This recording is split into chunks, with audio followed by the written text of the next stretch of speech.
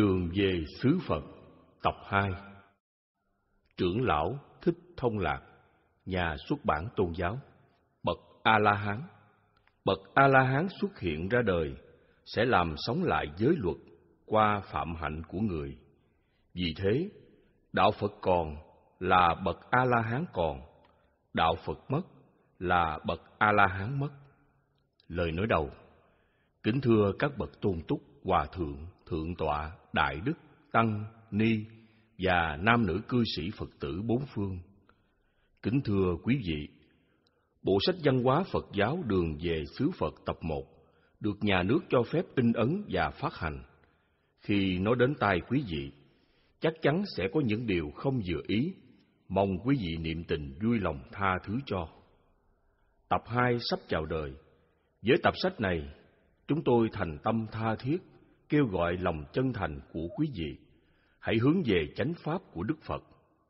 Kính thưa quý vị, từ xa xưa đến nay, các bậc thầy tổ của chúng ta đang lầm lạc tu theo một giáo pháp không đúng của đạo Phật, mà cứ ngỡ tưởng rằng mình đang tu theo đúng giáo pháp chân chánh của Đức Phật.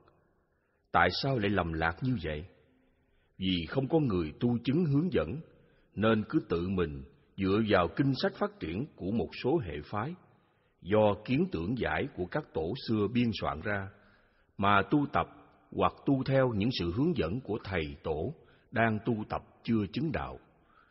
Giáo pháp chân chánh của đạo Phật không bao giờ dùng những danh từ trừu tượng rất kêu như chân không, Phật tánh, bản lai diện mục, cực lạc, thiên đàng, vân vân. Đó là những danh từ trừu tượng để lừa đảo tín đồ. Giáo pháp chân chánh của đạo Phật luôn luôn chỉ thẳng, nói thật, nói những pháp hành cụ thể, thực tế, rõ ràng như ngăn ác, diệt ác pháp, sinh thiện, tăng trưởng thiện pháp, hoặc không nên làm các pháp ác, nên làm các pháp thiện. Cho nên, giáo pháp của Phật không bao giờ nói sai sự thật, luôn luôn nói đúng đạo đức nhân bản, nhân quả của con người để mọi người hiểu biết rõ ràng và tự sửa sai những điều lầm lỗi, những điều làm không đúng theo đạo đức làm người, làm thánh. Vì đạo Phật đã xác định thánh nhân không phải ngoài con người, ngoài con người không thể tìm có thánh nhân được. Cho nên, giáo pháp của Đức Phật là một giáo pháp không trừu tượng, ảo tưởng, không mê tín dị đoan, phi đạo đức vân vân. Ngược lại, những giáo pháp mà thầy tổ của chúng ta đang tu theo nó để lại một rừng kinh sách toàn là những loại pháp giáo trừu tượng, ảo tưởng, mê tín, dị đoan, phi đạo đức, vân vân để lừa đảo tín đồ. Lần lượt, chúng tôi sẽ lật tẩy bộ mặt lừa đảo gian dối của những kinh sách này để quý vị suy ngẫm. Nó đã giết chết thầy tổ của chúng ta bao đời, bao kiếp, kéo dài từ thế kỷ này đến thế kỷ khác, và nó còn tiếp tục giết hại những tư tưởng thế hệ tuổi trẻ con em của chúng ta ngày mai. Một giáo pháp phi đạo đức, mơ hồ, trừu tượng, mê tín lạc hậu, mạo danh là Phật giáo. Giáo pháp ấy còn mang những cái tên rất kêu, Đại Thừa, Tối Thượng Thừa, Phật Thừa. Với những danh từ vĩ đại này, có mục đích để dìm Phật giáo chân chánh nguyên thủy xuống, ở góc độ nhỏ hẹp, tiểu thừa, thanh văn thừa, duyên giác thừa, rồi lần lượt biến dần giáo pháp chân chánh của đạo Phật thành tà giáo ngoại đạo, để dễ bề đưa giáo pháp của mình ra lừa đảo, lường gạt tín đồ Phật giáo.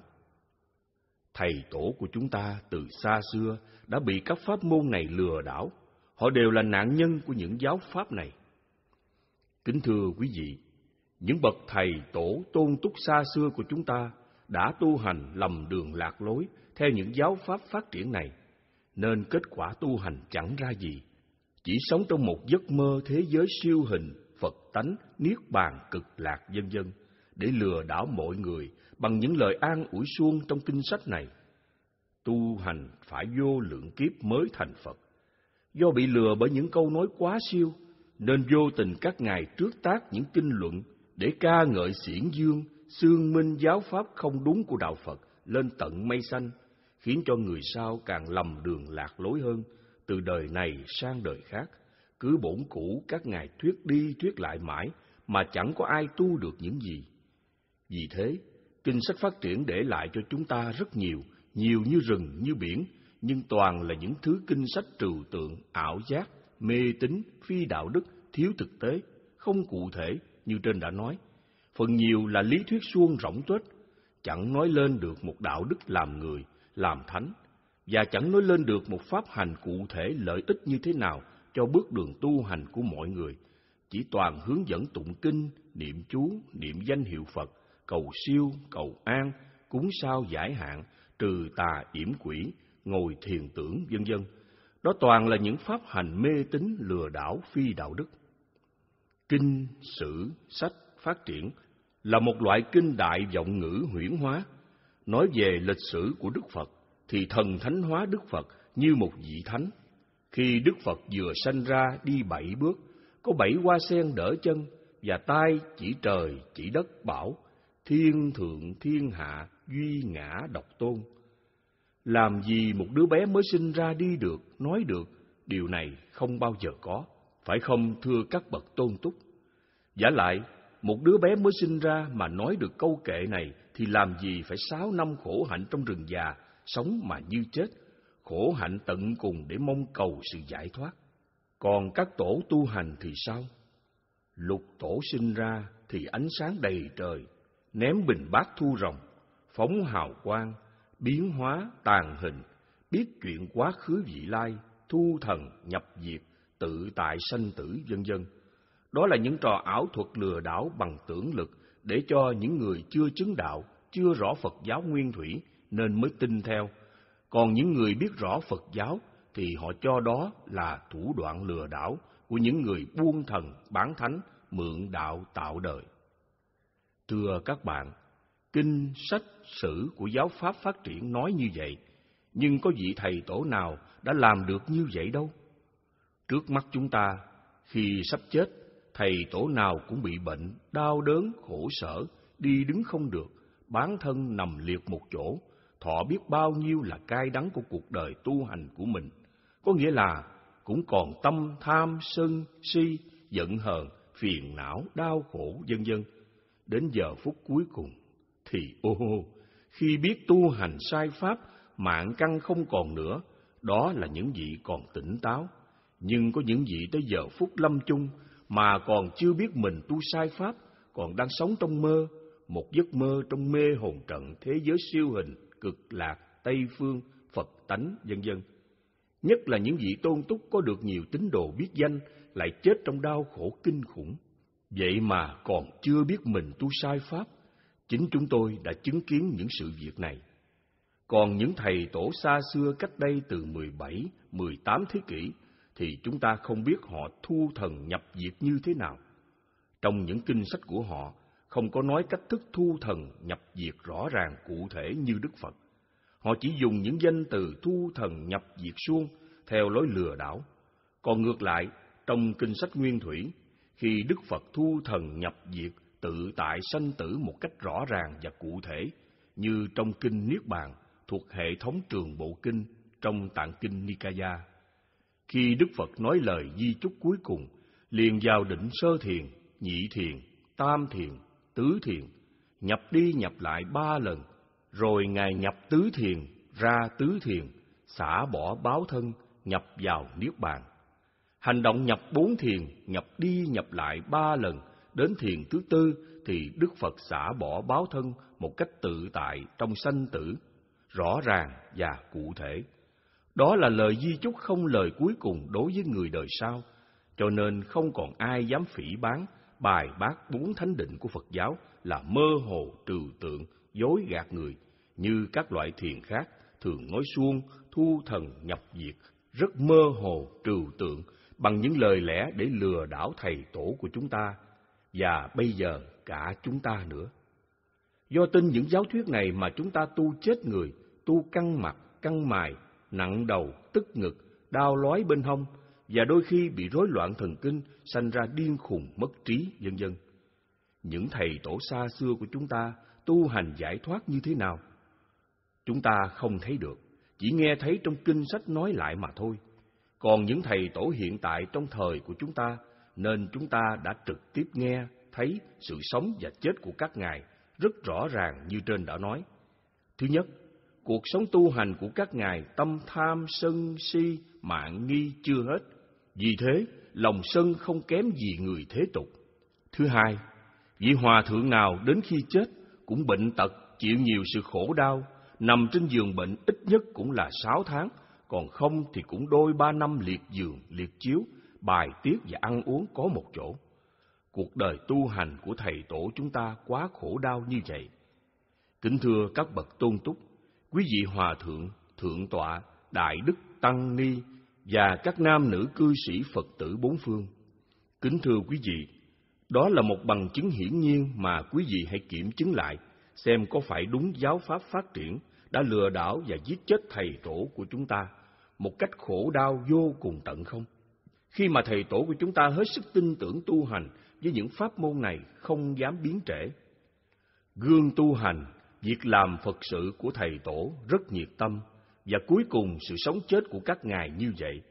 Chúng ta đừng che giấu mà hãy thành thật nói lên sự thật để người sau biết rõ giáo pháp phát triển là một thứ giáo pháp lừa đảo thực sự, tu hành chẳng đi về đâu được cả, chỉ vì danh lợi mà người trước dối người sau, người sau dối người sau nữa, và cứ như vậy, trải qua trên hai mươi lăm thế kỷ nay, thầy tổ của chúng ta chưa có ai làm chủ được sự sống chết như Đức Phật, cũng chỉ vì tu sai lầm pháp môn của ngoại đạo, của tưởng giải, của các học giả. Kính thưa quý vị, hiện giờ quý vị là những bậc thầy tổ của tăng ni và nam nữ cư sĩ Phật tử bốn phương. Quý vị hãy xem lại thân tâm của mình tuổi đạo trên bốn năm chục năm và hiện giờ có vị đã bảy tám mươi tuổi đời, chức vụ làm tăng thống, phó tăng thống, diện chủ, diện trưởng, vân dân đã làm chủ thân tâm được những gì trong bốn sự đau khổ của kiếp làm người, sanh, già, bệnh, chết. Sanh tức là đời sống, quý vị làm chủ được những gì? Có hết tham, sân, si chưa? Nếu bảo rằng hết tham, sao quý vị còn ăn uống phi thời, còn thích ở chùa to tháp lớn, sao không sống thiểu dục tri túc, ba y một bát, đi xin ăn từng nhà, mặc y áo phấn tảo, giải bỏ của thiên hạ như Đức Phật ngày xưa, như vậy mới gọi là hết tham. Sân, tức là lòng căm giận, nếu bảo rằng quý vị hết sân, thì điều này quý vị tự biết hơn ai hết. Nhưng khi gặp chướng ngại pháp, sao quý vị lại đỏ mặt tía tai la hét dữ vậy? Già, tức là cơ thể cằn cõi, lụng cụm, tay chân run rẩy và sức lực yếu đuối, da nhăn nheo, mặt gầy. Nếu quý vị đã nhập vào tâm bất động hay định nhị thiền, thì quý vị nhận rất rõ nhân quả vô thường, không còn tác động, làm sắc thân của quý vị yếu đuối, lụm cụm, run rẩy, đi đứng không vững vàng, rất cụ thể và rõ ràng. Còn chưa nhập được, thì quý vị như người mù chẳng biết màu sắc ra sao cả, chỉ biết có một màu đen sâu thẳm như trong đêm tối. Bệnh, tức là đau nhức của cơ thể. Chắc chắn quý vị sẽ không thể tránh khỏi những khổ đau này, và quý vị cũng không che giấu được ai cả. Ngay bây giờ, cơ thể của quý vị bệnh đau rề rề, nay bệnh này, mai bệnh khác, nay nhức chỗ này, mai đau chỗ kia. Hiện giờ sắc thân của quý vị sống bằng thuốc thang, bằng gạo lứt muối mè, bằng nhịn ăn tiết thực, lúc nào cũng chích thuốc và chăm cứu, bấm huyệt, cạo gió, tập thể thao, dưỡng sinh và tập luyện thiền yoga. Nhất là cố gắng ăn nhiều bữa để cơ thể có đủ chất dinh dưỡng, ngõ hầu sống thêm được ngày nào tốt ngày nấy. Thật sự, tu hành như vậy là hèn nhát, không xứng đáng là đệ tử của Đức Phật. Chết, tức là cơ thể không còn hoạt động, không còn thở. Nếu quý vị không nhập được tứ thiền, tịnh chỉ hơi thở, thì khó mà quý vị làm chủ được sự sống chết này. Kính thưa quý vị, quý vị đã từng theo giáo pháp phát triển tu tập, quý vị đã làm chủ được một trong bốn sự đau khổ trên đây chưa? Nếu chưa làm chủ được một trong bốn sự đau khổ này, thì quý vị phải sáng suốt, đừng vì một lý do nào cả, mà hãy vì mọi người trên hành tinh này mà dạch trần sự thật để cho mọi người khỏi tốn công, tốn sức, tốn của cải tài sản, tốn công lao tu tập, tốn tiền bạc in kinh sách phát triển, nó chẳng ích lợi gì cho đời, mà còn có hại cho con người. Vì giáo pháp này dạy cầu tha lực, do đó tu sĩ không còn sức tự lực, lúc nào cũng cầu cạnh gian sinh cúng tế vân dân. Kinh sách phát triển lừa đảo con người bằng mọi hình thức trừu tượng, mê tín, huyễn thuật, dị đoan, chỉ có tín đồ Phật giáo phải gánh chịu mọi sự khổ đau này. Chúng tôi tin chắc rằng quý vị tu theo giáo pháp phát triển không bao giờ làm chủ được bốn sự đau khổ này, mà chính quý vị không đủ can đảm nói thật ra mà thôi. Nhưng chính không đủ can đảm nói thật ra, thì quý vị đã tự làm khổ mình và còn làm khổ bao nhiêu người khác nữa. Không những làm khổ mình, khổ người khác, mà còn giết chết Phật giáo, giết chết nền đạo đức nhân bản, nhân quả của đạo Phật. Dù quý vị cố giữ bí mật không nói ra, nhưng sự sống của quý vị phá giới, phạm giới là một chứng minh hùng hồn là quý vị chưa làm chủ sự sống, chưa làm chủ được sự sống thì chứng tỏ quý vị không thể nào làm chủ được sự chết. Bằng chứng cụ thể là khi quý vị chết, chết trong bệnh tật, trong đau khổ, đó là những hiện tượng mà quý vị không làm sao che giấu được tín đồ và những người khác. Chúng tôi biết rất rõ, quý vị thuyết giảng rất hay, nhưng lời nói không đi đôi với tâm giải thoát của quý vị. Vì thế, quý vị nên tự xét, đừng bắt chước thầy tổ của chúng ta, nói một điều không thật, nói một điều mà làm một ngã không nhất quán. Giáo pháp phát triển, dù quý vị có tu trăm muôn ngàn kiếp, thì quý vị cũng chẳng bao giờ làm chủ bốn sự đau khổ này được, chỉ uổng công mà thôi, vì nó là giáo pháp thuộc về hí luận, chứ không phải giáo pháp để tu hành giải thoát. Sắc tức thị không, không tức thị sắc. Đó là lời nói trừu tượng, không xác quyết. Có là có, không là không. Hiện giờ có là nói có, lát nữa không thì nói không. Thời gian có hiện tại, quá khứ và vị lai rõ ràng. Thời gian nào là nói theo thời gian nấy, dù là một sát na, nháy mắt. Chứ đâu nói có là không, không là có. Đó là một sự lừa đảo lường gạt người, theo hí luận của Ngài Long Thọ, trường uống như con lương. Kính thưa quý vị, hôm nay tập 2 Văn hóa Phật giáo đường về xứ Phật ra đời. Chúng tôi thành tâm kêu gọi quý vị tôn túc, hòa thượng, thượng tọa, đại đức, tăng ni và nam nữ cư sĩ Phật tử bốn phương. Hãy mạnh dạn đứng lên, nói sự thật về các loại kinh sách này như Thiền Sư Thường Chiếu, Hòa Thượng Minh Châu, Cư sĩ Trùng Quang và một vị sử gia Phật giáo Thái Lan tên là Thita Nana Thero biên soạn cuốn Phật giáo sử do sư giáo nguyên dịch ra biệt ngữ, vân vân. Những lời nói của các vị là dạch trần những điều tội lỗi của kinh sách phát triển mà lịch sử đã còn ghi lại nhiều thủ đoạn gian ác của Bà La Môn giáo và của những người vì danh, vì lợi đã nở tâm muốn diệt Phật giáo, diệt một nền đạo đức nhân bản nhân quả của loài người mà chính Phật giáo mới có. Một nền đạo đức nhân bản nhân quả không làm khổ mình, khổ người, có lợi ích cho con người trên hành tinh này rất lớn. Vì thế, chúng tôi kêu gọi quý vị hòa thượng, thượng tọa, đại đức, tăng ni và nam nữ cư sĩ Phật tử bốn phương, hãy vì sự trường tồn của Phật giáo và nền đạo đức nhân bản nhân quả của con người trên hành tinh này, quý vị hãy nói sự thật và cùng với chúng tôi dựng lại những gì của Phật giáo đã bị kinh sách phát triển ném bỏ từ lâu. Vì Phật giáo, vì loài người, chúng ta hãy đứng lên, chung lưng đấu cật, quyết tâm quét sạch những tà giáo ngoại đạo đang mượn danh Phật giáo, đang làm những việc mê tín lừa đảo, lường gạt mọi người, tiền mất tật mang mà chẳng có ích lợi gì cho ai cả, chỉ làm giàu cho bọn tà sư đội lốt Phật giáo. Hỡi quý hòa thượng, thượng tọa, đại đức, tăng ni và nam nữ cư sĩ Phật tử bốn phương, hãy nhận định sáng suốt đâu là chánh pháp của đạo Phật, đâu là tà pháp của ngoại đạo. Mạnh tay dẹp bỏ những lý luận của Long Thọ, Vô Trước, Thế Thân, Mã Minh, vân vân. Những lý luận này chẳng ích lợi gì cho người tu. Nó chỉ để cho những người kiêu căng, tự đắc lạm dụng, để lý luận làm trò tranh luận hơn thua với những người còn tham danh đắm lợi ở thế gian. Lối lý luận trừu tượng nhưng không tu hành được, đó là đại vọng ngữ lừa đảo của các vị tổ sư này.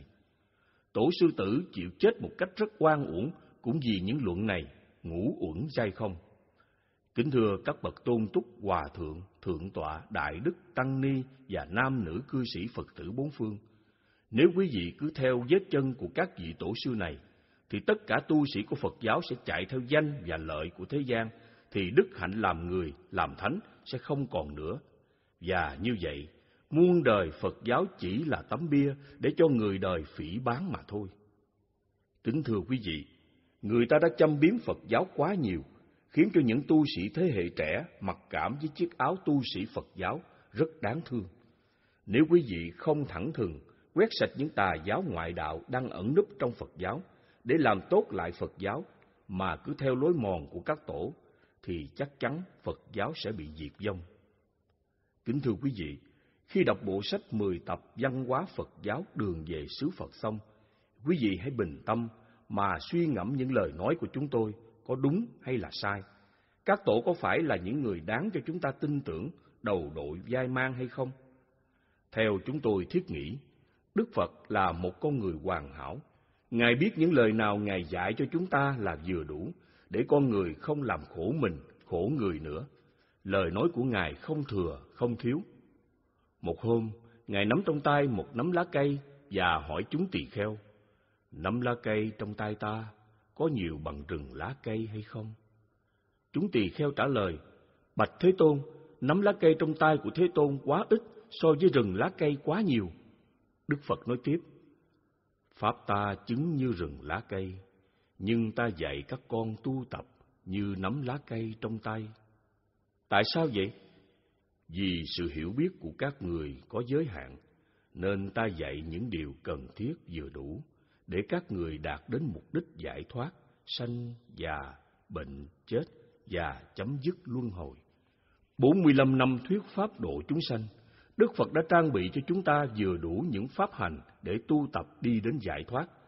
Cho nên những gì lý luận cao siêu thì Đức Phật cho đó là tưởng tri, hí luận để làm giàu cho sự tranh luận hơn thua, không nhằm mục đích giải thoát. Những điều đó không ích lợi cho mình, cho người, mà còn sanh oán thù và làm mất thì giờ vô ích. Thế mà người sau muốn triển khai cái rừng lá cây của Đức Phật đã chứng, như Tổ Long Thọ, Thế Thân, Vô Trước, Mã Minh, vân dân. Vì thế, đẻ ra triết lý chân không.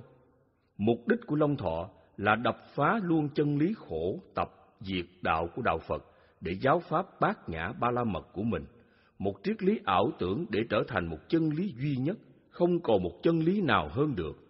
Vì thế thầy tổ của chúng ta quá phục lăng chân lý ấy, nên súng nhau triển khai trí tuệ bát nhã chân không.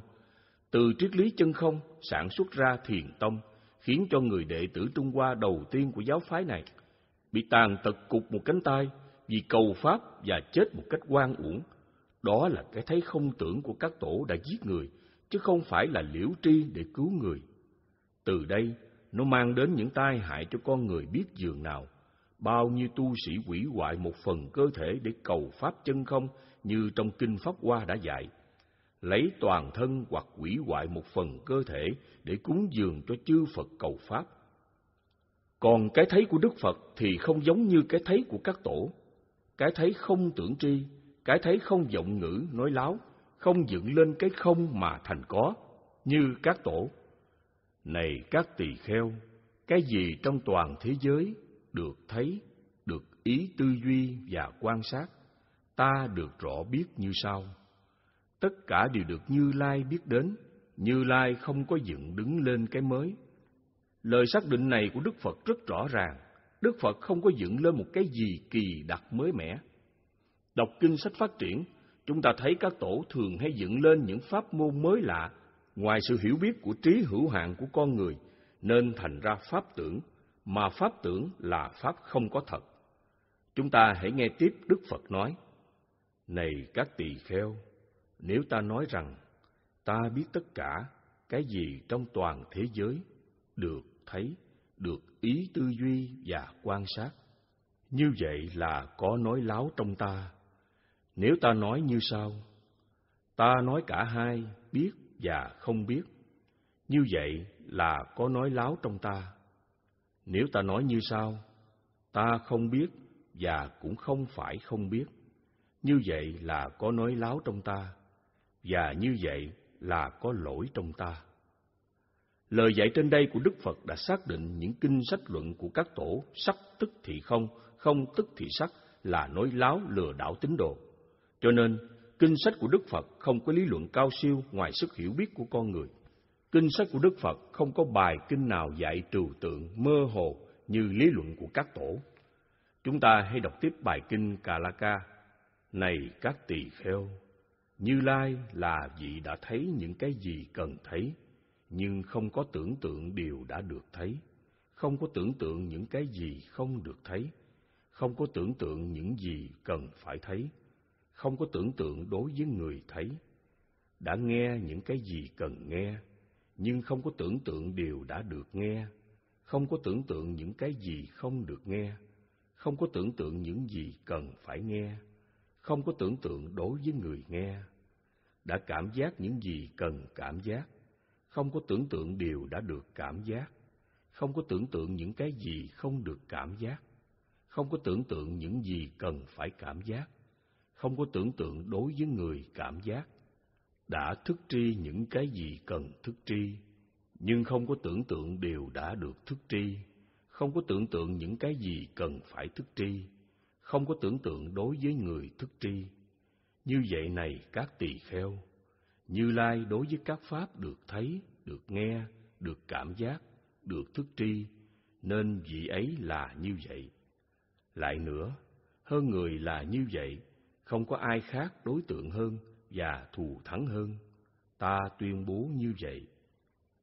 Bài kinh này Đức Phật đã xác định rõ ràng những gì Đức Phật dạy đều là thực tế, cụ thể, không có tưởng tượng. Còn kinh sách phát triển đều dạy tưởng tượng quá nhiều, cho nên người ta gọi kinh sách phát triển là kinh tưởng. Luận của các tổ đều nằm trong tưởng tượng mà ra. Trong bài kinh Cà La Ca, Đức Phật chỉ rõ cho chúng ta thấy kinh tưởng là kinh nói láo, nên thầy tổ của chúng ta tu hành hết sức mà chẳng được những gì, toàn là thứ ảo giác. Tổ Long Thọ, Thế Thân, Vô Trước, Mã Minh, vân vân. Các ngài là cha đẻ của những chân lý tưởng, nên chân lý của các ngài siêu tưởng và chân lý ấy sẽ áp dụng vào thế giới tưởng thì rất phù hợp. Còn ở cảnh thế gian của loài người thì nó là một chân lý ngụy lừa đảo mà Đức Phật bảo là nói láo. Theo chúng tôi nghĩ, con người trên hành tinh này chỉ có một chân lý không thể có hai ba chân lý mà được. Cho nên chân lý của đạo Phật đưa ra khổ, tập, diệt, đạo mà mọi người trên hành tinh này đều công nhận là đúng, mà đúng thật như vậy. Cho nên nó không còn có một chân lý thứ hai nào được xen vào cái thế giới của loài người này được nữa. Do hí luận của Ngài Long Thọ lừa đảo thiên hạ, khiến cho tín đồ Phật giáo quên đi nguồn gốc nguyên thủy của đạo Phật, đánh mất một nền đạo đức nhân bản nhân quả làm người, không làm khổ mình, khổ người, thật là quá uổng. Cuối cùng, những tín đồ Phật giáo chạy theo miệng lưỡi của Long Thọ, chẳng có người nào làm chủ sanh, già, bệnh, chết được, thường chết trong bệnh tật đau khổ, để cho tín đồ mục kích thấy được chân không của Long Thọ. Nó không có không đâu, mà còn phải trải qua nhiều đời kiếp thọ tội vọng ngữ tưởng tri chân không, vì tội lừa đảo đã giết biết bao nhiêu tín đồ Phật giáo từ khi có chân không của Long Thọ ra đời. Cho nên thầy tổ của chúng ta sống theo danh lợi, thường phạm giới, phá giới, bẻ dùng giới. Có ai chỉ trích lỗi thì dùng ngôn ngữ của Long Thọ che đậy, bưng bích để tự tại sống theo dục lạc thế gian mà không ai phê phán được. Ông Long Thọ là một người diệt đạo Phật đệ nhất, hơn các vị tổ sư khác. Còn thầy tổ của chúng ta chỉ là những người bắt chước, vô tình nối giáo cho Long Thọ, diệt Phật giáo mà thôi. Người xưa nói sao thì thầy tổ của chúng ta nói vậy. Thậm chí còn không dám nói sai lời của các ông ấy và cũng không bao giờ dám nói xúc phạm tới những con người độc ác này. Thầy tổ của chúng ta xem các vị tổ sư này còn hơn là Đức Phật Thích Ca Mâu Ni. Có người bảo rằng một tôn giáo được hoàn chỉnh đều phải nhờ vào các tông đồ. Điều này đúng, nhưng đúng với các tôn giáo khác như Thiên Chúa, Hồi giáo, Khổng giáo, Lão giáo vân vân còn không đúng với Phật giáo. Tại sao vậy?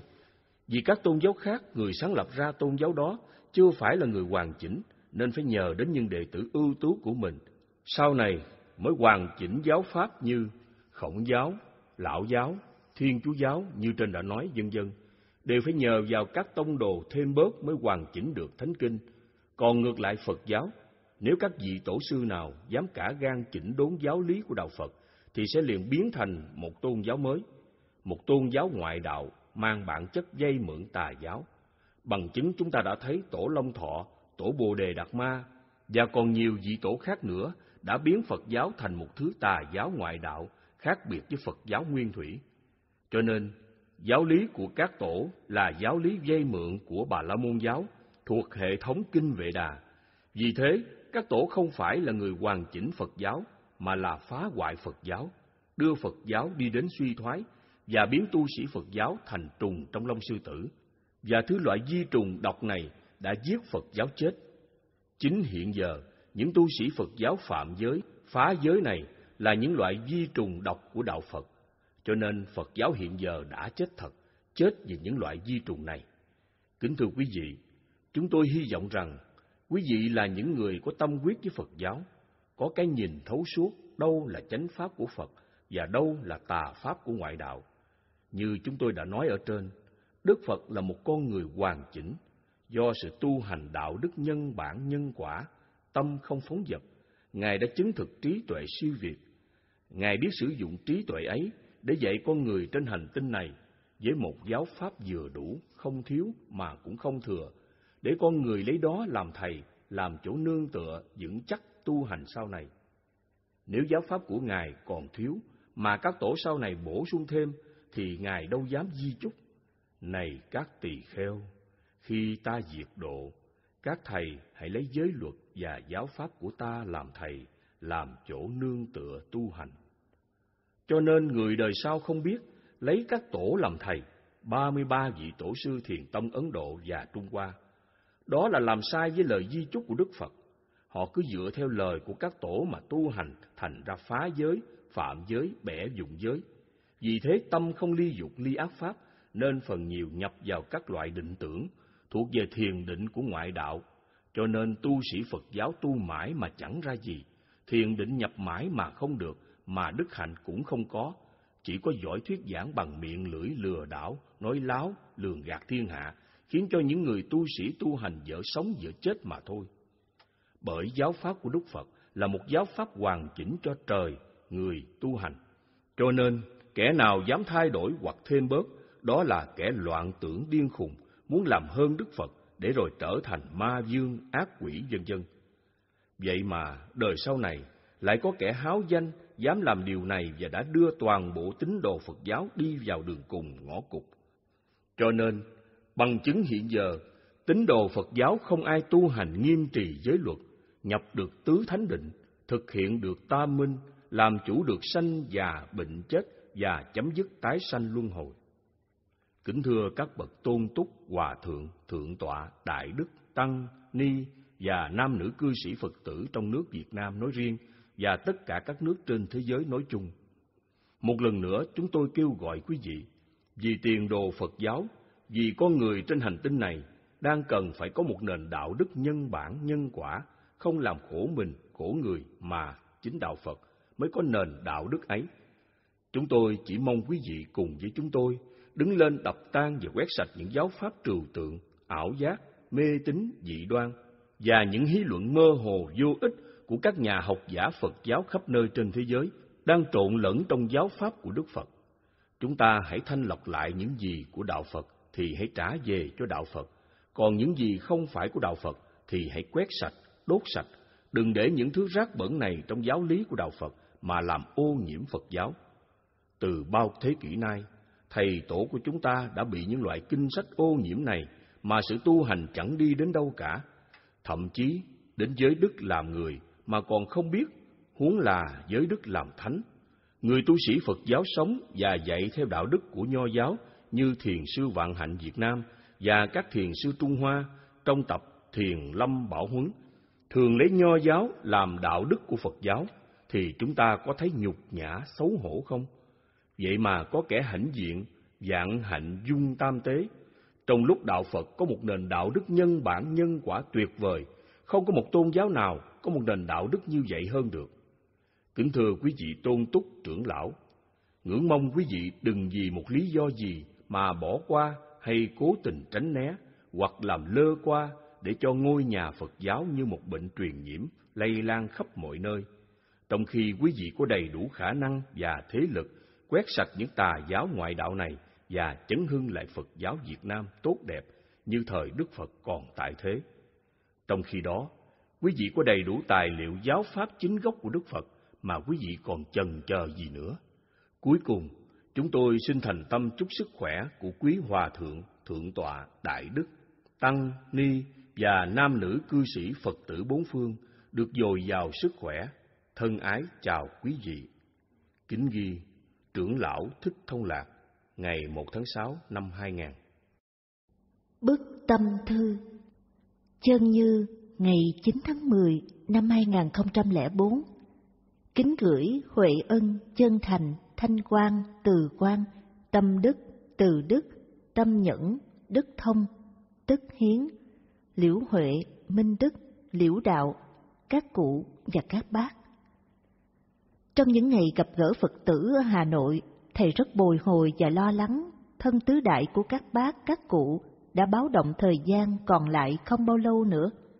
Rồi đây, kẻ ở người đi, và đi mãi mãi, nhưng đi về đâu các bác, các cụ có biết không? Huệ ân, chân thành, thanh quan, từ quan, tâm đức, từ đức, tâm nhẫn, đức thông, liễu huệ, minh đức, liễu đạo. Các cụ và các bác, các con còn nhớ lời thầy dạy chăng? Tâm thanh thản, an lạc và vô sự là nơi các con về khi bỏ thân tứ đại này. Nơi đó mãi mãi không còn tái sinh luân hồi nữa. Nơi đó không còn khổ đau các con ạ. À. Nơi đó là nơi chư Phật ba đời đều an trú.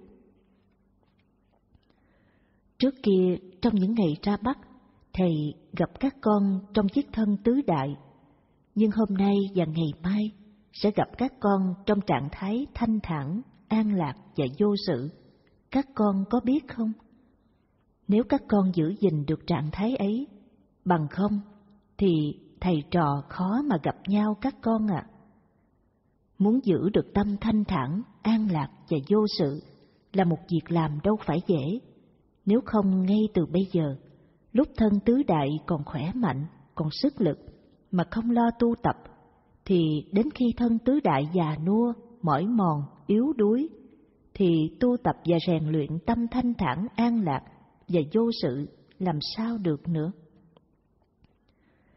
Nghiệp lực tác động rất mạnh khi nó đến thăm các con.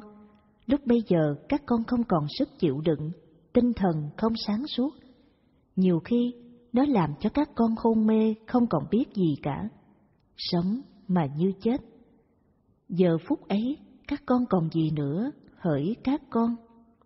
Nghiệp tương ưng luân hồi, hết một kiếp người rồi mãi mãi.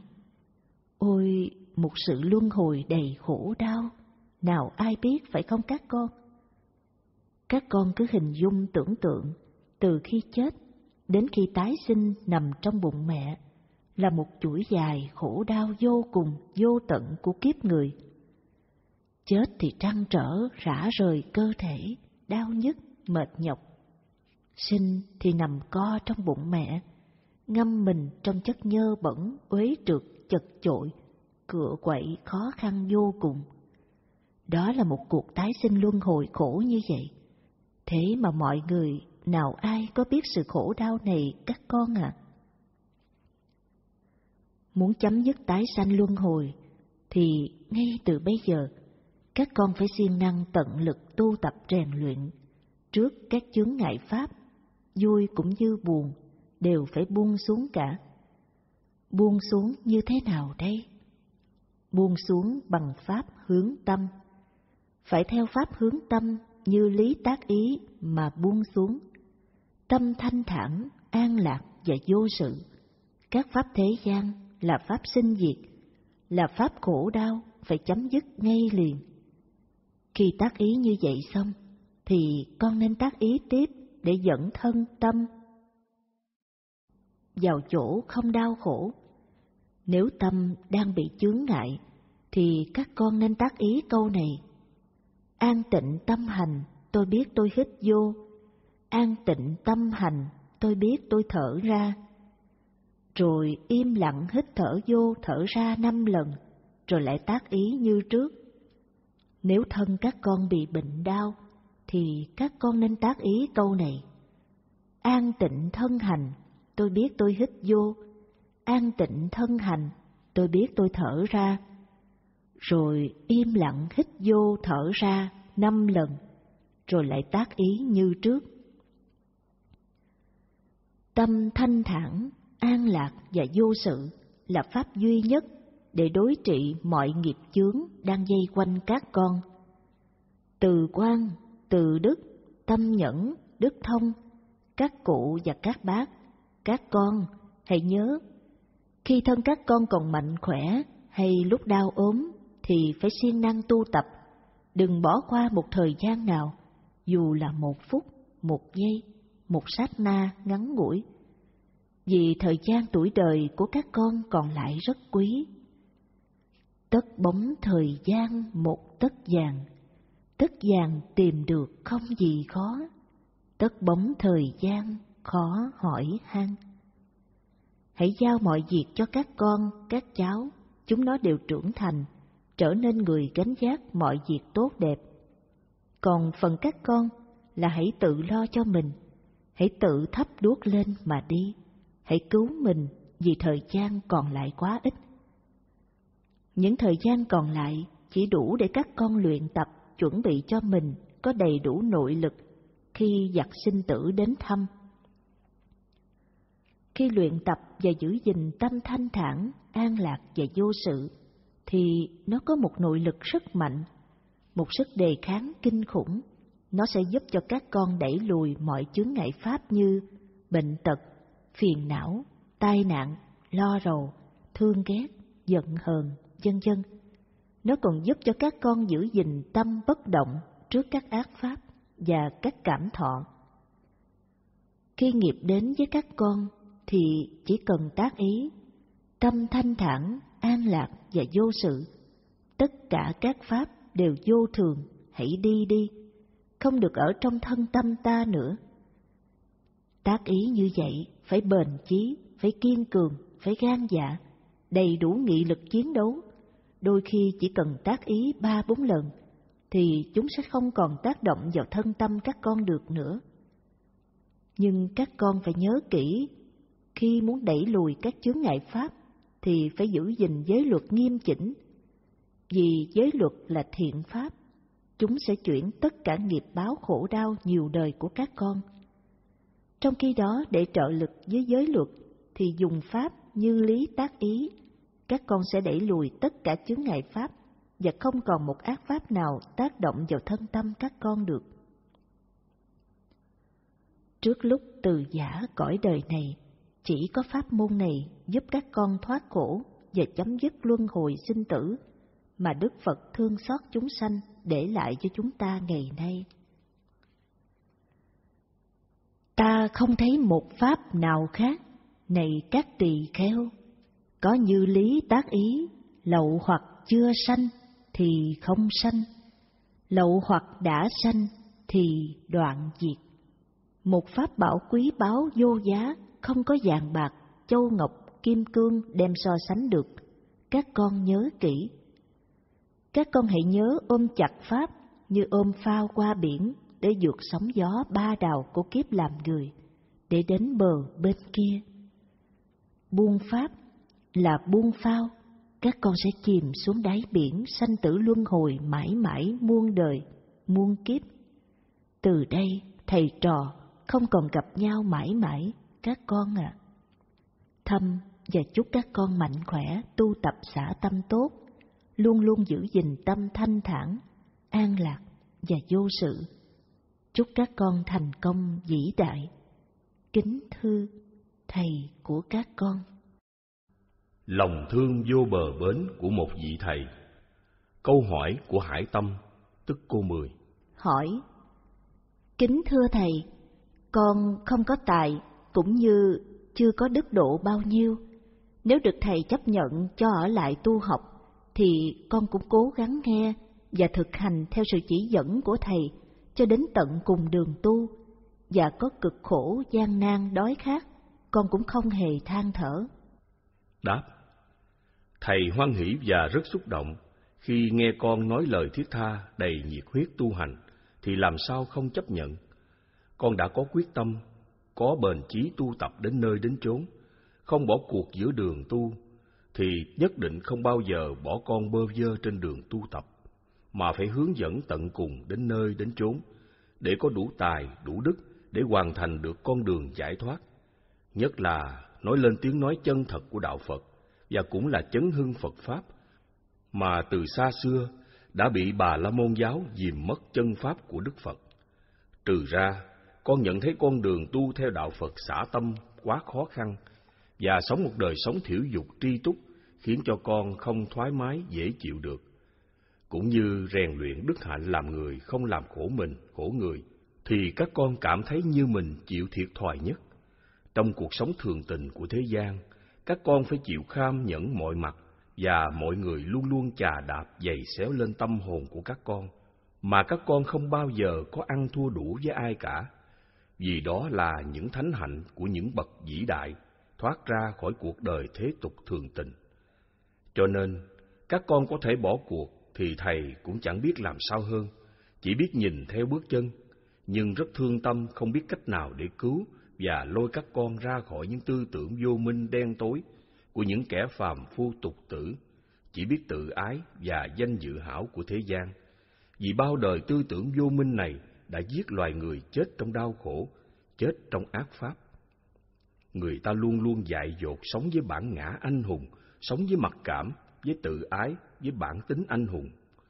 Anh hùng mặc cảm tự ái đối với đạo Phật, nó là chướng ngại pháp, là ác pháp, là pháp làm khổ người, khổ mình.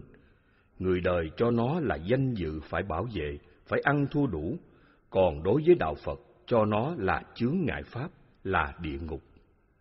Trải qua một thời gian tu tập khá dài mà không thấy có thần thông chút nào cả, chỉ sống trong những ngày cô đơn buồn tẻ và có nhiều sự tức tối buồn phiền, cho nên các con ngã lòng tìm cầu một pháp môn khác thì thầy cũng đành bó tay trước nghiệp duyên của các con mà thôi. Chỉ vì các con không đủ niềm tin với chánh pháp của Đức Phật nên đành phải rẽ sang đường khác như huynh đệ của các con thì thầy cũng đành nhìn theo bóng dáng của những người đệ tử thân thương của mình. Dù một ngày các con về đây tu học, nhưng tình thầy trò không bao giờ phai mờ. Rồi đây, dòng đời sẽ dẫn dắt các con đi vào con đường mờ mịt của kiếp người, đầy gian truân và cay đắng. Gần 26 năm, từ năm 1980 đến 2005, thầy bỏ ra công lao, biết là bao nhiêu, kể sao cho hết để hướng dẫn đào tạo một số người có giới đức làm người, làm thánh, nghiêm chỉnh, nhất là áp dụng phương pháp độc cư để cho mọi người phòng hộ sáu căn, thúc liễm thân tâm, lìa xa các chướng ngại pháp, để thực hiện tâm bất động trước các ác pháp và các cảm thọ, tức là để tâm hoàn toàn ly dục ly ác pháp, nhập sơ thiền. Nhưng mọi người chịu ảnh hưởng của kinh sách phát triển, nên tu tập cứ ức chế tâm, không nghe lời thầy dạy sống độc cư, cứ hết giờ ngồi thiền ức chế tâm thì lại tìm gặp nhau để nói chuyện.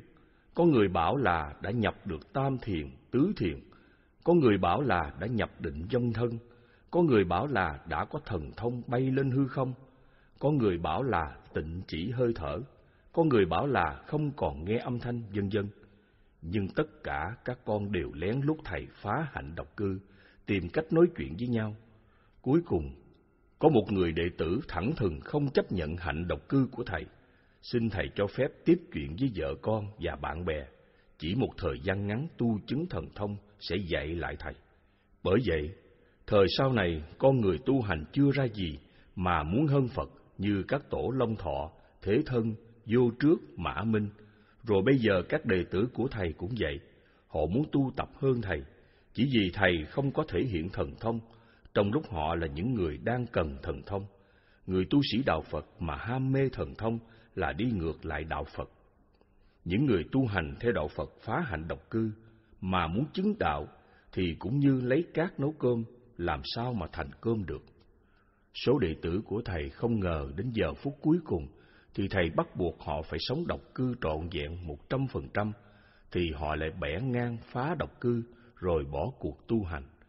Họ đâu ngờ thầy khép chặt họ vào hạnh độc cư, cốt để họ xả tâm cho rốt ráo, hoàn toàn ly dục ly ác pháp, để họ nhập được thiền đầu tiên của đạo Phật, đó là sơ thiền, hay nói một cách khác là giúp cho họ nhập được bất động tâm định để họ làm chủ được đời sống.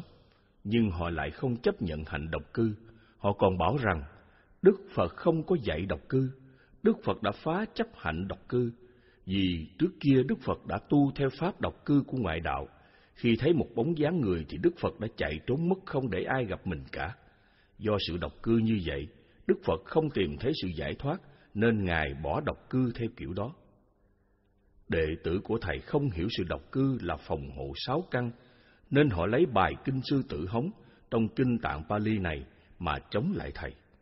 Họ đâu biết rằng độc cư của Đạo Phật là giữ gìn tâm không phóng dật. Vì vậy, độc cư của Đạo Phật là phòng hộ sáu căn, là pháp xả tâm ly dục ly ác pháp. Độc cư của Đạo Phật là cấm nói chuyện phím, chuyện vô ích. Độc cư của Đạo Phật còn có nghĩa là tránh xa sự ồn náo, sự ham vui của thế tục. Những người còn ham vui, còn thích hội họp nói chuyện, thì đi tu theo Đạo Phật chỉ mất thì giờ vô ích, vì những người này không bao giờ xả tâm được. Đạo Phật vốn xả tâm và chướng ngại Pháp mà thành tựu đạo giải thoát. Hạnh độc cư là bí quyết xả tâm, nhờ có xả tâm nên mới có thiền định. Tất cả đệ tử của Thầy không tin hạnh độc cư, vì vậy Thầy phải đem 42 bài kệ dạy độc cư của Đức Phật ra chứng minh và rất nhiều bài kinh khác nữa của Phật dạy về độc cư trong kinh Nguyên Thủy Nikaya. Thế mà họ vẫn không tin. Thầy Minh Tông còn thách thức với Thầy. Xin Thầy cho con tiếp vợ con và bạn bè, con sẽ thực hiện tu chứng giải thoát bằng một con đường khác, không cần hạnh độc cư và thể hiện thần thông cho Thầy xem như trên đã nói. Phần đông số đệ tử của Thầy không tin Pháp của Thầy dạy, tức là không tin Pháp của Phật dạy. Họ là những người muốn hơn Phật, muốn đưa ra một đường lối tu tập mới, nhưng cuối cùng cũng giống như Long Thọ, Thế Thân, Vô Trước, Mã Minh, vân vân, chỉ có giỏi lý luận ngôn ngữ mà thôi. Thầy cũng để nhìn xem những người đệ tử muốn hơn Phật, hơn Thầy sẽ làm được những gì lợi ích cho bản thân của họ. Nếu quyết tâm tìm cầu con đường giải thoát sanh già, bệnh, chết và chấm dứt tái sanh luân hồi, thì con nên bền chí mà tu tập pháp hướng tâm như lý tác ý. Pháp này phải bền chí lắm mới có hiệu quả. Hằng ngày phải cố gắng buông xả các chướng ngại pháp trong tâm, khi các pháp này thường hiện khởi trên bốn chỗ, thân, thọ, tâm, pháp. Nếu con đẩy lui được, thì tức khắc con có sự giải thoát nơi thân tâm con, thân tâm con sẽ được thanh thản, an lạc và vô sự. Đạo Phật tu hành không khó, khó là chỗ người ta không biết tu sai thành ức chế thân tâm, và nhất là chỗ không dám buông xả đời sống thường tình thế tục, do chỗ tu sai và không dám bỏ đời sống thế tục, nên tu hành chỉ có hình thức, chứ không có giải thoát rốt ráo được. Tu theo đạo Phật không phải chỗ ngồi thiền, chỗ đi kinh hành, mà chỗ đẩy lui các chướng ngại pháp trong tâm. Nhưng mượn tư thế ngồi, tư thế đi kinh hành là để dễ tỉnh thức xả tâm chướng ngại. Xả hết tâm chướng ngại, tức là ly dục ly ác pháp. Ly dục ly ác pháp, tức là xả ngũ triền cái và thất kiết sử, chứ không phải xả vọng tưởng lăng xăng như kinh sách phát triển dạy. Con nên nhớ, sự tu tập này rất dễ dàng và thân tâm thoải mái dễ chịu, không có mệt nhọc, không có khó khăn. Tu là có kết quả giải thoát ngay liền. Bình thường, con nên tỉnh thức nhớ hướng tâm. Tâm như đất không còn tham sân si nữa. Phải nhớ nhắc thường xuyên không được quên. Quên tức là thiếu tỉnh thức. Đó là với tâm bình thường, còn tâm không bình thường, đang bị chướng ngại pháp, thì dùng định vô lậu quán xét mà đẩy lui đã quyết tâm theo thầy tu tập đúng chánh pháp Phật giáo Nguyên Thủy, thì phải cố gắng rèn luyện tu tập và bền chí, nhẫn nại, bám chặt theo những lời đã dạy để xả tâm cho thật sạch. Suốt 24 tiếng đồng hồ không dụng công mà tâm định trên hơi thở, không dụng công mà khi đi, tâm luôn định trên bước đi. Đó là tâm xả sạch, tâm đã thanh tịnh, tâm ly dục, ly áp pháp. Cách thức tu như vậy không khó, chỉ có từng giây, từng phút quan sát các chướng ngại pháp phát khởi tại bốn chỗ, thân, thọ, tâm và các pháp. Lúc không có chướng ngại pháp thì tâm sẽ định trên thân, còn khi có chướng ngại pháp thì con nên dùng định vô lậu quán xét mà đẩy lui nó như trên đã dạy. Đẩy lui cho đến khi tâm như đất, tâm con được như đất thì con đã hoàn toàn giải thoát. Một người đệ tử quyết tâm tu hành để tìm cầu sự giải thoát dù có gian nan, khó khổ đến đâu, cũng không lìa thiện hữu tri thức của mình. Mặc dù nghịch cảnh có thử thách đuổi xô thậm tệ đi chăng nữa, cũng chỉ để tạo đối tượng cho con xả tâm như đất mà thôi. Chính lúc bây giờ, con áp dụng định vô lậu quán xét nhân quả của mình để buông xả cái tâm oán ghét, giận hờn đó, chứ không nên như người thế tục, có những gì trái ý nghịch lòng thì ôm lòng thù oán ghét giận. Bằng chứng như con đã thấy, biết bao nhiêu người khi đến sống với thầy để học tu hành đều bị thử thách trắc nghiệm xem có xả tâm được hay không, tức là có sống đúng đức hạnh nhân bản làm người không làm khổ mình khổ người hay không. Khi mà mọi người được thầy hướng dẫn và dạy tu tập rèn luyện những đức hạnh nhẫn nhục tùy thuận bằng lòng, nhưng cuối cùng mọi người nhẫn nhục tùy thuận bằng lòng ngoài mặt, mà trong lòng thì oán hận. Cho nên, thường tìm cách nói xấu thiện hữu tri thức của mình với mọi người, để hạ nhục cho hả cơn hận thù, và khi rời khỏi tu viện lại còn nói xấu hơn. Các con là những người xa lạ từ những phương trời xa đến đây tu học, có thù, có oán nhau đâu, cớ sao lại có những điều này xảy ra? Những điều này xảy ra là do duyên nhân quả để rồi gặp nhau, gặp nhau để xả tâm, để ly dục, ly áp pháp, để được giải thoát, để làm chủ được tâm hồn của mình, để làm chủ cuộc sống của mình, để học được những đạo đức không làm khổ mình, khổ người, để trở thành những bậc thánh nhân. Một người thầy dạy bảo đạo đức giải thoát cho đệ tử thật là khó vô cùng. Lòng thương yêu của vị thầy ấy phải bao la như đất trời, tâm vị ấy như đất, như nước, thì mới dám đem đạo đức này dạy người. Tại sao vậy? Vì đạo đức này con người chưa bao giờ được nghe, được thấy, được học. Từ khi Đức Phật ra đời, chỉ có một khoảng thời gian quá ngắn một trăm năm thì được Ngài dạy đạo đức này cho những người đệ tử của mình. Rồi từ đó về sau này, không còn ai nhắc đến nữa. Cho nên bây giờ đem đạo đức này ra dạy là một việc làm rất khó, khó vô cùng.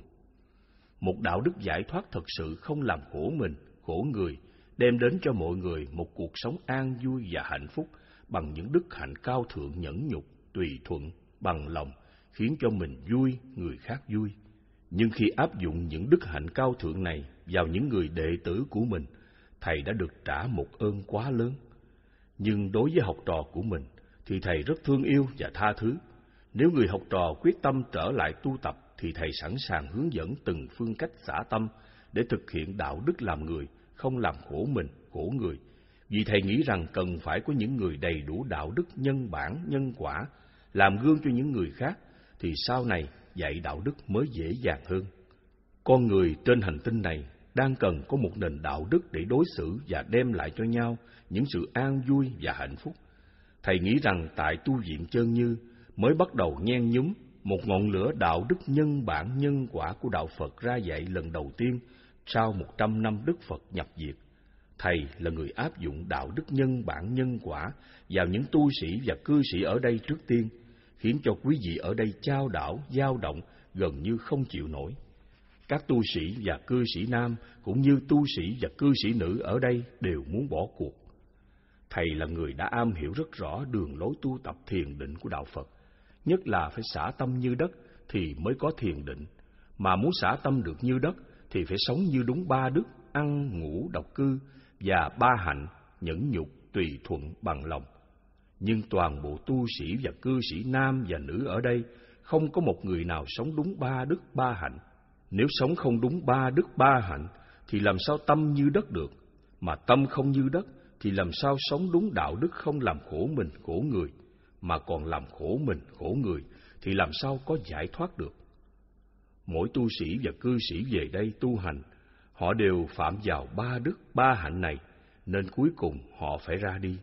Nhưng tâm nguyện của người thầy thầm ước nguyện một ngày nào đó, họ tỉnh ngộ, nhận ra ba đức ba hạnh là một đạo đức cao thượng tuyệt vời không làm khổ mình, khổ người, để trở về rèn luyện đức hạnh làm gương sáng cho mọi người soi, để mọi người nương vào ánh sáng đạo đức đó mà sống không làm khổ mình, khổ người, đem lại cho thế gian này thành cõi thiên đàng cực lạc.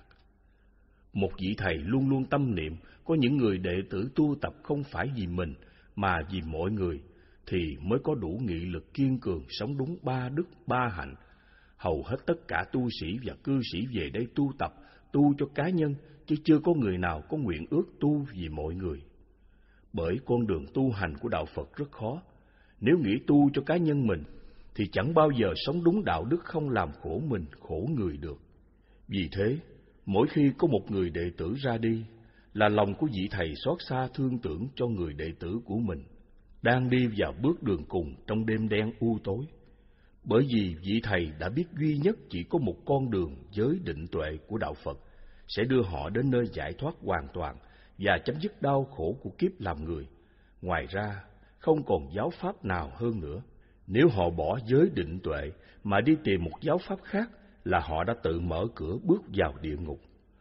Cho nên những người học trò của thầy ra đi là lòng thầy bồi hồi thương tiếc một kiếp người vô duyên với Phật Pháp, vô duyên với sự giải thoát. Đáng thương nhất là những người đệ tử theo thầy tu hành mà đắm mê thần thông. Sau thời gian theo thầy tu tập, chỉ mong thầy thể hiện thần thông, nhưng họ thất vọng vì thầy không thể hiện thần thông. Từ đó họ nghi thầy không có thần thông, nên lần lượt họ bỏ ra đi. Nhìn những người đệ tử này ra đi mà thầy bùi ngùi xót xa. Tại sao người ta vô minh quá vậy? Tu có thần thông để làm gì? Để khoe khoang làm trò ảo thuật cho thiên hạ xem chơi, để được ca ngợi, tán thán, chứ có ích lợi gì cho mình, cho người đâu, phải không các con? Tâm tham vọng của những người này quá cao, muốn cho mình trở thành siêu nhân hơn tất cả mọi người trong thế gian này, hơn tất cả mọi người trong thế gian này để làm gì? Để làm bá chủ toàn cầu. Nếu muốn trở thành siêu nhân như vậy, thì nên qua Tây Tạng tu tập với các vị lạc ma, chứ theo đạo Phật thì không có dạy điều đó, mà chỉ dạy cho chúng ta làm người có đạo đức không làm khổ mình, khổ người. Được như vậy, thế gian này là thiên đàng thì chúng ta đã mãn nguyện lắm rồi. Hỡi các người đệ tử của Thầy, các con có hiểu nỗi lòng của Thầy chăng? Thầy chỉ mong các đệ tử hãy tin nơi Thầy. Thầy sẽ dẫn dắt các con trên con đường đạo đức nhân bản, nhân quả làm người, thoát ra khỏi bản chất của loài cầm thú, để trở thành thật sự là con người thật. Con người có một tâm hồn cao thượng, không làm khổ mình, khổ người. Các con theo Thầy, quyết tìm con đường thoát khổ, cớ sao các con không chịu buông xả những thói đời thường tình của mình, để làm chi ôm ấp sự đau khổ trong lòng. Cớ sao các con không chịu buông xả những kiến chấp thần thông của mật tông, lý luận mơ hồ trừu tượng ảo giác của thiền tông và mê tín dị đoan của tịnh độ tông, mà chính những điều thầy dạy đạo đức nhân bản nhân quả, lợi ích cho mình cho người, thì các con lại xem thường, lại bỏ đi, để đi tìm những cái cao siêu, cái cao siêu đó là cái mà các con đang bị các tôn giáo lừa đảo. Nhìn những người đệ tử ngu si của mình đang lầm lạc trên đường tu tập, hầu hết mọi người đều bị các tôn giáo ru hồn vào cõi mộng siêu hình và thần thông. Một vị thầy rất đau lòng và thương yêu những người đệ tử của mình, nhưng biết làm sao hơn khi họ đã gieo hạt giống đắng thì phải gặt lấy quả đắng. Luật nhân quả quá khắc nghiệt. Nếu những người đệ tử ấy không biết thay đổi hạt giống thì muôn đời ngàn kiếp phải chịu lấy quả cay đắng mà thôi. Dù cho thầy có thương yêu các con bao nhiêu cũng không thể làm gì được cho các con, mà chính các con phải thương yêu các con. Các con phải biết từ bỏ những cái sai và nhận lấy những cái đúng. Cái sai, cái đúng này không ai bỏ giúp cho các con được, mà phải chính các con tự bỏ lấy. Lòng thương yêu vô bờ bến của một vị thầy các con đâu hiểu được khi các con đến xin thầy tu học. Thầy biết thói thường tình đời các con khó bỏ, nhưng trước lòng tha thiết của các con, thầy không nỡ nhẫn tâm từ chối. Nhận rồi thì phải có trách nhiệm. Nhưng những lời thầy dạy mà các con dân theo làm không sơ sót thì lòng thầy vui sướng biết bao. Nhưng khi các con làm không đúng lời dạy thì lòng thầy đau xót vô cùng và biết rằng một ngày nào đó các con sẽ rời khỏi vòng tay của thầy, vòng tay thương yêu tận tình đưa đường dẫn lối cho các con đi, được an toàn và đến nơi đến chốn đạo đức nhân bản, nhân quả làm người, không làm khổ mình, khổ người. Điều này không làm thỏa mãn ước vọng của các con, vì tâm các con còn tham đắm một điều cao hơn. Thế rồi các con lần lượt ra đi, đi với một lòng oán hận, chỉ vì thầy cấm không cho các con nói chuyện tào lao, phóng tâm phóng vật, và cấm không cho các con tu theo những pháp tà giáo ngoại đạo. Nhưng làm sao cấm được lòng người?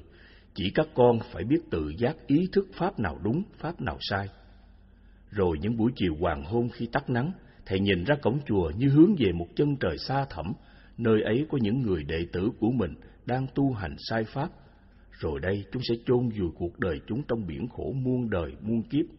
Lòng thương yêu của một vị thầy vô bờ bến, lúc nào cũng sẵn sàng tha thứ những lỗi lầm bất nghĩa và thương yêu những người đệ tử của mình đến hơi thở cuối cùng. Những buổi chiều tà mưa phủ trắng, thầy cười tha thứ kẻ vong ân.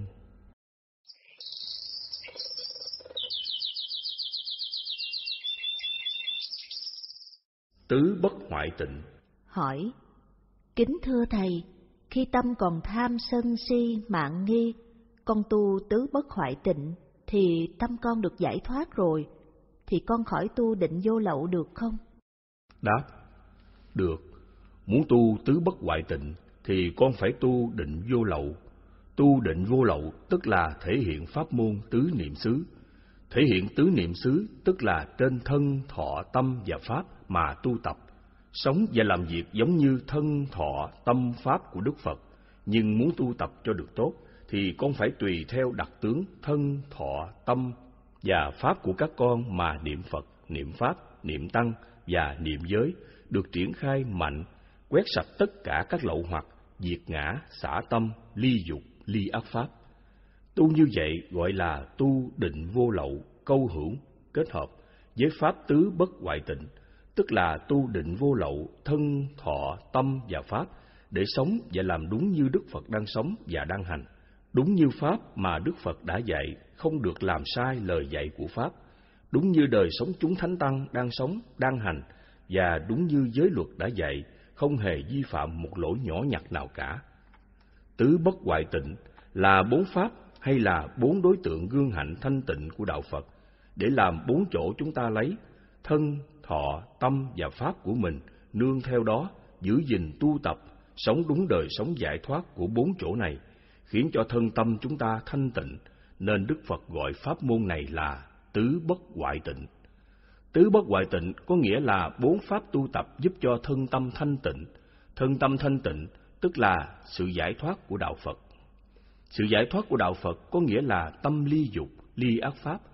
Tâm ly dục, ly ác pháp có nghĩa là không làm khổ mình, khổ người.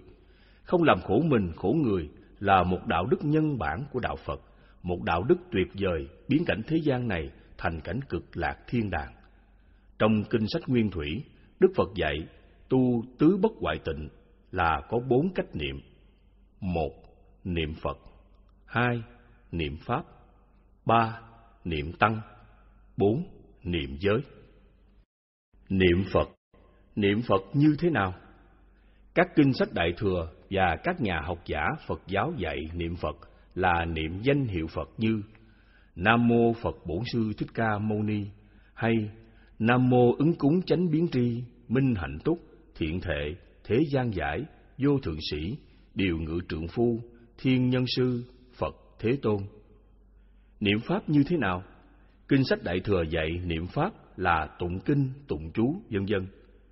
Niệm Tăng như thế nào? Kinh sách Đại Thừa dạy niệm Tăng là cúng dường trai tăng y áo, thực phẩm, tiền bạc và tứ sự. Niệm giới như thế nào? Kinh sách Đại Thừa dạy niệm giới là mỗi tháng tụng giới hai ngày vào ngày 14 và ngày 30.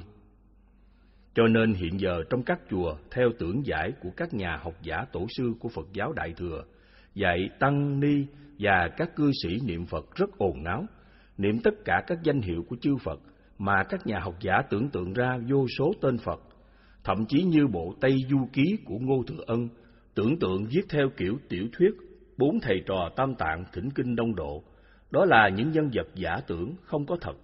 Thế mà bộ kinh Hồng Danh sám hối lại ghi những nhân vật đó vào để chư tăng những ngày 14 và ngày 30 mỗi tháng đều niệm và lại hồng danh chư Phật đó để xin sám hối cho tiêu tội. Trong kinh sám hối hồng danh có cái tên đấu chiến thắng Phật. Đấu chiến thắng Phật tức là tôn hành giả. Tôn hành giả còn có tên là Tề Thiên Đại Thánh. Tề Thiên Đại Thánh là một con khỉ đột, nhà tiểu thuyết tưởng tượng ra chứ không có thật. Thế mà các tổ sư Đại Thừa xem đó là có thật, nên biên soạn kinh sám hối hồng danh, ghi tên thầy trò đường tăng vào để bắt tăng ni và nam nữ cư sĩ niệm hồng danh các vị ấy và lạy mòn đầu gối. Thật là buồn cười cho quý tăng ni và các cư sĩ u mê, ngu si, bị lừa đảo mà không hay biết bị lừa đảo. Niệm Phật như kiểu này dù có niệm muôn ngàn kiếp thì thân tâm cũng không bao giờ thanh tịnh. Một bằng chứng hiển nhiên mà ai cũng thấy. Quý thầy và quý Phật tử trong các chùa quanh năm suốt tháng không có ngày nào mà không tụng kinh niệm Phật. Nhưng chúng ta xét lại xem, số tu sĩ và cư sĩ hiện giờ tụng kinh niệm Phật, thân tâm có thanh tịnh hay không? Hay tâm còn tham, sân si như các người khác? Như vậy gọi là niệm Phật thân tâm được thanh tịnh, thân tâm thanh tịnh chỗ nào? Đó là tưởng giải của các nhà học giả tổ sư Đại Thừa, dạy sai ý Phật, nên người đời sau tu mà không có kết quả, biến cảnh chùa nơi tu hành thanh tịnh thành chỗ cúng tế niệm danh hiệu Phật.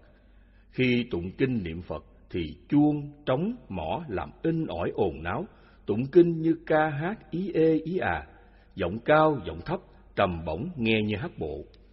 Kinh sách Đại Thừa biến dần tứ bất hoại tịnh thành pháp môn tụng niệm, nói cách khác là biến thành ca nhạc Phật giáo, để ru hồn tín đồ vào thế giới siêu hình mê tín, gây tinh thần tiêu cực, tựa nương vào thế giới tưởng, khiến cho Phật giáo mất hết ý nghĩa tự lực giải thoát. Cho nên tín đồ hiện giờ nghe vị thầy nào tụng niệm ê a, giọng cao, giọng thấp thì rất thích, nghe như nghe âm nhạc thế gian, và còn thích hơn vì thỏa mãn được tình cảm thân thương của mình đối với những người thân đã khuất. Từ cái hiểu sai dẫn đến sự tu sai, khiến cho Phật giáo suy thoái, không còn người tu chứng đạo, chỉ còn là giọng ngữ huyền thoại, nói láo truyền nhau. Niệm, người ta hiểu nghĩa của nó là lặp đi lặp lại một câu kinh, một danh hiệu Phật, bằng ý, không lời, hoặc phát ra lời nói. Họ còn hiểu sai hơn nữa là nhờ câu niệm Phật để ức chế tâm không vọng tưởng, như trong kinh Di Đà dạy. Thất nhật nhất tâm bất loạn chuyên trì danh hiệu A Di Đà Phật, giữ chư thánh chúng hiện tại kỳ tiền. Có nghĩa là niệm Phật A Di Đà từ một ngày cho đến bảy ngày, tâm không loạn, tức là không có vọng tưởng, thì thấy Phật Di Đà và thánh chúng hiện ra trước mặt, báo cho biết trước khi lâm chung, Đức Phật và thánh chúng sẽ phóng hào quang rước về cõi cực lạc Tây phương Hiểu như vậy nên thầy tổ nào cũng có một sâu chuỗi, lúc nào cũng lần chuỗi niệm Phật. Từ chỗ hiểu sai tứ bất hoại tịnh, các nhà học giả Đại Thừa và Thiền Đông Độ đã biến thành một pháp môn ức chế tâm. Pháp môn ức chế tâm chẳng giúp cho người tu giải quyết được gì cả, mà còn thêm bệnh. Niệm trong tứ bất hoại tịnh có nghĩa là tư duy, quán xét, suy ngẫm về thân, thọ, tâm và pháp của Đức Phật. Sống như thế nào mà tâm hồn thanh thản, an lạc giải thoát. Cho nên niệm có nghĩa là tâm tâm niệm niệm về đời sống của Đức Phật. Ngài sống như thế nào mà tâm không phóng dật, Ngài sống như thế nào mà không làm khổ mình, khổ người. Khi mà tâm niệm của chúng ta như vậy, khiến cho tâm chúng ta đặt lòng tin trọn vẹn ở Đức Phật. Do đó, Đức Phật sống như thế nào, thì chúng ta sẽ cố gắng sống như thế nấy. Đức Phật làm như thế nào, thì chúng ta sẽ cố gắng làm như thế nấy sống và làm đúng như Đức Phật, thì tâm chúng ta thanh tịnh, không còn phóng dật, tức là tâm ly dục ly ác pháp. Tâm ly dục ly ác pháp, tức là tâm giải thoát, hay nói một cách khác hơn là làm chủ cuộc sống, tâm bất động trước các pháp. Như vậy mới gọi là niệm Phật thân tâm bất hoại tịnh. Đây là một bài kinh dạy cách thức chúng ta niệm Phật, niệm Pháp, niệm Tăng và niệm giới rõ ràng – chỉ vì các nhà đại thừa chẳng chịu nghiên cứu kinh sách nguyên thủy, tự kiến giải rồi dạy niệm Phật, niệm Pháp, niệm Tăng và niệm giới theo tưởng giải, khiến cho người tu tập ức chế tâm thành bệnh. Niệm Phật cầu giảng sanh cực lạc đâu không thấy, mà chỉ thấy bệnh đau quá hiểm nghèo. Hòa thượng Thiền Tâm là người xương minh pháp môn tịnh độ, chuyên rồng niệm Phật, không biết Ngài niệm Phật ức chế tâm như thế nào, mà trước khi chết, Ngài đã ói ra máu, Chúng tôi cũng có một người đệ tử, cũng tu ức chế tâm để tịnh chỉ hơi thở, cũng khạc ra máu đóng. Muốn niệm Phật cho đúng thì chúng ta nên lắng nghe Đức Phật dạy niệm Phật. Ở đây, này Ma Hà Nà Ma, thánh đệ tử tùy niệm Như Lai, trong khi ấy, tâm không bị tham chi phối, tâm không bị sân chi phối, tâm không bị si chi phối. Trong khi ấy, tâm vị ấy được chánh trực nhờ dựa vào Như Lai. Đoạn kinh trên đây Đức Phật đã xác định cách thức niệm Phật rất rõ ràng, tùy niệm Như Lai, có nghĩa là tâm Như Lai không tham, không sân, không si, thì người sống niệm Phật như Phật, không nên để tham sân si chi phối. Khi tâm không bị tham sân si chi phối, thì tâm được chánh trực. Danh từ chánh trực, ở đây chúng ta phải hiểu nghĩa cho rõ ràng. Chánh trực có nghĩa là tâm ngay thẳng. Tâm ngay thẳng tức là tâm thanh thản, an lạc và vô sự, là tâm không phóng dật. Chúng ta hãy lắng tai nghe tiếp Đức Phật dạy. Và này Ma Hà Nà Ma, một vị thánh đệ tử với tâm chánh trực, liền được nghĩa tính thọ, được pháp tính thọ, được hân hoan liên hệ đến pháp. Người ấy có hân hoan nên hỷ sanh, người có hỷ nên thân được khinh an. Với thân khinh an, người ấy có cảm giác lạc thọ, người có lạc thọ, tâm được định tĩnh. Đoạn kinh trên đây đã xác định cho chúng ta thấy kết quả cách thức sống như Phật đã hiện ra những trạng thái gì. Khi sống như Phật, tâm được thanh thản, an lạc và vô sự, thì liền có một niềm tin nơi Phật trong ta khởi lên trong ta. Vì thế, kinh xác định trạng thái bằng những danh từ ngắn gọn, liền được nghĩa tính thọ, nhưng rất đầy đủ ý nghĩa cho những ai thực hiện đúng lời dạy. Còn những người sống không đúng như Phật thì chẳng hưởng được những kết quả này. Vì thế Phật dạy, Pháp ta không có thời gian đến để mà thấy.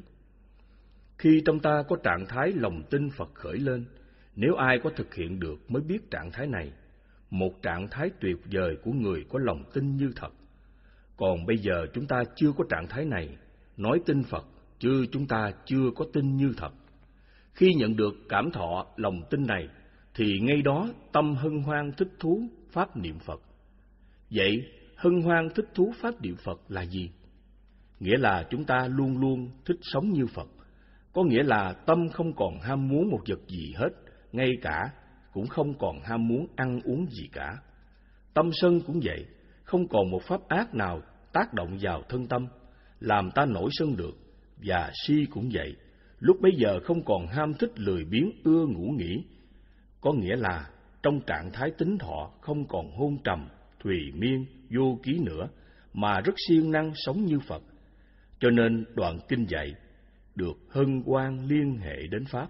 Cụm danh từ này có nghĩa là vui mừng thích thú sống như Phật.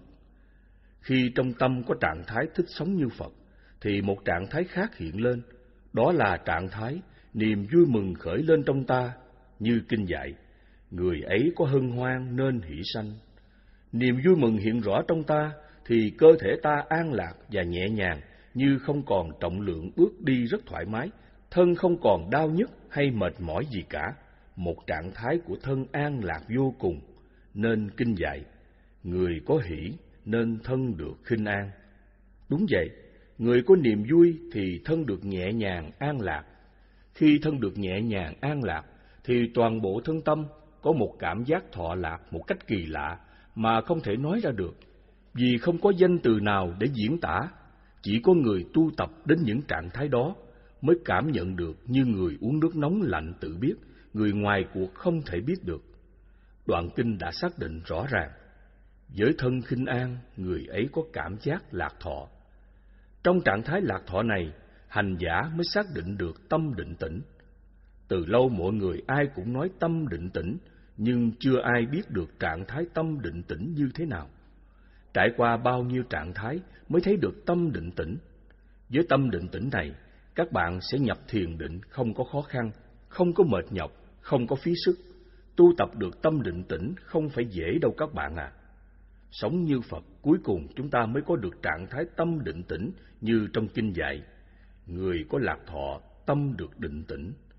Nếu tâm bạn chưa có lạc thọ, thì không bao giờ bạn có được tâm định tĩnh. Sau khi được tâm định tĩnh, thì các bạn mới có một cuộc sống bình thản trước mọi ác pháp và mọi cảm thọ. Chừng đó, chúng ta mới không làm khổ mình, khổ người và khổ tất cả chúng sanh như thật. Chừng đó, tâm chúng ta mới bất động thật sự trước các ác pháp và các cảm thọ. Chúng ta hãy lắng nghe Đức Phật dạy. Này Ma Hà Nà Ma, về vị thánh đệ tử này được nói như sau. Với mọi người không bình thản, vị ấy sống bình thản. Với mọi người não hại, vị ấy không não hại. Nhập được pháp lưu, vị ấy tu tập niệm Phật là vậy. Kinh Tăng Chi tập 3 trang 16 Đến đây các bạn đã thấy rõ phương pháp niệm Phật của Phật giáo Nguyên Thủy không giống phương pháp niệm Phật của Kinh sách Đại Thừa. Niệm Phật của Kinh sách Đại Thừa là phương pháp niệm Phật ức chế tâm nhằm chế ngự vọng tưởng, thất nhật nhất tâm bất loạn. Đó là một phương pháp niệm Phật của ngoại đạo. Chúng ta tu theo Phật, hãy ném bỏ nó, vì đó là phương pháp tu tập sai. Xin các bạn cần lưu ý để tránh sự lừa đảo của ngoại đạo. Trên đây là một trong những bài kinh đã xác định Đức Phật dạy niệm Phật rõ ràng. Dựa vào Như Lai, có nghĩa là sống như Như Lai, thì đó là niệm Phật đúng nghĩa. Niệm Pháp Niệm Pháp như thế nào? Niệm Pháp không phải theo kiểu các nhà học giả tổ sư Đại Thừa dạy, Nam Mô Pháp. Niệm Pháp như vậy, dù cho có niệm đến một ngàn năm, một triệu năm, thân tâm của quý vị cũng không thanh tịnh. Niệm Pháp có nghĩa là tư duy suy nghĩ những Pháp mà Đức Phật đã dạy. Ví dụ, Đức Phật dạy, ngăn ác diệt ác Pháp, sanh thiện, tăng trưởng thiện Pháp. Theo lời dạy này, ngày ngày tâm tâm niệm niệm, luôn luôn cảnh giác giữ gìn và ngăn ngừa các pháp ác. Nếu lỡ có các pháp ác sanh ra, thì mau mau tìm cách diệt nó, không được để trong tâm kéo dài sự khổ đau giận hờn phiền toái, bất toại nguyện, khiến cho tâm thanh thản, an lạc, nhẹ nhàng, thoải mái, yên ổn. Đó chính là chúng ta niệm Pháp. Niệm Pháp như vậy có kết quả giải thoát ngay liền, khiến cho tâm thanh tịnh nên gọi là niệm Pháp thân, tâm bất hoại tịnh. Pháp của Đức Phật có 37 phẩm trợ đạo. Chúng ta nên chọn trong 37 phẩm trợ đạo này với một pháp môn nào phù hợp với đặc tướng của mình, rồi lấy đó thực hành áp dụng vào cuộc sống hàng ngày để xây dựng cho mình có một đạo đức làm người mà không làm khổ mình, khổ người. Đây là niệm pháp bất quại tịnh. Đây, chúng ta hãy lắng nghe một đoạn kinh mà Đức Phật đã dạy niệm Pháp. Lại nữa, này Mahanama, thánh đệ tử tùy niệm Pháp. Pháp được Thế Tôn khéo thuyết, thiết thực hiện tại, không có thời gian đến để mà thấy, có khả năng hướng thượng, được những bậc trí tự mình giác hiểu. Này Mahanama, trong khi vị thánh đệ tử tùy niệm Pháp, trong khi ấy, tâm không bị tham chi phối, không bị sân chi phối, không bị si chi phối. Trong khi ấy, tâm vị ấy được chánh trực nhờ dựa vào Pháp. Và này Mahanama, thánh đệ tử với tâm chánh trực, được nghĩa tính thọ, được Pháp tính thọ, được hân hoan liên hệ đến Pháp. Người có hân hoan nên hỷ sanh, người có hỷ nên thân được khinh an. Với thân khinh an, vị ấy cảm giác lạc thọ. Người có lạc thọ, tâm được định tĩnh. Này Mahanama, về vị thánh đệ tử này được nói như sau. Với mọi người không bình thản, vì ấy sống bình thản. Với mọi người có não hại, vì ấy sống không não hại. Nhập được Pháp lưu, đó là vì ấy tu tập niệm Pháp. Kinh Tăng Chi tập 3, trang 18 Niệm Tăng Niệm Tăng như thế nào? Nếu theo kinh sách của các nhà học giả tổ sư giáo Pháp phát triển dạy, Nam Mô Tăng, và cứ như vậy mà niệm, thì dù có tu trăm muôn ngàn kiếp, thì thân tâm này cũng chẳng thanh tịnh. Nam Mô Tăng như vậy là một pháp ức chế tâm, khiến cho tâm bị dồn nén tham sân si mạng nghi. Càng tu thì tâm này càng tham sân si dữ tợn khi gặp chướng ngại pháp. Muốn tu pháp niệm tăng cho đúng thì trước tiên phải chọn những vị tăng nghiêm trì giới luật.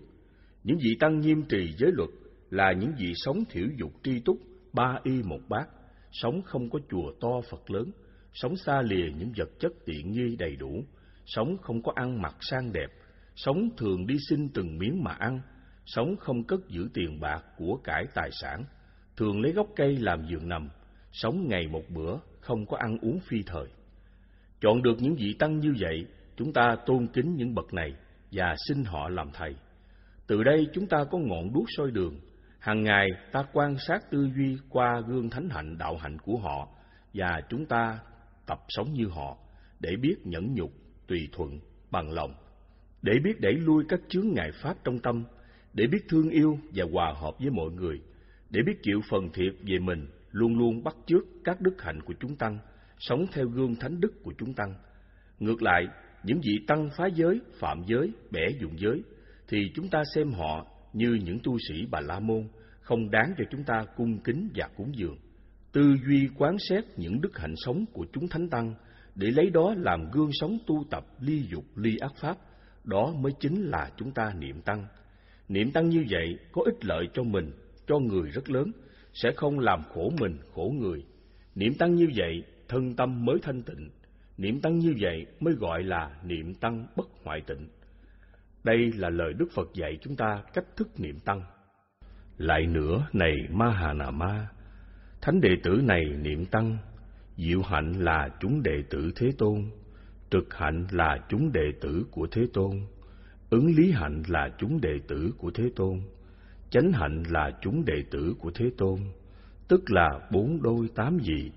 Chúng đệ tử Thế Tôn này đáng được cung kính, đáng được tôn trọng, đáng được cúng dường, đáng được chấp tay là vô thượng phước điện ở đời.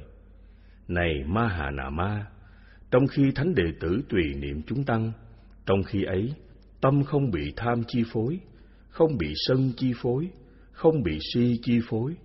Trong khi ấy, tâm vị ấy được chánh trực, nhờ dựa vào tùy niệm chúng tăng.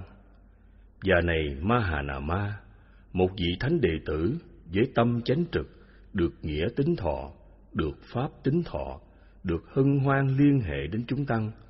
Người có hân hoan nên hỷ sanh, người có hỷ nên thân được khinh an. Với thân khinh an, vị ấy cảm giác lạc thọ.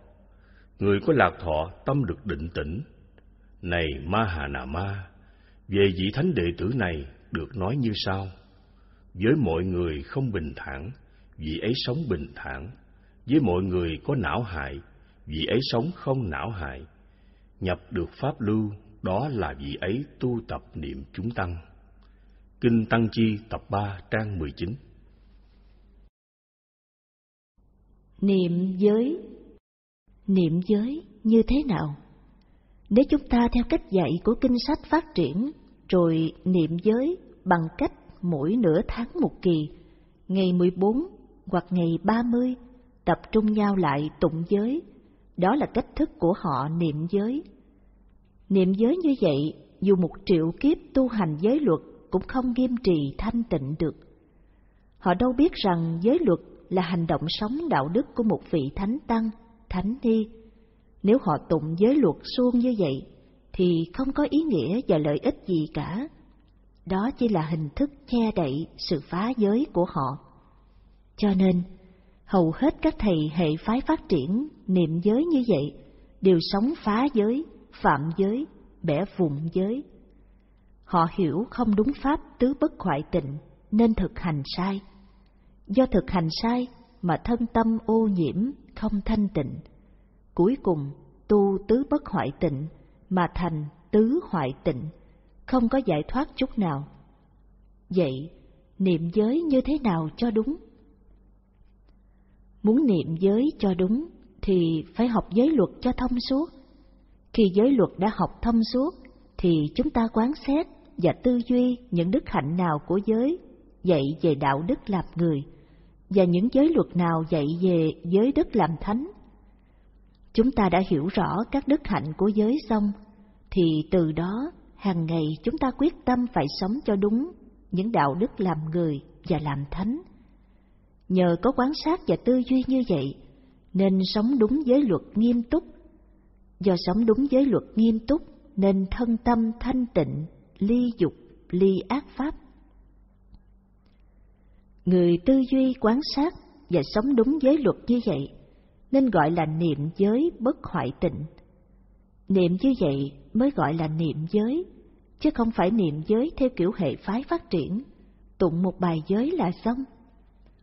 Niệm giới như vậy gọi là niệm giới đại thừa, chứ không phải niệm giới bất hoại tịnh. Đây, chúng ta hãy lắng nghe Đức Phật dạy niệm giới. Lại nữa, này Mahanama, thánh đệ tử tùy niệm các giới của mình.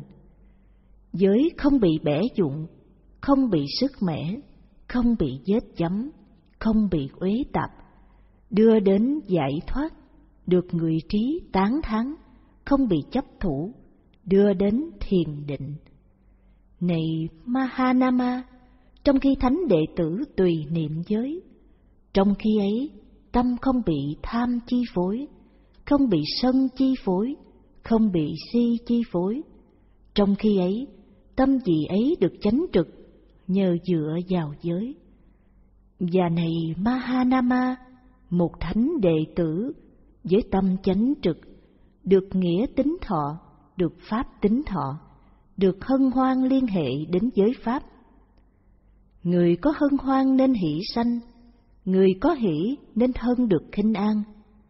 Giới thân khinh an, vị ấy cảm giác lạc thọ. Người có lạc thọ, tâm được định tĩnh. Này Mahanama, về vị thánh đệ tử này được nói như sau. Với mọi người không bình thản, vì ấy sống bình thản. Với mọi người có não hại, vì ấy sống không não hại. Nhập được pháp lưu, đó là vì ấy tu tập niệm giới. Kinh Tăng Chi tập 3, trang 19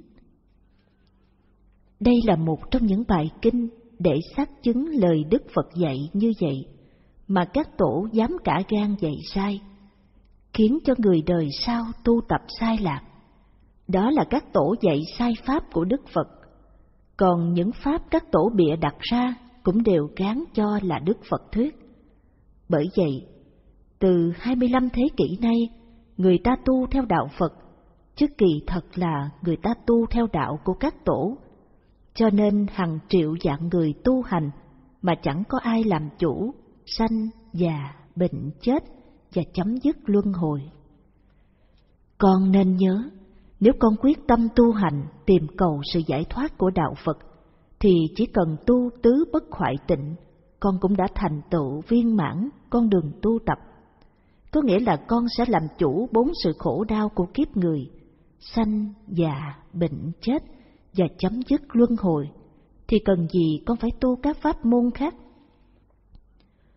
Còn nói, con tu tứ bất hoại tịnh, câu hữu, giới định vô lậu, là vì con tư duy, quán xét, suy ngẫm về Phật, Pháp, Tăng và giới, để con thực hiện sống cho đúng như Phật, như Pháp, như chúng Thánh Tăng và như giới luật đã dạy, để không hề vi phạm một lỗi nhỏ nhặt nào đó là cách thức quét sạch lậu hoặc trong con, nên mới gọi là câu hữu với định vô lậu.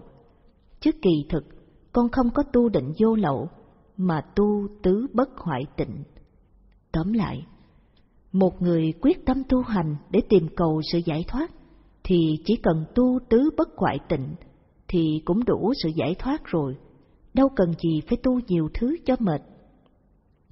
Ví dụ, mình quyết sống như Phật thì khi gặp chướng ngại pháp trong tâm, chúng ta nhất định không sân, không phiền não, không đau khổ, sống và làm y như Phật thì ngay đó thân tâm thanh tịnh, hay nói cách khác là tâm bất động trước các ác pháp. Tu hành chỉ có như vậy mà thôi, thế mà chẳng ai làm được cả.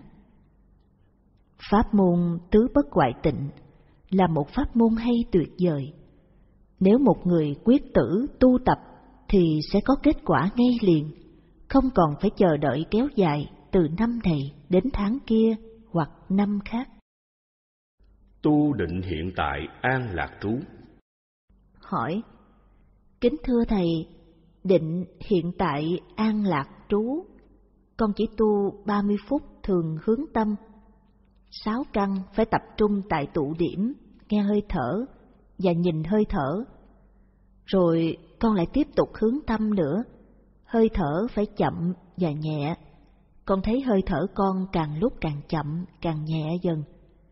Nhờ con tu ít lại, nên hôn trầm cũng bớt nhiều. Tu như vậy có đúng không, thưa Thầy? Đáp, đúng. Định niệm hơi thở con tu như vậy rất tốt. Khi hơi thở nhẹ và chậm, tâm yên lặng và bám chặt vào hơi thở, thì con hãy tiếp tục hướng tâm vắng lặng, thỉnh thoảng và nhẹ nhàng, thoáng hướng tâm như lý tắc ý. Nhĩ thức hãy nghe vào trong và nằm yên như ngủ, không được nghe ra ngoài. Nếu khoảng thời gian này con chỉ cần kéo dài 30 phút là cao nhất, không nên kéo dài thêm nữa, vì kéo dài thêm nữa, con sẽ rơi vào trạng thái tĩnh lặng, và khi rơi vào trạng thái tĩnh lặng thì rất là nguy hiểm, vì từ trạng thái tĩnh lặng sẽ phát sinh sáu loại tưởng đầu tiên. Một, xúc tưởng hỷ lạc là một cảm giác an lạc thích thú của xúc tưởng. Hai, sắc tưởng là thấy ánh sáng hào quang hoặc thấy hình ảnh chư Phật, chư Tổ, ma quỷ vân vân. Ba, thinh tưởng là nghe âm thanh hoặc tiếng nói trong tai vân vân. Bốn, hương tưởng là cảm giác mùi thơm bay phản phất. Năm, vị tưởng là cảm giác nước miếng ngọt và đang tiết ra trong miệng. Sáu, pháp tưởng là hiểu thông suốt 1.700 công án thiền tông và các loại kinh tưởng đại thừa. Khi hành giả tu hành, gặp sáu loại tưởng này thì bản ngã to lớn vĩ đại, kiến chấp sâu dày rất khó bỏ. Định hiện tại an lạc trú là một tên gọi chung cho bốn loại thiền định vô lượng tâm của Phật giáo là một sơ thiền, hai nhị thiền, ba tam thiền, bốn tứ thiền.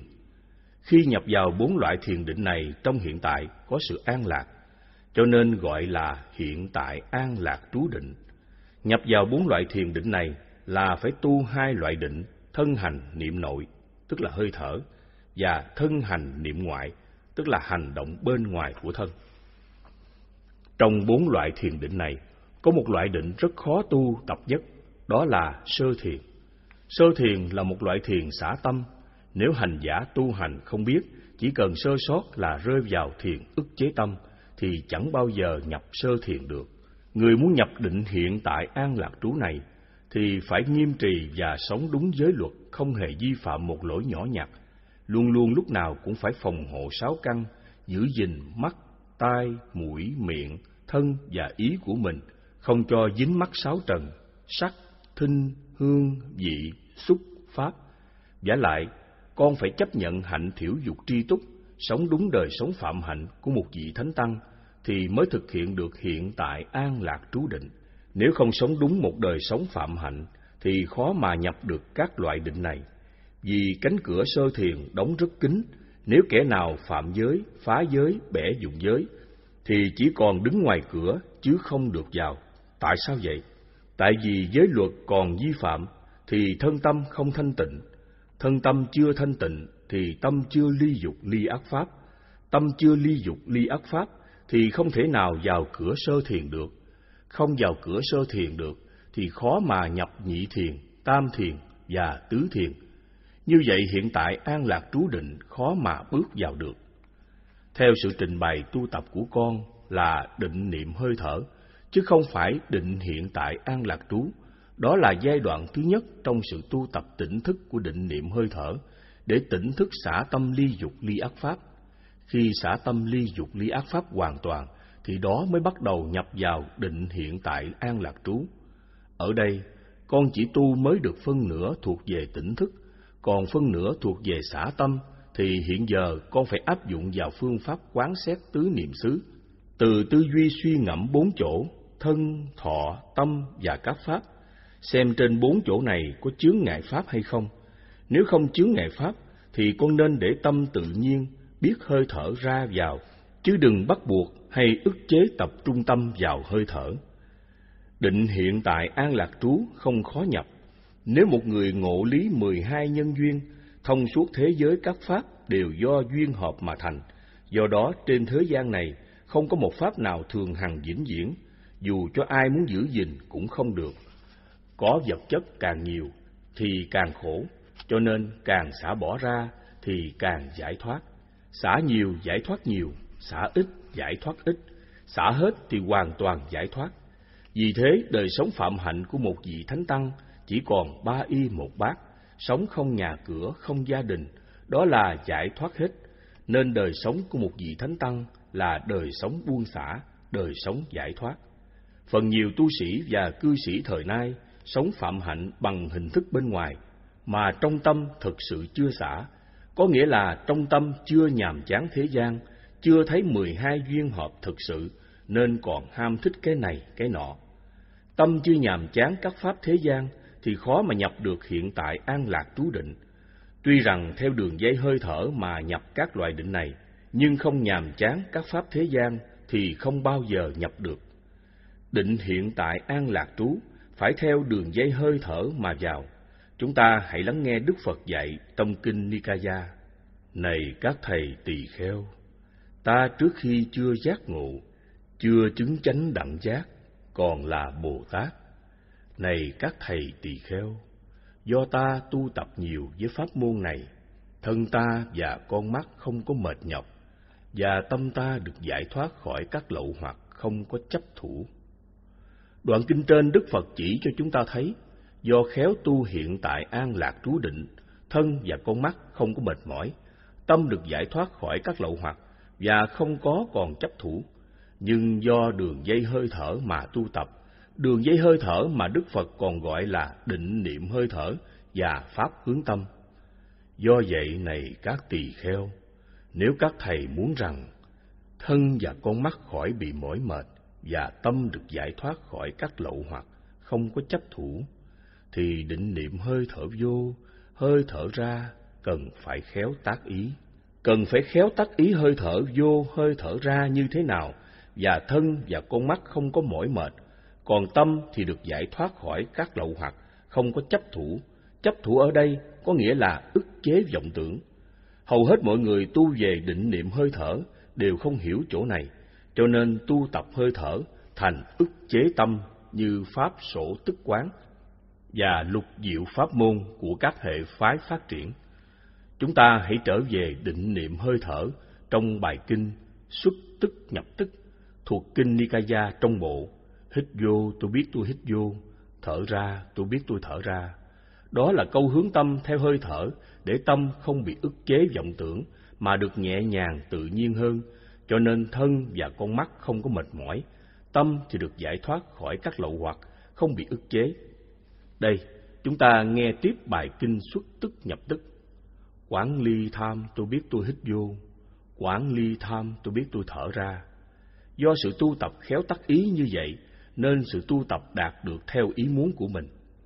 Nếu chúng ta muốn cho tâm được thanh thản, an lạc và vô sự, tức là đoạn tận vọng tưởng, không còn xen vào trong tâm mà thân tâm không bị ức chế, thì chúng ta cũng nương theo hơi thở và tác ý như vậy.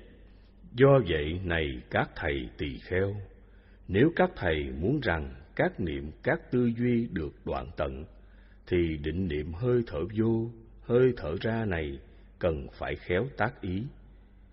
Nếu trong đời tu hành của chúng ta còn dính mắc một điều gì không buông xả được, cũng như không nhàm chán các pháp thế gian, tâm vẫn còn ham thích, thì chúng ta cũng nên dùng hiện tại an lạc trú định mà tu tập theo pháp hướng tâm như lời Đức Phật dạy. Do vậy này các thầy tỳ kheo, nếu các thầy muốn tu tập với tưởng nhàm chán đối với các pháp không nhàm chán, thì định niệm hơi thở vô, hơi thở ra này cần phải được tác ý. Nếu muốn tâm giữ gìn giới luật nghiêm túc, tâm không phóng dật, tâm ly dục, ly áp pháp, thì cũng phải tu định niệm hơi thở như Đức Phật đã dạy. Do vậy này các thầy tỳ kheo, nếu các thầy mong rằng ly dục ly ác pháp, các thầy sẽ chứng đạt và an trú thiền thứ nhất, một trạng thái hỷ lạc do ly dục sanh có tầm tứ, thì định niệm hơi thở vô, hơi thở ra cần phải được khéo tác ý. Nếu quý vị muốn nhập nhị thiền, thì quý vị cũng phải nương vào hơi thở của định hiện tại an lạc trú và khéo tác ý như lời Đức Phật đã dạy. Do vậy này các thầy tỳ kheo, nếu tỳ kheo muốn rằng, mong rằng làm cho tịnh chỉ tầm tứ, tôi sẽ chứng đạt và an trú thiền thứ hai, một trạng thái hỷ lạc do định sanh, không tầm không tứ nội tịnh nhất tâm, thời định niệm hơi thở vô, hơi thở ra này cần phải tác ý. Nếu quý vị muốn nhập tam thiền, thì cũng phải theo đường dây hơi thở và hướng tâm như lý của tam thiền tác ý, thì sẽ nhập tam thiền không mấy khó khăn như lời Đức Phật đã dạy. Do vậy này các thầy tỳ kheo, nếu các thầy ước muốn rằng, mong rằng ly hỷ trú xã, chánh niệm tỉnh giác cảm sự lạc thọ, mà các bậc thánh gọi là xả niệm lạc trú, tôi chứng đạt và sẽ an trú thiền thứ ba, thì định niệm hơi thở vô và hơi thở ra này cần phải tác ý.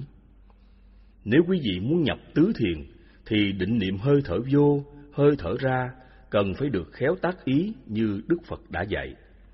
Do vậy này các thầy tỳ kheo, nếu các thầy ước muốn rằng, mong rằng đoạn lạc đoạn khổ, chấm dứt hỷ ưu đã cảm thọ trước, tôi chứng đạt và an trú thiền thứ tư không khổ, không lạc, xả niệm thanh tịnh, thì định niệm hơi thở vô và hơi thở ra này cần phải được tác ý.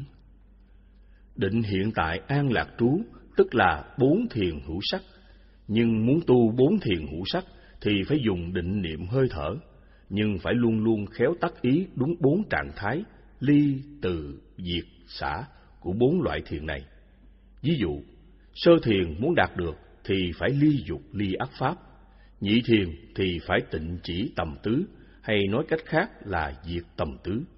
Tam thiền thì phải ly các loại hỷ tưởng, hay nói cách khác là ly hỷ trú xả. Tứ thiền thì phải tịnh chỉ hơi thở, hay nói cách khác là xả lạc, xả khổ, xả niệm thanh tịnh. Những điều con đã trình bày ở trên là tu tập tỉnh thức trong thân hành niệm nội và đã được kết quả như ý.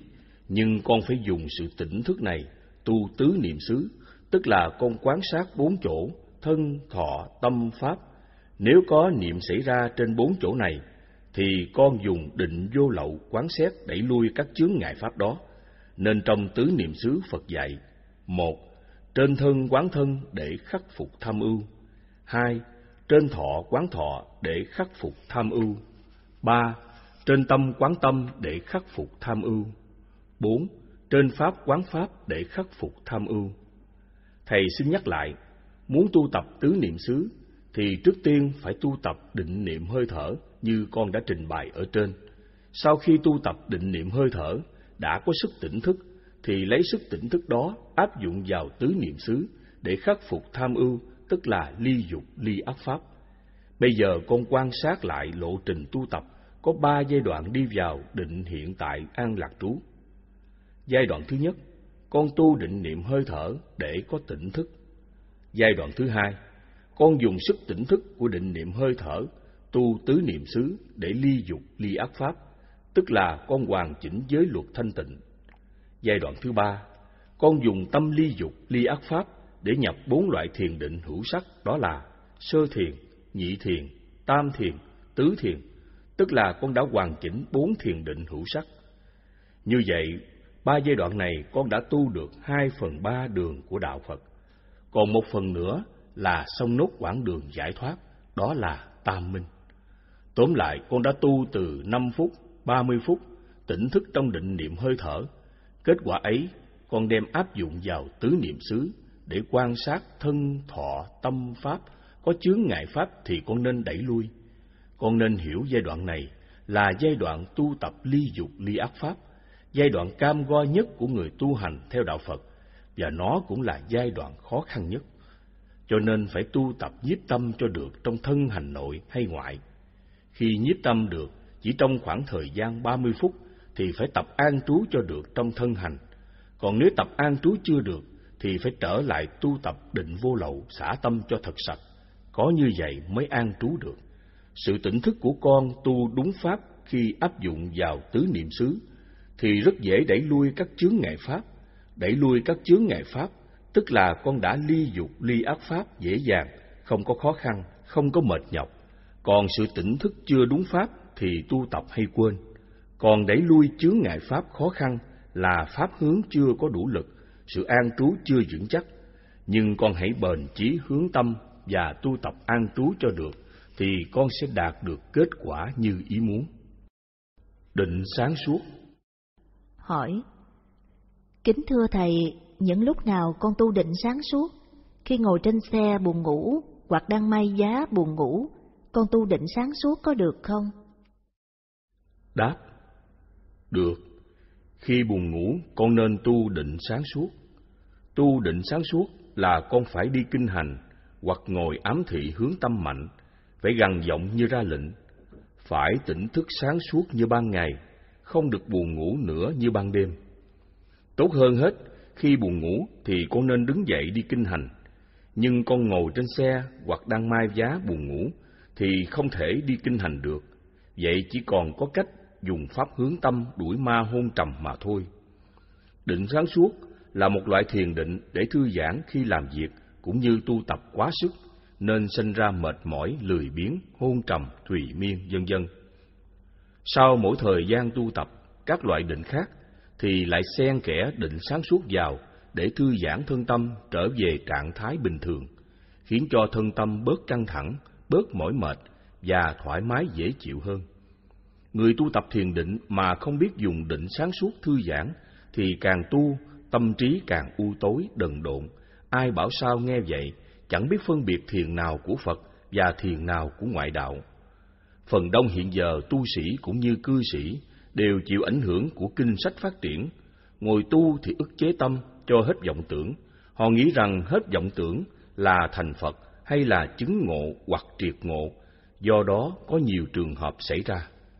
Một, nếu người tu tập có hệ thống thần kinh tốt thì không bị rối loạn, còn người tu tập có thần kinh yếu thì bị rối loạn và điên khùng. Hai, nếu người tu tập có hệ thần kinh tốt không bị rối loạn, không điên khùng, nhưng vì quá tập trung ức chế tâm không vọng tưởng nên nặng đầu, các cơ mặt bị căng khiến cho đau nhức khó chịu, hoặc các cơ hoành hoặc ngực tức lói làm cho sự tu tập có lùi chứ không có tiến. 3. Nếu người tu tập hệ thần kinh tốt và các cơ mặt, cơ hoành đều tốt thì không bị rối loạn, không bị căng đau nên ức chế ý thức ngưng hoạt động. Ý thức ngưng hoạt động thì tưởng thức thay vào hoạt động, giống như người ngủ có chim bao. Nhưng ở đây vì tu tập ức chế nên con người vẫn hoạt động bình thường, nhưng lại ý thức không hoạt động nên tưởng thức hoạt động với mức độ bình thường, thì đương nhiên người này có nhiều lý luận mơ hồ trừu tượng, siêu hình, vô vi, mà Đức Phật gọi những hạng người này là những hạng người sống trong tưởng tri, như các nhà học giả, các nhà thần học, các nhà đại thừa như Long Thọ, Thế Thân, Vô Trước, Mã Minh, vân vân và các thiền sư đông độ. Còn tưởng thức hoạt động ở mức độ cao thì họ sống quan tưởng, nhưng họ chưa hẳn điên thật, gần giống như người điên. Đó là những trường hợp xảy ra cho những người tu thiền ức chế tâm mà không có phương pháp thư giãn. Còn ngược lại, thiền xả tâm của Đức Phật tu hành không ức chế tâm mà còn có một loại định thư giãn như quý vị đã biết, đó là định sáng suốt. Cách thức tu tập định sáng suốt có hai giai đoạn. Giai đoạn một, ví dụ, lúc 7 giờ sáng bắt đầu chúng ta tu định niệm hơi thở. Đến 7 giờ 30 phút chúng ta xả ra nghỉ. Xả nghỉ tức là thư giãn, thư giãn tức là tu định sáng suốt. Muốn tu định sáng suốt thì chúng ta phải ngồi tựa lưng, buông thõng hai tay hai chân, các cơ trong thân cũng phải đều buông thõng xuống hết, rồi chúng ta hướng tâm nhắc. Các cơ trong thân buông xuống hết, thần kinh trong thân đều thư giãn hết, thân tâm phải thoải mái, nhẹ nhàng, thanh thản, an lạc và vô sự. Khi nhắc như vậy xong, thì ta buông thõng các cơ xuống, không được gồng một cơ bắp nào cả, và tâm thì không được tập trung vào một đối tượng nào, để tự nhiên cho thân tâm tự do một cách dễ chịu. Giai đoạn 2 Ví dụ, khi thân tâm thoải mái dễ chịu thì chúng ta hướng tâm nhắc. Thân tâm phải thanh thản, an lạc và vô sự. Tâm phải sáng suốt như ban ngày, như ánh sáng mặt trời. Trong thời gian thư giãn, thỉnh thoảng chúng ta lại nhắc câu pháp hướng như trên, cứ như vậy để giúp cho thân tâm nhẹ nhàng, thoải mái cho đến hết giờ thư giãn. Trong lúc tu định sáng suốt thư giãn như vậy, và thân tâm cảm giác tỉnh táo, nhẹ nhàng, thanh thản, an lạc và vô sự, thì đó là tu đúng, bằng ngược lại là tu sai. Khi thư giãn xong, cơ thể phục hồi lại sức khỏe, cảm giác tỉnh thức và siêng năng ham tu. Còn ngược lại thì tu sai. Bây giờ tiếp tục tu định chánh niệm tỉnh giác, vừa đi kinh hành, vừa hướng tâm tỉnh thức theo bước đi, mà cũng vừa hướng tâm ly tham đoạn ác pháp. Khi đi kinh hành xong khoảng độ 30 phút, chúng ta ngồi lại xả nghỉ và thư giãn như trước. Cứ như vậy, chúng ta tiếp tục tu tập suốt ngày đêm không biết mỏi mệt, và càng tu càng thấy tiến bộ rõ rệt, tức là thấy thân tâm an lạc, thanh thản, vô sự, giải thoát rõ ràng. Riêng về phần pháp hướng thì thấy hiệu quả, cụ thể rõ ràng hơn, cứ ra lệnh là thân tâm làm theo như ý muốn của mình.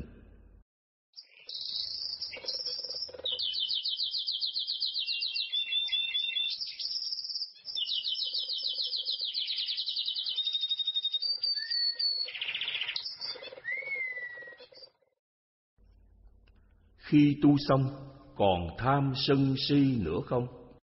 Hỏi, kính thưa thầy, câu vì vô minh nên ta sống diễn ly. Có phải người sống diễn ly như vậy tu toàn pháp quán tưởng, định vô lậu, tu không có đối cảnh để buông xả, ly dục ly ác pháp, nhưng khi ra giữa chợ họ còn thèm ăn, ai chửi mắng họ, họ còn tức giận và tham sân si nữa hay không? Đáp, vì vô minh ta sống diễn ly. Vô minh là không hiểu rõ, diễn ly là xa lìa. Câu này không có nghĩa bỏ cuộc đời sống một mình trong rừng núi như các nhà yoga, ông Nguyễn Minh Khiêm, mà phải hiểu vì thông hiểu rõ các pháp, nên các pháp đến ta đều bỏ xuống, không cho dính mắc trong tâm. Tu không đối tượng không bao giờ có giải thoát, chỉ là một dạng người yếm thế tiêu cực, trốn đời, lánh khổ.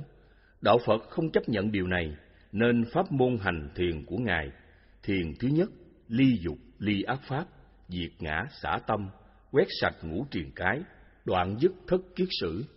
Chỉ khi nào tâm không còn tham sân si mạng nghi nữa, thì mới sống độc cư trong rừng núi một mình để thực hiện những thiền định sau cùng.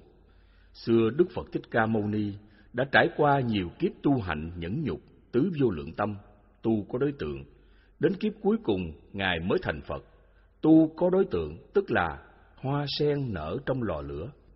Người tránh cảnh, tu để tiêu giao thảnh thơi an lạc, không ai quấy rầy, là người yếm thế như lão trang, tiên đạo. Khi đụng đến đối tượng, bao nhiêu tâm phiền não vẫn còn đầy đủ. Đạo Phật không yếm thế, ngay cảnh phiền não giải quyết tâm mình, buông xả hay viễn ly, tức bồ đề, giải thoát. Vì vô minh ta sống viễn ly.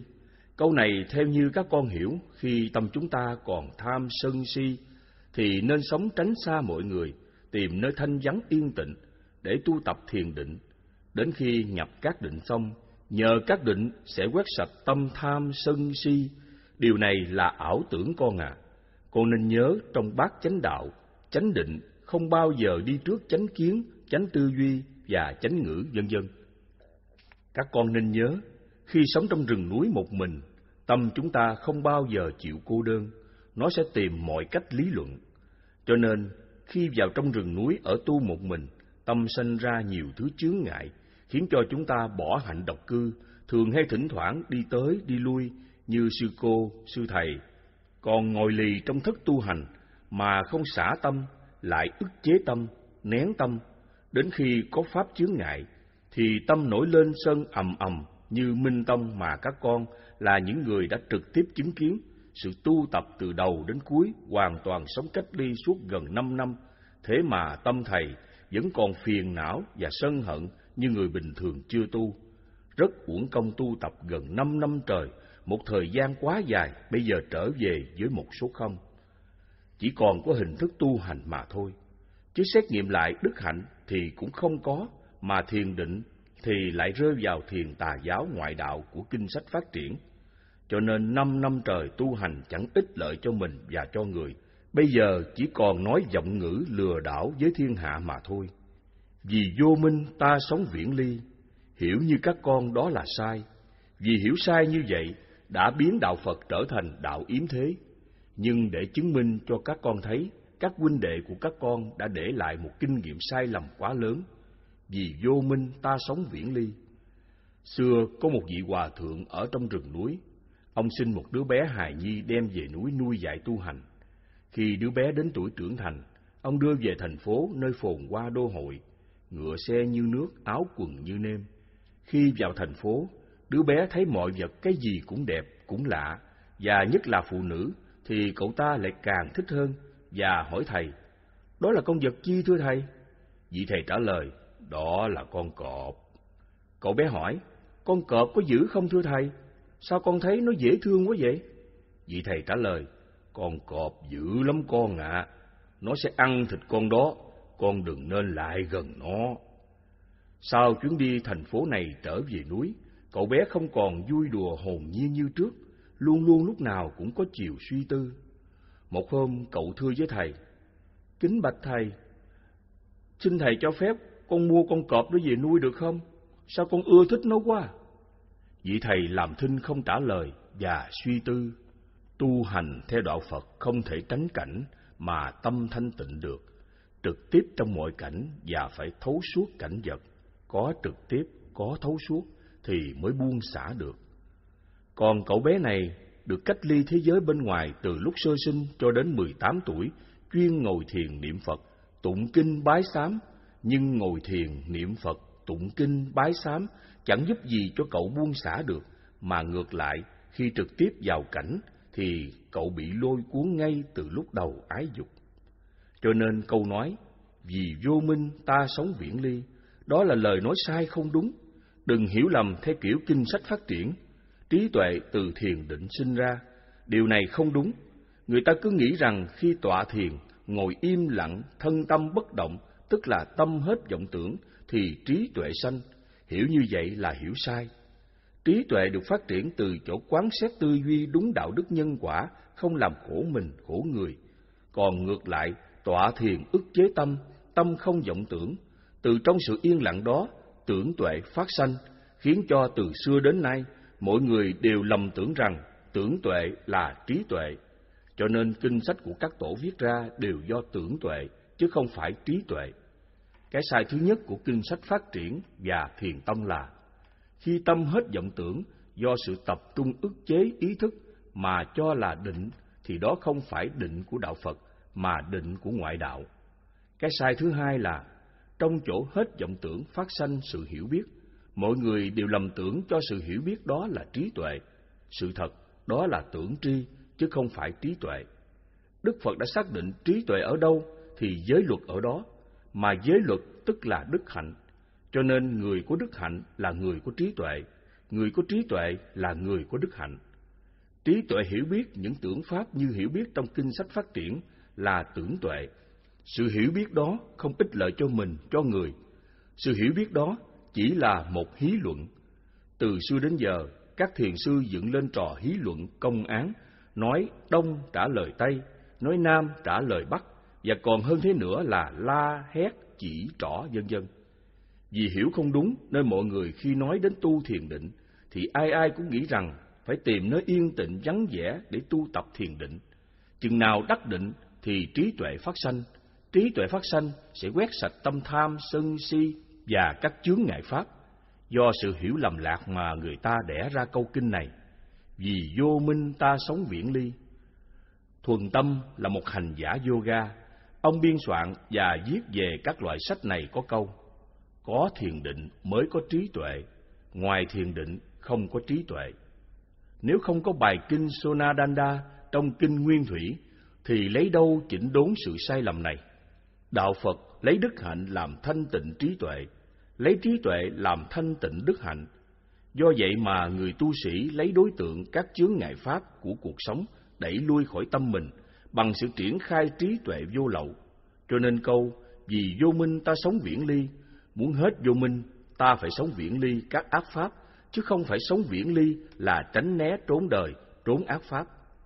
Khi mà tránh né trốn đời, trốn ác pháp, tìm nơi yên tĩnh, thanh vắng tu tập thiền định của Đại Thừa và Thiền Đông Độ, khi triệt ngộ xong, có nghĩa là họ đã thành một thiền sư chánh thức. Khi họ xuống núi gia chạm vào cuộc đời, thì tâm tham sân si họ vẫn còn đủ và có thể còn nhiều hơn nữa. Bằng chứng các thiền sư Trung Hoa, Nhật Bản, Việt Nam sống phạm giới, phá giới, sống ăn uống phi thời, chùa to, Phật lớn, và mỗi vị hòa thượng tịch đều xây tháp vĩ đại, khiến cho hao tài tốn của, mang nợ của đàn na thí chủ quá nhiều, mà họ có làm lợi ích được gì cho ai đâu. Vào đầu thế kỷ thứ hai mươi, làn gió thiền tông từ Nhật Bản thổi sang Tây Âu, làm dậy sóng và thức tỉnh Á Châu. Nhưng bước sang đầu thế kỷ thứ hai mươi 21, thiền tông bắt đầu tuột dốc, vì người ta đã tìm thấy thực chất của nó là một trò hí luận ảo tưởng. Hai vị thiền sư lớn nhất của Việt Nam là Hòa Thượng Nhất Hạnh và Hòa Thượng Thanh Từ đã bắt đầu quay hướng về những lời dạy nguyên thủy của Đức Phật. Gần đây, những bài giảng của hai ngài rất gần với ý kinh tứ chánh cần. Tóm lại, tu hành thiền định của đạo Phật không phải chỗ ngồi thiền, tụng kinh, bái sám, niệm chú, niệm Phật vân vân, mà ở chỗ ngăn ác, diệt ác pháp và đẩy lui các chướng ngại pháp trong tâm, thì đó mới chính là tu thiền của đạo Phật. Phiền não tức Bồ đề. Hỏi: Kính thưa thầy, người tu có đối tượng và người tu không đối tượng, vậy người nào tu mau kết quả hơn? Đáp: Người tu có đối tượng kết quả xả tâm nhanh hơn, còn người tu không có đối tượng kết quả chậm hơn. Nhưng phải biết nhiều khi có đối tượng, tức là có chướng ngại pháp trong tâm mà không xả, chỉ có kham nhẫn chịu đựng, cho nên trong lòng rất buồn phiền và đau khổ. Đó là tu có đối tượng, lại ức chế tâm thành ra tạo khổ thêm cho mình, chứ không có giải thoát. Tu có đối tượng dễ nhận xét được tâm mình xả, hay là ức chế rất rõ ràng.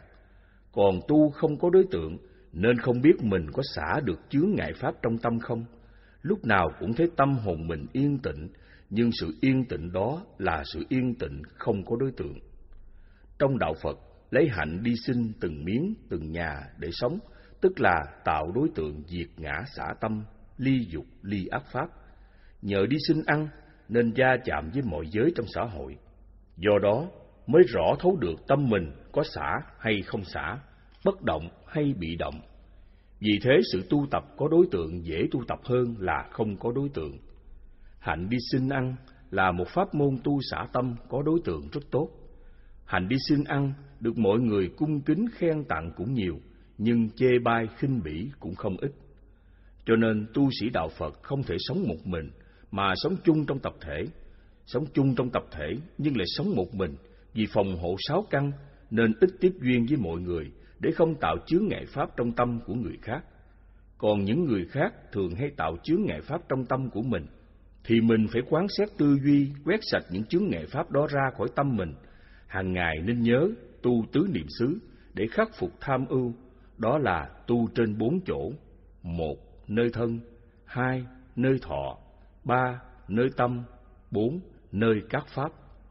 Hiện giờ các con tu tập quán xét về nơi các pháp nhiều nhất, pháp thiện và pháp ác.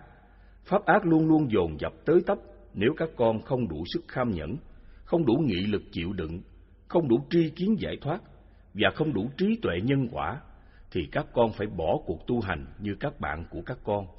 Trong bốn nơi tu tập này, các con chỉ cần tu xả được một nơi là các con đã xả được tâm tham sân si của mình, chứ không phải các con tu hết bốn chỗ hoàn cảnh của các con là tu nơi các pháp. Đẩy lui chướng ngại pháp trong tâm của các con là các con đã chiến thắng các ác pháp bên ngoài. Khi các con chiến thắng các ác pháp bên ngoài là tâm các con bất động. Đó là một loại thiền định mà Đức Phật gọi là bất động tâm định. Nó còn có một cái tên nữa là vô tướng tâm định. Muốn chiến thắng nơi các pháp thuộc về tứ niệm xứ như ở trên thầy đã dạy, một phải đầy đủ sức kham nhẫn, hai phải có nghị lực dũng mãnh. Ba, phải đầy đủ tri kiến giải thoát. Bốn, phải có trí tuệ nhân quả. Khi các pháp ác dồn dập tới tấp như bão tố sóng thần, nếu chúng ta không đủ sức kham nhẫn, thì chúng ta sẽ bị bão tố và sóng thần cuốn trôi đi. Muốn có đủ sức kham nhẫn để không bị bão tố và sóng thần thổi cuốn trôi, thì hàng ngày chúng ta nên tu tập pháp hướng tâm. Tâm bất động như núi đá, khen không mừng, chê không buồn, chửi mắng, mạ nhục không giận, phải trơ trơ như tường đồng vách sắt. Với những câu hướng tâm này, các con cần phải thuộc lòng và phải luyện tập cho có lực. Khi gặp các pháp ác đến tới tấp, thì các con mới đủ sức kham nhẫn vượt qua và cuối cùng các con mới xả được. Nếu là tu pháp xả tâm mà tu không đúng cách thức xả tâm khi ở một mình thì lại bị ức chế tâm mà không biết. Trường hợp như quý thầy và quý cô và quý cư sĩ thích sống độc cư mà độc cư không trọn vẹn, độc cư không đúng cách. Khi độc cư không trọn vẹn, không đúng cách trở thành ích kỷ, lười biếng, ăn không ngồi rồi, tưởng là mình tu tập xả tâm nhưng không ngờ lại ức chế tâm. Các con nên lưu ý điều này trên bước đường tu tập. Khi tâm còn phóng dật mà dội khép mình độc cư một trăm phần trăm thì đó là ức chế tâm. Cho nên, có nhiều người nhập thất chuyên ngồi thiền hoặc niệm Phật hoặc niệm chú, tưởng thực hành như vậy là sẽ nhập định và khi có thiền định thì sẽ có trí tuệ, nhưng không ngờ sống một mình tu như vậy là ức chế tâm. Ức chế tâm là rơi vào tưởng tuệ.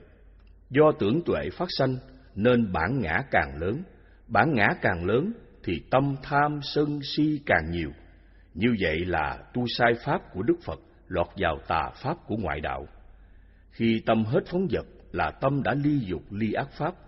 Tâm đã ly dục ly ác pháp nên lúc nào tâm cũng định vào thân. Nếu thân bất động thì nó định vào sự bất động của thân. Nếu thân còn động thì nó sẽ định vào sự động của thân. Do đó khi nó định vào thân, thân đi thì nó biết thân đi, thân làm thì nó biết thân làm, thân ngồi thì nó biết thân ngồi, thân thở thì nó biết thân thở. Nó biết hơi thở ra và hơi thở vô, thân nằm thì nó cũng biết thân nằm. Chỗ này các con nên lưu ý phân biệt cho rõ ràng. Khi tâm không phóng dật thì tâm thanh tịnh, tâm thanh tịnh thì tâm định trên ba nơi. Một, nếu thân đi hay làm việc gì thì tâm định nơi hành động đi hoặc nơi hành động việc làm. Hai, nếu thân ngồi hay nằm thì tâm định hơi thở vô, hơi thở ra. Ba, nếu thân không hoạt động, không thở vô, thở ra, thì tâm định trên thân bất động của nó, chứ nó không có phóng tâm chạy theo các pháp bên ngoài. Cho nên người tu có đối tượng cũng như người tu không có đối tượng, đều do sự tu tập đúng hay sai. Có đối tượng mà ném tâm chịu đựng, ôm ấp đau khổ trong lòng, mà không nói ra được, tức là ức chế tâm. Có đối tượng mà tu như vậy cũng không có kết quả, chỉ là làm khổ thân tâm của mình mà thôi.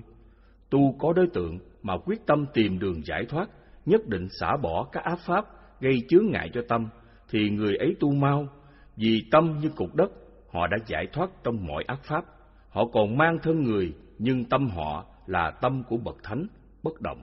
Tu có đối tượng dễ nhận được tâm mình phàm hay thánh rất dễ dàng, và cũng dễ nhận ra mình có ức chế tâm hay không rất cụ thể. Tu không có đối tượng rất khó nhận ra tâm mình phàm hay thánh, và cũng rất khó nhận ra tu có ức chế tâm hay không. Khi mà nhận ra được thì thân tâm đã thành bệnh và phí uổng một cuộc đời tu hành. Hầu như những người tu không có đối tượng, phần nhiều là tu sai, đều bị ức chế tâm như kinh sách phát triển dạy. Tóm lại, tu có đối tượng mà có nhiệt tâm, quyết xả bỏ các chướng ngại pháp, thường dẫn tâm vào chỗ thanh thản, an lạc và vô sự, thì tu rất nhanh. Cho nên kinh dạy phiền não tức bồ đề. Nơi đâu có chướng ngại pháp thì nơi đó có giải thoát. Nơi đâu có phiền não, có đau khổ thì nơi đó có giải thoát. Có giải thoát tức là có tu. Còn nơi đâu không có chướng ngại pháp thì nơi đó không có giải thoát.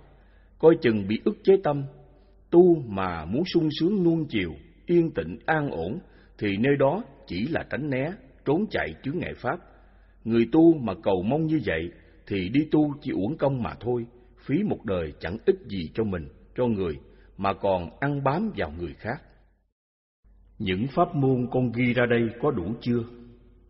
Hỏi Kính thưa Thầy, con ghi những điều để xả tâm và cách thức tu tập để xả như vậy có đủ không?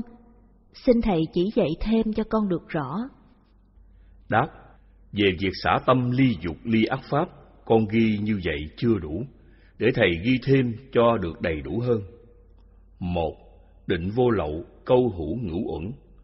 Hai, định vô lậu câu hữu tứ niệm xứ. ba Định vô lậu câu hữu tứ chánh cần, thập thiện.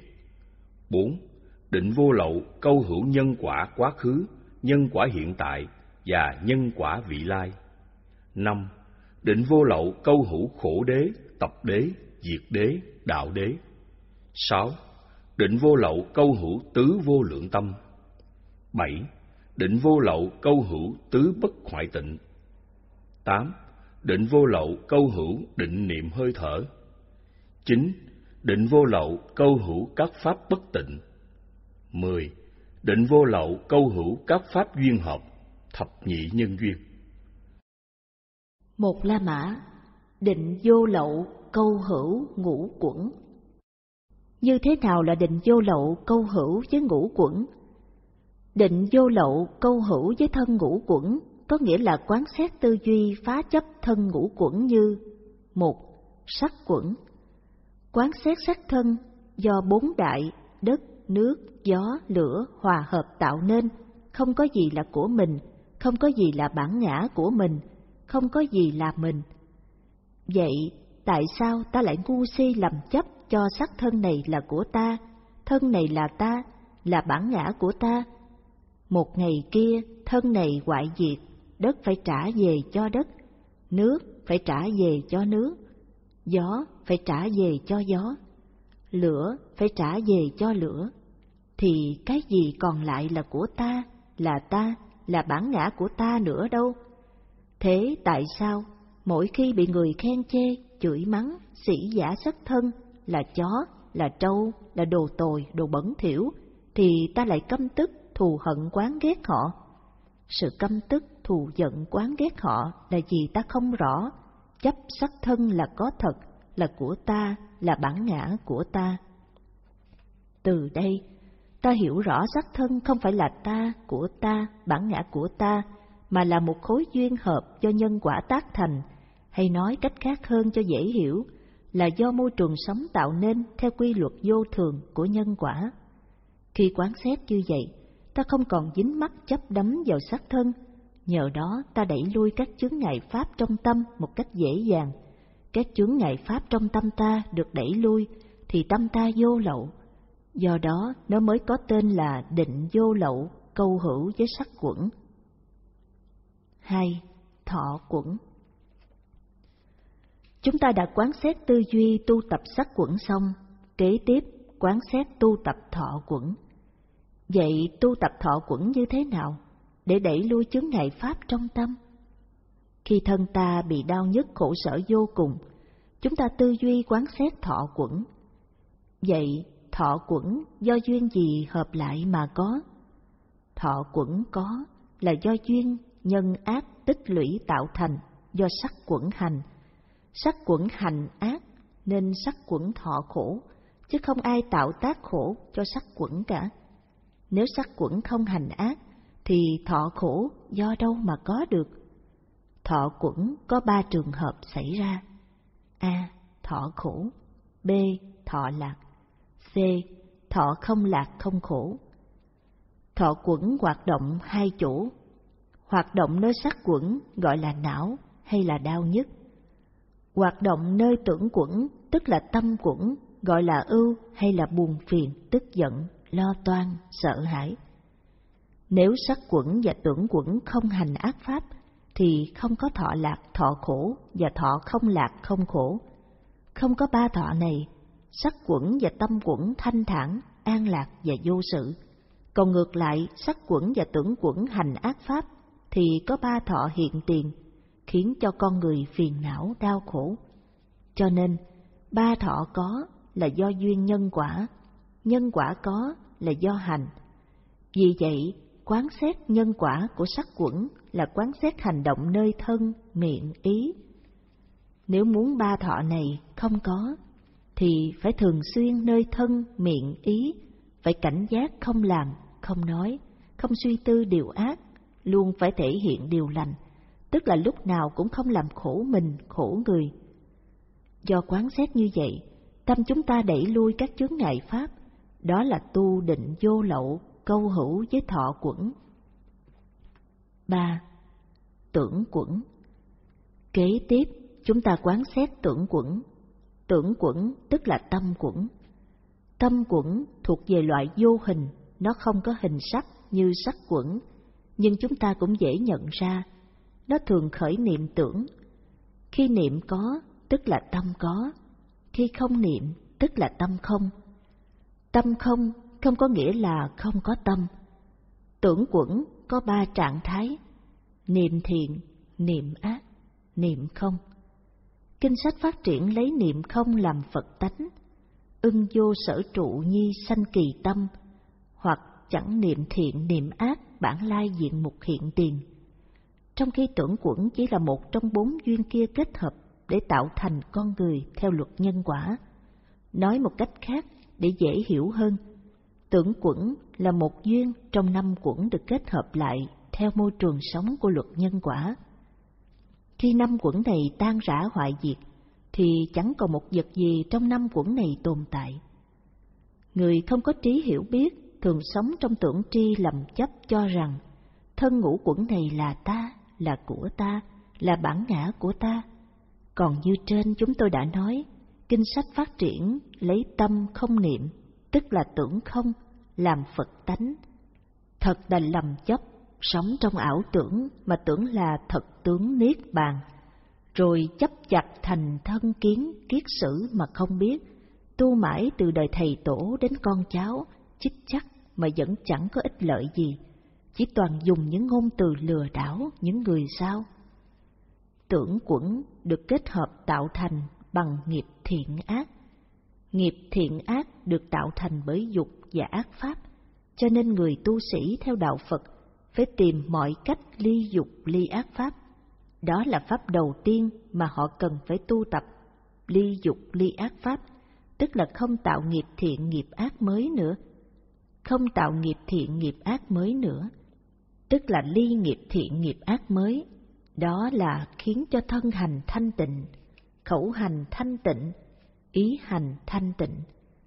Còn muốn lìa nghiệp thiện nghiệp ác cũ thì phải ly hỷ tưởng đây là giai đoạn thứ ba của bốn thiền đạo Phật. Muốn lìa nghiệp thiện ác cũ, tức là ly hỷ tưởng, thì phải đóng tầm tứ mà trong kinh Phật dạy. Diệt tầm tứ nhập nhị thiền, hay tịnh chỉ tầm tứ nhập nhị thiền. Khi diệt tầm tứ xong, ta ly hỷ tưởng mới được, còn tầm tứ chưa diệt, chúng ta không thể ly hỷ tưởng được. Ly hỷ tưởng tức là lìa nghiệp thiện ác cũ, ở đây xin quý vị nên hiểu, trong bốn thiền có hai giai đoạn ly, một giai đoạn diệt, một giai đoạn xả. Thiền thứ nhất Ly dục ly ác pháp thuộc về sắc quẩn. Ly là chừa bỏ hẳn, lìa xa cảnh giác tâm tham dục và các ác pháp để nó không còn trở lại. Thiền thứ hai Ly hỷ tưởng dục thuộc về tưởng quẩn, Ly hỷ tưởng có nghĩa là lìa hỷ tưởng, chứ chưa diệt bỏ hẳn, phải cảnh giác, kẻo nó sẽ còn trở lại. Thiền thứ ba, diệt tầm tứ, tức là ngưng sáu thức thuộc về sắc quẩn. Diệt tức là không còn để nó trở lui trở lại được. Thiền thứ tư, xả lạc, xả khổ, xả niệm thanh tịnh thuộc về sắc quẩn và tưởng quẩn. Xả tức là bỏ không còn lấy lại Do sự tu tập quán xét như vậy, khiến cho tưởng dục không còn sanh khởi, tức là chúng ta đã đẩy lui chướng ngại pháp trong tâm, đó là tu định vô lậu, câu hữu với tưởng quẩn. 4. Hành quẩn Hành quẩn là sự hoạt động của sắc quẩn và tưởng quẩn. Chúng ta tư duy thấy các hành là vô thường là khổ. Thế nào các hành là vô thường là khổ? Các hành thường có lúc hành thiện, có lúc hành ác, nhưng cũng có lúc cũng không hành thiện hành ác. Sự hoạt động của các hành thì không thường lúc như thế này, lúc như thế khác, nên gọi là vô thường. Vì hành động có lúc thiện, lại có lúc ác, nên tạo ra biết bao nhiêu là nghiệp khổ cho loài người, nên kinh gọi các hành khổ là như vậy. Một người tọa thiền thân không động, miệng không nói và ý không tư duy thì giống như cây đá đó là thiền của hệ phái phát triển Ngược lại, thiền định của đạo Phật, thân không hành ác, nhưng thân hành thiện. Miệng không nói lời ác, nhưng miệng nói lời thiện. Ý không suy nghĩ điều ác, nhưng ý suy nghĩ điều thiện. Cho nên, đạo Phật không chấp nhận hành không, không chấp nhận hành ác, chỉ chấp nhận hành thiện. Vì vậy, tu theo đạo Phật không trở thành cây đá, mà trở thành một con người hữu ích cho mình, cho người. Có nghĩa là không làm khổ mình, khổ người, tạo cảnh sống thế gian thành cõi cực lạc thiên đàng. Khi quán sát hành quẩn như vậy, chúng ta thấu rõ phải sử dụng hành quẩn nào cho đúng với Phật Pháp, để mình và người được giải thoát. 5. Thức quẩn Trong bốn quẩn đầu, chúng ta đã học xong và cũng biết cách tu tập, rèn luyện mỗi quẩn bằng giới luật và bằng thiền định. Như vậy, chúng ta đã rõ. Giới luật giúp chúng ta tu tập nhập thiền thứ nhất, hay nói cách khác là giới luật giúp chúng ta tu tập làm cho thanh tịnh sáu thức, mắt, tai, mũi, miệng, thân, ý thức, tức là giúp sắc quẩn và hành quẩn của chúng ta thanh tịnh. Còn ba thiền kia là nhị thiền, tam thiền và tứ thiền, được tu tập, được rèn luyện, giúp tưởng quẩn và thọ quẩn của chúng ta thanh tịnh. Thức quẩn là một quẩn cuối cùng được tu tập.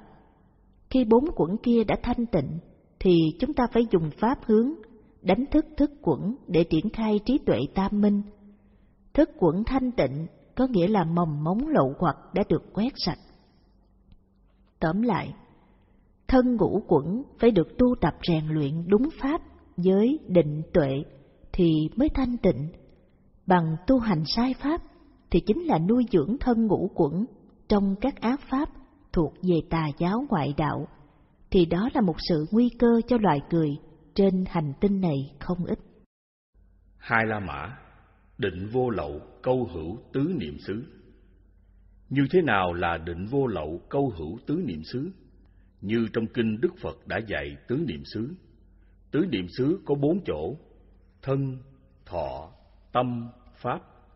Vậy chúng ta tu tập định vô lậu trên bốn chỗ này, nên gọi là câu hữu tứ niệm xứ. Một, thân niệm xứ. Trong tứ niệm xứ, Đức Phật dạy, Này các thầy tỳ kheo, ở đây tỳ kheo quán thân trên thân nhiệt tâm, tỉnh giác, chánh niệm để chế ngự tham ưu ở đời. Chúng ta nên lưu ý lời dạy này, quán thân trên thân. Quán thân trên thân tức là xem xét thân của mình coi có lậu hoặc hay không. Nếu có thì phải khắc phục hay chế ngự không cho lậu hoặc tác động vào thân. Vì vậy mà Đức Phật dạy chế ngự tham ưu. Tham ưu tức là lậu hoặc. Như vậy, trên thân quan sát thân có nghĩa là xem thân coi có chướng ngại pháp hay không, để đẩy lui các chướng ngại pháp ra khỏi thân, không cho các chướng ngại pháp tác động làm khổ cho thân. Như vậy tức là tu định vô lậu câu hữu với thân tứ niệm xứ. Hàng ngày chúng ta ngồi hoặc đi, hoặc nằm, hoặc đứng, đều xem xét thân của mình coi có chướng ngại pháp thì đẩy lui cho khỏi. Đừng để chướng ngại pháp trong thân dù một phút giây nào cả, thì đó là thân vô lậu, mà thân đã vô lậu là giải thoát. Cho nên Đức Phật thường ca ngợi pháp môn tứ niệm xứ là đạo lộ đệ nhất pháp vô lậu. Này các thầy tỳ kheo, đây là con đường độc nhất đưa đến thanh tịnh cho chúng sanh, vượt khỏi sầu não, diệt trừ khổ ưu, thành tựu chánh trí, chứng ngộ niết bàn, đó là bốn niệm xứ. Hai, thọ niệm xứ. Đức Phật dạy, này các thầy tỳ kheo, ở đây tỳ kheo sống quán thọ trên các thọ, nhiệt tâm, tỉnh giác, chánh niệm để chế ngự tham ưu ở đời. Lời dạy này quý vị nên lưu ý là phải luôn luôn xem xét từng phút, từng giây trên các cảm thọ của thân và của tâm. Nếu các cảm thọ này làm chướng ngại cho thân và tâm, thì chúng ta tìm mọi cách đẩy lui, không để chướng ngại pháp này trong thân tâm của chúng ta nữa. Đó là khắc phục sự đau khổ, giúp cho thân tâm giải thoát. Khi thân tâm không còn chướng ngại pháp, là thân tâm vô lậu. Như vậy trên thọ quán thọ để khắc phục tham ưu, tức là tu tập định vô lậu câu hữu với thọ niệm xứ. ba Tâm niệm xứ Lời Phật dạy, này các thầy tỳ kheo, ở đây tỳ kheo sống quán tâm trên tâm, nhiệt tâm, tỉnh giác, chánh niệm để chế ngự tham ưu ở đời. Quý vị nên lưu ý lời dạy này, trên tâm quán tâm, tức là dạy quý vị hàng ngày quan sát, xem xét tư duy nội tâm của quý vị, nó đang khởi những niệm gì, đang nghĩ gì, đang lo sợ, đang phiền não bất toại nguyện, đang giận hờn ganh ghét, đang nghĩ suy những âm mưu thâm độc để hại người, đang tính toán những trò giải trí không lành mạnh, đang nghĩ những chuyện tào lao không ích lợi, đang khởi những niệm tưởng không đâu để độ người tu hành thiền định bằng những thần thông siêu việt, khiến cho mọi người quá kính nể phục lăng sát đất, hoặc đang khởi những niệm làm thế này, làm thế kia để cúng dường Phật, Pháp, Tăng, vân vân. Tất cả những niệm khởi lên trong tâm được quan sát và xem xét, cuối cùng phải được đẩy lui tất cả các niệm ra khỏi tâm, không còn một bóng dáng nào cả. Khi tâm chúng ta chưa ly dục ly ác pháp, thì tất cả những niệm được khởi lên trong tâm đều là niệm ác. Đừng nghĩ rằng chúng tôi khởi niệm làm ích lợi chúng sanh như làm từ thiện, phóng sanh, bố thí, giúp người bằng cách này hoặc bằng cách khác. Trong khi tâm dục chưa lìa ác pháp, chưa đoạn, thì những hành động đó chưa phải là thiện. Đó là hành động làm danh, làm lợi, khéo léo cho cá nhân mình bằng những lý luận lừa đảo của nó. Theo Phật giáo, khi nào tâm thanh tịnh, tức là tâm đã ly dục, ly ác pháp, thì niệm khởi là niệm thiện. Còn chúng ta còn phàm phu, thì niệm khởi là niệm ác. Tại sao vậy? Tại vì tâm còn danh và lợi, cho nên tuy việc làm nhìn bên ngoài là thiện, mà trong tâm là ác pháp. Việc làm thiện đó chẳng có phước báo gì cả. Người làm việc thiện này thường hay bị bệnh tật khổ đau vân vân. Vì thế, người tu định vô lậu câu hữu tâm niệm xứ, luôn luôn quan sát tâm mình, xem coi có niệm gì khởi ra, thì mau mau tìm mọi cách đẩy lui niệm đó khỏi tâm, hướng tâm trở lại vị trí thanh thản, an lạc và vô sự của nó. Tóm lại, người tu định vô lậu câu hữu tâm niệm xứ, tức là trên tâm quán tâm, khi tâm có niệm khởi, thì phải đẩy lui niệm khởi đó ra khỏi nội tâm, thì chỗ này Đức Phật dạy, nhiệt tâm tỉnh giác, phải luôn cảnh giác rất tỉnh ở niệm vừa khởi, khi thấy mặt nó, ngay liền đồng thời mổ xẻ niệm này ra, nên Đức Phật gọi là quán tâm, tức là xem xét tư duy cho thấu suốt niệm đó. Pháp môn này khác với pháp môn tri vọng, vì tri vọng là biết vọng liền buông, tức là không cần phải hiểu vọng thuộc về loại nào trong lậu hoặc. Cho nên pháp tri vọng là pháp ức chế tâm, còn pháp trên tâm quán tâm là pháp xả tâm. Vì những niệm có niệm là một chướng ngại pháp cho tâm thì nên quán xét đẩy lui, còn có niệm không phải là chướng ngại pháp của tâm thì không cần đẩy lui. Thưa quý vị, niệm không chướng ngại tâm của quý vị đó là niệm thanh thản, niệm an lạc và niệm vô sự. Tại sao chúng tôi lại bảo thanh thản, an lạc và vô sự là niệm? Thưa quý vị, nếu tâm không niệm thì tâm không, nhưng ở đây nó biết rõ ràng là có tâm thanh thản, an lạc và vô sự. Vì thế mà chúng tôi bảo niệm thanh thản, niệm an lạc và niệm vô sự. Quý vị cứ suy ngẫm có đúng không?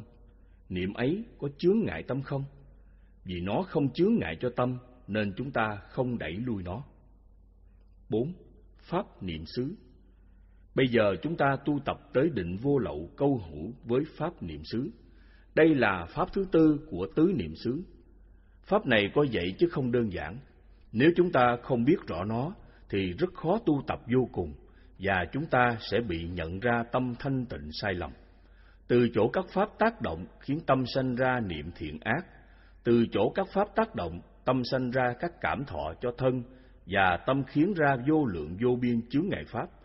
Vì chính các pháp mà tạo ra tâm của chúng ta bất an, và nếu chúng ta không chủ động điều khiển được tâm, thì tâm sẽ sanh ra muôn ngàn ác pháp khác để tạo thành nghiệp lực, và nghiệp lực này sẽ tiếp tục tái sanh luân hồi mãi mãi trong muôn kiếp muôn đời của chúng ta. Nghiệp lực này không phải một sanh ra một, mà một sanh mười, mười sanh trăm, trăm sanh ra vạn, vạn sanh ra triệu, vân vân. Hằng ngày trong bốn oai nghi, đi, đứng, nằm, ngồi của chúng ta, chúng ta đều quan sát thân, thọ, tâm, pháp, xem coi có chướng ngại pháp hay không. Như trên đã dạy, nếu trên bốn chỗ này không có chướng ngại pháp, thì chúng ta xem tâm đang phóng dật ở chỗ nào.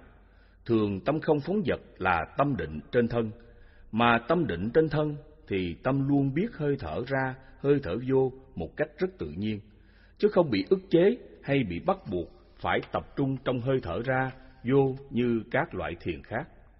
Đức Phật đã xác định khi nào tâm không phóng dật là tâm định trên thân, tâm định trên thân tức là tâm định trên hơi thở. Tâm định trên hơi thở là tâm chỉ biết có hơi thở mà thôi. Nơi đây chúng ta phải lưu ý, khi tâm không khởi niệm thì tâm hay phóng dật theo các pháp bên ngoài. Ví dụ, khi tâm không có niệm thì tâm thanh thản, an lạc và vô sự, nhưng tâm không định trên hơi thở, thân hành niệm nội, mà lại phóng tâm chạy theo các sắc pháp bên ngoài thân như tâm cảm nhận cỏ, cây, trời, mây, nước, núi, sông, vân vân. Nói chung là tâm đang phóng dật theo tất cả các hình ảnh của sắc pháp. Người tu thiền đông độ đến chỗ này, họ cảm thấy như tâm mình phủ trùm dạng hữu, cho nên bàn Long Uẩn nói, dễ dễ dễ, ý tổ sư trên mỗi đầu ngọn cỏ. Ngược lại, Đức Phật bảo chỗ này tâm còn phóng dật theo các pháp nên chưa được định. Người tu định vô lậu câu hữu với pháp niệm xứ thì phải lưu ý điều này.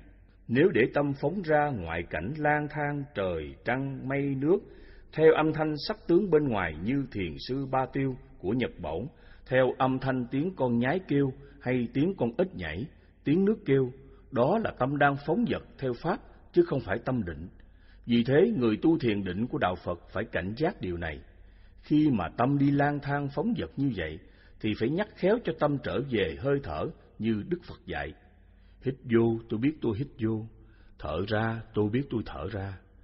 Nhưng không được ức chế nó, mà phải để nó tự nhiên định vào hơi thở. Chỗ này khi chúng chỉ cần biết là tâm đang phóng dật theo pháp trần, thì tâm định ngay liền trên hơi thở. Bởi vì tâm không còn khởi niệm nữa, nên nó đã ly dục ly áp pháp, như chưa quen định trên hơi thở. Chỗ này Đức Phật đã dạy, thì định niệm hơi thở khéo tác ý. Tóm lại, định vô lậu câu hữu với tứ niệm xứ là một pháp môn thiền định dễ tu nhất hơn tất cả các pháp môn khác vì nó không ức chế tâm, không tập trung tâm vào một chỗ, nó luôn luôn quan sát trong bốn chỗ, thân, thọ, tâm, pháp. Nếu có chướng ngại pháp xâm chiếm vào bốn chỗ này, thì nó dùng tất cả mọi sự hiểu biết của các pháp ngăn ác, diệt ác pháp, đẩy lui khiến cho tâm ở trong trạng thái thanh tịnh, an lạc, giải thoát. Nếu hằng ngày cứ giữ gìn pháp này tu tập, thì luôn luôn lúc nào cũng có sự giải thoát, kéo dài một phút sẽ giải thoát một phút, một giờ sẽ giải thoát một giờ, một ngày sẽ giải thoát một ngày, một tháng sẽ giải thoát một tháng. Sự giải thoát ấy tức là tâm ly dục ly ác pháp. Tâm ly dục ly ác pháp là tâm thanh tịnh. Tâm thanh tịnh tức là tâm thiền định. Cho nên thiền định mà không ức chế tâm, không tập trung tâm mà lại có thiền định. Tu chỉ có mục đích xả tâm, tham, sân, si, mà lại chỉ có thiền định thì thật là tuyệt vời. Thiền định lại làm chủ sự sống chết và chấm dứt được sự tái sanh luân hồi. Cho nên, trong Kinh Nguyên Thủy, Đức Phật thường nhắc đi nhắc lại nhiều lần để chúng ta lưu ý pháp môn này. Này các thầy tỳ kheo, đây là con đường độc nhất đưa đến thanh tịnh cho chúng sanh, vượt khỏi sầu não, diệt trừ khổ ưu, thành tựu chánh trí, chứng ngộ niết bàn, đó là bốn niệm xứ.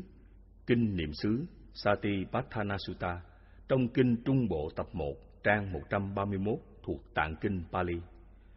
Hầu hết các nhà học giả không có kinh nghiệm tu hành trong tứ niệm xứ, nên dựa theo sự dẫn giải của Đức Phật trong kinh mà không hiểu ý nghĩa của Phật muốn nói gì trong chính giai đoạn quán thân trên thân như một Quán niệm thân hành tướng nội, hơi thở, tỉnh thức trong hơi thở. hai Quán thân hành tướng ngoại như đi, đứng, nằm, ngồi, nói, nín, co tay, duỗi tay, ngó tới, ngó lui, mang bát, mặc y, vân vân. Đó là tỉnh thức trong hành tướng ngoại thân. ba Quán niệm thân hành tướng ngoại và tướng nội như đi, đứng, nằm, ngồi, nói, nín, hơi thở, vân vân và tất cả các cảm giác xảy ra toàn thể nội ngoại thân hành, tỉnh thức trong mọi hành động thân nội ngoại tướng sanh diệt. 4. Quán thân bất tịnh để phá ngã chấp thân là của chúng ta. 5. Quán thân tứ đại duyên hợp để phá chấp thân là vật thường hằng. 6. Quán thân tử thi chết trương phòng hôi thối, để phá chấp thân là đẹp xinh thơm tho, để nhàm chán sắc dục. 7. Quán thân tử thi bỏ trong nghĩa địa bị các loài cầm thú xé ăn và loài côn trùng dòi đục khoét để nhàm chán thân xa lìa sắc dục. 8. Quán bộ xương còn nối với những sợi gân để nhàm chán các pháp thế gian chẳng có gì là bền chắc. 9. Quán bộ xương trắng để tránh tâm sắc dục và nhàm chán các pháp thế gian. Các nhà học giả dựa theo chính pháp quán thân trên thân trong kinh tứ niệm xứ mà hiểu theo kiến giải của mình, rồi dạy người tu tập đã biến pháp môn tứ niệm xứ thành một pháp môn ức chế và tập trung tâm quá căng thẳng, khiến cho mọi người tu tập thành bệnh các cơ mặt và thần kinh. Các nhà học giả đâu hiểu rằng tứ niệm xứ là bốn nơi để cho hành giả quan sát tư duy suy ngẫm, để đẩy lui tất cả các chướng ngại pháp, tức là những pháp làm cho tâm bất an, làm cho tâm khởi ham muốn. Chính pháp quán thân trên thân thì có ba pháp tập tỉnh thức, còn sáu pháp xả các chướng ngại pháp để tâm hoàn toàn sống trong chánh niệm. Người tu định vô lậu câu hữu tứ niệm xứ, tức là quan sát bốn chỗ, thân, thọ, tâm pháp, có chướng ngại pháp, liền tìm mọi cách đẩy lui để lúc nào tâm cũng thanh thản, an lạc và vô sự như trên đã dạy. Đó là sự giải thoát. Còn nếu giải thích vòng vòng theo kinh tứ niệm xứ, thì chỉ có người tu chứng mới hiểu được ý của Đức Phật. Còn người không tu chứng sẽ lý giải sai pháp, khiến cho người đời sau tu hành chẳng có giải thoát, mà còn rơi vào trạng thái có thể điên khùng bệnh tật. Các sư một số hệ phái tưởng giải ra tu tập, cho nên ông nào cũng không nhập định được, chết một cách rất là đau khổ. Không có vị nào làm chủ sự sống chết được. Đó là kinh sách nguyên thủy mà các sư tu hành còn như vậy, huống là kinh sách phát triển. Thầy nào thầy nấy tu hành đến khi sắp chết đều nghe răng méo miệng khổ sở vô cùng, thật đáng thương. Đáng thương vô cùng, lúc còn mạnh tay khỏe chân thì luận đông luận tây dạy người ta tu hành tưởng mình như là Phật sống. Không ngờ sự tu hành của mình chưa ngã về tới đâu, mà dội mưa pháp vọng ngữ để giết hàng loạt người ham tu thiền, ham tu có thần thông. Cuối cùng thầy trò dẫn nhau xuống địa ngục mà không biết. Ba La Mã Định vô lậu câu hữu tứ chánh cần Trên bốn chỗ thân thọ tâm pháp của con, hàng giây, hàng phút, hàng giờ, hàng ngày, hàng tháng, hàng năm, lúc nào con cũng phải quan sát bốn chỗ này và cảnh giác giữ gìn không cho các ác pháp tấn công vào bốn căn cứ này. Nếu vô ý để chúng tấn công, thì mau mau phải diệt chúng, không để chúng sống trên các cứ điểm này, dù là một giây một phút nào. Nếu con siêng năng tu tập chỉ một pháp môn này, con cũng làm chủ sự sống chết, chẳng cần phải tu những pháp khác. Bởi vì pháp môn này là pháp môn tu thiền định đầu tiên của đạo Phật. Đó là thứ thiền xả tâm, giúp cho tâm con ly tham, đoạn ác pháp, đem lại một nguồn giải thoát an vui cho mình, cho người, khiến cảnh thế gian thành thiên đàng cực lạc. Khi cư sĩ Visaka hỏi ni sư Dana Dinama, tu thiền phải lấy pháp gì tu? Ni sư trả lời, tu thiền phải dùng pháp định tư cụ. Định tư cụ là tứ chánh cần. Vậy chúng ta tu định vô lậu, câu hữu tứ chánh cần, tức là tu pháp thiền đầu tiên của đạo Phật, như trên chúng tôi đã dạy. Đó là một loại thiền rất lợi ích cho chúng sanh. Khi tu là có kết quả giải thoát ngay liền, như Đức Phật đã xác định. Pháp ta thiết thực cụ thể, không có thời gian, đến để mà thấy. Ngăn ác, diệt ác pháp trên tứ niệm xứ, tức là chúng ta ly dục ly ác pháp. Ly dục ly ác pháp là không làm khổ mình khổ người. Đó là một sự tu tập để xây dựng mình có một đạo đức nhân bản. Một pháp môn thiền định tu tập để làm chủ bốn sự đau khổ của cuộc đời, sanh, già, bệnh, chết. Thế mà nó cũng là một pháp môn để cho con người rèn luyện tu tập, trở thành một con người có đạo đức, một đạo đức cao thượng làm người, không làm khổ mình, khổ người. Tóm lại, định vô lậu câu hữu với tứ chánh cần là pháp môn có lợi ích rất lớn quét sạch lậu hoặc, khiến cho người tu hành giải thoát hoàn toàn, sống trong thế gian mà tâm bất động. Đó là một pháp môn cần thiết cho cuộc sống mọi người trên hành tinh này. Bốn La Mã, định vô lậu, câu hữu nhân quả. Hàng giây, hàng phút, hàng giờ, hàng ngày, hàng tháng, hàng năm. Lúc nào chúng ta cũng quan sát, xem xét tư duy suy ngẫm trên ba chỗ xuất phát nhân quả, thân hành, khẩu hành và ý hành. Bất kỳ lúc nào cũng phải cẩn thận ý tứ cảnh giác và giữ gìn không để thân hành ác, khẩu hành ác, ý hành ác luôn luôn phải thể hiện thân hành thiện, khẩu hành thiện, ý hành thiện. Một, thân hành thiện là thân không giết hại chúng sanh, không ăn thịt chúng sanh, không làm đau khổ chúng sanh và phải ý tứ để thân không vô tình dẫm đạp làm đau khổ chúng sanh. Thân hành thiện là thân không lấy của không cho, dù là vật nhỏ mọn như cây kim, sợi chỉ, trái cà, trái ớt cũng không được lấy. Thân hành thiện là thân không tà dâm đối với người cư sĩ, nghĩa là khi có vợ con hoặc có chồng con thì không được dâm dục với người khác. Dâm dục với người khác sẽ làm đau khổ gia đình mình và đau khổ gia đình người khác. Còn người tu sĩ thì không nên dâm dục, vì dâm dục tức là thân hành ác pháp tạo ra sự khổ cho mình, cho người và làm cho Phật Pháp suy đồi. Hai, khẩu hành thiện là miệng không nói dối, luôn luôn phải nói lời chân thật, thấy, nghe sao nói vậy, không được nói sai sự thật.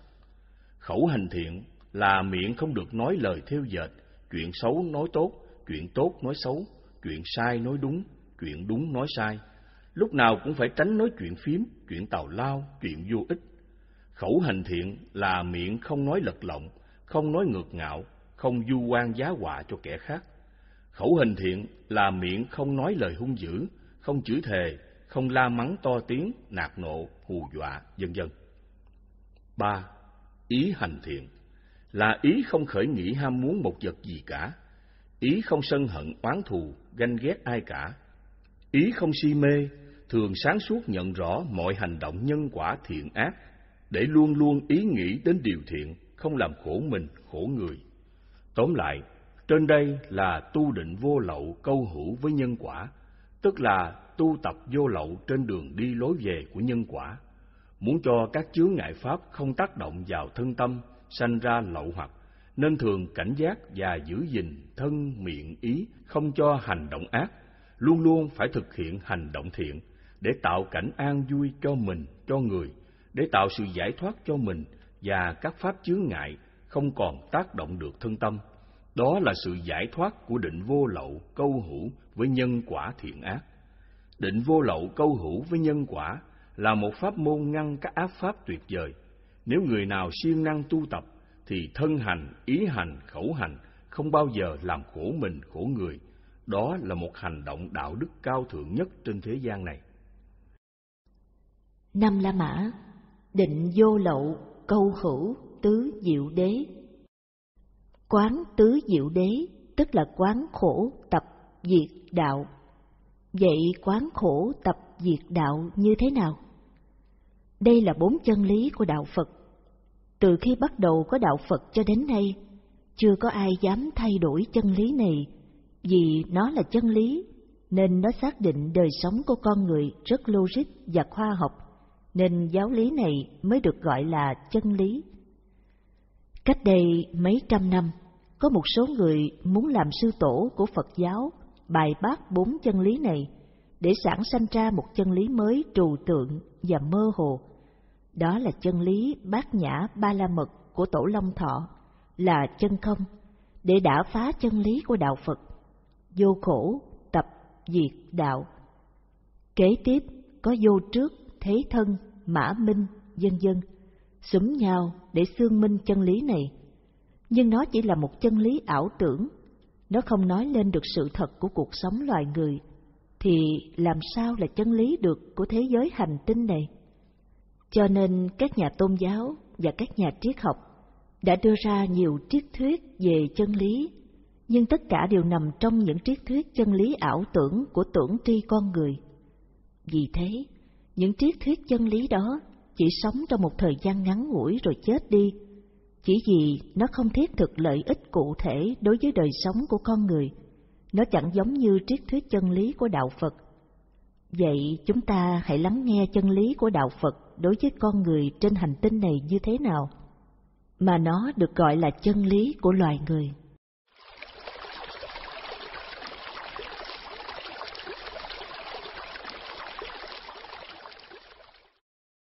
Chân lý thứ nhất, khổ đế. Khế kinh có câu, nước mắt chúng sanh nhiều hơn nước biển. Lời nói này có quá đáng chăng? Chúng ta chưa vội xác định câu nói này, mà hãy dùng định vô lậu quán xét tư duy chân lý thứ nhất, rồi mới xác định sau. Người không hiểu biết cho rằng đời là một hạnh phúc, nhưng họ không ngờ những khoái lạc của cuộc đời đều là giả dối, lừa phỉnh, chẳng khác gì như người khát nước mà cứ uống nước mặn, càng uống lại càng khát và càng khổ đau. Cho nên những sự vui của cuộc đời chỉ là tạm bợ, hào nhoáng như một lớp sơn bên ngoài mà thôi. Bản chất của cuộc đời là khổ đau. Cõi đời này là một biển nước mắt và mồ hôi của loài người. Trong ấy, mọi người đang bơi lội, hụt lặng, chìm nổi, trôi lăn. Nếu ai đã từng nếm mùi vị của cuộc đời, thì không ai bảo rằng đời là hạnh phúc, là sung sướng. Người thấy rõ đời sống là khổ không ai hơn Đức Phật, nên chân lý của Ngài đưa ra mọi người đều phải công nhận. Chỉ có một vài người mang tà kiến mới cho nó là vô khổ, tập, diệt, đạo, như Long Thọ, còn các tổ sau này chỉ là những người hùa theo, cho nên thiền sư thường chiếu bảo, một con chó sủa, một bầy chó sủa theo. Không ai có thể kể ra hết mọi sự đau khổ trong thế gian, nhưng căn cứ vào lời dạy của Đức Phật thì có ba loại khổ. Một, khổ khổ. Hai, hoại khổ. Ba, hành khổ. Khổ khổ, cái khổ chồng chất lên cái khổ. Bản thân đã là khổ, mà hoàn cảnh chung quanh lại đè lên bao cái khổ khác, đó là khổ khổ. Chúng ta quán xét tự thân mình là nạn nhân của bao nhiêu cái khổ, cái xấu xa đê tiện. Thân thể là một bao đựng đầy thịt xương dơ bẩn thôi thối bất tịnh. Nếu một vài ngày không tắm rửa chăm sóc, thì thối tha không chịu được. Giả lại, cái thân của chúng ta rất giòn bở mong manh, khát nước độ ba ngày, ngạt thở độ năm phút, đứt một mạch máu, bị nhiễm vi trùng độc, thế là mạng vong, không còn sống được nữa. Lại nữa, cái khổ sống chết bất ngờ mà không ai làm chủ, còn biết bao nhiêu cái khổ khác nữa chồng chất lên nhau, không sao tránh khỏi như bệnh tật, tai họa đối khác, bão lụt, chiến tranh, động đất, hỏa hoạn, chiến tranh áp bức, sưu cao, thuế nặng, vân vân, đó là khổ khổ. Hoại khổ. Thật vậy, dạng vật trong vũ trụ có hình tướng đều phải bị hoại diệt vì luật vô thường chi phối từng giây từng phút, nên không có vật gì được tồn tại mãi. Dù cho sắt đá lâu ngày cũng phải mục nát, to lớn như đất trời còn phải tan hoại. Yếu ớt nhỏ nhoi như thân người thì mạng sống như bong bóng nước, như mây nổi giữa trời, như hoa phù dung sớm nở tối tàn.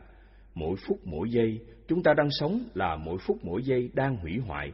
Dù cho chúng ta có sức khỏe, có quyền thế, có giàu sang, tiền của, châu báu, ngọc ngà, vàng bạc có chất đầy cả không gian này, thì cũng không cản ngăn, chống đỡ, không cho thời gian hủy diệt đời sống của chúng ta được. Chúng ta hoàn toàn bất lực trước sự vô thường của thời gian. Tất bóng thời gian một tất vàng, tất vàng tìm được không gì khó, tất bóng thời gian khó hỏi han. Thật là khổ sở, tuổi nhục, đau đớn cho kiếp sanh làm người. Hành khổ là chỉ cho mọi hành động của chúng ta thương, ghét, giận, hờn, lo lắng, ưa thích, ham muốn vân vân. Giả lại mỗi hành động của chúng ta đều mang theo bản chất thiện và ác. Ác thì làm khổ mình, khổ người. Thiện thì không làm khổ mình, khổ người. Nhưng phần nhiều hành động thân miệng ý của chúng ta thường đem đến sự khổ đau cho nhau hơn là đem đến sự an vui hạnh phúc. Bởi vậy Đức Phật dạy, các hành là vô thường, là khổ. Lúc thì nó hành như thế này, lúc thì nó hành như thế khác, nó không bao giờ đứng yên lặng một chỗ. Nếu chúng ta chịu khó quan sát và sẽ nhận thấy rõ ràng, thân thì chẳng lúc nào chịu im lặng, không đi thì ngồi, không ngồi thì đứng, không đứng thì nằm, không nằm thì làm việc này việc khác. lúc nào thân cũng động đậy trừ ra lúc nằm ngủ. Miệng lúc nào cũng muốn nói chuyện, không chuyện này thì nói chuyện khác. Nếu vắng một lúc không nói là đi tìm người để nói chuyện. Con người vốn thích động, không thích tịnh, sống độc cư trầm lặng một mình chịu không nổi. Cho nên các tổ quở trách các đệ tử, không chịu để miệng đóng móc meo. Ý thị lăng xăng nghĩ chuyện này sang chuyện khác như con ngựa không cương, như con dưỡng truyền cây, không bao giờ dừng nghỉ. Đó là ba chỗ hành của thân con người. Ba nơi đó, nếu chúng ta không biết dừng nghỉ những hành động ác, thì sẽ mang lại cho mình và mọi người biết bao nhiêu là muôn ngàn thứ đau khổ xảy ra. Cho nên Đức Phật nói, hành là khổ là vậy. Ba thứ khổ này chia ra làm tám thứ khổ. Một, sanh khổ. Sanh ở đây có hai nghĩa đời sống và sự sanh đẻ. A. Khổ trong lúc sanh ra. Người sanh và đứa bé được sanh đều khổ. Khi người mẹ mới mang thai đã bắt đầu biến ăn, mất ngủ, nôn ọe, giả dợt, bần thần, người gầy ốm trong những tháng đầu. Thai nhi mỗi ngày mỗi lớn, thì người mẹ mỗi ngày mỗi mệt mỏi, nặng nề, đi đứng khó khăn, làm lụng chậm chạp. Khi gần đến ngày sanh thì sự đau đớn không sao nói hết được. Đến ngày hoa khai nở nhụy, nếu thuận thai thì người mẹ cũng đau đớn thập tử nhất sanh. Khi sanh con ra, mẹ phải chịu nhơ uế nhiều ngày, yếu đuối nhiều tháng, vì máu huyết hao mòn, ngũ tạng suy kém. Còn nghịch thai thì người mẹ phải bị mổ xẻ, một trăm phần chết chỉ có một phần sống mà thôi. Đôi khi giải phẫu người mẹ và phải chịu bệnh tật suốt đời khi sinh con. Còn đứa bé từ khi chào đời cũng phải chịu nhiều điều khổ sở. Chín tháng mười ngày trong bụng mẹ, sống trong cảnh tối tăm chật hẹp.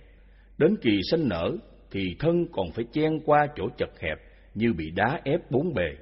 Nên khi vừa thoát ra ngoài vì khổ quá, giả lại còn bị móc miệng đau đớn không cùng nên vội khóc thét lên.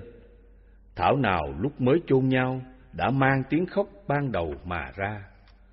B. Khổ vì đời sống Khổ vì đời sống có hai phương diện, vật chất và tinh thần. Khổ về vật chất Cuộc sống của con người đòi hỏi những nhu cầu thiết yếu như món ăn, thức uống, y phục, nhà ở, thuốc men. Muốn có những nhu cầu ấy, con người phải lao động cần cù quanh năm suốt tháng, vất vả khổ sở mới đổi lấy nó được, phải bằng mồ hôi nước mắt và sức lực của mình. Nhiều khi suốt đời làm lụng cơm không đủ ăn, nhà ở không đủ ấm. Chẳng những đợi đến cảnh đói khát mới là khổ. Ăn uống thất thường, bữa đói bữa no, thiếu thốn trước sau cũng đã là khổ. Chẳng lâm vào cảnh màn trời chiếu đất hay ăn lông ở lỗ mới gọi là khổ. Áo quần không đủ ấm, nhà cửa không che được nắng mưa, đó cũng là khổ lắm rồi. Người nghèo đã khổ như thế, thì người giàu có khổ hay không? Muốn có tiền bạc của cải tài sản, tất phải thức khuya dậy sớm, buông tảo bán tầng, đầu tắt mặt tối trong công việc, mồ hôi nước mắt đổ ra biết bao nhiêu mới có được. Chứ đâu phải tiền bạc của cải tài sản ở trên trời rơi xuống, mà phải bằng công sức và đầu óc tính toán, nhiều khi phải quên ăn, mất ngủ. Nhưng khi đã có của cải rồi, đâu phải là sung sướng, phải lo giữ gìn bảo vệ nó. Nếu một mai bị trộm cướp, nước trôi, quả hoạn, hoặc bị vua quan xung vào công quỷ, thì khổ sở vô cùng. Có người vì của cải tài sản mất mà điên, cũng có người vì của cải mất mà phải buồn khổ đến chết, đó là khổ sở về vật chất. Khổ về tinh thần, thì không biết bao nhiêu sự khổ kể ra làm sao cho hết. Chúng tôi nêu lên một vài ví dụ như, thua kém mọi người từ ăn mặc đến nhà ở là chúng ta đã khổ, thua kém từ học thức đến địa vị trong xã hội là chúng ta cũng khổ, khổ từ những lời nói khen chê của kẻ khác, khổ vì bị lừa gạt, bị áp bức, khổ vì những người thù oán, khổ gì bị kẻ khác khinh bỉ vân dân. Tóm lại, về vật chất lẫn tinh thần trong cuộc sống của chúng ta, có biết bao nhiêu là sự khổ đau mà làm con người phải gánh chịu. Cho nên chân lý thứ nhất của đạo Phật là khổ đế. Khổ đế là chỉ cho đời sống của con người khổ thật, khổ thật nhưng không phải biết khổ để mà trốn khổ, để mà tiêu cực yếm thế bỏ đời. Đức Phật chỉ cho chúng ta thấy một sự thật hiển nhiên của cuộc sống là khổ như vậy, để mà vượt lên trên những nỗi khổ đó, để xây dựng cho mình, cho người, có một nền đạo đức nhân bản không làm khổ mình, khổ người, để biến cảnh thế gian thành cảnh giới cực lạc thiên đàng. Cho nên kẻ nào thất tình, thất vọng vào chùa tu hành để nhờ câu kinh tiếng kệ mà quên đi sự đau khổ của cuộc đời là kẻ hèn nhát, không xứng đáng là đệ tử của Đức Phật. Còn kẻ nào mượn Phật giáo kinh doanh làm giàu trên mồ hôi nước mắt của tín đồ, ngồi mát ăn bát vàng, là kẻ ăn cướp của đàn na thí chủ, của mọi người, bày ra nhiều trò mê tín lừa đảo. Những người còn vô minh mang nặng lòng kiến chấp những phong tục tập quán lạc hậu. Đó là những loài ma dương đội lốt tu sĩ và cư sĩ Phật giáo để diệt Phật giáo, chứ không phải là chấn hưng Phật giáo. Hai, lão khổ. Con người đến lúc già, thân thể hao mòn, tinh thần suy kém, nên thể xác lẫn tinh thần đều khổ. Càng già thì khí huyết càng hao mòn, ngày càng mỏi mệt, hoạt động một cách yếu ớt, mắt lờ, tai điếc, tay chân run rẩy, đi đứng khó khăn, làm việc gì cũng phải nhờ đến kẻ khác. Khi trời trở tiết thì toàn thân đau nhức, đó là cơ thể già là khổ như vậy. Càng già thân thể càng suy yếu, trí tuệ càng lu mờ. Do đó sanh ra lẫn lộn, quên trước, quên sau, hành động giống như kẻ ngây dại, có khi ăn dơ, uống bẩn mà không biết, nói năng lặp đi lặp lại như người mất trí. Ăn rồi bảo chưa ăn, chưa ăn bảo ăn rồi. Có khi nói nhảm nhí một mình, thật đúng là già khổ. ba Bệnh khổ Bất luận thân của chúng ta đau bệnh gì, từ cái đau lặt vặt như đau răng, nhức đầu, mỏi tai, mỏi chân, cho đến những bệnh hiểm nghèo trầm trọng như ung thư, lao phổi hoặc cùi phong, đái đường, lên máu, sơ gan cổ trướng, vân vân, đều làm cho con người phải đau khổ, nhức nhối, rên xiết. Nhất là những bệnh trầm kha thì lại hành hạ sát thân, đắng cơm, nghẹn nước, cầu sống không được, cầu chết cũng không xong, oan oan ương ương, thật là khổ não. Thân bệnh đau mà tiền thì không, có người sau khi lành bệnh tiền bạc không còn, của cải tài sản bán sạch, chỉ còn hai bàn tay trắng, sống một đời sống tràn đầy sự khổ đau bất tận.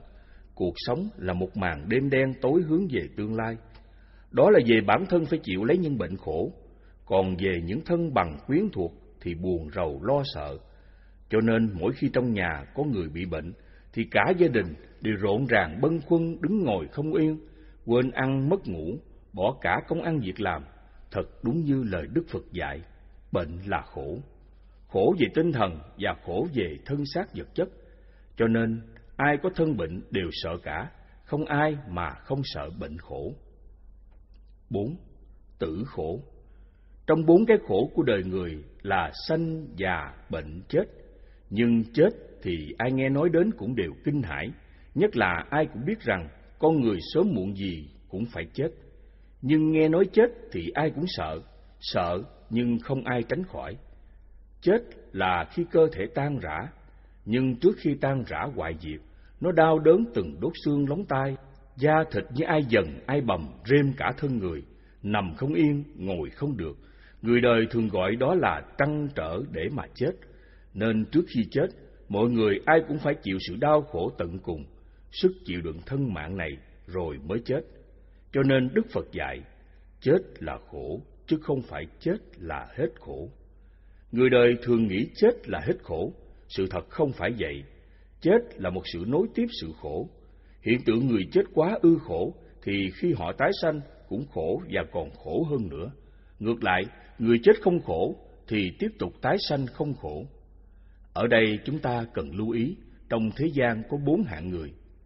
Hạng người thứ nhất, chết khổ là hạng người bị bệnh đau khổ sở vô cùng, ăn, ỉa, đái một chỗ, chịu hôi, chịu thối của xác thân tứ đại, cho đến khi chết phải đau nhức trăn trở khổ sở tận cùng, rồi mới chịu chết, đó là hạng người chết khổ. Hạng người thứ hai, chết ít khổ, là những hạng người bị bệnh mà không phát hiện ra, đến khi thình lình đứt mạch máu não hoặc rút tay giật chân méo miệng rồi ngã lăn ra chết. Những người này thời gian thọ bệnh khổ rất ngắn, đó là hạng người chết ít khổ. Hạng người thứ ba, chết không khổ, là hạng người không bị bệnh đau gì cả, nằm ngủ rồi ngủ luôn, đó là hạng người chết không khổ. Hạng người thứ tư, làm chủ sự sống chết, họ muốn sống là sống, và muốn chết là chết, chết lúc nào cũng tự tại dễ dàng, không phải chờ bệnh đau tận cùng rồi mới chết. Đó là hạng người làm chủ sự sống chết như Đức Phật và các bậc thánh tăng A La Hán. Cho nên, trong đời sống của loài người có bốn hạng người như vậy. Hạng người thứ nhất chuyên làm ác giết hại chúng sanh như những người làm nghề đồ tể, săn bắn, chài lưới dân dân và những hạng người chuyên lừa đảo thiên hạ, buôn thần, bán thánh dân dân. Hạng người thứ hai có làm ác, có làm thiện nên chết ít khổ hơn. Hạng người thứ ba sống chuyên làm thiện, không làm khổ mình, khổ người. Hạng người thứ tư là những bậc tu hành toàn thiện, toàn định, toàn tuệ, đầy đủ thần lực làm chủ nhân quả, chấm dứt luân hồi, nên luật nhân quả không còn tác động họ được. năm Ái biệt ly khổ Con người sinh ra ở đời ai cũng có lòng yêu thương, loài thú vật cũng có lòng thương yêu, chúng cũng biết buồn thương và khóc, huống là con người như chúng ta. Tình thương giữa vợ chồng, con cái, anh em, chị em, cha mẹ, quyến thuộc, bạn bè, thân hữu, vân vân đang thương yêu mặn nồng thấm thiết mà bị sự bắt buộc chia ly thì thật không có gì đau đớn hơn khi kẻ bắt người nam hoặc kẻ còn người mất. Sự chia ly chia ra làm hai loại. A. Sanh ly khổ. Một gia đình đang sống trong cảnh sum họp, đầm ấm an vui, bỗng có một hoàn cảnh bắt buộc hay vì một thiên tai giặc giả vân dân, làm cho mỗi người bơ vơ thất lạc nhau, kẻ đông người Tây, kẻ nam người Bắc, kẻ góc biển người chân trời, nỗi nhớ mong thương xót không cùng. Sự sống mà chia ly nhau là sự đau khổ không cùng, nên người đời khổ quá mới nói ra lời, thà lìa tử chứ ai nở lìa sanh. B. Tử biệt khổ Người ở đời mỗi lần chết là một lần vĩnh viễn không còn gặp nhau nữa. Dù là ly biệt có khổ, nhưng còn có ngày hy vọng gặp lại nhau. Chứ một khi đã chết rồi, thì bao thuở được xung vầy nữa. Cho nên trước cảnh chết là một sự ra đi vĩnh viễn. Làm người, trước cảnh ấy ai mà chẳng nức nở khổ đau. Vì thế, trước cảnh này, đã có nhiều người xót thương rầu rĩ, không còn thích ăn, thích ngủ. Có người quá đau đớn tuyệt vọng vì thương nhớ đến nỗi phải toan chết theo người thân thương, quá cố của mình. Có người ôm quan tài của người quá cố, lăn lộn nức nở nghẹn ngào, nước mắt tuôn rơi lã tả, dường như ai cắt ruột cắt gan mình. Đó là cái khổ của tử biệt, mà sanh ra làm người ai ai cũng phải biết, và bao lần đứt ruột, đứt gan, nước mắt đổ xuống vì những người thân thương ra đi vĩnh viễn. Chính bản thân chúng tôi, khi người cha thân yêu của chúng tôi ra đi vĩnh viễn, nước mắt của chúng tôi đã đổ xuống chan hòa, cổ chúng tôi nghẹn ngào, chúng tôi thầm ước nguyện. Con nguyện sẽ tìm cha cho bằng được, dù bất cứ có gian khổ như thế nào, con cũng không trùng bước trước mọi gian nguy thử thách, trừ ra con chết. Nếu còn một chút hơi thở dư tàn, con cũng quyết tìm cha cho bằng được. Lời nguyện ước này cộng thêm sự sách tấn của Hòa Thượng Thanh Từ, đạo Phật còn là còn một người tu chứng. Những điều này đã tạo thành một mãnh lực quyết liệt trong đời tu hành của chúng tôi để chiến đấu và chiến thắng từng tâm niệm ham muốn các áp pháp trong nội tâm của mình. Cuối cùng, chúng tôi đã chiến thắng và mãn nguyện. Còn hiện giờ, mỗi người tu chỉ tu danh, tu lợi, tu mà sợ khổ, sợ cực nhọc, sợ đói, sợ khát, sợ chết, sợ mất sức, sợ bỏ của cải tài sản, sợ bỏ vợ, bỏ con tội nghiệp. Tu mà còn tham muốn thần thông phép tắc hơn người, chưa tu được gì mà dội muốn làm thầy thiên hạ, dây mượn kinh sách của người xưa, nhai đi nhai lại những thứ bả mía lừa đảo người, cho nên tu hành chẳng ra gì. Tử biệt sanh ly là nỗi khổ của loài người, thế mà đã đi tu lại không lo giải quyết cho xong, đã bao nhiêu lần nước mắt tuôn rơi vì mất cha mất mẹ mà còn không biết không lo, cha mẹ còn hay mất ở nơi đâu, đi về đâu. Vậy mà dám dỗ ngực xương tên là con hiếu, cha mẹ chết mặt cha mẹ, cứ mãi lo tiền bạc danh vọng nhà cửa, chẳng còn ai hay biết gì. Nhưng tiền bạc danh vọng đó, chết rồi cũng không mang theo được, chỉ còn lại nghiệp thiện ác mà thôi, để rồi tiếp tục trên con đường khổ đau như cũ, quanh quẩn trong dòng luân hồi muôn đời muôn kiếp. 6. Cầu bất đắc khổ Người sinh ra ở đời, ai cũng có sự hy vọng. Sự hy vọng càng nhiều thì sự thất vọng càng to. Bất luận trong tất cả mọi việc làm, Số người làm đạt được như ý muốn thì quá hiếm, mà kẻ thất bại thì quá nhiều. Cho nên gặp thất bại, không có người nào là không khổ. Có nhiều người thất bại quá tự tử, có nhiều người thất bại bỏ vào chùa tu.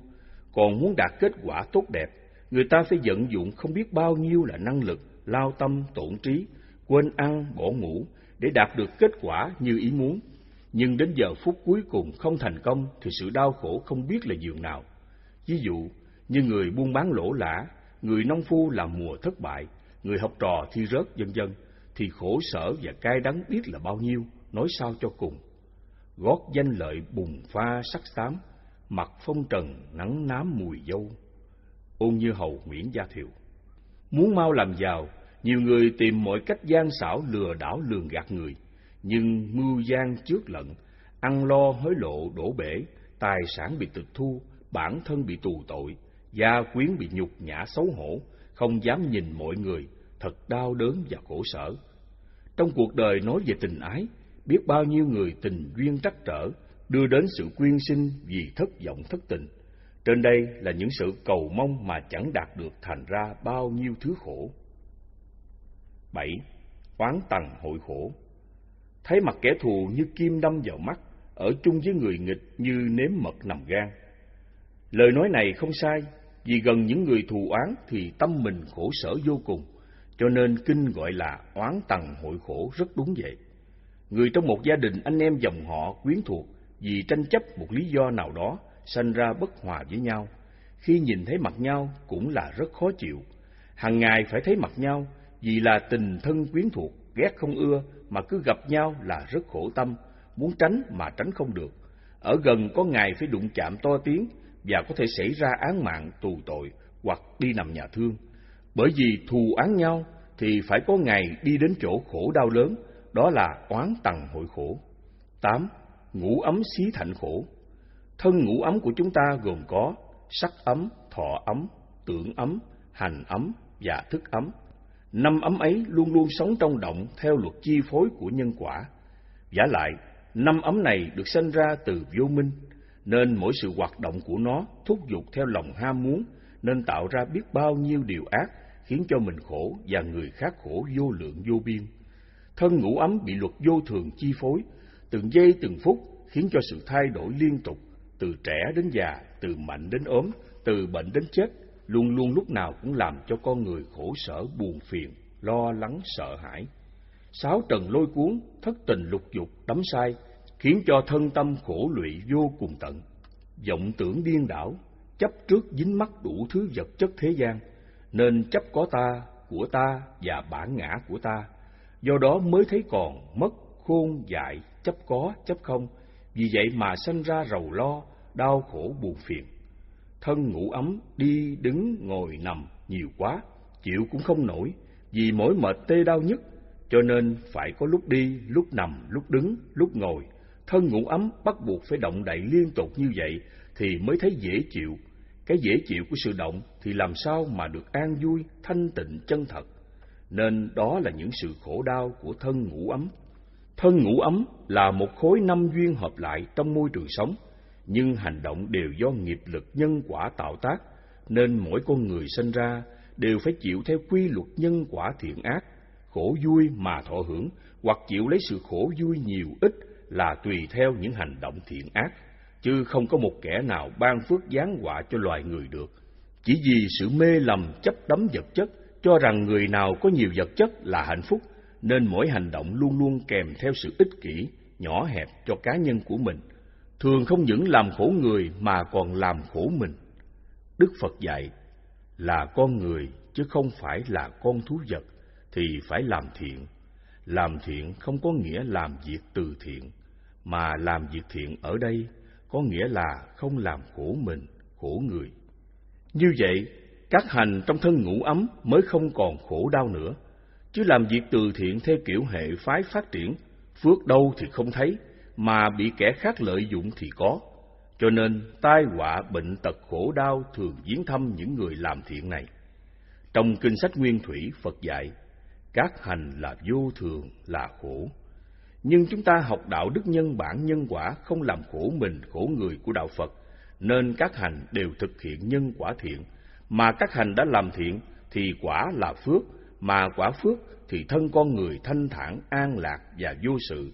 Thân tâm thanh thản, an lạc và vô sự, đó là thân tâm thanh tịnh. Thân tâm thanh tịnh tức là thiền định. Thiền định thì thân tâm bất động. Thân tâm bất động tức là các hành ngưng hoạt động. Các hành ngưng hoạt động tức là chấm dứt sự vô thường và khổ đau. Chấm dứt sự vô thường và khổ đau là phước vô lậu, là cảnh giới niết bàn tại thế gian. Tóm lại, người tu định vô lậu câu hữu với khổ đế, tức là quán xét ba khổ, khổ khổ, hoại khổ, hành khổ, để chúng ta rõ thấu và cố gắng tránh không làm khổ mình, khổ người, và điều đó khiến cho thân tâm chúng ta vô lậu, mà mục đích của đạo Phật là phải đạt được tâm vô lậu. Chân lý thứ hai, tập đế. Định vô lậu câu hữu với tập đế, tức là chúng ta quán xét nguyên nhân sanh khởi sự khổ đau của con người để thấu rõ nó. Có thấu rõ nó, chúng ta mới cố gắng ngăn chặn diệt trừ và đoạn dứt. Vậy tập đế là gì? Chữ tập có nghĩa là nơi tập hợp mọi sự đau khổ, phiền não của con người. Tập còn có nghĩa là nơi chứa nhóm, dồn thêm mỗi ngày một nhiều hơn. Chữ đế có nghĩa là sự thật, đúng đắn không sai. Tập đế là một nguyên nhân của mọi sự khổ đau đã chứa nhóm và tích trữ lâu đời nhiều kiếp trong mỗi chúng sanh. Nói một cách khác hơn, đó là cội gốc sanh tử luân hồi của loài người. Cội nguồn sanh ra mọi sự đau khổ phiền não của con người gồm có 10 phiền não gốc là một Tham Có nghĩa là lòng tham lam như Hòa Thượng Thiện Hoa dạy. Tánh tham có động lực bắt ta phải dòm ngó, theo dõi những cái gì nó ưa thích, như tiền tài, danh vọng, miếng ăn, chỗ ở, vân vân. Rồi nó xui ta lập mưu này, trước nọ, để tìm kiếm cho được những thứ ấy. Điều tai hại nhất là lòng tham không đáy, thầu góp bao nhiêu cũng không vừa. Được một muốn có mười, được mười muốn có trăm. Tham cho mình chưa đủ, và còn tham cho bà con quyến thuộc về xứ sở của mình. Cũng vì tham mà ăn không ngon, ngủ không yên. Cũng vì tham mà cha mẹ vợ con xung đột. Cũng vì tham mà bè bạn chia lìa cũng vì tham mà đồng bào trở lại xung đột sâu xé nhau. Cũng vì tham mà chiến tranh tiếp diễn, giết hại không biết bao sanh linh. Tóm lại, cũng vì tham mà nhân loại và chúng sanh chịu không biết bao nhiêu điều thống khổ. Lòng tham đã mang đến không riêng cho chúng ta khổ, mà còn cả mọi người, không những trong quá khứ, hiện tại, mà còn có thể kéo dài trong tương lai nữa. 2. Sân Có nghĩa là nóng giận, Hòa Thượng Thiện Hoa dạy. Khi gặp những cảnh trái ý nghịch lòng, như lòng tham không được toại nguyện, thì sân nổi lên như một ngọn lửa dữ đốt cháy lòng ta. Thế là mặt mày đỏ tía hay tái xanh, bộ dạng thô bỉ, nói năng hung dữ, có khi dùng đến võ lực hay vũ khí để hạ kẻ làm trái ý Phật lòng mình. Vì nóng giận mà cha mẹ, vợ con, anh em xa lìa, bạn bè ly tán. Vì nóng giận mà mọi người trở nên thù địch, nhân loại đua nhau ra chiến trường. Vì nóng giận mà kẻ bị tàn tật, người vào khám đường, kẻ mất địa vị, người tan sự nghiệp.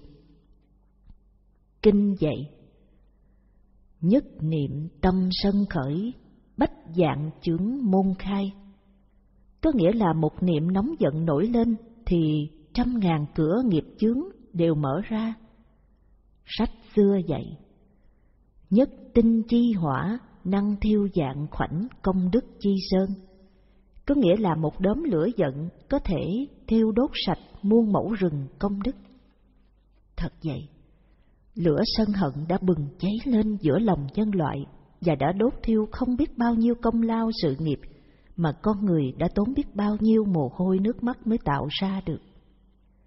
Đúng vậy, những lời dạy trên đây rất thực tế và cụ thể để răng nhắc cho những ai còn mang đầy ấp tâm sân hận là một nỗi khổ đau tận cùng của kiếp người khi tâm sân khởi ngút ngàn. ba Si có nghĩa là si mê, mờ ám, biết không rõ, không chính xác, không đúng. Hòa thượng thiện hoa dạy, si như là một tấm màn dày đặc, đen tối, trùm lên trí tuệ của ta, làm cho ta không thể nhìn thấy được sự thật, phán đoán được cái hay, cái dở, cái tốt, cái xấu. Do đó, ta gây ra không biết bao nhiêu tội lỗi, làm hại mình, hại người mà không hay. Vì si mà lòng tham trở thành không đáy.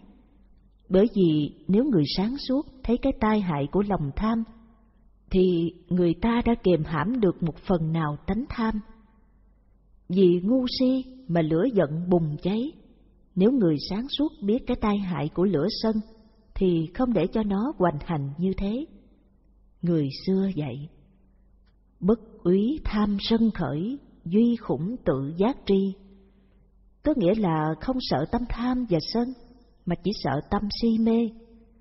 Nếu tâm tham sân nổi lên mà có trí tuệ sáng suốt ngăn chặn lại, thì lòng tham sân phải bị dập tắt, không còn làm gì được cả. Cho nên đạo Phật lấy trí tuệ làm đầu. Nếu đã có trí tuệ sáng suốt, thì lòng tham sân không thể tồn tại được. Cũng như khi đã có ánh sáng mặt trời lên, thì bóng tối tất nhiên phải tan biến. Đức Phật thường gọi tham sân si là ba độc. Nó thường làm đau khổ chúng sanh và phải nhiều kiếp sinh tử luân hồi, đọa vào ba cõi địa ngục, ngạ quỷ và súc sanh. 4. Mạng có nghĩa là ngã mạn kiêu căng, tự đắc. Hòa thượng thiện hoa dạy là nâng cao mình lên và hạ người khác xuống, tự thấy mình là quan trọng mà khinh rẻ mọi người. ỷ mình có tiền của, tài trí, có học thức, có cấp bằng cao học, như tiến sĩ, hay có quyền thế mà sanh tâm dương dương tự đắc, mục hạ vô nhân, khinh người già cả, hỗn láo với người đức hạnh, chà đạp người dưới, lấn lướt người trên. Vì lòng ngã mạn tự kiêu tự đại cho mình là hơn hết, nên chẳng chịu học hỏi thêm những điều hay lẽ phải. Do đó, làm nhiều điều lầm lẫn sai quấy, gây ra bao nhiêu tội ác, phước lành tổn giảm, tội lỗi càng tăng, cho nên phải chịu sanh tử luân hồi muôn đời ngàn kiếp. Mạng có bảy thứ. A. Mạng Nghĩ mình hơn người. B. Ngã mạng ỷ mình hay giỏi mà lấn lướt người. C. Quá mạng. Mình bằng người mà cho là hơn người. Người hơn mình mà cho là bằng. D. Mạng quá mạng. Người hơn mình nhiều mà cho mình hơn người. E. Tăng thượng mạng. Chưa chứng thánh quả mà cho mình đã chứng. F. Ti liệt mạng mình thua người nhiều mà nói mình thua ít. C. Tà mạng Người tu về tà mạng được chút ít thần thông hoặc hiểu biết đôi chút việc quá khứ, vị lai, rồi kinh lướt người khác, xem trời đất không còn ai. năm Nghi có nghĩa là lòng nghi ngờ, ngờ vực không tin. Hòa thượng thiện hoa dạy Người nghi ngờ không làm được việc gì hết. Đối với người thân trong gia đình, họ không tin cậy giao phó công việc. Đối với bạn bè, họ nghi ngờ tất cả mọi thiện chí. Ngay đối với họ, họ cũng không tự tin nữa. Đã không tự tin, họ còn gây quan mang cho người chung quanh, làm cho người ta ngã lòng, thối chí. Đối với đạo lý chân chánh như đạo Phật có một nền đạo đức nhân bản giải thoát tuyệt vời mà họ cũng không tin, nhưng họ lại tin theo tà giáo và những pháp môn mê tín trừu tượng của kinh sách phát triển. Trong sự nghi ngờ có ba phương diện. A. Tự nghi Có nghĩa là nghi mình, chẳng hạn như đọc kinh sách Đức Phật dạy, tu hành sẽ được giải thoát, nhưng lại tự nghĩ rằng, chẳng biết mình tu có được không? Vì lòng do dự nghi ngờ ấy nên không chịu tu hành. B. Nghi pháp Có nghĩa là nghi phương pháp mình đang tu, chẳng hạn như nghe kinh tứ chánh cần dạy, ngăn ác, diệt ác pháp, sanh thiện, tăng trưởng thiện pháp, thì sẽ được giải thoát ngay liền, hay như trong kinh pháp cú dạy, chư ác mạt tác, chúng thiện phụng hành, tự tịnh kỳ ý, thị chư Phật giáo. Do sự nghi ngờ lời dạy này không biết có kết quả có đúng hay không, nên không tu tập. C. Nghi nhân Có nghĩa là nghi người dạy mình, không tin ông thầy dạy mình, nghi pháp mình đang tu không đúng là chánh pháp của Phật. Khi chánh pháp của Phật dạy mà mình nghi là không phải pháp của Phật, thì đó là mình đã đánh mất pháp chân chánh. Còn thầy dạy mình tu học mà mình nghi thầy mình là mình đã bị đứt đầu, không còn cách nào cứu chữa được. Ở tại tu viện chân như, chúng tôi có một số đệ tử ham mê thần thông, nhưng chúng tôi không thể hiện thần thông, nên chúng mất niềm tin và không theo tu tập với chúng tôi nữa. Mục đích tu viện của chúng tôi hướng dẫn tu tập xả tâm ly tham đoạn diệt các ác pháp để đạt được tâm giải thoát, không còn phiền não, khổ đau, không còn tham sân si, mạng nghi nữa, giúp cho con người có một đời sống đạo đức không làm khổ mình khổ người. Đấy là hạnh phúc giải thoát, chứ không phải ngồi thiền nhập định năm bảy ngày, hoặc kiến tánh thành Phật, hoặc tụng kinh niệm chú cho có thần thông phép lạ, hoặc niệm Phật cầu giảng sanh cực lạc Tây Phương dân dân. Ở đây chúng tôi dạy đúng theo đường lối tu tập của Đạo Phật, là hàng ngày không có tụng niệm lần chuỗi, ngồi thiền ức chế tâm, mà chỉ có sống đúng giới luật và làm theo như những lời dạy trong Kinh Tăng Chi tập 3, trang 30. Ở đây, này các hiền giả, tỳ kheo ưa công việc, thích thú công việc, ưa nói chuyện, thích thú nói chuyện, ưa ngủ nghỉ, thích thú ngủ nghỉ, chuyên tâm ưa thích ngủ nghỉ, ưa hội chúng, thích thú hội chúng, chuyên tâm ưa thích hội chúng, ưa liên lạc giao thiệp, thích thú liên lạc giao thiệp, chuyên tâm ưa thích liên lạc giao thiệp, ưa hí luận, thích thú hí luận, chuyên tâm thích hí luận. Như vậy, này các hiền giả, tỳ kheo sống nếp sống như vậy, khi lâm chung không được hiền thiện, khi mệnh chung không được hiền thiện. Này các hiền giả, đây gọi là tỳ kheo ái lạc, có thân, không từ bỏ có thân, để chân chánh chấm dứt khổ đau. Đây là lời dạy chân chánh của Đức Phật. Muốn tu theo đạo Phật thì phải tu đúng pháp, sống đúng pháp như lời dạy thì mới có sự giải thoát.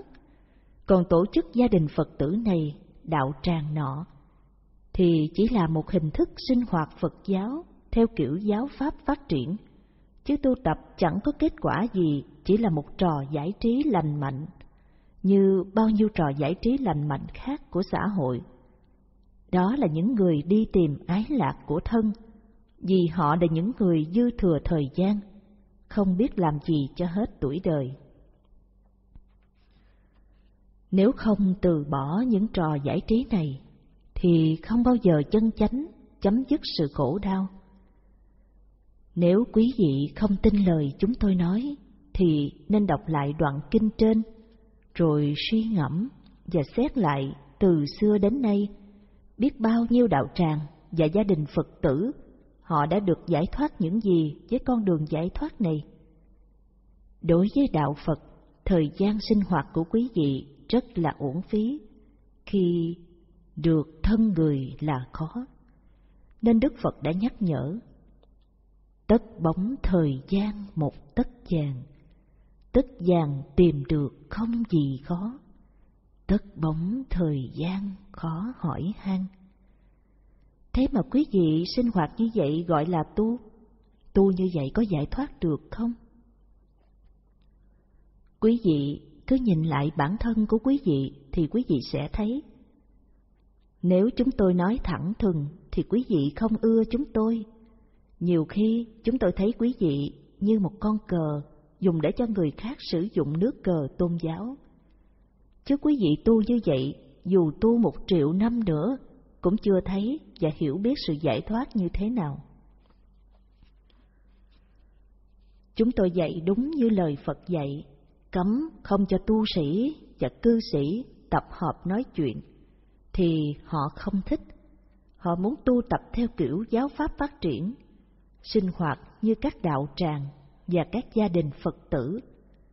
Họ khoái hội họp, thích vui chơi, thích nói chuyện, thích ca hát, ngâm thơ, thích tụng kinh niệm Phật.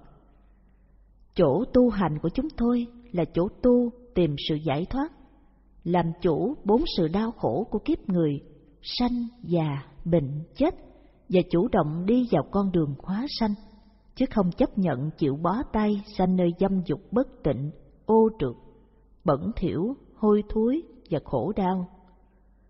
Vì thế, ai muốn tu được thì hãy sống đúng như lời Đức Phật đã dạy, như chúng tôi đã dạy. Nếu không sống được thì đừng nên theo đạo Phật tu hành, chẳng có ích lợi gì mà còn làm cho kẻ khác phỉ bán Phật giáo. Đạo Phật không cầu mong có nhiều người tu mà phá giới, phạm giới, bẻ vụn giới, vô đạo đức làm người, làm thánh. Thà chỉ cần ít người hay một người tu đúng pháp có giới đức hẳn hoi, có một đời sống phạm hạnh của bậc thánh tăng, thì Phật giáo mới còn rực rỡ trên thế gian này. Dù chỉ có một người còn hơn là đi đâu cũng gặp tu sĩ và cư sĩ, mà đời chẳng đời, đạo chẳng đạo.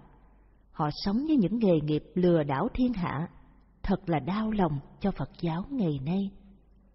Giữa ban ngày, thắp đuốc lên đi tìm một bậc giới đức khắp trên thế gian này, không bao giờ có. Toàn là những tu sĩ và cư sĩ phá giới, phạm giới, bẻ vụn giới, vân vân. Nếu quý vị thấy sống không kham nổi trong giới luật của Phật, thì quý vị đi tu làm gì? Để phạm giới, phá giới như vậy, có ích lợi gì cho quý vị và cho người khác? Nếu quý vị sống không kham, thì quý vị ra đời mà sống. Sống trong chùa mà bày ra những trò mê tín dị đoan, cúng bái, tế lễ, xin xăm bói quẻ, vân vân. Đó là đi ngược lại Phật giáo. Cũng như quý vị thuyết giảng hí luận trù tượng mơ hồ bằng lối chơi chữ để lừa đảo những người nhẹ dạ, dễ tin, để cầu được sự cúng dường. Tóm lại, quý vị muốn tu theo đạo Phật, thì quý vị phải nghiên cứu Phật giáo cho kỹ. Nếu thấy chúng tôi dạy đúng, thì xin vào tu. Còn nếu thấy chúng tôi dạy không đúng, thì quý vị đừng xin vào tu thử. Vì sự tu thử sẽ làm quý vị phí thì giờ vô ích mà còn sanh tâm nghi ngờ chánh pháp của Phật, tạo thêm tội lỗi như quý thầy, thầy chân đức, thầy từ minh, thầy minh tông, thầy thiện thiền, vân vân. Họ đã trở thành những người đệ tử bất nghĩa muôn đời, ngàn đời để lại tiếng đời không tốt cho mai sau. Tánh nghi ngờ làm cản trở sự tiến triển tu hành, cũng như những sự việc khác, làm ngăn ngại mọi công tác hữu ích cho mình, cho xã hội và cũng vì tâm nghi ngờ khiến cho cuộc đời không vượt khỏi cảnh tối tâm khổ sở. 6. Thân kiến có nghĩa là gì không rõ, nên lầm chấp thân ngũ quẩn tứ đại giả hợp này, cho là ta, là của ta, là bản ngã của ta. Hòa thượng thiện hoa dạy về thân kiến. Vì cái chấp sai là mấy nên thấy có một cái ta riêng biệt, chắc thật không biến đổi, thấy cái ta ấy là riêng của ta, không dính dấp đến người khác, và xem nó là một thứ rất quý báu. Vì tưởng lầm như vậy, nên kiếm món ngon vật lạ cho ta ăn, may sắm quần áo tốt đẹp cho ta mặc, lo xây dựng nhà cao cửa rộng, chùa to Phật lớn, vân vân, cho ta ở, thâu góp thật nhiều của cải đất ruộng để dành cho ta dùng, kiếm công danh chức tước, địa vị cho ta hãnh diện với mọi người. Do sự quý chuộng cung phụng cho cái ta ấy, biến Phật giáo thành tà giáo, mê tín, gây mê muội và lạc hậu. Do sự quý chuộng cung phụng cho cái ta ấy mà tạo ra lắm điều tội lỗi, chà đạp lên bao nhiêu cái ta khác, làm cho họ đau khổ vì ta và thế giới trở thành một bãi chiến trường cũng vì cái ta. Chúng ta hàng ngày chịu nhiều đau khổ, cũng chính vì thân kiến, tức là cái kiến chấp về thân. Nó là một trong bảy kiết sử trói buộc và sai sử chúng ta như một tên nô lệ rất khó mà bước bỏ. Nếu không có pháp như lý tác ý của Đức Phật dạy, thì khó có pháp nào diệt thân kiết sử này được. Nếu hàng ngày chúng ta không siêng tu pháp như lý tác ý, thì chẳng bao giờ chúng ta bứt được sợi dây thân kiết sử này. Cho nên, Đức Phật thường nhắc đi nhắc lại câu pháp hướng này. Thân này không phải là ta, không phải của ta, không phải bản ngã của ta. Câu này quý vị nên nhớ mà hướng tâm hàng ngày, đừng nên biến trễ và xem thường.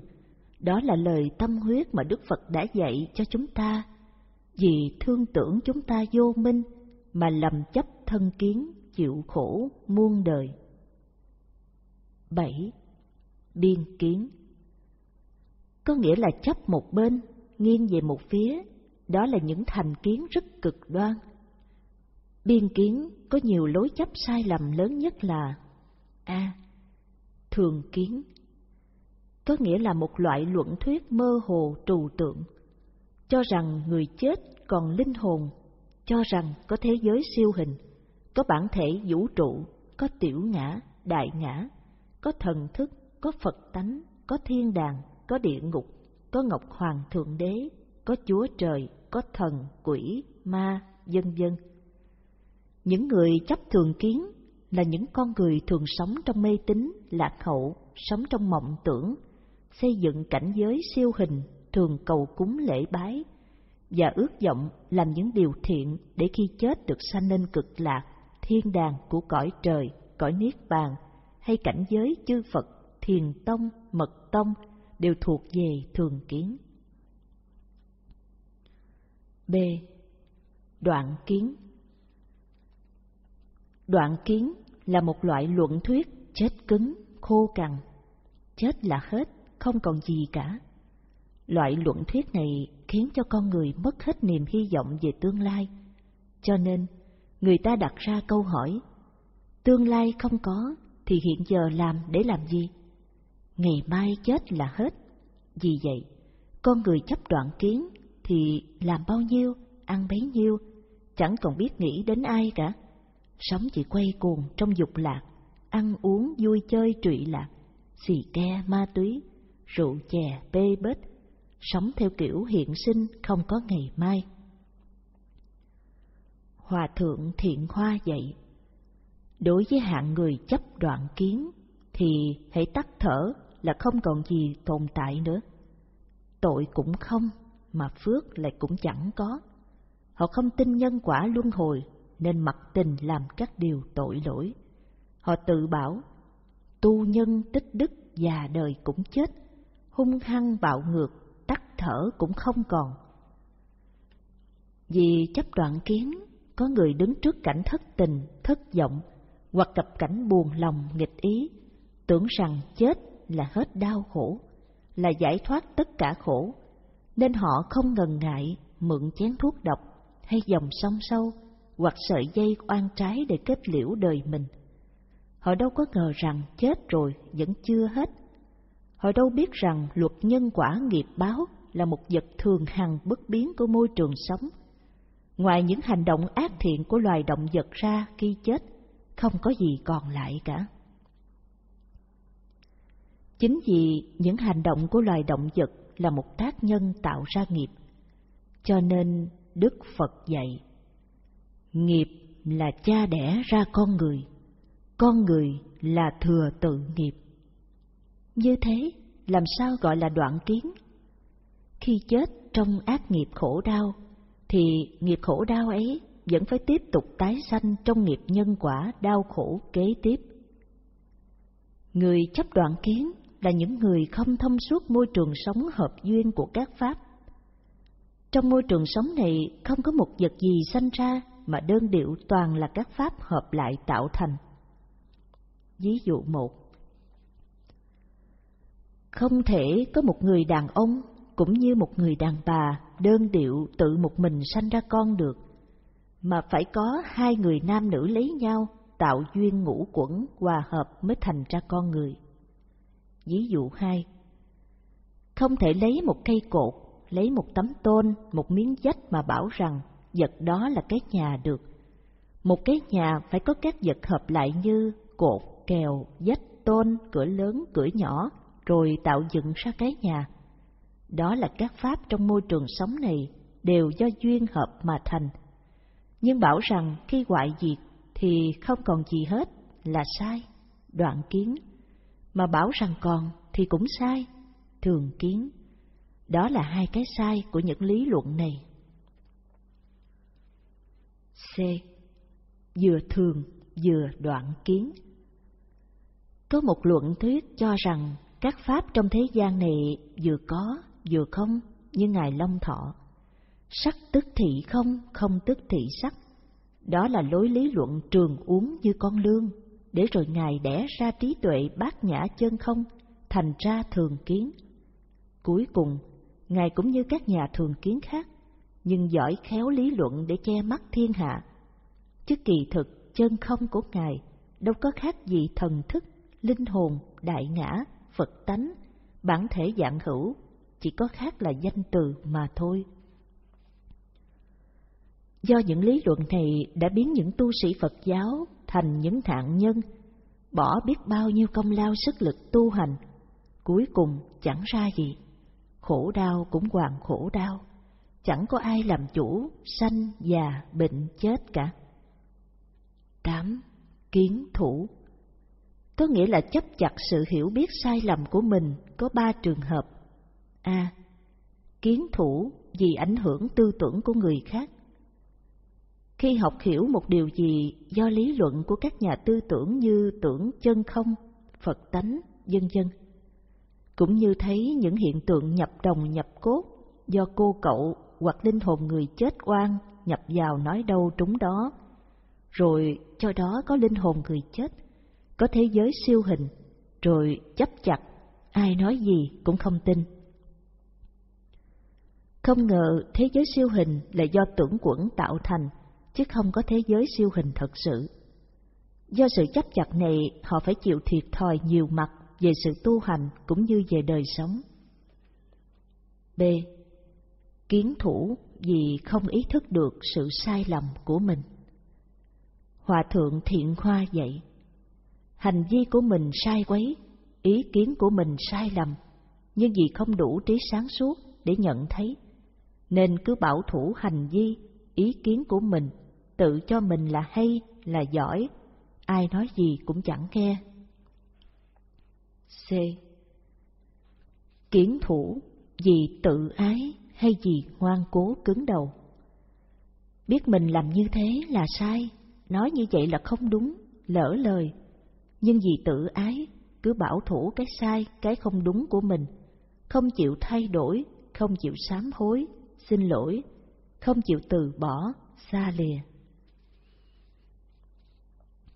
Ví dụ, như trước kia ông bà đã lỡ theo tà giáo, ngoại đạo, nay con cháu vẫn biết đó là tà giáo, nhưng cứ theo mãi, không dám bỏ, cho đó là tôn giáo truyền thống của tổ tiên, ông bà, để lại không được bỏ. Mặt tôn giáo đó dạy những điều phi đạo đức, phi nhân quả, thường dạy những điều cầu cúng, mê tín, lạc hậu, vân vân. Có người còn nói một cách liều lĩnh ngu si, xưa sao nay vậy, hay xưa bày nay làm. Cũng như cha mẹ, trước là nghề nghiệp ác chạy lưới, săn bắn hoặc làm nghề đồ tể, bán thịt sống, thịt chết, mãi dâm, bán rượu, thuốc viện, xì ke ma túy, vân dân. Đó là những nghề ác độc tội lỗi. Đến con cháu vẫn cứ bảo thủ nghề ấy, không chịu thay đổi nghề khác. Nhìn rộng ra xã hội bên ngoài, có một số đông người, mặc dù thời đại của chúng ta hiện giờ, con người đã có nhiều tiến bộ về khoa học kỹ thuật hiện đại quá đời sống, thế mà người ta cứ vẫn giữ lại những lề lối cổ tục hủ bại. Hễ trong nhà có người chết là giết heo bò để cúng kiến, rước thầy chùa tụng kinh để cầu siêu linh hồn, trong khi ông thầy tụng chưa độ được ông siêu, mà ông đi cầu siêu cho kẻ khác, thì việc làm đó là một điều ngu si. Khi đưa đám tang thì rải giấy tiền vàng mã, mỗi khi tuần tự hay dỗ kỵ thì lại đốt giấy tiền vàng mã và quần áo kho đụng phướng xá. Hàng năm cứ vào ngày rằm tháng ba âm lịch thì ban tế tự lập họp dân chúng làm lễ kỳ an cúng tế tà thần, ác quỷ, dân dân. Làng xã chấp chặt những hủ tục mê tín lạc hậu như thế mà còn cho đó là văn hóa truyền thống của dân tộc, không được bỏ. Những việc làm đó đều thuộc về kiến thủ. 9. Giới cấm thủ có nghĩa là làm theo, sống theo giới cấm của ngoại đạo, tà giáo. Những giới cấm của tà giáo ngoại đạo này phần nhiều vô lý, phi đạo đức, mê muội, giả mang, vân vân. Những giới cấm này khiến cho con người bất hiếu và tự làm khổ mình. Hòa thượng Thiện Hoa dạy, các giáo phái ngoại đạo ở Ấn Độ lấy đá dằn bụng, đứng một chân giữa trời nắng, nằm trên chỗ bẩn thỉu, leo lên cao nhảy xuống, gieo mình vào lửa, nhảy xuống sông trầm mình chịu lạnh lẽo để được phước. Chặt hoặc đốt một lắm tay, có người chặt nguyên một cánh tay để cầu pháp. Những thứ cùng tính như thế không làm cho cuộc đời sáng sủa, mà còn làm cho đen tối và khổ đau thêm. Với cấm thủ này, chúng ta thấy trong Kinh Pháp Hoa phẩm tựa dạy cúng dường thân mạng, hoặc một phần thân mạng để cầu Pháp giải thoát, khiến cho những người cuồng tín chặt hoặc đốt ngón tay, quỷ hoại cơ thể của mình, không tật nguyền mà thành tật nguyền, không khổ mà làm thêm khổ. Đó là giới cấm thủ, hay còn gọi là những giáo điều của ngoại đạo. 10. Tà kiến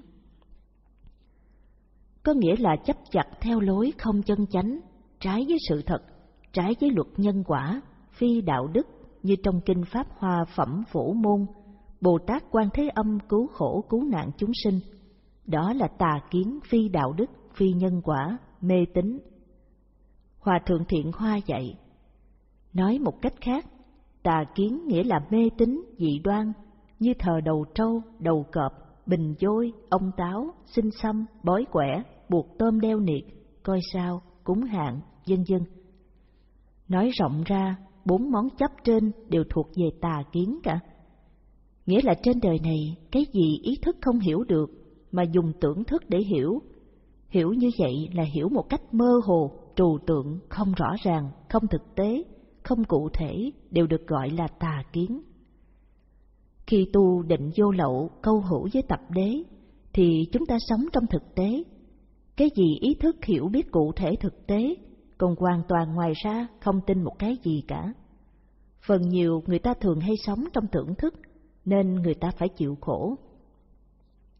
Ví dụ, người ta chửi mình đồ chó, trâu, mình tưởng ra mình là chó trâu, nên mình sanh tức giận chửi mắng lại họ cũng như người ta chửi mình, tao đào mồ mã cha mày lên. Mình tưởng rằng họ đào mồ mã cha mình, chứ sự thật họ đâu có đào. Thế mà mình sống trong tưởng, rồi sanh ra tức giận, chửi mắng, đánh với nhau, khiến làm khổ cho nhau. Thật là tà kiến điên đảo và sống không thực tế, tạo cảnh mình khổ, người khác khổ, chẳng có ích lợi gì cả. Ví dụ, người ta chửi mình là đồ ăn cắp, ăn trộm, mình tự ái, sợ người khác không hiểu mình, sanh ra nghi ngờ mình ăn cắp ăn trộm thì xấu hổ. Cái tự ái sợ hãi người ta nghi ngờ mình, nên mình tức giận và buồn khổ trong lòng mãi mãi. Đó là mình sống trong tưởng, chứ sự thật mình có ăn trộm ăn cắp đâu mà sợ. Con người ở đời thường sống trong tưởng, tức là sống trong tà kiến, nên luôn luôn chịu khổ đau, tức giận, sanh ra thù hận không nguôi, tạo ra nhiều điều ác đức tội lỗi, rồi lại còn tiếp tục bằng cách trả thù trả quán cho đã cơn giận. Cho nên, khi chúng ta biết áp dụng định vô lậu kết hợp với tập đế, thì chúng ta không còn sống trong tưởng. Nói cách khác là chúng ta không còn sống trong tà kiến.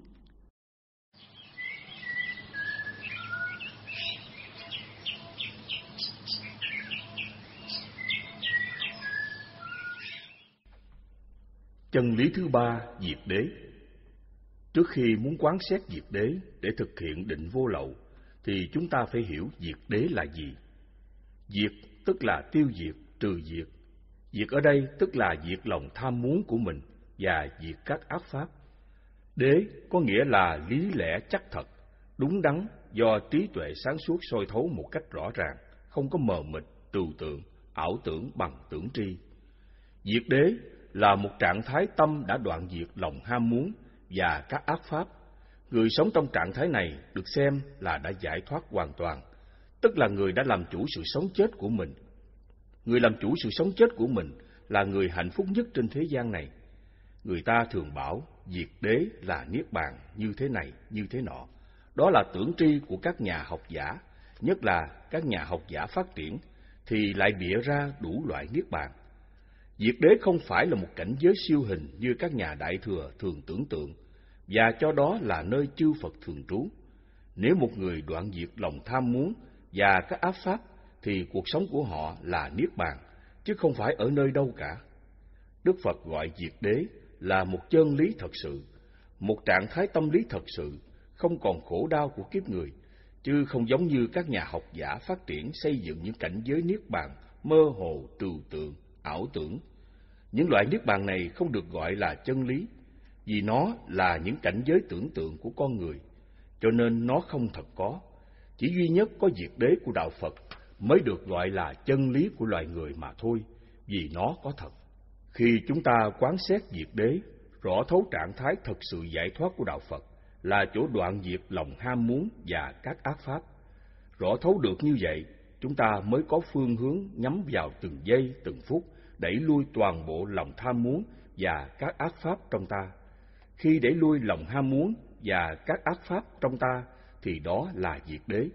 Thì đó là chúng ta đã đạt được chân lý của kiếp sống làm người.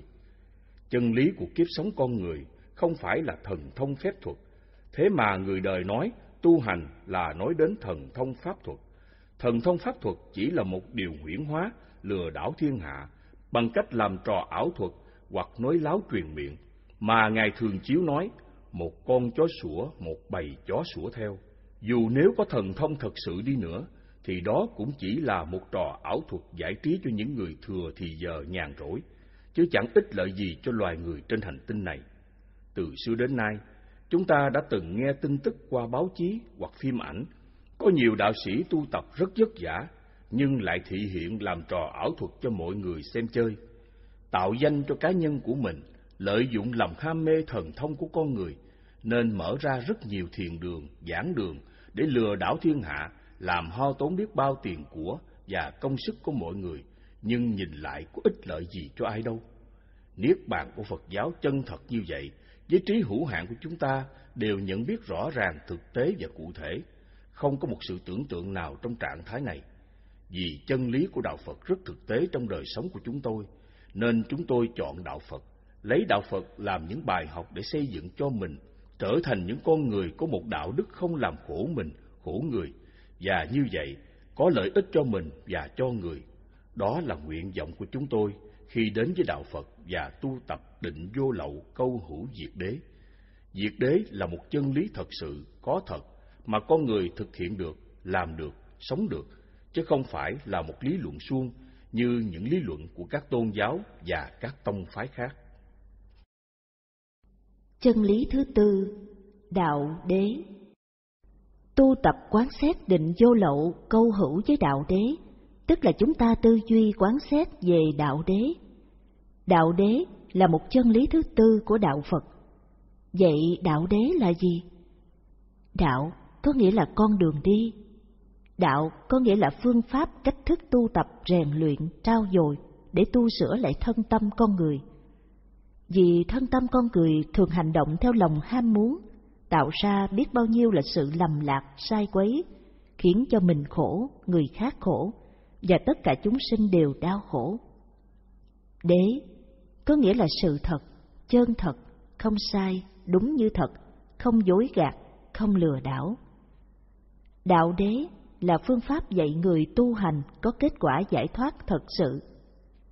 Đạo đế là phương pháp tu sửa, rèn luyện thân tâm con người có đạo đức nhân bản, không làm khổ mình khổ người, chân thật, biến cảnh sống thế gian thành cảnh giới thiên đàng cực lạc. Đạo đế còn là phương pháp tu tập có đủ tâm lực tỉnh thức, làm chủ sanh già, bệnh chết thật sự. Đạo đế là một chân lý thật sự đúng đắn, không dối gạt, không lừa đảo người. Mọi người nếu ai có nhiệt tâm muốn thoát ra cảnh khổ của thế gian, với đầy đủ nhiệt tâm, nhiệt quyết, xả bỏ những ác pháp và xa lìa lòng ham muốn của mình, thường đẩy lui các chướng ngại pháp trong tâm, cố gắng áp dụng và thực hành như vậy, thì đều có kết quả giải thoát như nhau. Đạo đế là một chương trình giáo dục đào tạo, rèn luyện con người để chứng quả vô lậu A-la-hán. Một quả vị giải thoát cao nhất trong đạo Phật, làm chủ sanh, già, bệnh, chết. Cho nên, đạo đế được chia ra làm tám lớp học, phương thức chân chánh để trao dồi thân tâm, từ lớp thấp đến lớp cao, gọi là bát chánh đạo. Bát chánh đạo gồm có một chánh kiến, hai chánh tư duy, ba chánh ngữ, bốn chánh nghiệp, năm chánh mạng, sáu chánh tinh tấn, bảy chánh niệm, tám chánh định. Tám lớp phương thức này gọi là tám nẻo. Tám nẻo này để cho người mới bắt đầu tu tập cho đến khi thành tựu viên mãn đạo giải thoát. Người mới bắt đầu học tu phải vào lớp chánh kiến, rồi lần lượt theo các lớp mà tiến lên học tất cả những lớp cao hơn mà Đức Phật đã dạy rất đầy đủ những giáo trình tu học trong các bộ kinh nguyên thủy về mỗi lớp chánh kiến, chánh tư duy, chánh ngữ, chánh nghiệp, chánh mạng, chánh tinh tấn, chánh niệm và chánh định. Những bài vở nào ở lớp nào rất rõ ràng và cụ thể, nhưng các tổ kết tập kinh sách làm lộn xộn, nên hiện giờ khó có người hiểu đúng chương trình giáo dục đào tạo A-la-hán của Đức Phật. Lớp thứ nhất, chánh kiến.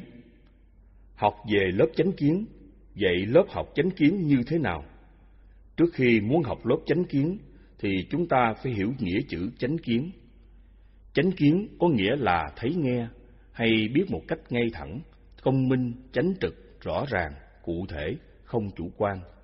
Sự vật như thế nào thì thấy, nghe, hiểu biết như thế nấy, không sống trong tưởng tri trừu tượng mê tín, không dựa bên này, không dựa bên kia, không lấy trắng làm đen, không lấy đen làm trắng, không lấy xấu làm tốt, không lấy tốt làm xấu, không lấy dở làm hay, không lấy hay làm dở, không lấy trái làm phải, không lấy phải làm trái.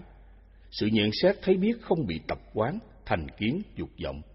Người có chánh kiến luôn luôn biết phân biệt cái nào giả, cái nào thật. Ví dụ như các nhà học giả, họ không phân biệt pháp nào của Phật, pháp nào của Bà La Môn. Vì thế, họ đã bị kinh sách phát triển lừa đảo, tưởng đó là giáo pháp của Đức Phật.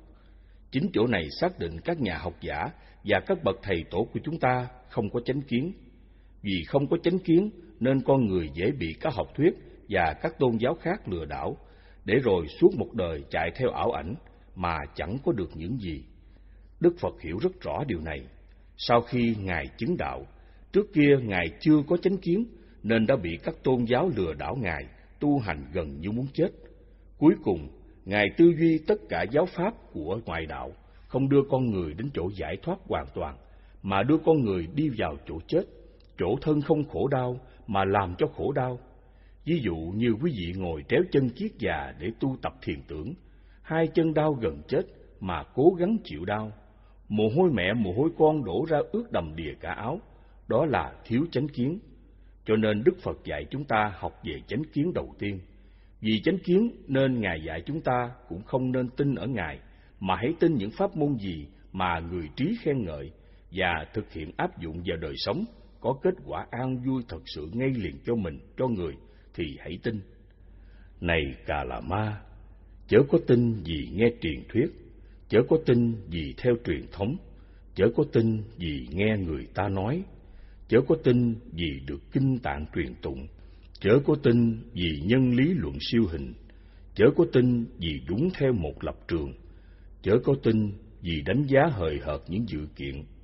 chớ có tin vì phù hợp với định kiến của mình, chớ có tin vì xuất phát nơi có uy quyền, chớ có tin vì bậc sa môn là đạo sư của mình, vân vân. Nhưng này cà là ma, khi nào tự mình biết rõ như sau: các pháp này bất thiện, các pháp này có tội lỗi, các pháp này bị người có trí hiểu biết chỉ trích, các pháp này nếu thực hiện và chấp nhận đưa đến bất hạnh khổ đau. Thời này cả là ma, hãy từ bỏ chúng không nên theo. Như vậy Đức Phật đã dạy chúng ta về chánh kiến, có nghĩa là làm lợi ích thật sự cho mình, cho người. Tóm lại, chánh kiến tức là thấy nghe, hiểu biết mọi sự, mọi việc và mọi vật bằng pháp thiện. Nếu có ác pháp xen vào thì không còn là chánh kiến nữa. Cho nên chánh kiến toàn là thiện pháp. Người có chánh kiến không làm khổ mình khổ người. Thấy, nghe, hiểu, biết mà không làm khổ mình khổ người, đó là cái thấy nghe của chánh kiến, của thánh nhân, chứ không phải của kẻ phàm phu mà thấy nghe hiểu biết như vậy được. Chúng ta đã hiểu nghĩa chánh kiến rồi, vậy bây giờ chúng ta học chánh kiến như trong kinh Đức Phật đã dạy. Này chư hiền, khi thánh đệ tử tuệ tri được bất thiện và tuệ tri được căn bản bất thiện, này chư hiền, khi thánh đệ tử có chánh tri kiến, có tri kiến chánh trực, có lòng tin pháp tuyệt đối và thành tựu diệu pháp này. Nếu một người hiểu rõ lời dạy này thì tâm bất động trước các pháp, chứ đâu cần phải tu tập gì nhiều. Người ta nói chánh tri kiến thì rất nhiều, mà người hiểu và sống trong chánh tri kiến thì chẳng có mấy ai. Tại sao vậy? Tại vì mọi người đã không hiểu chánh tri kiến bằng thức tri, mà lại hiểu chánh tri kiến bằng tưởng tri. Cho nên người nào cũng hiểu, mà hiểu bằng chữ nghĩa suông để nói giọng ngữ, lừa đảo kẻ khác. Vì thế không ích lợi gì cho mình, cho người. Câu kinh trên đây dạy có nghĩa là khi thánh đệ tử nghe, thấy, hiểu biết rõ các pháp ác và nguồn gốc của các pháp ác, thì đó chính là có tri kiến chân chánh, có tri kiến chánh trực. Nếu người có chánh tri kiến, có tri kiến chánh trực và đã có lòng tin bác chánh đạo tuyệt đối, thì người này sẽ ly dục ly ác pháp. Ly dục ly ác pháp thì sẽ có tâm hồn thanh thản, an lạc và vô sự. Lúc nào cũng có tâm hồn an lạc, thảnh thơi và vô sự. Người được như vậy là người giải thoát hoàn toàn. Ở trên đây, chúng ta mới bước chân vào lớp thứ nhất mà đã thấy được sự giải thoát thiết thực cụ thể như vậy. Nếu chúng ta học hiểu và áp dụng vào đời sống luôn cả tám lớp, thì thế gian này là niết bàn cực lạc. Như trên đã nói về chánh kiến, để chúng ta hiểu tổng thể của lớp học này, đó là lý thuyết khái lược của giáo trình tu học. Bắt đầu tu học phải theo giáo trình tu học từ thấp đến cao của lớp này, chứ không thể nói suông như trên được, mà phải bắt đầu thực hành. Pháp nào học hiểu phải cần học hiểu, pháp nào tu tập phải cần tu tập, chứ không được nói chung chung như kiểu kinh sách phát triển. Này chư hiền, thế nào là bất thiện, thế nào là căn bản bất thiện, thế nào là thiện, thế nào là căn bản thiện.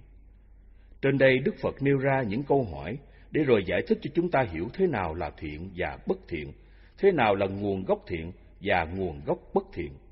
Nếu quý vị không học thì làm sao quý vị biết được, mà đã không biết được thì cái sai vẫn cho là cái đúng, cũng như cái đúng vẫn thấy nó là sai. Và như thế thì làm sao được gọi là chánh kiến? Cầu siêu, cầu an, cúng dông, tiễn linh, cúng sao giải hạn, xem ngày giờ tốt xấu, quý vị đều cho là đúng. Nếu không đúng sao quý vị lại vào chùa làm những điều mê tín này? Nếu những việc làm này là đúng thì đó là chánh kiến sao? Chánh kiến gì mà việc làm không rõ, mơ hồ, trừu tượng, không cụ thể, không thiết thực? Cũng như người ta gọi Phật tánh là lấy cái ý thức chẳng niệm thiện niệm ác, để rồi tưởng tượng ra xây dựng thành bản thể chân không, nhưng lại sợ đồng với cái không, nên mới thêm vào cái diệu hữu để người ta đừng hiểu nó là không ngơ, sắc tức thì không, không tức thì sắc. Nhưng dù luận như thế nào, nó cũng chỉ là tưởng tri hí luận, chứ không có. Vì thế một người chết, ý thức cũng tiêu ma ra các bụi. Bởi vì ngoài thân ngũ uẩn ra, không có cái thức nào khác cả, cho nên thân ngũ uẩn hoại diệt, thì thức nào cũng không còn. Cái thấy biết như vậy không thể nào gọi là chánh kiến, đó là tà kiến mà ngoại đạo hay lấy bản thể dạng hữu mà luận thuyết như thế này hoặc như thế khác để xây dựng một thế giới thường hằng bất biến. Chánh kiến như vậy không có ích lợi thiết thực, chỉ là một khí luận suông. Chúng ta từ môi trường sống sinh ra, mà môi trường sống là vật chất phải có trước như không khí, thời tiết, mưa gió, đất, đá, gò, nõng, núi, sông, rồi rong rêu, cỏ, cây, thảo mộc. Kế đó mới dạng vật xuất hiện, và như vậy mới gọi là môi trường sống. Khi có môi trường sống, thì chỗ đó có cái biết sống, rồi biết đau đớn khổ sở, rồi biết thiện biết ác. Như vậy, cái biết có sao vật chất. Ví dụ, vật chất gồm các tế bào kết hợp cấu tạo thành một môi trường sống. Ở đó, chúng chuyên làm một phận sự. Như môi trường tế bào sống ở tai, thì chúng có nhiệm vụ để nghe, ở mắt để thấy, ở miệng để ăn, và nhận biết mùi vị, ở mũi để thở, và biết mùi thơm thúi, ở thân thì cảm xúc nóng lạnh, ở ý thì chỉ có biết. Cho nên khi môi trường của ý hay là ý căn hoại diệt, thì cái biết của ý đâu còn, môi trường sống không có thì cái biết cũng không có. Kinh sách Đại Thừa và Thiền Đông Độ là loại kinh sách tưởng tri xây dựng trên tưởng thức để lừa đảo thiên hạ, chứ tu hành có đi đến đâu, chỉ là một trò ảo ảnh huyễn hóa, cái thấy biết đó không thể gọi là chánh kiến được, mà đó là tà kiến. Từ xưa đến nay, các tôn giáo đều sống trong tà kiến này. Trong kinh Nguyên Thủy, Đức Phật dạy, nếu còn một chút xíu thức như đất trong móng tay ta, thì đạo ta không ra đời, vì loài người không giải thoát khổ được. Như vậy, cái thấy biết có một bản thể thường hằng bất biến là cái thấy biết của tà kiến. Cái thấy biết không đúng sự thật, cái thấy biết không có thật, chỉ là một ảo tưởng của các nhà giàu tưởng tượng, sống trong tưởng. Đây chúng ta hãy nghe Đức Phật dạy về chánh kiến. Này chư hiền, sát sanh là bất thiện, lấy của không cho là bất thiện, tà hạnh trong dục là bất thiện, nói láo là bất thiện, nói lưỡi hai chiều là bất thiện, nói lời phù phiếm là bất thiện, nói lời hung ác là bất thiện, tham dục là bất thiện, sân là bất thiện, tà kiến là bất thiện. Này chư hiền, như vậy gọi là bất thiện. Và này chưa hiền, thế nào là căn bản bất thiện? Tham là căn bản bất thiện, sân là căn bản bất thiện, si là căn bản bất thiện. Trên đây Đức Phật đã chỉ cho chúng ta thấy có mười pháp ác và ba cội nguồn gốc ác. Hàng ngày mỗi sự việc xảy ra, chúng ta đều quan sát nơi thân, thọ, tâm và các pháp. Nếu có mười pháp ác xảy ra trên thân, thọ, tâm và các pháp, thì chúng ta biết được không? Nếu không học thì chúng ta không biết. Còn đã học thì chúng ta đều biết, mà biết như vậy có phải là chánh kiến không? Đức Phật đã dạy, thấy biết như vậy là chánh kiến rõ ràng. Thưa quý vị, chánh kiến có khó biết không? Chắc là không phải không quý vị.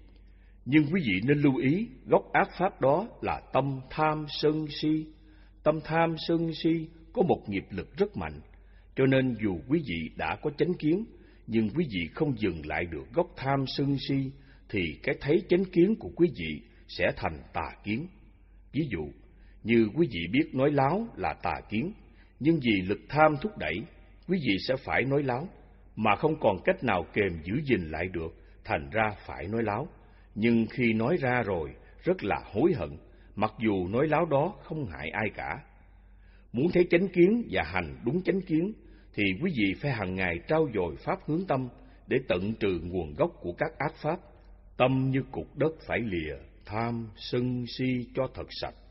Khi tu tập pháp hướng tâm có hiệu quả, thì lúc bấy giờ chánh kiến ở đâu thì tâm ly dục ly ác pháp ở đó, và ở đó có giải thoát liền. Nếu pháp hướng tâm chưa có hiệu quả, thì dù có chánh kiến biết đúng, nhưng tâm không ly dục ly ác pháp, thì vẫn là tà kiến. Cho nên ai cũng học chánh kiến, biết rất rõ thập ác và thập thiện, nhưng mấy ai sống đúng thập thiện và loại trừ thập ác. Ai nói chánh kiến cũng được, nhưng sống đúng chánh kiến thì không ai làm được. Đây là những người đã có chánh kiến mà còn sống chưa được, huống là những người còn đang sống trong tà kiến như mật tông, thiền tông và tịnh độ tông, vân vân. Chánh kiến có hai giai đoạn tu tập. Một, Giai đoạn học tập chánh kiến để loại trừ tà kiến. Hai, giai đoạn tu tập chánh kiến là giai đoạn áp dụng chánh kiến vào đời sống hàng ngày bằng định vô lậu và pháp hướng tâm. Lớp chánh kiến học thì thấy dễ, nhưng tu tập phải đúng pháp, đúng bài bản giáo trình thì mới có hiệu quả. Cho nên chúng tôi nói, chỉ khi nào tâm ly dục ly ác pháp thì mới có chánh kiến. Như trên chúng tôi đã nói, nếu ai biết tu tập pháp hướng tâm để quét sạch nguồn gốc ác pháp tham sân si đang ngủ ngầm trong chúng ta, thì phải cố gắng hàng ngày đừng quên nhắc tâm lìa tham sân si hoặc tâm như đất. Nhờ vậy mới đủ sức lực đoạn trừ tận gốc tham sân si. Vậy chúng ta hàng ngày phải thường tỉnh thức quan sát thân, thọ, tâm và pháp để đẩy lui các ác pháp, không cho chúng xâm chiếm bốn chỗ này. Nên Đức Phật dạy, này chư hiền, khi nào thánh đệ tử tuệ tri bất thiện như vậy, tuệ tri căn bản bất thiện như vậy, tuệ tri thiện như vậy, tuệ tri căn bản thiện như vậy, vì ấy đoạn trừ tất cả tham tùy miên, tẩy sạch sân tùy miên, nhổ tận gốc kiến mạng tùy miên, tôi là. Đoạn trừ vô minh, khiến minh khởi lên, diệt tận khổ đau ngay trong hiện tại. Trung Bộ Kinh tập 1 trang 113 Ở đây quý vị có nghe lời Đức Phật dạy không? Quý vị chỉ cần tu tập có chánh tri kiến là đã diệt tận khổ đau trong hiện tại. Nếu quý vị chỉ cần có chánh tri kiến thì ngay đó quý vị đã đoạn trừ vô minh, khiến minh sanh khởi. Đây là mục đích của đạo Phật. Tóm lại, trong lớp chánh tri kiến này, nếu quý vị tin sâu lời dạy của Đức Phật, hàng ngày chỉ cần thấy pháp thiện, biết ngay liền pháp thiện, thấy pháp ác, biết ngay liền pháp ác, đó là chánh kiến. Và khi gặp pháp ác thì cố gắng đẩy lui khỏi tâm tư của mình để cho tâm hồn lúc nào cũng thanh thản, an vui và vô sự. Tóm lại, trong cuộc đời sống hàng ngày của chúng ta, nếu biết áp dụng chánh tri kiến như trên đã dạy, thì chắc chắn chúng ta sẽ có một đời sống an vui, hạnh phúc biết bao, không những cho mình mà cho tất cả những người thân thương của mình và xã hội quanh ta. Nhưng các bạn nên nhớ, đó là lớp học căn bản đầu tiên của Phật giáo. Nó không phải khó và không phải dễ.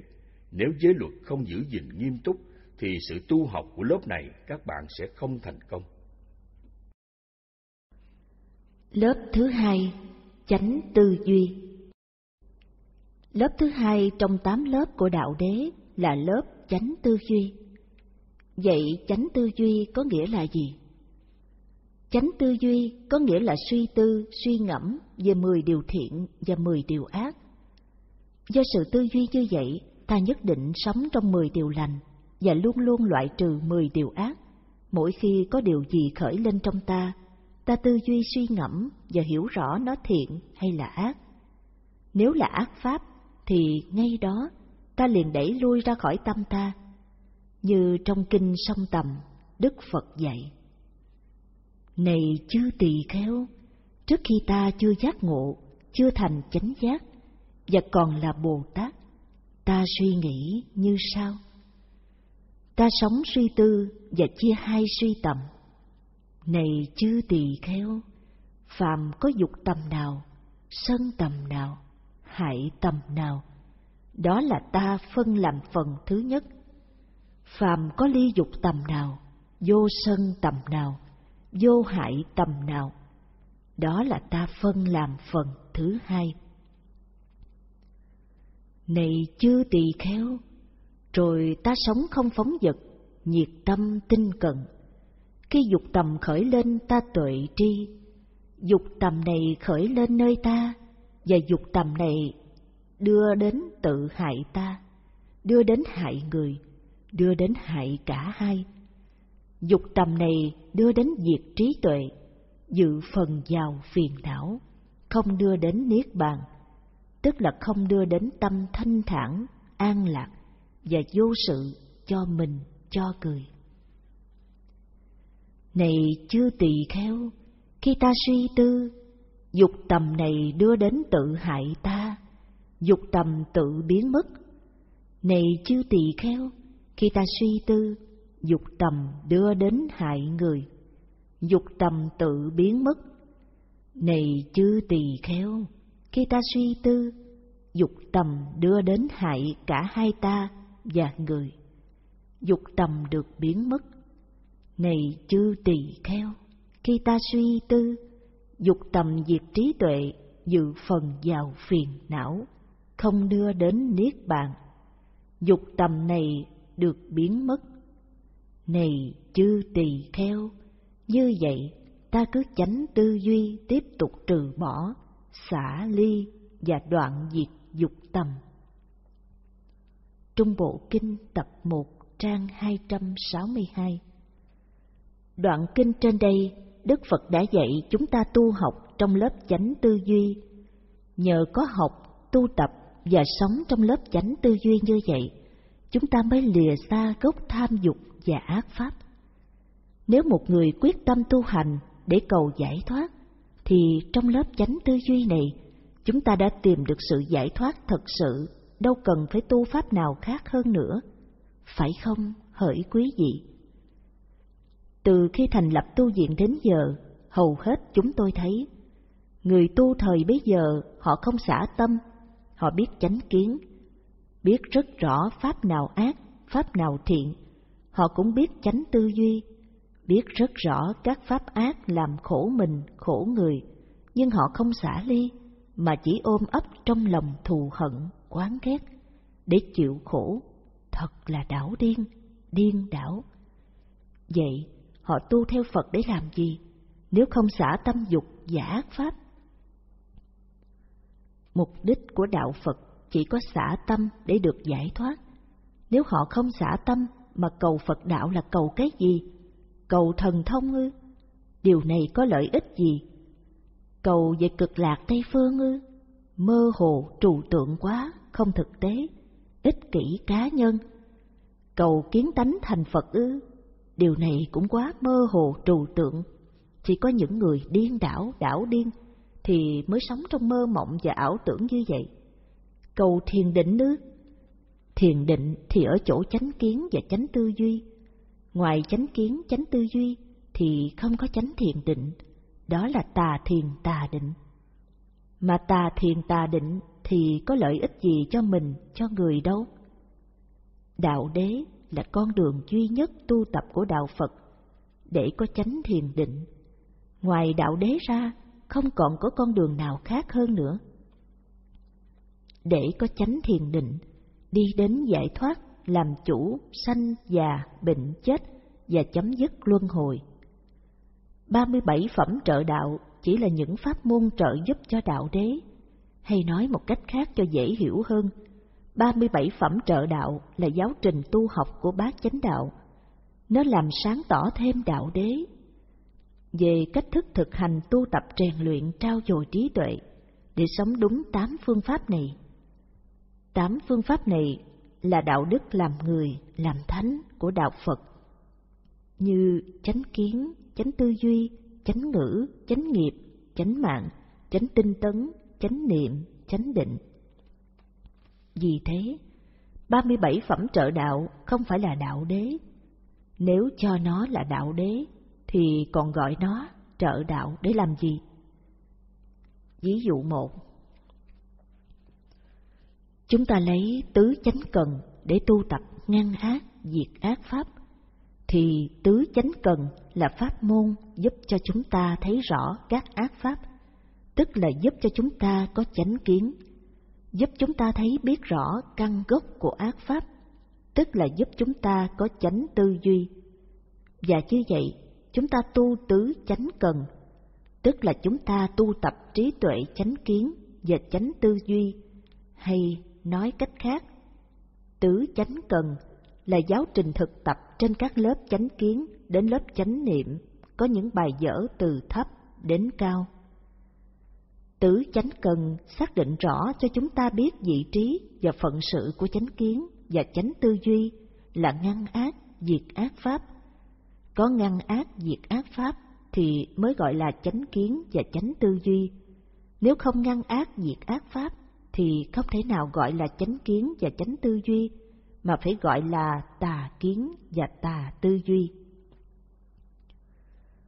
Chánh kiến và chánh tư duy là lớp để tu tập tứ chánh cần. Còn tứ chánh cần là giáo trình thực tập để định nghĩa và làm sáng tỏ cho lớp chánh kiến và chánh tư duy trong tu tập. Ví dụ 2 Chúng ta lấy tứ niệm xứ trên thân, quán thân để tu tập khắc phục tham ưu, thì tứ niệm xứ sẽ giúp cho chúng ta quan sát, hiểu biết rõ bốn chỗ, thân, thọ, tâm và pháp. Khi có các ác pháp tham ưu sanh khởi, trên bốn chỗ này khiến cho nó bị khổ đau, phiền toái. Như vậy, tứ niệm xứ cũng là giáo trình thực tập để xác định và làm sáng tỏ, giúp cho chúng ta có chánh kiến và chánh tư duy để ngăn ác và diệt các ác pháp trên bốn chỗ này. Và như vậy, chúng ta tu tập giáo trình tứ niệm xứ, tức là tu tập trí tuệ chánh kiến và chánh tư duy. Tóm lại, 37 phẩm trợ đạo chỉ là những giáo trình tu học làm sáng tỏ cho sự hiểu biết và sự thực hành để chúng ta thực hiện chương trình bát chánh đạo dễ dàng hơn, không có mệt nhọc mà kết quả giải thoát rất cụ thể. Trên đây chúng ta tu học lớp thứ hai chánh tư duy. Nếu chúng ta theo như lời Đức Phật đã dạy mà tu tập lớp chánh tư duy như vậy, thì chắc chắn không những chúng ta mà bất cứ người nào tu tập cũng đều có sự giải thoát như nhau cả. Nghĩa là người nào tu theo đạo Phật đúng con đường bát chánh đạo, thì chắc chắn trăm muôn ngàn người đều có kết quả thiết thực cụ thể, tức là giải thoát giống y như nhau. Kính thưa các bạn, tu học bát chánh đạo, Đức Phật đâu có dạy tụng kinh, bái sám, ngồi thiền, niệm Phật niệm chú, đánh chuông, gõ mỏ, vân vân, mà chỉ có sống đúng chánh kiến, chánh tư duy, chánh ngữ. Bát chánh đạo là một chân lý trong bốn chân lý của đạo Phật, và nó chính là chương trình tu học chân chánh của đạo Phật. Thì cách thức tu tập phải rõ ràng, cụ thể và thiết thực, không thể mơ hồ, trừu tượng, mê tín được. Nếu bát chánh đạo là chương trình giáo dục đào tạo tu học mơ hồ, trừu tượng, ảo giác, huyễn hóa, thì không được gọi là chương trình giáo dục đào tạo, không được gọi là chân lý. Cho nên, chương trình giáo dục đào tạo được gọi là chân lý, phải là thiết thực, cụ thể, phải hiểu biết bằng tri thức của chúng ta. Còn những loại pháp môn trừu tượng, mơ hồ, ảo giác, với sự hiểu biết bằng tưởng tri thì không được gọi là chân lý, như triết học tánh không, trí tuệ bát nhã, Phật tánh, vân dân đều không được gọi là chân lý. Phần nhiều người ta hiểu về những pháp này bằng tưởng tuệ, chứ không phải trí tuệ. Nên các pháp môn này được xem là tà kiến ngoại đạo, không phải là của đạo Phật. Lớp thứ ba, chánh ngữ. Chánh ngữ là lớp thứ ba trong bát chánh đạo. Vậy chánh ngữ là gì? Chánh ngữ có nghĩa là lời nói chân thật, ngay thẳng, không bao giờ nói sai sự thật, lời nói không thiên vị, không xuyên tạc, không nói chuyện phím, chuyện tào lao, không nói đùa, nói chơi, nói giỡn cợt, nói móc họng, nói mỉa mai, nói to tiếng, nói tranh luận hơn thua, nói sỉ vả, chửi mắng, nạt nộ, la hét, hù dọa, không nói lời làm cho người khác tức giận, không nói lời làm cho người khác buồn phiền, khổ đau, không nói xấu người khác, không đặt điều thêm bớt, không đem chuyện người này nói lại với người kia. Chánh ngữ còn là lời nói hiền lành, lời nói không làm khổ mình, khổ người, khổ chúng sanh như không nói lời giết hại chúng sanh, không nói lời xui khiến người giết hại chúng sanh, không nói lời trộm cắp cướp giật của người, không nói lời xui khiến người khác trộm cắp cướp giật của người khác, không nói lời dâm dục tục tiểu. Tóm lại, chánh ngữ là những lời nói luôn luôn lúc nào cũng ôn tồn, nhã nhặn, dịu dàng, nhẹ nhàng, từ tốn, khiêm cung và lời nói không làm khổ mình, khổ người và khổ tất cả chúng sanh. Nếu một mai chúng ta có lỡ lời nói không chánh ngữ, khiến cho mình khổ, người khác khổ, thì chúng ta nhất định phải từ bỏ, không được dùng lời nói đó nữa. Nếu chúng ta còn nói lời đó nữa, là chúng ta không phải con người, vì chúng ta đã học chánh ngữ, thế mà chúng ta còn dùng lời nói làm khổ mình, khổ người, thì chúng ta là con vật, chứ không phải là con người tu hành. Và vì vậy, mỗi khi nói một điều gì thì chúng ta phải tư duy, suy nghĩ cho kỹ rồi mới được nói. Như lời Đức Phật đã dạy. Này chư tỳ kheo, có năm loại ngôn ngữ mà các người có thể dùng khi nói với người khác. Một, đúng thời hay phi thời. Hai, chân thật hay không chân thật. Ba, nhu nhuyễn hay thô bạo. Bốn, có lợi ích hay không lợi ích. Năm, với từ tâm hay với sân tâm. Này chư tỳ kheo, khi nói với người khác, các người có thể nói đúng thời, đừng nói phi thời. Này chư tỳ kheo, khi nói với các người khác, các người có thể nói lời chân thật, chứ đừng nói lời không chân thật. Này chư tỳ kheo, khi nói với người khác, các người có thể nói lời nhu nhuyễn, chứ đừng nói lời thô bạo. Này chư tỳ kheo, khi nói với các người khác, các người có thể nói với từ tâm, chứ đừng nói với sân tâm. Này chư tỳ kheo, ở tại đây, các người cần phải học tập như sau. Chúng ta sẽ giữ tâm của chúng ta không biến nhiễm. Chúng ta sẽ không thốt ra lời ác ngữ. Chúng ta sẽ sống với lòng lân mẫn, với tâm từ bi, với một tâm không sân hận. Chúng ta sẽ sống bao phủ mọi người với tâm câu hữu với lòng từ. Và với mọi người này là đối tượng của ta, ta sống biến mãn cùng khắp thế giới với tâm câu hữu với lòng từ, lòng quảng đại vô biên, không hận, không sân. Này chư tỳ kheo, như vậy các người cần phải học tập. Trên đây Đức Phật nhắc nhở chúng ta giữ gìn lời nói, có năm điều kiện để nói. Nếu chúng ta giữ gìn đúng lời dạy trên đây, đó là chúng ta đang tu học lớp chánh ngữ. Chánh ngữ rất lợi ích cho đời sống của chúng ta. Nếu chúng ta biết giữ gìn đúng chánh ngữ như trên Đức Phật đã dạy, thì chúng ta đã đem lại cho mình, cho người một sự an vui, thanh thản, giải thoát, dù ở bất cứ nơi đâu. Lớp thứ tư, chánh nghiệp. Chánh nghiệp là lớp thứ tư trong đạo đế mà chúng ta cần phải sống, học và tu tập hàng ngày trong mỗi hành động thân, miệng và ý của chúng ta. Chánh nghiệp là những hành động thiện, hành động không làm đau khổ cho mình, cho người và cho tất cả chúng sanh. Về thân có ba hành động chánh nghiệp như một thân không đánh đập, không làm đau khổ và không tự giết hại mình, người và tất cả chúng sanh, đó là chánh nghiệp. Hai, thân không trộm cắp, cướp giật, không móc túi, không lấy của không cho, đó là chánh nghiệp. Ba, thân không tà dâm, không làm những điều bất chánh gây đau khổ cho mình cho người, đó là chánh nghiệp. Về miệng, nếu giữ gìn được chánh ngữ, tức là giữ gìn chánh nghiệp của miệng, cho nên học về chánh ngữ, tức là học về chánh nghiệp của miệng. Như vậy những bài học chánh ngữ ở trên là những bài học chánh nghiệp ở đây. Chánh nghiệp về miệng còn một điều nữa rất là quan trọng, đó là miệng không nên ăn thịt chúng sanh. Tại vì hành động ăn thịt chúng sanh, tức là tạo ra nghiệp đau khổ giàu thân mà không biết. Cho nên hành động ăn thịt chúng sanh không phải là chánh nghiệp, mà là tà nghiệp. Chánh nghiệp còn gọi là những nghề nghiệp sống chân chánh, nghề nghiệp không làm đau khổ chúng sanh. Có sáu tà nghiệp mà người Phật tử không nên làm như một Không làm nghề săn bắn hai Không làm nghề ngư phủ ba Không được làm nghề buôn bán thịt sống bốn Không được làm nghề buôn bán thịt chính năm Không được làm nghề sản xuất rượu và buôn bán rượu sáu Không được làm nghề buôn bán người, mãi dâm Tóm lại, chánh nghiệp là tu tập rèn luyện mỗi hành động thân, miệng, ý phải được trong sạch, thanh tịnh. Trong sạch thanh tịnh tức là hành động thân, miệng, ý toàn thiện. Nếu còn có một chút xíu hành động ác thì không được gọi là chánh nghiệp.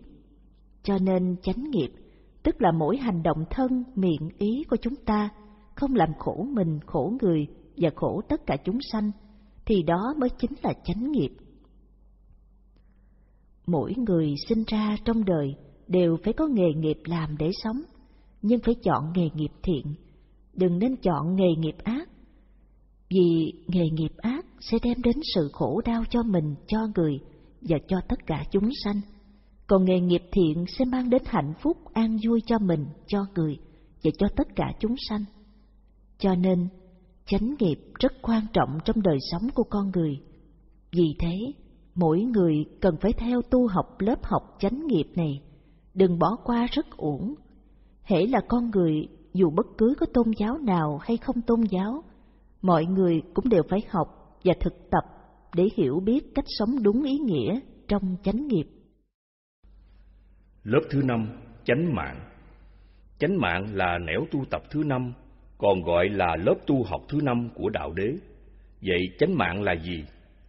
Chánh mạng là mạng sống chân chánh của con người, là sự sống của cơ thể không huân tập vào thân, những sự khổ đau của kẻ khác và của tất cả chúng sanh. Chánh mạng là nuôi sống thân mạng bằng những nghề nghiệp chân chánh, tức là những nghề nghiệp lương thiện, không tạo việc làm ác để nuôi thân mạng. Chánh mạng còn có nghĩa là sống đúng chánh pháp, không mê tín dị đoan, không sống trong tưởng giải, ảo giác, mơ hồ, trừu tượng. Chánh mạng còn có nghĩa là sống không chạy theo dục vọng và các ác pháp về ăn uống. Chúng ta hãy nghe Đức Phật dạy, Này chư hiền, có bốn loại thức ăn này khiến cho các loài chúng sanh đã sanh được an trú, hay các loài hữu tình đã sanh được hỗ trợ cho sanh. Thế nào là bốn? Một, đoàn thực loại thô hay loại tế. Hai, xúc thực. Ba, tư niệm thực. Bốn, thức thực. Từ tập khởi của ái có tập khởi của thức ăn. Từ đoạn diệt của ái có đoạn diệt của thức ăn. Thánh đạo tám ngành này là con đường đưa đến đoạn diệt của thức ăn, tức là chánh kiến, chánh tư duy, chánh ngữ, chánh nghiệp, chánh mạng, chánh tinh tấn, chánh niệm, chánh định.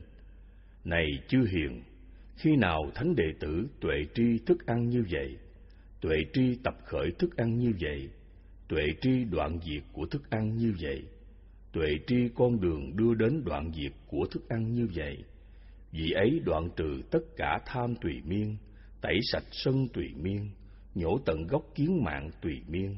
Tôi là đoạn trừ vô minh, khiến minh sanh khởi, diệt tận gốc khổ đau ngay trong hiện tại. Này chư hiền, như vậy thánh đệ tử có chánh tri kiến, có tri kiến chánh trực, có lòng tin pháp tuyệt đối và thành tựu diệu pháp này. Trên đây là lời dạy của Đức Phật, chúng ta nên lưu ý câu này. Từ tập khởi của ái có tập khởi của thức ăn, từ đoạn diệt của ái có đoạn diệt của thức ăn. Chúng ta đảo ngược câu nói này lại, chúng ta có một pháp hành rất cụ thể. Từ tập khởi của thức ăn có tập khởi của ái, từ đoạn diệt thức ăn có đoạn diệt của ái. Cho nên, người tu học lớp chánh mạng, tức là nuôi mạng sống, thì không nên tập khởi theo ăn uống, vì vậy, theo ăn uống, tức là nuôi tà mạng. Nuôi tà mạng tức là tập khởi thức ăn. Tập khởi thức ăn tức là tập khởi ái dục. Ngược lại, ăn ngày một bữa để sống, tức là nuôi chánh mạng. Còn người tu sĩ mà ăn hai ba bữa trong một ngày, thì đó là nuôi tà mạng. Nuôi tà mạng thì tâm dục sanh. Bằng chứng quý vị cứ suy ngẫm lời Đức Phật dạy có đúng không? Quý vị nên lấy đời sống của mình làm thí điểm thì sẽ thấy rất rõ ràng. Một chúng sanh phải thọ thực bằng bốn cách nuôi sống thân mạng như trên Đức Phật đã dạy. Nhưng người tu theo bát chánh đạo, thực hiện lớp chánh mạng thì chỉ dùng có đoàn thực, dù thô hay tế, để đủ nuôi sống thân mạng mà thôi. Còn xúc thực, tư niệm thực và thức thực thì ngăn chặn và đoạn dứt, không nên dùng ba cách thức ăn uống này. Vì ba cách thức ăn uống này sanh ra dục như lời dạy ở trên. Ăn uống tập khởi thì dục tập khởi. Người tu theo đạo Phật nên lưu ý, chúng ta là những người đến với đạo Phật là đi tìm sự giải thoát, làm chủ sự sống chết và luân hồi, chứ không phải đi tìm ăn uống hay tìm danh lợi hoặc tìm thần thông phép thuật, tàn hình, biến hóa, vân vân. Chúng ta đến với đạo Phật là đi tìm sự làm chủ bốn sự đau khổ của kiếp người, sanh, già, bệnh, chết, chứ không phải ngồi thiền nhập định năm bảy ngày, hoặc một tháng, hai tháng, hoặc chết để lại nhục thân, hoặc tiếp tục tái sanh luân hồi làm Bồ Tát, để rồi vừa sanh ra là nhớ lại được tiền kiếp của mình. Chúng ta tu hành không có mục đích đó, nên chúng ta phải sống đúng những lời dạy trong bát chánh đạo. Vì lẽ đó, chúng ta phải sống đúng chánh mạng, ăn ngày một bữa, đủ sống để nuôi thân, ăn không cần ngon, không cần thích, không cần tưởng. Trong đạo Phật dạy có bốn cách nuôi tà mạng. Người tu sĩ chân chánh của đạo Phật thì phải tránh bốn cách nuôi mạng sống không chân chánh này. Một, hạ khẩu thực, tức là đi khất thực phi thời, ăn uống phi thời. Hạng tu sĩ này là những người nuôi tà mạng. Nuôi tà mạng thì dù họ có tu pháp môn nào thì cũng tu tà pháp mà thôi. Bởi đạo đế là con đường chân lý chắc thật của đạo Phật. Nếu người nào tu đúng đường lối đó thì sẽ có giải thoát ngay liền.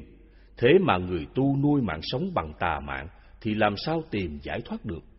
Hai, ngưỡng khẩu thực, có nghĩa là không giữ gìn phạm hạnh đi xin ăn, mà lại đi làm nghề xem thiên văn như nhìn xem hiện tượng trăng sao, đoán thời tiết, bối khoa, tiên tri, chuyện quá khứ vị lai cho người, hoặc xem ngày giờ tốt xấu cất nhà cửa, xây mồ mã, dựng vợ gả chồng, coi sao hạn, để rồi cúng sao giải hạn, để cắt giá ăn tiền, hoặc trao đổi sự cúng dường, đó là hành những nghề mê tín lường gạt người để nuôi sống tà mạng. Trong trường bộ kinh, Đức Phật dạy, như sắp đặt ngày lành để rước dâu hay rể, lựa ngày giờ tốt để hòa giải, lựa ngày giờ tốt để chia rẽ, lựa ngày giờ tốt để đòi nợ, lựa ngày giờ tốt để cho mượn hay tiêu tiền, dùng bùa chú để giúp người được may mắn, dùng bùa chú để khiến người bị rủi ro, dùng bùa chú để phá thai, dùng bùa chú để làm cống lưỡi, dùng bùa chú khiến quai hàm không cử động, dùng bùa chú khiến cho người phải bỏ tay xuống, dùng bùa chú khiến cho tai bị điếc, hỏi gương soi, hỏi đồng cốt, hỏi thiên thần để biết quả phước, thờ mặt trời, thờ thổ địa, thờ thần tài Siri. Còn Sa môn Gotama tránh xa các tà mạng kể trên. Kinh Phạm Võng trang 27 trong trường Bộ Kinh tập 1 thuộc Tạng Kinh Nikaya. Đức Phật chấp nhận cho người tu sĩ chỉ có một cái nghề duy nhất, đó là đi khất thực. Ngoài ra các nghề khác, bất cứ một nghề nào, Đức Phật cũng không chấp nhận. Vì mọi nghề khác đều nuôi thân mạng không chân chánh. Tại sao vậy? Tại vì tất cả mọi nghề khác làm ra tiền để sống thì không thể nào xả tâm tham sân si được. Đạo Phật vốn là một đạo buông xả sạch vật chất thế gian, vì thế còn làm ra tiền là còn nuôi dưỡng tâm tham dục, còn làm tất cả các nghề khác là còn vật sở hữu, dù là vật sở hữu có một chút, vẫn không xả hết tâm dục và ác pháp. Lớp tu tập về chánh mạng, quý vị nên lưu ý, đó là một chân lý để tu tập đi đến giải thoát. Thế mà một người đi tìm đạo giải thoát mà tu hành không đúng pháp, tức là sống nuôi tà mạng, không đúng chánh mạng thì quý vị nghĩ sao? Họ có giải thoát được không? Chắc hẳn là không, phải không quý vị? Quý vị tu định vô lậu câu hữu tứ diệu đế thì thấy rất rõ sự tu tập có giải thoát ngay liền và sự tu tập không có mệt nhọc, không có khó khăn gì cả, chỉ cần sống đúng những lời dạy này. Tức là hàng ngày quý vị áp dụng vào chánh kiến, chánh tư duy, chánh ngữ, chánh nghiệp và chánh mạng. Chỉ trong năm lớp tu học này thì quý vị cũng cảm thấy âm bất động trước các pháp và luôn luôn lúc nào quý vị cũng sống trong thiện pháp, đúng đạo đức làm người, không làm khổ mình, khổ người và khổ chúng sanh. Đó là chân hạnh phúc của loài người trên hành tinh này.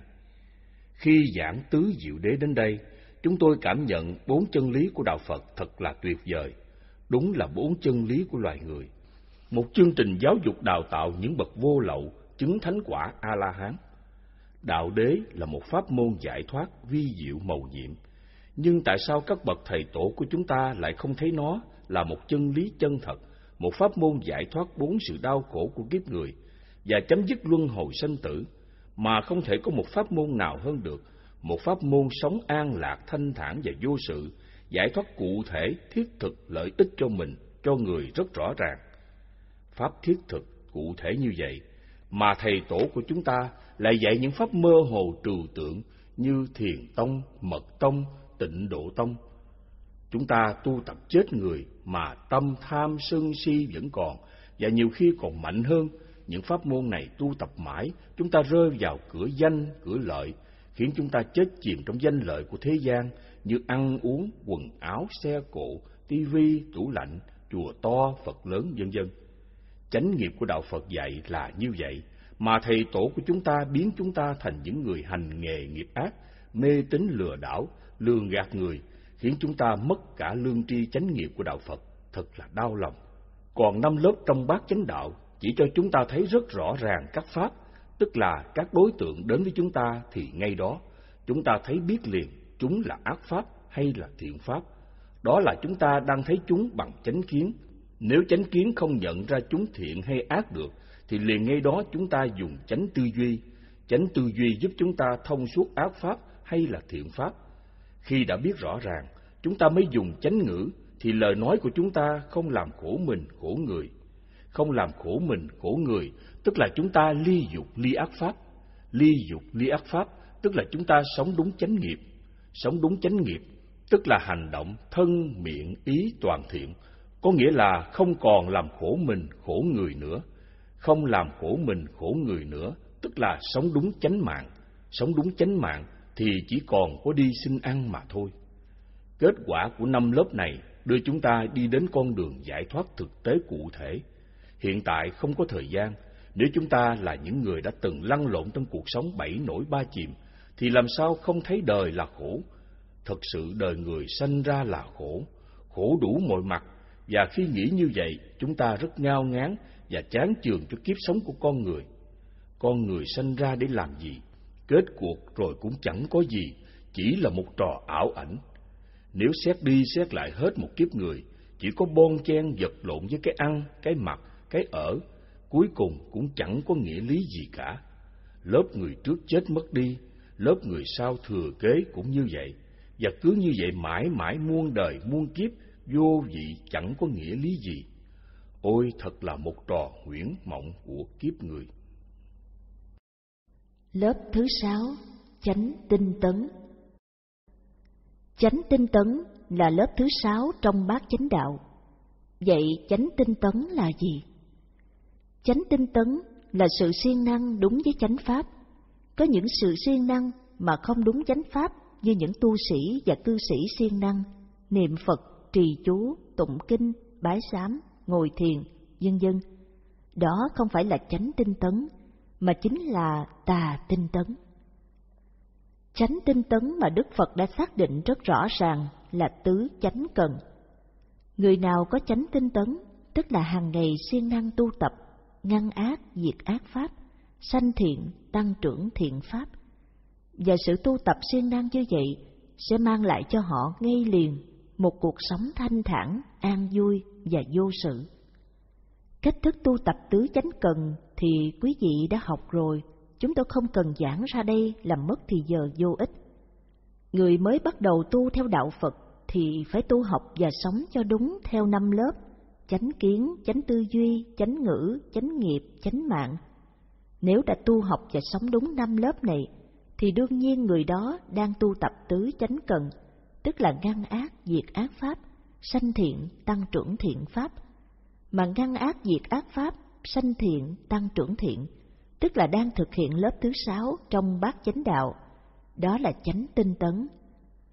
Vậy chánh tinh tấn tức là siêng năng tu tập, nhưng siêng năng tu tập cái gì? Siêng năng tu tập ngăn ác, diệt ác pháp, tức là siêng năng tu tập chánh kiến, chánh tư duy, chánh ngữ, chánh nghiệp, chánh mạng. Trong thiền định của đạo Phật thì chánh tinh tấn là phương pháp đầu tiên để tu tập thiền định. Nghĩa là hàng ngày đi, đứng, nằm, ngồi, nói, nín đều ngăn ác, diệt ác pháp và luôn luôn sống trong thiền pháp để giúp cho thân tâm ly dục ly ác pháp. Thân tâm ly dục ly ác pháp thì thân tâm mới thanh tịnh. Thân tâm có thanh tịnh thì mới bắt đầu có định. Chính từ tâm thanh tịnh này chúng ta mới chính thức đi vào thiền định. Nếu thân tâm chưa thanh tịnh mà dội vàng tu thiền định tức là tu sai, tu không đúng như trong bát chánh đạo đã dạy. Chánh tinh tấn tức là tứ chánh cần.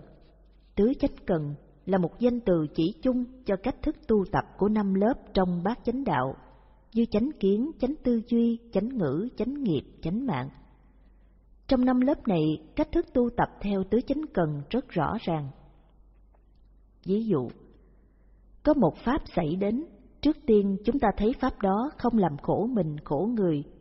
Nhưng muốn chắc ăn hơn, chúng ta tư duy suy xét pháp đó, đúng là pháp thiện.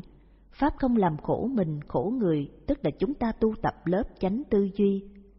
Khi đã tư duy xong pháp đó, chúng ta mới đưa ra hành động thân, miệng, ý của mình, tức là chúng ta tu tập chánh nghiệp. Hành động chánh nghiệp đưa đến thân tâm của chúng ta được thanh thản, an lạc và vô sự. Thân tâm được thanh thản, an lạc và vô sự đó là chúng ta tu tập chánh mạng. Như vậy, trong sáu lớp của bát chánh đạo, chúng ta tu tập được thân tâm thanh tịnh và giải thoát hoàn toàn. Còn hai lớp nữa là chánh niệm và chánh định. Như vậy có thừa không? Chúng tôi xin thưa rằng, Đức Phật không bao giờ dạy thừa mà cũng không dạy thiếu. Vì đạo đế là một chân lý trong bốn chân lý, thì không lý nào là dạy thừa mà cũng không lý nào là dạy thiếu. Vì dạy thiếu, người đời sau không biết đâu mà tu tập. Còn dạy thừa, tu tập mất thì giờ vô ích. Lần lượt chúng ta sẽ tu học trọn hai lớp sau cùng và sẽ thấu rõ tám lớp tu tập của đạo Phật không thiếu, không thừa. Sáu lớp này chúng ta chưa thấy Đức Phật dạy ngồi thiền, tụng kinh, lạy sám hối, hoặc trì chú, niệm Phật, cúng bái, tế lễ, dân dân, mà chỉ có dạy chúng ta ngăn ác, diệt ác pháp. Lần theo dấu vết của bác chánh đạo, chúng ta mới thấy rõ thầy tổ của chúng ta tu sai pháp, lạc vào pháp môn của ngoại đạo tà giáo, rất rõ ràng. Lớp thứ bảy, chánh niệm Chánh niệm là lớp thứ bảy trong bát chánh đạo. Vậy chánh niệm là gì? Chánh niệm là niệm chân chánh không có tà niệm, niệm thiện, niệm không làm khổ mình, khổ người và khổ chúng sanh. Đức Phật đã xác định chánh niệm là tứ niệm xứ. Tứ niệm xứ là một tên khác của chánh niệm. Cho nên người tu chánh niệm tức là tu tập tứ niệm xứ. Người đời sau không hiểu vì chưa có thực hành tu chứng nên đã biến tứ niệm xứ thành một loạt thiền ức chế tâm chứ không còn là chánh niệm trong bát chánh đạo. Cho nên, chánh niệm trong bát chánh đạo mà Đức Phật đã xác định là tứ niệm xứ như trên chúng tôi đã dạy. Nếu Đức Phật không xác định như vậy, thì chắc chắn tứ niệm xứ là tà niệm. Bởi vì chánh niệm là chân lý của đạo Phật, mà trong đạo Phật thì không thể có hai ba chân lý được. Chánh là chánh, tà là tà, không thể cái nào cũng tránh hết cả. Vì thế, pháp môn tứ niệm xứ là giáo trình tu học cho lớp chánh niệm của bát chánh đạo. Cho nên tên chánh niệm là tên của lớp học, còn tứ niệm xứ là những môn học cho lớp học đó, chứ không phải chánh niệm là những môn học như tứ niệm xứ. Quý vị có hiểu chưa? Tu tứ niệm xứ thì ai cũng thông suốt theo kiểu kinh sách phát triển và kiến giải của các nhà học giả. Họ lý giải tứ niệm xứ đủ kiểu cách, nhưng nhìn lại quá trình tu tập của mọi người thì kết quả sẽ chẳng đi tới đâu cả. Bởi vì người ta biến tứ niệm xứ thành tà niệm, một loại pháp môn tu hành ức chế tâm, chứ không còn là chánh niệm nữa. Như trong bài trước, Đức Phật đã xác định chánh tinh tấn là tứ chánh cần, cũng như trong bài này, chánh niệm là tứ niệm xứ. Như vậy trong bốn pháp này chỉ có hai pháp mà thôi. Tuy tên có khác nhưng tu tập và kết quả đều đẩy lui các chướng ngại pháp, ác pháp. Theo lời Đức Phật dạy trên đây, chúng ta phải hiểu như thế nào? Theo kinh nghiệm tu hành của chúng tôi, thì tứ chánh cần và tứ niệm xứ là những pháp môn trong 37 phẩm trợ đạo. Vì thế, chúng tôi hiểu rằng Đức Phật xác định như vậy là vì tứ chánh cần và tứ niệm xứ là những bài pháp tu học cho lớp chánh tinh tấn và lớp chánh niệm, chứ không phải chánh tinh tấn và chánh niệm là môn học như trên đã nói. Cách thức tu tập tứ niệm xứ, tức là trên thân quán thân tỉnh giác chánh niệm để khắc phục tham ưu ở đời, đó là kinh dạy như vậy. Nhưng chúng ta phải hiểu quán là quan sát, quán xét trên bốn chỗ, thân, thọ, tâm, pháp. Bốn chỗ này Đức Phật gọi là tứ niệm xứ Quan sát quán xét trên bốn chỗ này để làm gì? Trên bốn chỗ này thường có tà niệm xảy ra, ác pháp, Vì vậy mà phải quan sát quán xét cho kỹ để phát hiện ra những tà kiến, tà niệm, phát hiện ra những tà kiến và tà niệm là chúng ta đã đẩy lui chúng ra khỏi tâm tư mà Đức Phật gọi là khắc phục tham ưu. Công việc tu hành tứ niệm xứ là chỉ có quan sát bốn vị trí này để diệt trừ các chướng ngại pháp. Cho nên tâm thường ở trong chánh niệm, tức là không có tà niệm, không có tà niệm, tức là không có niệm ác, không có niệm ác thì thân tâm thanh thản, an lạc và vô sự. Quý vị nên lưu ý trong bát chánh đạo có hai nẻo tu tập xả tâm như một chánh tinh tấn hai chánh niệm. Chánh tinh tấn thì ngăn ác diệt ác pháp sanh thiện tăng trưởng thiện pháp. Đây là pháp tu tập phòng hộ bảo vệ thân tâm không cho các ác pháp bên ngoài xâm chiếm vào bốn chỗ, thân, thọ, tâm, pháp. Tránh tinh tấn giống như chiến thuật chiến lược ngăn và đánh giặc, không cho giặc tấn công vào lãnh thổ. Học lớp chánh niệm là học lớp khắc phục tham ưu, có nghĩa là chiến đấu với nội tâm của mình. Khi thân, thọ, tâm, pháp của chúng ta có chướng ngại, thì dùng tứ niệm xứ đã học trong lớp chánh niệm để đẩy lui ác pháp. Cũng giống như một nhà vua dùng chiến thuật chiến lược diệt giặc nội chiến để đem lại đất nước thống nhất, tức là trị nội loạn còn dùng tứ chánh cần đã học trong lớp chánh tinh tấn đem ra diệt giặc ngoại xâm qua sự giải thích này, quý vị có thể hiểu rõ ràng là Phật giáo có một chương trình giáo dục đào tạo những bậc thánh vô lậu A-la-hán mà chúng tôi cố gắng giải thích cho quý vị hiểu dễ dàng để không bị giáo pháp phát triển lừa gạt, đánh lận pháp môn vào pháp môn của Phật giáo. Người tu tập theo đạo Phật mà không biết sử dụng tứ chánh cần thì đâu dễ gì ngăn ác pháp bên ngoài được. Người tu theo đạo Phật mà không biết sử dụng tứ niệm xứ thì đâu dễ gì diệt ác pháp trong nội tâm được Tóm lại, tu học lớp chánh tinh tấn là cách thức ngăn và diệt các ác pháp bên ngoài, còn tu học lớp chánh niệm thì tu học cách thức đoạn diệt các ác pháp bên trong.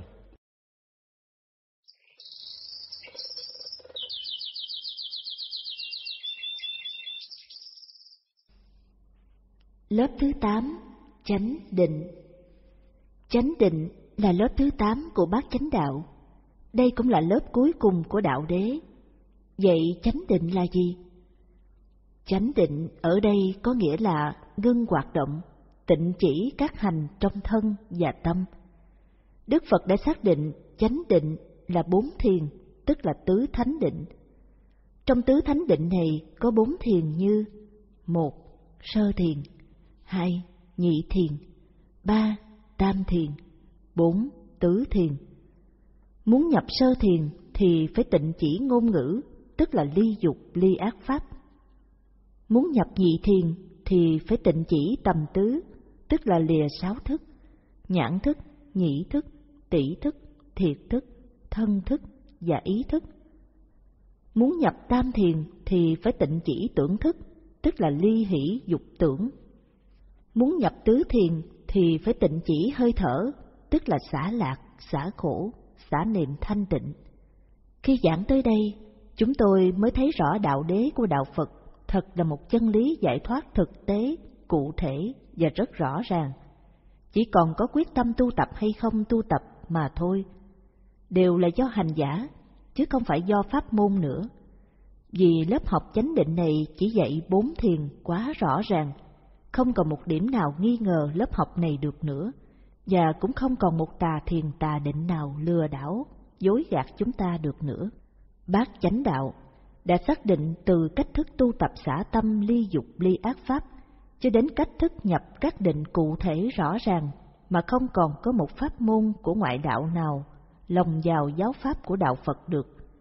Lòng đến đâu, người ta đều thấy bộ mặt giả của nó.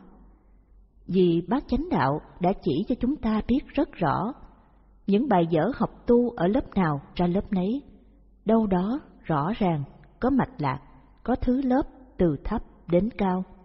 Cho nên, theo chương trình giáo dục đào tạo ở trên thì giáo pháp của một số hệ phái khác không còn gạt được ai nữa.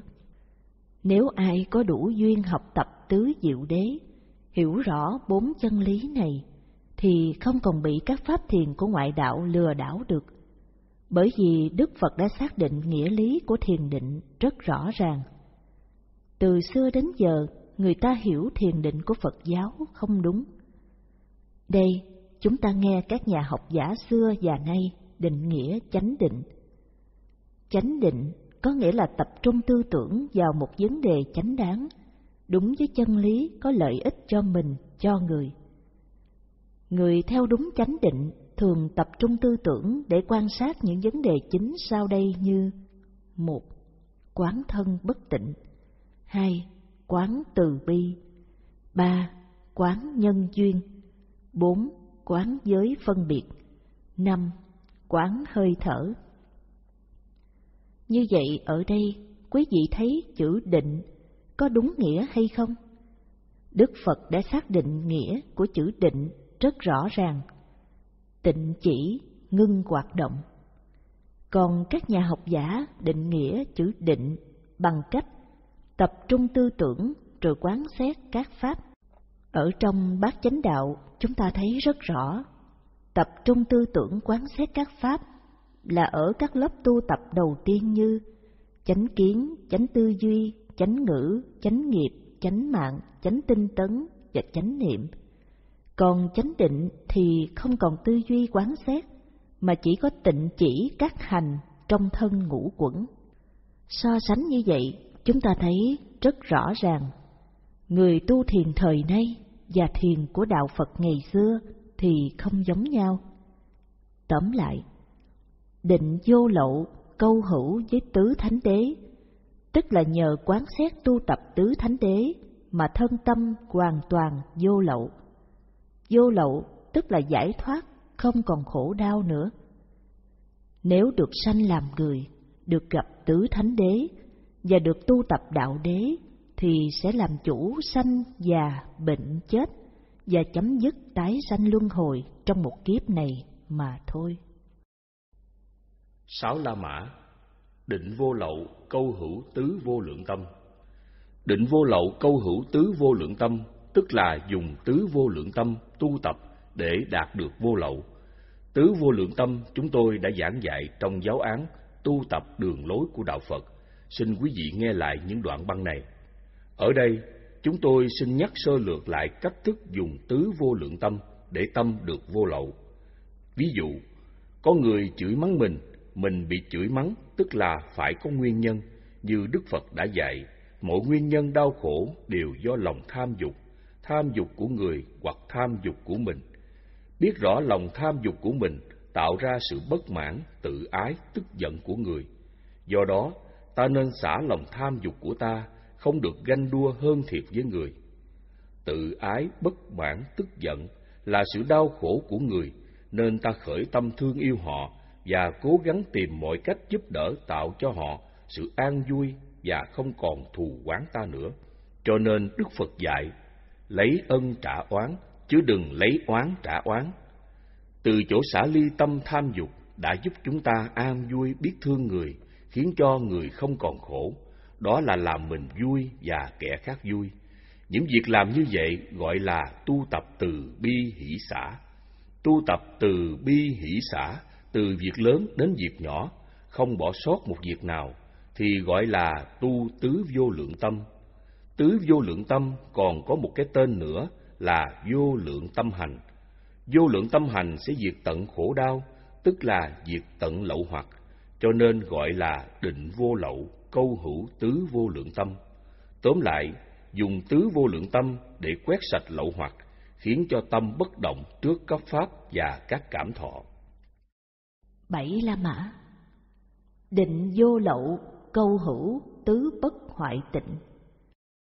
Tứ bất quại tịnh chúng tôi đã giảng dạy trong giáo án tu tập đường lối của Đạo Phật. Xin quý vị vui lòng nghe lại đoạn băng đó. Tứ bất ngoại tịnh là một pháp trợ đạo cho đạo đế, là một giáo trình tu học trong lớp chánh kiến. Nó cũng là một pháp môn trong 37 phẩm trợ đạo.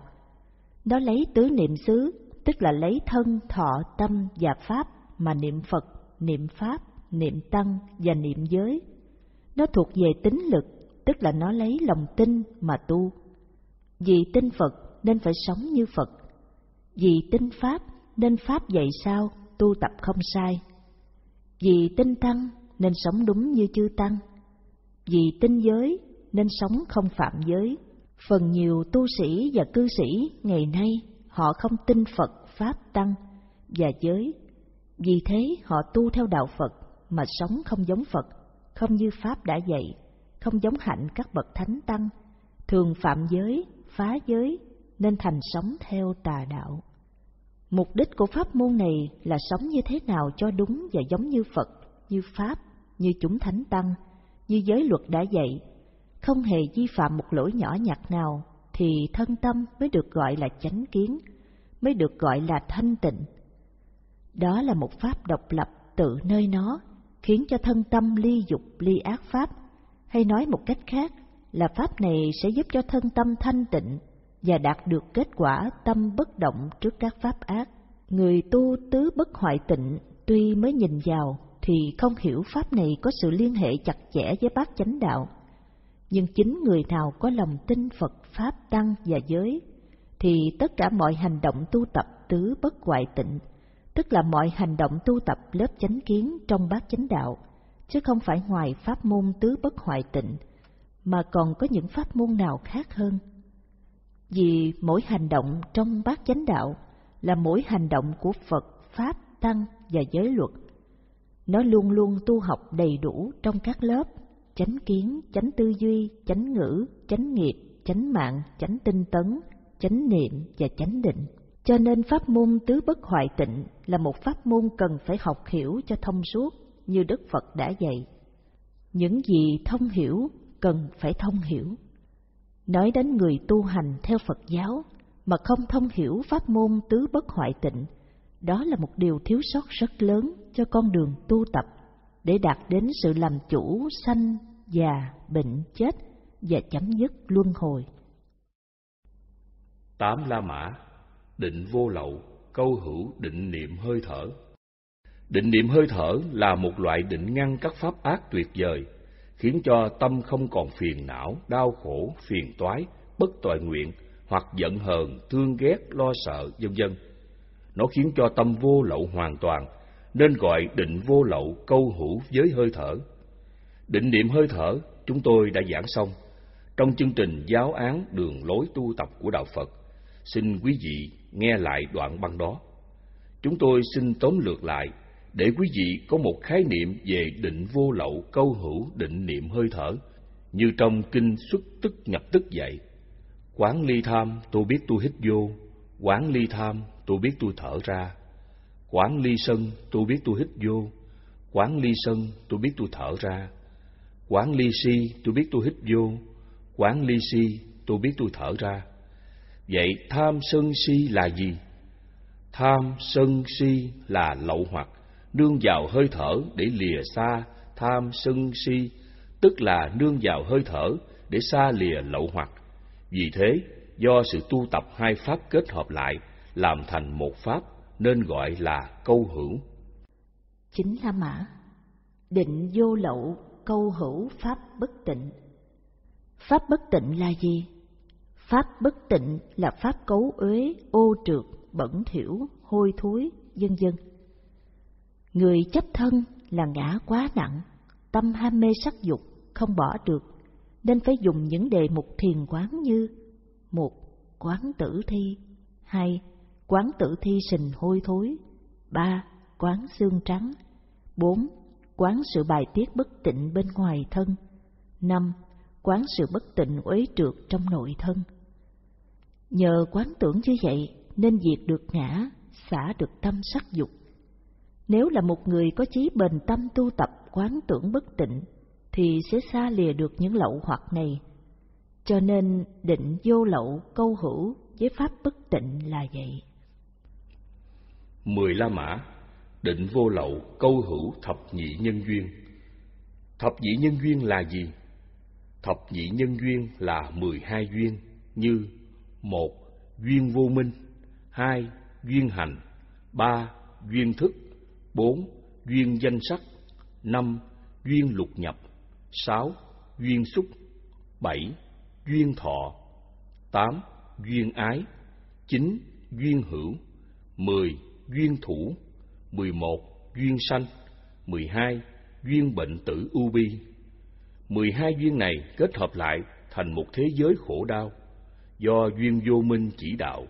Nói một cách khác cho dễ hiểu hơn, là một môi trường sống có mười hai duyên hợp lại, tạo thành một thế giới khổ đau của muôn loài sanh linh trên hành tinh này. Quán mười hai nhân duyên này để phá tan cái thế giới đau khổ của chúng sanh nói chung và nói riêng là diệt lậu hoặc của con người. Trong giáo án đường lối tu tập của Đạo Phật, chúng tôi đã giảng trạch đầy đủ. Ở đây, xin giảng để vào thực hành ngắn gọn, nhưng sẽ giúp cho chúng ta biết được lộ trình đi đúng vào quỹ đạo giải thoát của Đạo Phật qua 12 duyên này. Ở đây chúng tôi xin nhắc nhở thêm, trong 12 nhân duyên, vô minh là duyên thứ nhất. Vậy muốn phá vô minh thì phải có minh, muốn có minh thì phải đi ngõ nào vào đây? Nếu lấy sự học làm minh thì đó là sở tri chướng, mà sở tri chướng thì không thể nào là minh được. Nếu lấy chỗ thiền định để phát triển trí tuệ làm minh thì đó là không đúng, vì tâm chưa ly dục ly ác pháp làm sao có thiền định được. Còn nếu ức chế tâm để hết vọng tưởng, gọi đó là thiền định thì sai. Đó chẳng qua chỉ là một trạng thái ức chế ý thức ngưng hoạt động để tưởng thức hoạt động và sự phát triển hiểu biết do ức chế đó gọi là tưởng tuệ. Tưởng tuệ không thể nào gọi là minh được. Trong kinh Sonananda, Đức Phật đã xác định trí tuệ rất rõ ràng. Trí tuệ ở đâu là giới luật ở đó, giới luật ở đâu là trí tuệ ở đó. Trí tuệ làm thanh tịnh giới luật, giới luật làm thanh tịnh trí tuệ. Lời dạy trên đây rất rõ ràng, trí tuệ là giới luật, giới luật là trí tuệ. Như vậy chúng ta chọn giới luật làm trí tuệ, chọn giới luật làm trí tuệ, tức là chọn đời sống phạm hạnh. Chọn đời sống phạm hạnh thì phải buông xả tất cả, buông xả tất cả thì duyên sanh không còn, duyên sanh không còn thì duyên thủ diệt, duyên thủ diệt thì duyên hữu diệt, duyên hữu diệt thì duyên ái diệt, duyên ái diệt thì duyên thọ diệt, duyên thọ diệt thì duyên xúc diệt, duyên xúc diệt thì duyên lục nhập diệt, duyên lục nhập diệt thì duyên danh sắc diệt, duyên danh sắc diệt thì duyên thức diệt, duyên thức diệt thì duyên hành diệt, duyên hành diệt thì duyên vô minh diệt, duyên vô minh diệt thì minh sanh. Như vậy, muốn có minh thì chúng ta bắt đầu vào giới luật, sống đúng giới luật, chứ không thể ngoài giới luật đi tìm minh mà có được. Cho nên đi tìm minh bằng sự học, bằng thiền định thì không thể có được. Nhờ có minh mà chúng ta nhập được chánh định, nhờ có chánh định chúng ta mới thực hiện được tam minh, nhờ có tam minh chúng ta mới quét sạch lậu hoặc, do đó mới gọi là định vô lậu câu hữu thập nhị nhân duyên. Tu bao lâu nữa mới diệt được tầm tứ? Hỏi Kính thưa Thầy, con tu như vậy còn bao lâu nữa mới diệt được tầm và tứ? Vậy mong Thầy chỉ dạy. Đáp qua sự trình bày tu tập định niệm hơi thở của con, có lúc con nhắc một, hai câu đầu, rồi nương theo hơi thở, cho đến hết ba mươi phút đó là con đã diệt tầm và tứ trong con rồi. Nhưng con phải hiểu, đó là con ức chế tâm diệt tầm tứ, chứ chưa phải diệt tầm tứ chân thực. Vì ức chế tâm diệt tầm tứ như vậy, thì con sẽ rơi vào định tưởng, và con sẽ gặp các trạng thái hỷ tưởng xuất hiện, rỡn ốc, rùng mình, cảm giác mát mẻ, say sẩm chút ít, thấy trong mình nặng nặng, chảy nước mắt, thấy màu đỏ, thấy ánh sáng, Cảm giác rát rát ở thân, nhột nhột như ruồi hay kiến bu, kiến bò ở mặt, ở tai, ở lưng. Nhưng khi rờ phủi thì không có gì hết. Có khi bị mất ngủ, có khi thân mình lúc lắc, nghiêng qua, nghiêng lại. Có khi hất tay, hất chân như lên đồng. Có khi thấy thân mình đang ngồi bay lên không. Có khi gục tới, gục lui. Có khi xây qua, xây lại. Có khi há miệng, có khi miệng nói lầm thầm, vân vân. Diệt tầm tứ bằng cách ức chế tâm thì rất là nguy hiểm. Tất cả những trạng thái trên đây đều do thiền ức chế tâm mà ra. Những người hành thiền không đúng đường lối của Đức Phật đã dạy, thì phần đông đều rơi vào những trạng thái ma tưởng này. Cho nên trong thời đại này, người tu thì đông, nhưng chẳng có người nào tu tập làm chủ sanh già bệnh chết được. Tâm luôn luôn còn tham sân si phiền não, chỉ vì cứ lo tu tập cho hết vọng tưởng mà không lo xả tâm tham sân si, cứ thích ngồi cho nhiều giờ kéo dài trạng thái không vọng tưởng, nhưng có ích lợi gì cho mình, cho người, tâm nào cũng còn tật nấy.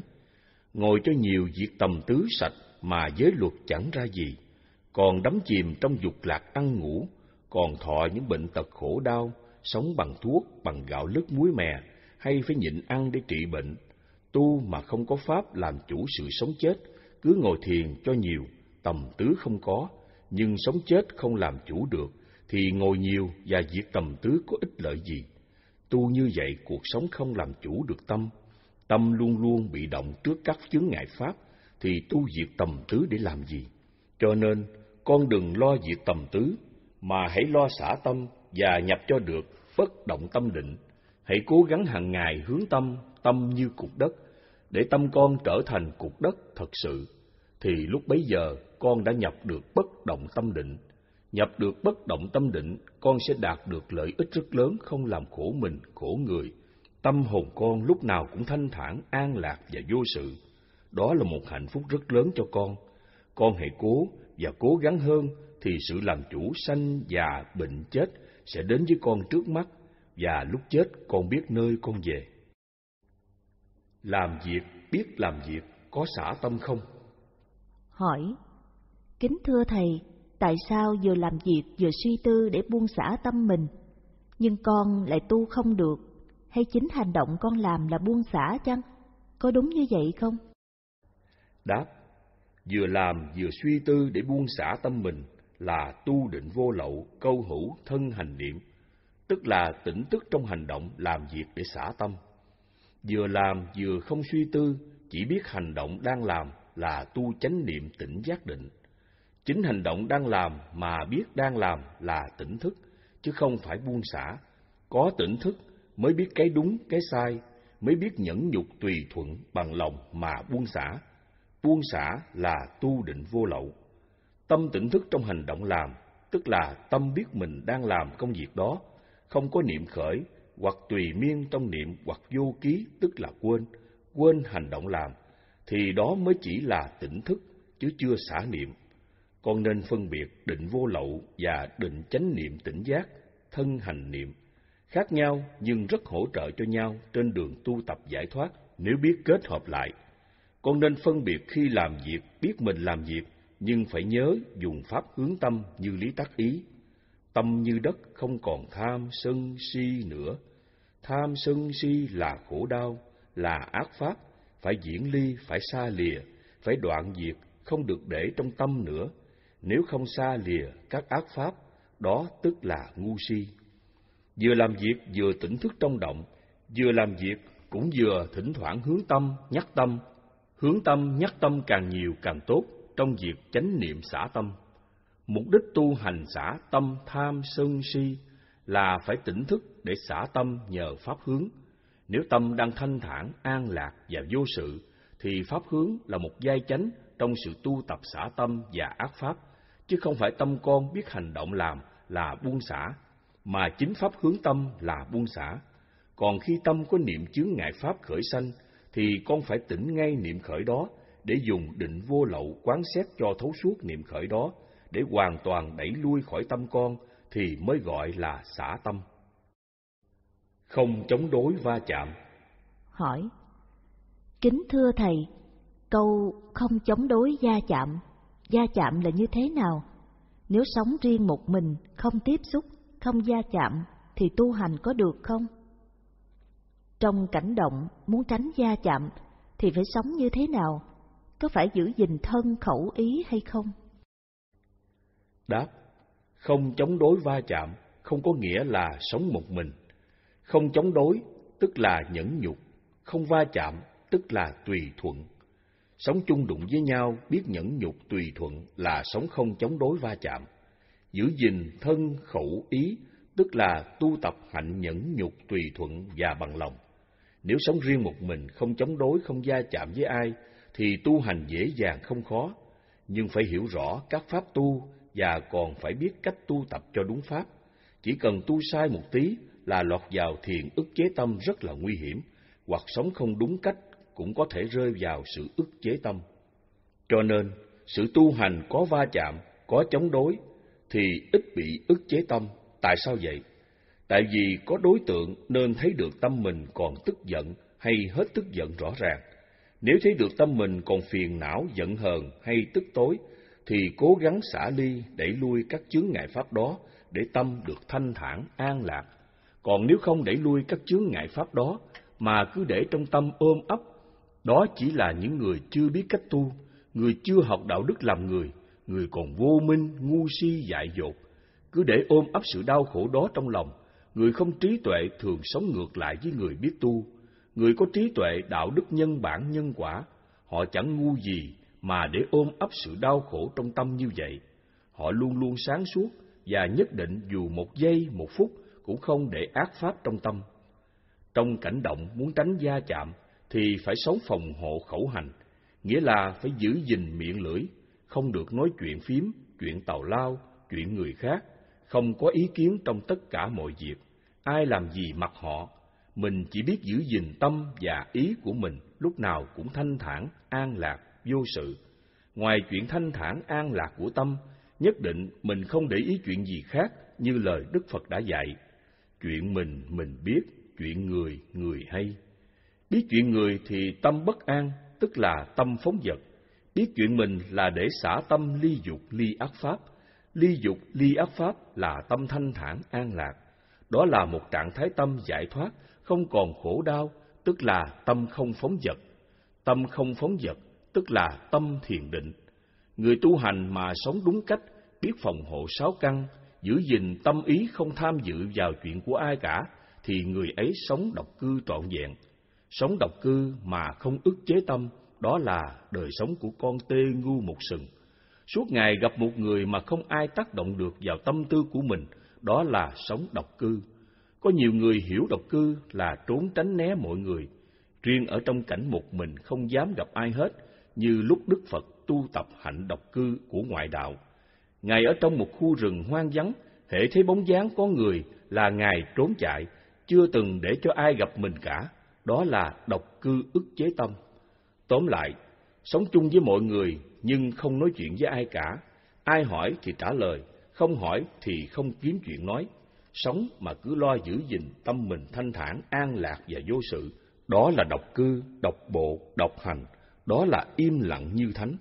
Suốt ngày sống với mọi người mà chỉ có một mình, sống như vậy không bao giờ có gia chạm, đó là sống phòng hộ sáu căn, giữ gìn tâm ý. Người sống được như vậy thì sự tu hành không bao lâu sẽ thành đạt, nghĩa là người ấy sẽ đạt được thiền định và tam minh một cách dễ dàng, không mấy khó khăn và mệt nhọc. Bởi vậy, người biết sống độc cư như vậy là người tu đúng pháp, không bao giờ sợ sai pháp. Sống độc cư được như vậy, tức là đã biết ôm pháp tu hành, lúc nào cũng không lìa pháp. Vì thế tâm hồn họ thanh thản, an lạc và vô sự. Đó là một trạng thái giải thoát của người tu theo đạo Phật. Giáo án tu tập quá nhiều, không biết pháp nào tu cho kết quả. Hỏi, kính thưa thầy, giáo án tu tập thì mênh mông, như hiện nay con thực hiện như thế nào để đạt kết quả viên mãn trong cảnh động? Đáp, trong cảnh động con nên tu tập, nhưng cũng tùy theo đặc tướng của con hợp với pháp nào, nên lấy pháp ấy tu hành. Nghĩa là pháp ấy có kết quả giải thoát rõ ràng đối với bản thân của mình, như một Phòng hộ sáu căn hai Tứ vô lượng tâm ba Tứ chánh cần bốn, Tứ bất hoại tịnh. Năm, Thiểu dục tri túc. Sáu, Chánh niệm tỉnh thức. Bảy, Định niệm hơi thở. Tám, Định vô lậu. Chín, Định sáng suốt. Mười, Trạch pháp. Mười một, Hướng pháp. Mười hai, Quán pháp. Mười ba, Đoạn dứt pháp. Mười bốn, Viễn ly pháp. Mười lăm, Tùy pháp. Mười sáu, Nhẫn pháp. Mười bảy Tịnh chỉ pháp mười tám Ức chế pháp mười chín Xả pháp hai mươi Từ khước pháp Trong hai mươi pháp này, Thầy sẽ chọn cho con để con tu tập cho dễ dàng. Về cuộc sống thì con nên chọn bốn pháp như một Phòng hộ hai Thiểu dục tri túc ba nhẫn pháp, bốn từ khước. Về các pháp tu tập thì con nên chọn sáu pháp như một Tứ chánh cần. Hai Chánh niệm tỉnh giác. Ba Định niệm hơi thở.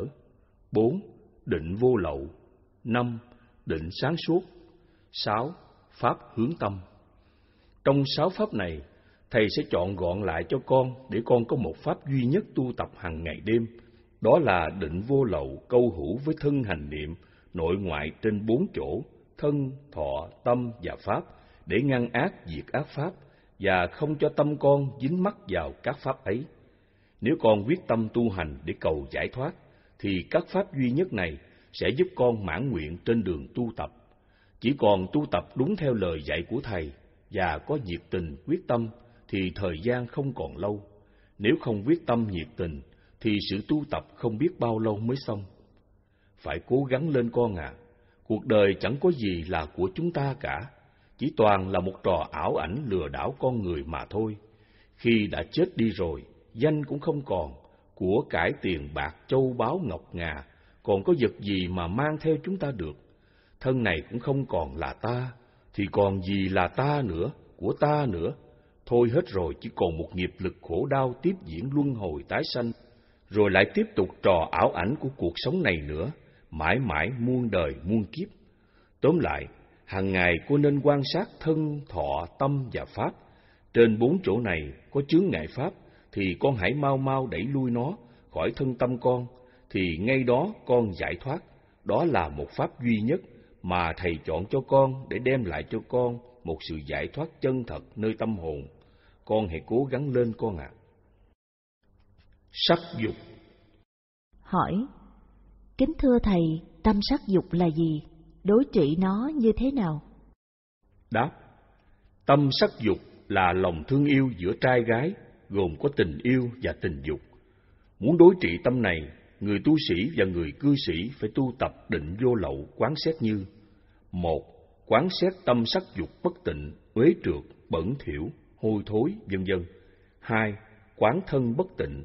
ba Quán tử thi sình trương hôi thối. bốn Quán xương trắng. năm Quán xét tâm sắc dục, trong nhân quả nối tiếp sanh tử luân hồi nhiều đời, nhiều kiếp, khổ đau, không những một người mà nhiều người. sáu Quán xét tâm sắc dục, trong mười hai nhân duyên hợp lại tạo thành một thế giới khổ đau triền miên bất tận. bảy Quán tứ diệu đế. tám Quán xét sắc dục, trong đời sống vợ chồng nghèo đói, con cái nheo nhóc thiếu ăn thiếu mặc, không được học hành tới nơi tới chốn. chín Quán xét sắc dục, trong đời sống đôi vợ chồng gây gỗ đánh nhau, chửi mắng la khóc. mười Quán xét sắc dục, trong đời sống vợ chồng ghen tuông. mười một Quán xét sắc dục, khi người phụ nữ đang sanh. 12. Quán xét sắc dục khi người phụ nữ ôm con nuôi nấng cho đến lớn khôn. Sắc dục là con đường đi tái sanh luân hồi của tất cả các loài động vật, không riêng gì loài người. Cho nên trên đời này không có người nào thoát khỏi, chỉ vì sắc dục có mùi vị dục lạc cám dỗ rất mạnh, khiến cho ai cũng đắm mê. Dục lạc của sắc dục chỉ chốc lát mà để lại cho con người biết bao nhiêu là sự khổ đau của cả một đời người. Con đường tái sanh luân hồi ai cũng biết đó là sắc dục. Muốn chấm dứt tái sanh luân hồi mà không dứt tâm sắc dục, thì làm sao mà tránh khỏi tái sanh luân hồi được? Có người bảo rằng, nếu mọi người trên thế gian này ai cũng ngăn chặn và tránh sắc dục, thì con người trên hành tinh này sẽ không còn nữa, loài người sẽ tuyệt chủng. Nếu mọi người ai cũng không đi vào con đường sắc dục, thì trong môi trường sống này sẽ có một loài động vật sanh ra nơi thanh tịnh và cao quý hơn. Loài động vật sanh ra có bốn chỗ sanh. Một, hóa sanh. Hai, thấp sanh. Ba, noãn sanh. Bốn, thai sanh. Trong bốn loại sanh này có hai loại sanh không đi vào con đường sắc dục, đó là hóa sanh và thấp sanh. Còn noãn sanh và thai sanh thì phải đi vào đường sắc dục từ thấp sanh, noãn sanh và thai sanh đi vào con đường bất tịnh, ô uế, bẩn thỉu, để tạo môi trường hợp duyên sản sinh các loài động vật. Hóa sanh, các con đừng hiểu sự biến hóa ra con người, mà là sự chủ động phối hợp các duyên để sản sinh ra một con người bằng một khả năng tâm lực mà chỉ có những người tu hành lìa khỏi các duyên hợp bất tịnh và đoạn dứt tâm dục thế gian thì mới có đầy đủ tâm lực hòa hợp các duyên trong môi trường sống, tạo nên một con người hoàn thiện, hoàn thiện cả thân và tâm, có nghĩa là thân tâm của người hóa sanh thanh tịnh, không còn một chút dục và ác pháp. Như vậy, trên hành tinh này sẽ có một số lượng con người được sanh ra theo sự chủ động của con người, và những con người hóa sanh này sẽ có một tuổi thọ theo ý muốn của loài người. Như chúng tôi đã nói ở trên, do tâm lực mà người tu hành tạo ra khi họ còn mang thân ngũ uẩn. Thân ngũ uẩn là một loại thân bất tịnh, được sanh ra nơi con đường sắc dục, con đường ô uế bẩn thỉu. Nếu con người toàn bộ đều chấm dứt con đường sắc dục, thì thế gian này rất thanh tịnh, và con người sẽ xuất hiện bằng con đường hóa sanh. Con đường hóa sanh là con đường chủ động sanh ra, chứ không phải con đường sanh sản bị động như thấp sanh, noãn sanh và thai sanh. Nếu trên thế gian này con người không sợ nạn nhân mãn, cứ để tự do theo đường sắc dục mà sanh đẻ, thì trái đất này sẽ không còn chỗ ở và cũng không có lấy vật gì để đủ ăn mà sống. Kế hoạch hóa gia đình là chiến lược hàng đầu của thế giới chống nạn nhân mãn, cho nên sự sanh sản đi qua nẻo sắc dục là một sự lo lắng và đau khổ nhất của loài người. Nhưng con người cứ mãi đắm đuối trên sắc dục mà không thấy sự khổ đau, sự lo lắng, sự ưu tư mà những người trí hiểu biết đang tìm mọi cách thoát ra con đường tái sanh bẩn thỉu, nguy hiểm và đau khổ này.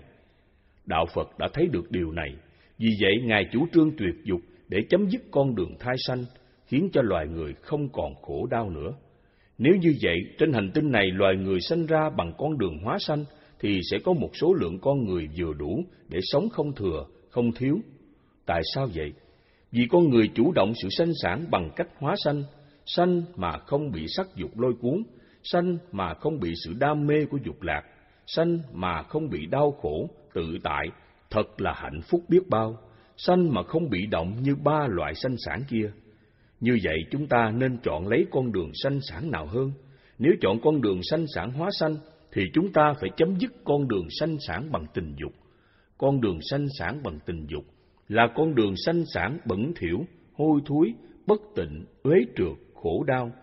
Cho nên loài người sanh ra trên hành tinh này đều vô minh dù là một nhà bác học vẫn là vô minh. Tại sao vậy?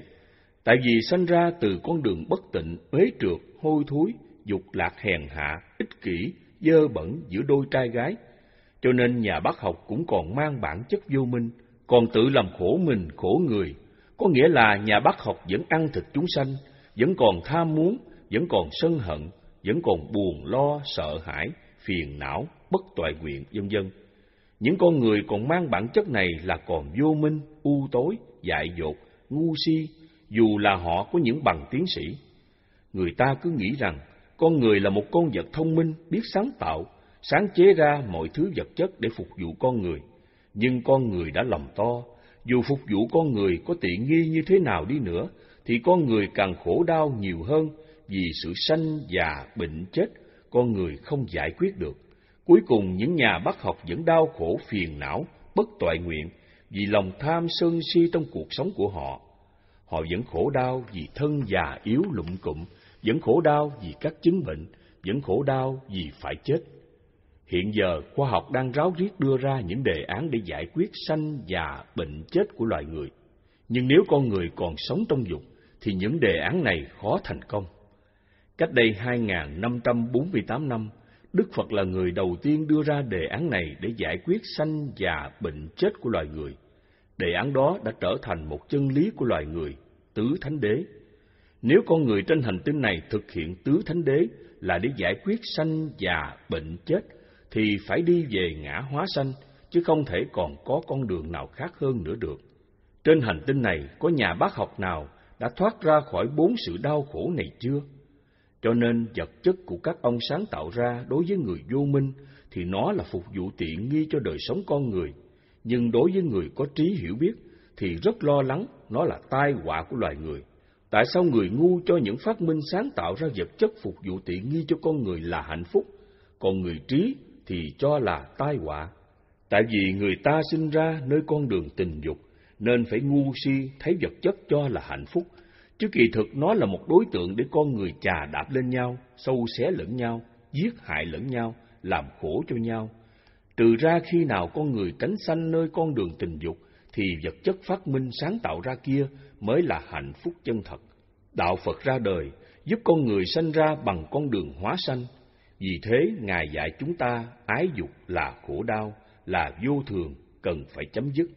Nếu loài người ai cũng biết và hiểu được như vậy, thì nên cố tránh xa con đường tình dục, vì con đường đó sản sinh ra con người u mê, uế trượt, bất tịnh, vô minh, vô thường, khổ đau, và luôn luôn chịu chi phối trong luật nhân quả, sanh, già, bệnh, chết. Cứu độ cha mẹ khi đã khuất bóng Câu hỏi của Diệu Tâm Hỏi Kính thưa Thầy, người tu hành đắc đạo khi cha mẹ đã qua phần lâu rồi, có độ được hay không? Đáp Khi tu xong đắc tâm minh, dùng thiên nhãn minh quan sát khắp cả thế gian, xem xét coi nghiệp lực cha mẹ mình đã sanh về đâu, biết được vị trí cha mẹ sanh ra và đang ở đó, nghiệp lực đó còn duyên hay đã hết duyên với mình. Nếu đã hết duyên, thì mình tạo duyên mới, tức là gieo duyên để gặp lại cha mẹ. Nếu còn có duyên cũ thì sớm muộn gì nghiệp lực nhân quả sẽ đưa đẩy cha mẹ gặp lại mình dễ dàng, nhưng lại sợ mình tu chưa chứng nên không làm sao nhận ra người được. Khi gặp nhau nghiệp lực nhân quả có sức thu hút tạo thành một thiện cảm. Nhờ đó, người tu chứng dùng lời lẽ hay dùng kinh sách để giúp cho người thân của mình hiểu thông đạo đức nhân bản nhân quả làm người và tạo duyên hoặc khuyến khích độ cha mẹ tu hành thọ bát quan trai và hàng ngày sống trong hành động ngăn ác, diệt ác pháp để người thân của mình không tạo nhân ác, luôn tạo nhân thiện. Đó chính là mình độ những người thân thương của mình có một đời sống với thân tâm thanh thản, an lạc và vô sự. Nếu họ có duyên trong một đời này, thì mình sách tấn họ trở thành những bậc xuất gia để tiến tới tu tập thiền định và tam minh, chấm dứt sanh tử luân hồi, không còn tái sanh lại cõi thế gian này nữa. Với việc làm này của một người tu chứng tam minh thì không còn khó khăn. Chúng ta nhớ lại, khi mẹ Đức Phật sanh Ngài ra, chỉ trong vòng bảy ngày mẹ Ngài chết.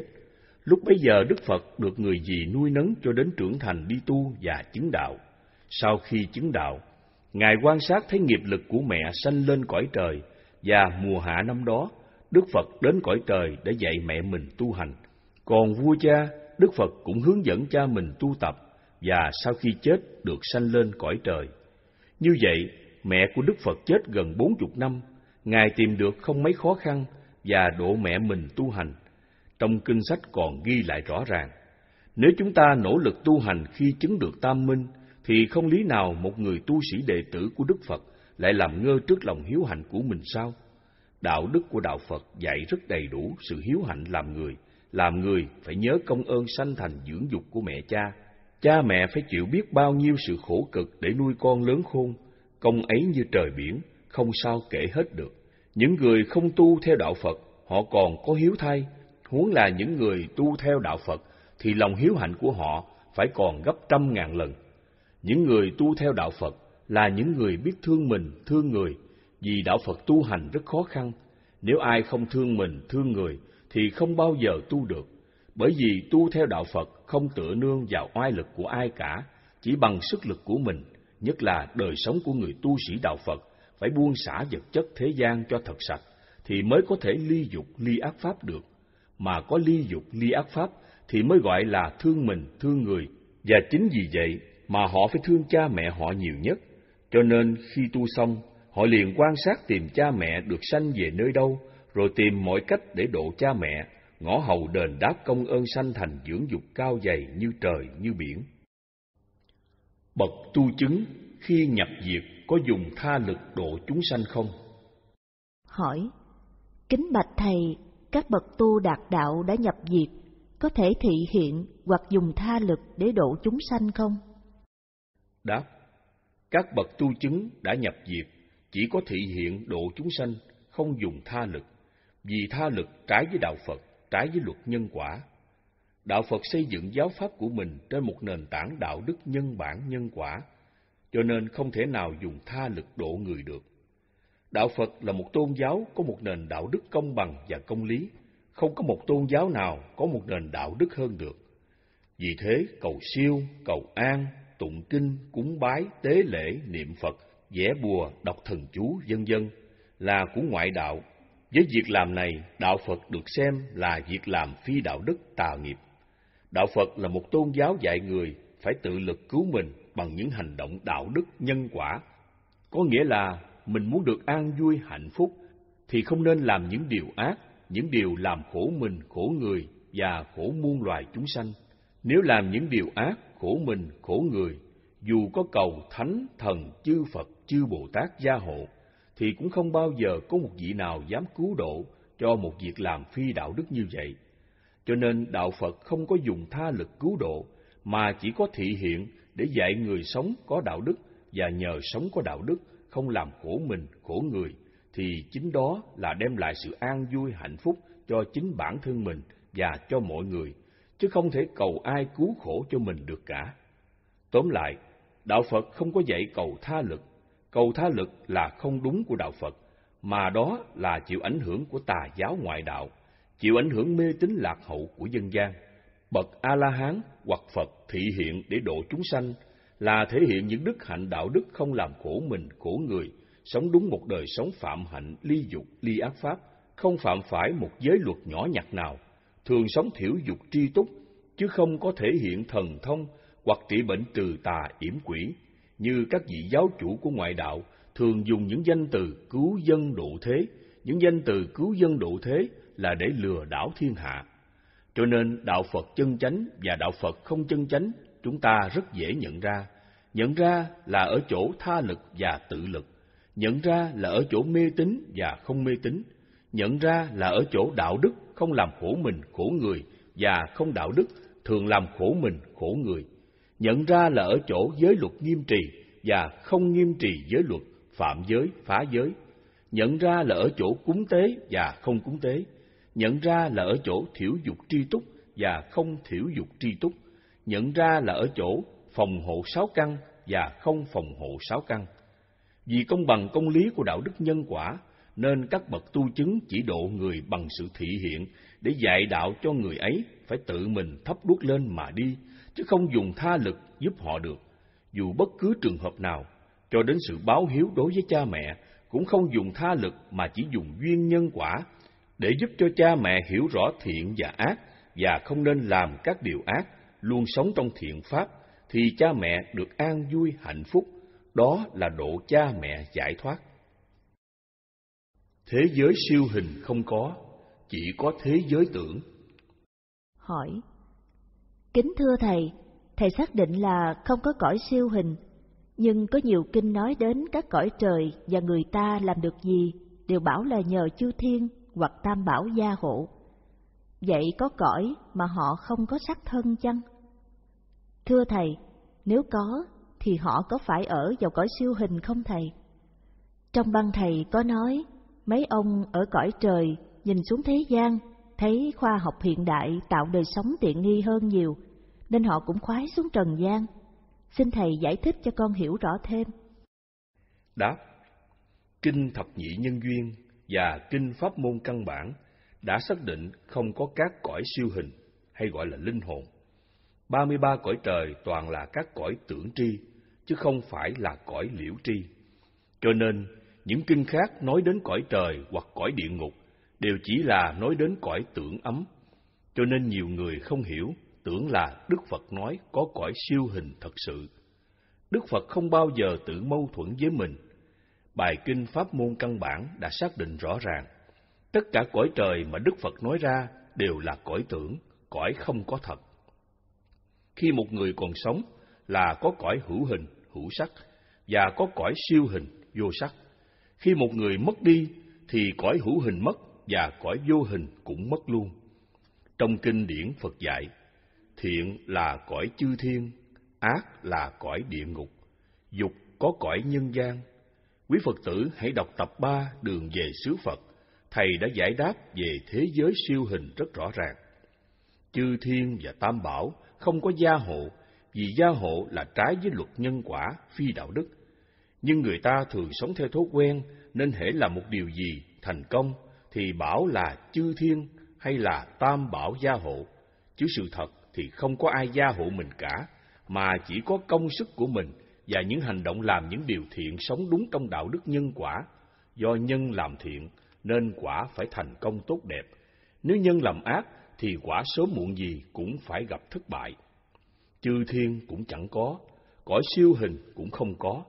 Thầy nói mấy ông ở cõi trời nhìn xuống thế gian là nói mấy ông đi tu mà không dám bỏ dục lạc thế gian. Như thầy đã dạy ở trên, cõi trời là cõi thiện, quý thầy đang ở trong chùa tức là ở cõi thiện, cõi thiện tức là cõi trời. Cõi trời cơm ăn áo mặc rất đầy đủ, không làm vẫn có ăn có mặc. Thế mà quý thầy còn chạy theo dục lạc thế gian, ăn uống phi thời, áo quần sang, chùa cao, Phật lớn, xe cộ đủ loại, tivi, tủ lạnh, máy điều hòa, không khí, vân vân. Thế gian có vật gì thì trong chùa có vật nấy. Như vậy các vị có phải ở trên cõi trời mà nhìn xuống thế gian sanh tâm ham thích không? Có dịp thầy sẽ giải thích thế giới siêu hình, linh hồn người chết có hay không để các con không còn nghi ngờ. Bởi vì các hiện tượng siêu hình thường xảy ra chung quanh các con, nên làm sao người ta rõ được là không có thế giới siêu hình. Trong việc tìm hài cốt liệt sĩ, linh hồn người chết về nhập đồng cốt để chỉ cho thân nhân tìm xương cốt, khiến cho người ta phải chấp nhận có linh hồn. Mà đã có linh hồn thì phải có thế giới siêu hình. Vấn đề này làm các nhà khoa học cũng điên đầu. Nhưng đối với những vị tu sĩ Phật giáo đã nhập tứ thánh định, vượt qua thế giới tưởng ấm, thì họ mới xác định thế giới siêu hình đúng đắn giống như Đức Phật đã dạy. Thế giới siêu hình chỉ là một thế giới của tưởng tri, chứ không phải liễu tri. Cho nên Đức Phật dạy về thế giới cõi trời là những người cũng sống trong cõi thế gian như chúng ta, nhưng họ sống thập thiện, không sống trong thập ác. Đạo Phật tính theo hành động đạo đức nhân quả thiện ác mà phân loại Phật, trời, người, Atula và tất cả các loài chúng sanh theo tiêu chuẩn như sau. Một, thế giới của chư Phật thì vô lậu. Hai, thế giới của chư thiên thì thập thiện. Ba, thế giới của loài người là dục giới và ngũ giới. Bốn, thế giới của Atula là sân và ác pháp. Năm, thế giới của loài chúng sanh là ác pháp nhiều, thiện pháp ít. Sáu, thế giới của địa ngục là toàn ác pháp.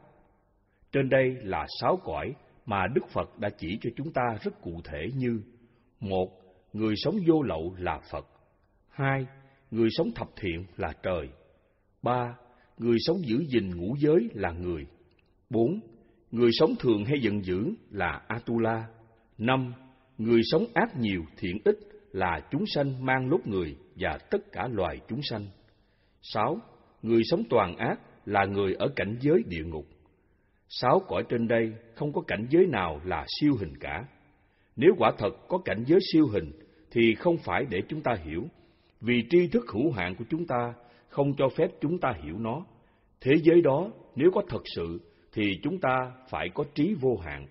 Sanh ra làm người, chúng ta không thể nào có trí vô hạn được. Trí của chúng ta hiện giờ, đối với không gian thì bị ngăn sông cách núi, nên không thấy, không nghe. Còn đối với thời gian thì bị chia cắt quá khứ hiện tại và vị lai, cho nên con người phải phát minh ra những loại máy để sử dụng thâu ngắn không gian và ghi nhớ để hạn chế bớt thời gian chia cắt. Nếu đạo Phật có cõi trời, thì đạo Phật cũng bắt chước các tôn giáo khác mà thôi. Đó là đúc từ khuôn mê muội và quá sợ hãi của loài người thời cổ trước sự hùng vĩ của môi trường sống thiên nhiên. Nhập tứ thiền có phải là A-la-hán không? hỏi Kính thưa Thầy, Thầy và quý Thầy tu nhập định tứ thiền có phải như một A-la-hán trong thời Đức Phật không?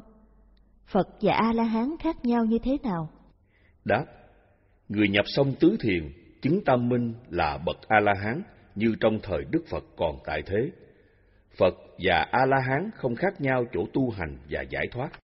A-la-hán chỉ khác Phật là chỗ Đức Phật là giáo chủ, người sáng lập ra Phật giáo. Bởi vì Đức Phật cũng tu từ giới định tuệ mà được giải thoát.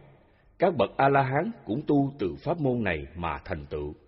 Cho nên sự viên mãn giải thoát phải giống như nhau khi tu hành giải thoát rồi, thì người nào cũng như người nấy.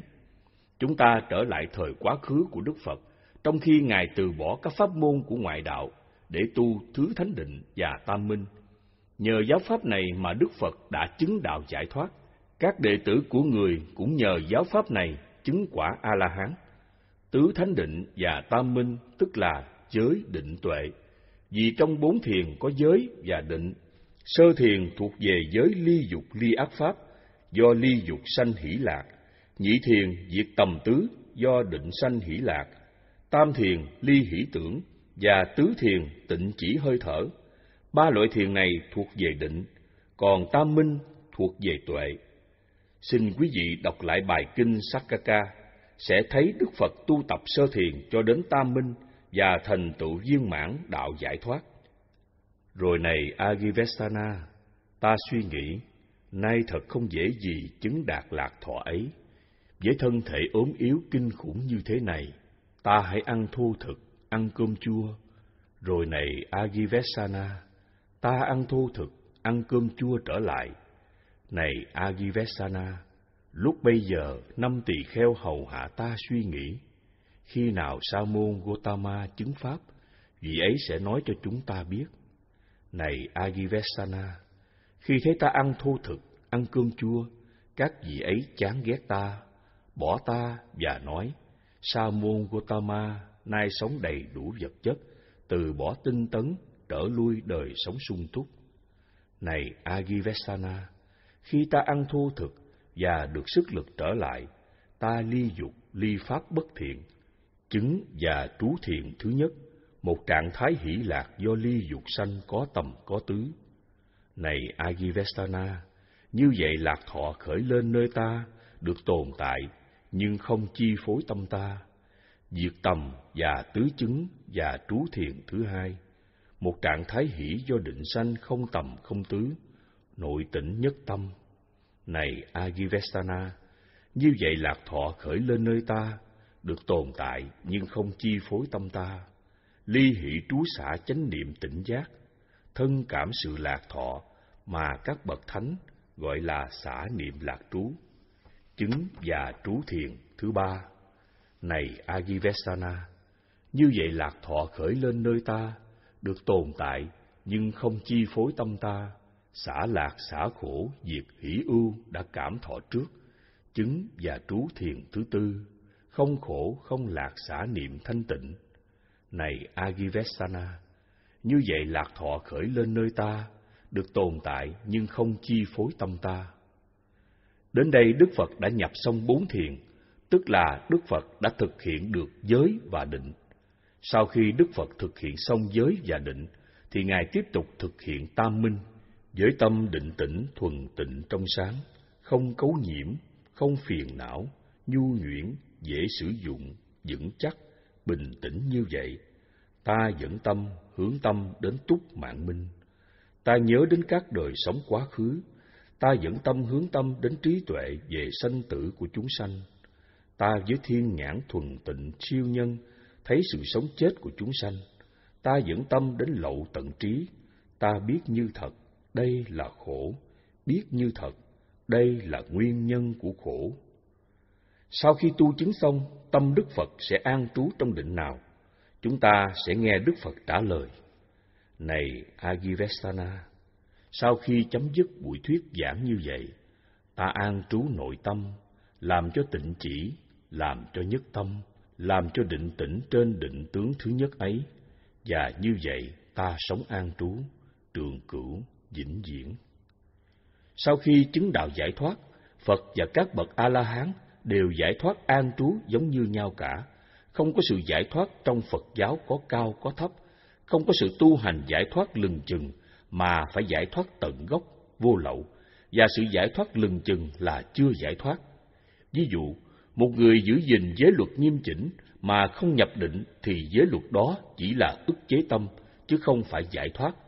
Cũng như một người nhập tứ thánh định mà không thực hiện tam minh thì cũng chưa được gọi là giải thoát, đó là ức chế tâm.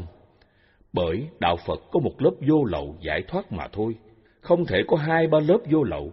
Vì thế, ai tu vô lậu là giải thoát, ai tu không vô lậu là không giải thoát. Người tu vô lậu là bậc A-la-hán, nên Phật cũng là A-la-hán mà thôi. Vì thế, Phật và A-la-hán không khác nhau.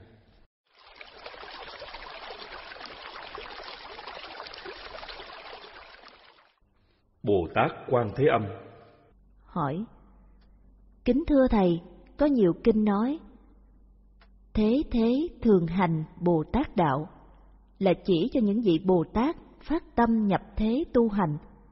Vậy chư vị Bồ Tát vị nguyện tu hành thành Phật mà xuống cõi ta bà này để độ chúng sanh không? Nhưng sao Thầy bảo Bồ Tát Quan Thế Âm do tưởng tượng chứ không có thật?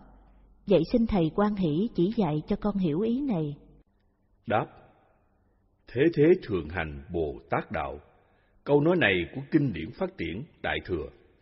Bồ Tát là vị tu hành chưa xong mà thể hiện độ chúng sanh, chẳng khác một người mù mà dẫn dắt một đám người mù, cũng như người chưa biết lội mà cứu người chết đuối thì làm sao mà cứu được, chỉ có chết chung nhau cả đám mà thôi. Có người bảo rằng cứ theo kinh sách có sẵn của Đức Phật mà cứ giảng ra có sai đâu. Kinh sách là pháp môn chết, nên nó không chỉ cho chúng ta kinh nghiệm được.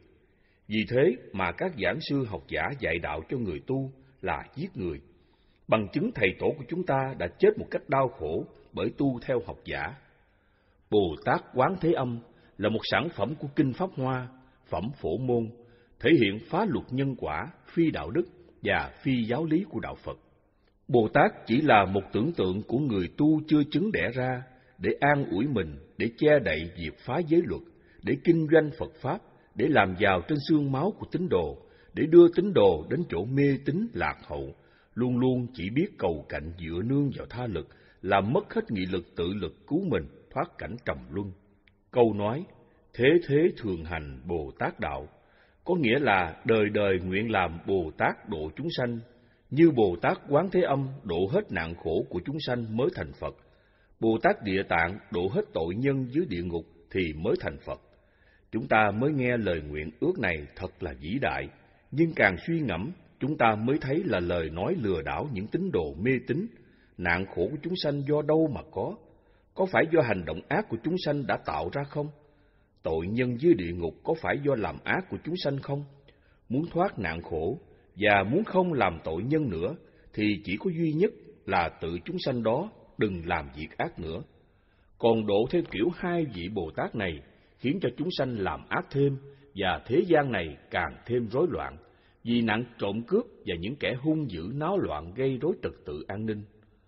Bồ Tát trong kinh Nguyên Thủy chỉ là một người mới tu hành chưa chứng đạo, cho nên chẳng dám dạy ai tu hành cả. Đức Phật răng nhắc điều này, tu chưa chứng đạo mà dạy người là giết người. Bồ Tát trong kinh phát triển là Bồ Tát tham danh, tu chưa tới đâu, chỉ học trong mấy bộ kinh rồi tưởng giải ra làm lệch ý Phật, đẻ ra kinh sách phát triển, dạy người tu hành mê tín, trừu tượng, ảo giác, khiến người tu hành theo Phật giáo mà thành tu pháp môn ngoại đạo. Cho nên, quý Phật tử cần phải đề cao cảnh giác những hạng Bồ Tát danh lợi này.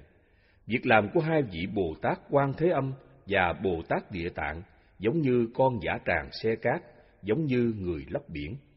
Bồ Tát Quan Thế Âm và Bồ Tát Địa Tạng là hai vị thần của Bà La Môn. Nó là một sản phẩm tưởng tượng, hí luận của ngoại đạo, tạo sự mê tín phi đạo đức trong dân gian mà hầu hết mọi người đều mê lầm.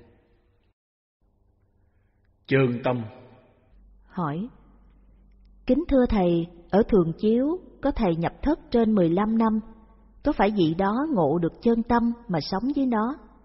Hay nhập chân tâm rồi và nuôi dưỡng nó càng ngày càng sâu màu hơn? Đáp Lẽ ra câu hỏi này cô nên hỏi Hòa Thượng Thanh Từ, vì đó là nguồn gốc của thiền tông Trung Hoa chứ không phải của Phật giáo Nguyên Thủy. Chân tâm là sự tưởng giải của kinh sách phát triển Ấn Độ, ảnh hưởng lão giáo đẻ ra thiền đông độ. Mục đích của người tu thiền đông độ là kiến tánh rồi khởi tu, thấy tánh rồi mới tu.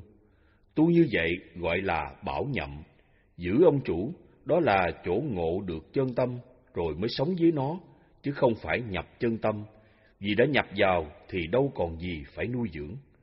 Mục đích của thiền đông độ không phải làm chủ sanh tử, chấm dứt luân hồi, mà chỉ nhắm vào bản thể bất biến thường hằng bằng bốn tánh niết bàn, thường, lạc, ngã, tịnh.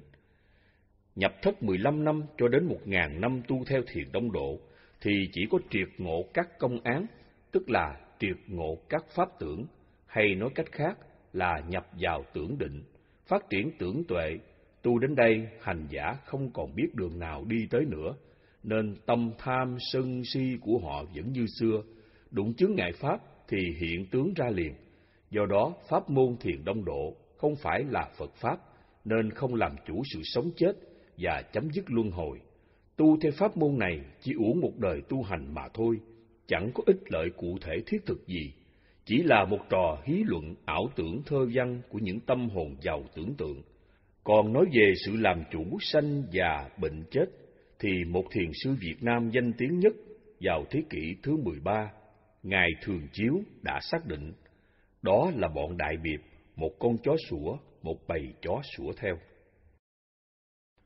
Tưởng uẩn Hỏi, kính thưa thầy, có lần hòa thượng nói, có vị thiền sư khi chứng ngộ khóc ròng, nhưng cũng có vị thiền sư khi chứng ngộ cười hoài.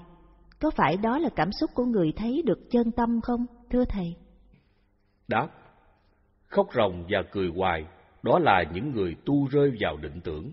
Tưởng uẩn tác động gây cảm xúc tưởng mình đã ngộ nhập vào bản thể chân như, chân thực có, nên mới có những trạng thái kỳ lạ. Sự tu hành này chính là sự ức chế ý thức, khiến cho ý thức không khởi niệm thiện cũng như niệm ác, nên ý thức ngưng bặt, làm cho tưởng thức bắt đầu hoạt động. Khi tưởng thức bắt đầu hoạt động, thì hành giả có những cảm giác hỷ lạc hoặc các sắc tưởng, hương tưởng, dị tưởng, thinh tưởng, cho đến khi pháp tưởng xuất hiện. Pháp tưởng xuất hiện có nhiều trường hợp xảy ra khi tâm dừng bặt vọng tưởng. Có vị pháp tưởng xuất hiện nhận ra Phật tánh bằng một câu kinh như lục tổ Huệ Năng, ưng vô sở trụ nhi sanh kỳ tâm. Câu này trong Kinh Kim Cang Bát Nhã, Mã Tổ ngộ Phật tánh bằng câu kinh, tức tâm tức Phật, Phật tức tâm. Có vị pháp tưởng xuất hiện ngộ Phật tánh bằng một câu công án của thiền sư Triệu Châu, con chó có Phật tánh hay không? Không. Nhờ câu này mà thiền sư Huệ Khai đã ngộ được tâm, vô vô vô vô. Hoàng bá ngộ được Phật tánh khóc mãi, linh dân ngộ được Phật tánh cười hoài. Tất cả những sự ngộ này đều do ảnh hưởng của tưởng uẩn tạo ra, khiến cho người khóc kẻ cười, người la kẻ hét, người đánh kẻ làm thinh, gần như người điên. May là họ ngộ pháp tưởng còn như vậy, huống là rối loạn thần kinh thì hết cứu chữa. Độ người Hỏi Kính bạch thầy, xin thầy cho con biết con của con, nó có thể thực hiện ý nguyện lấy đức độ người được không?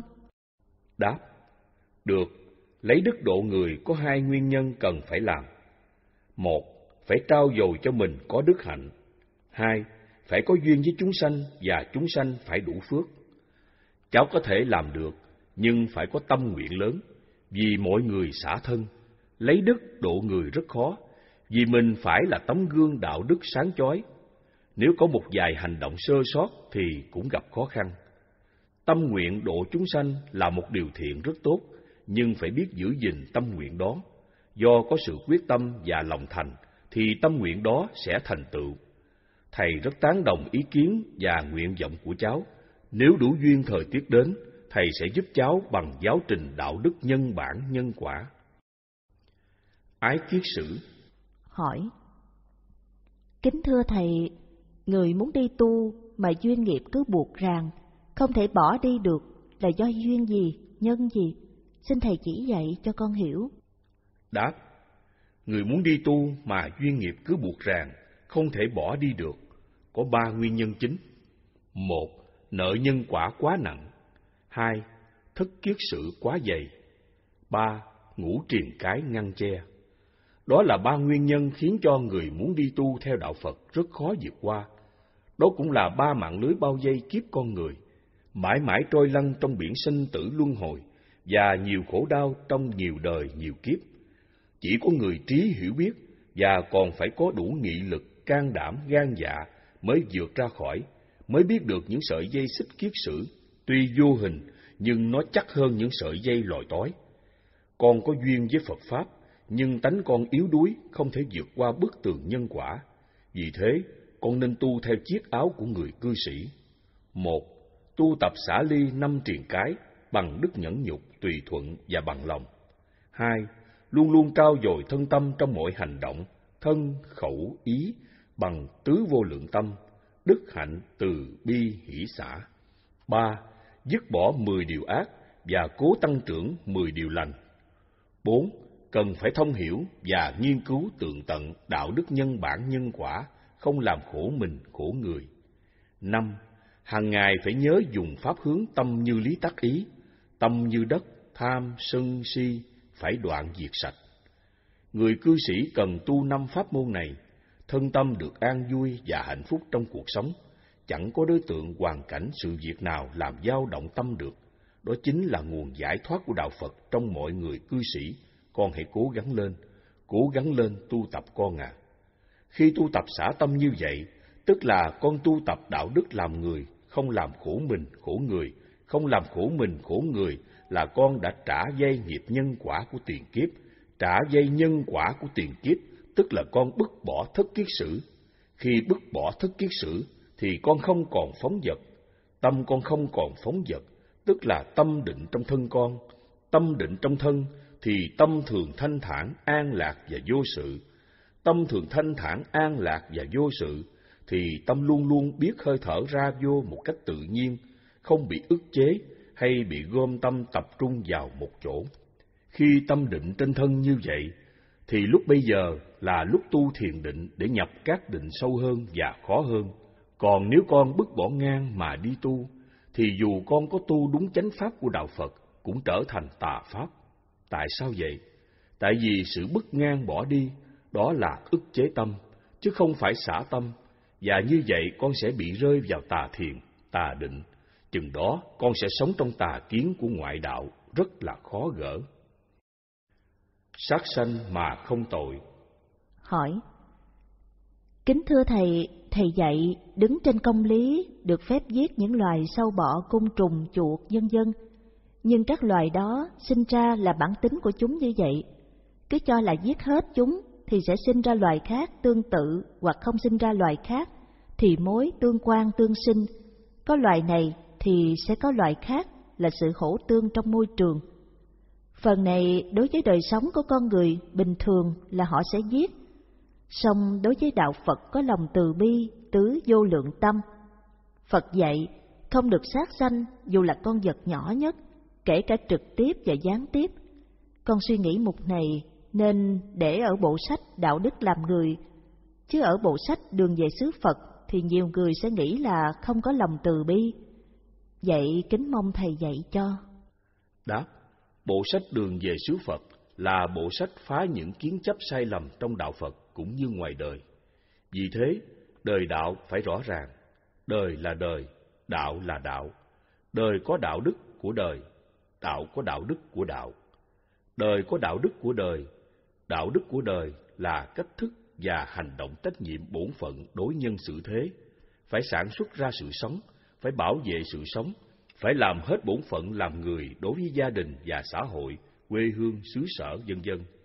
Ai cũng biết vị trí làm người là phải sản xuất ra sự sống và bảo vệ nó, chứ không được quyền ăn bám vào người khác.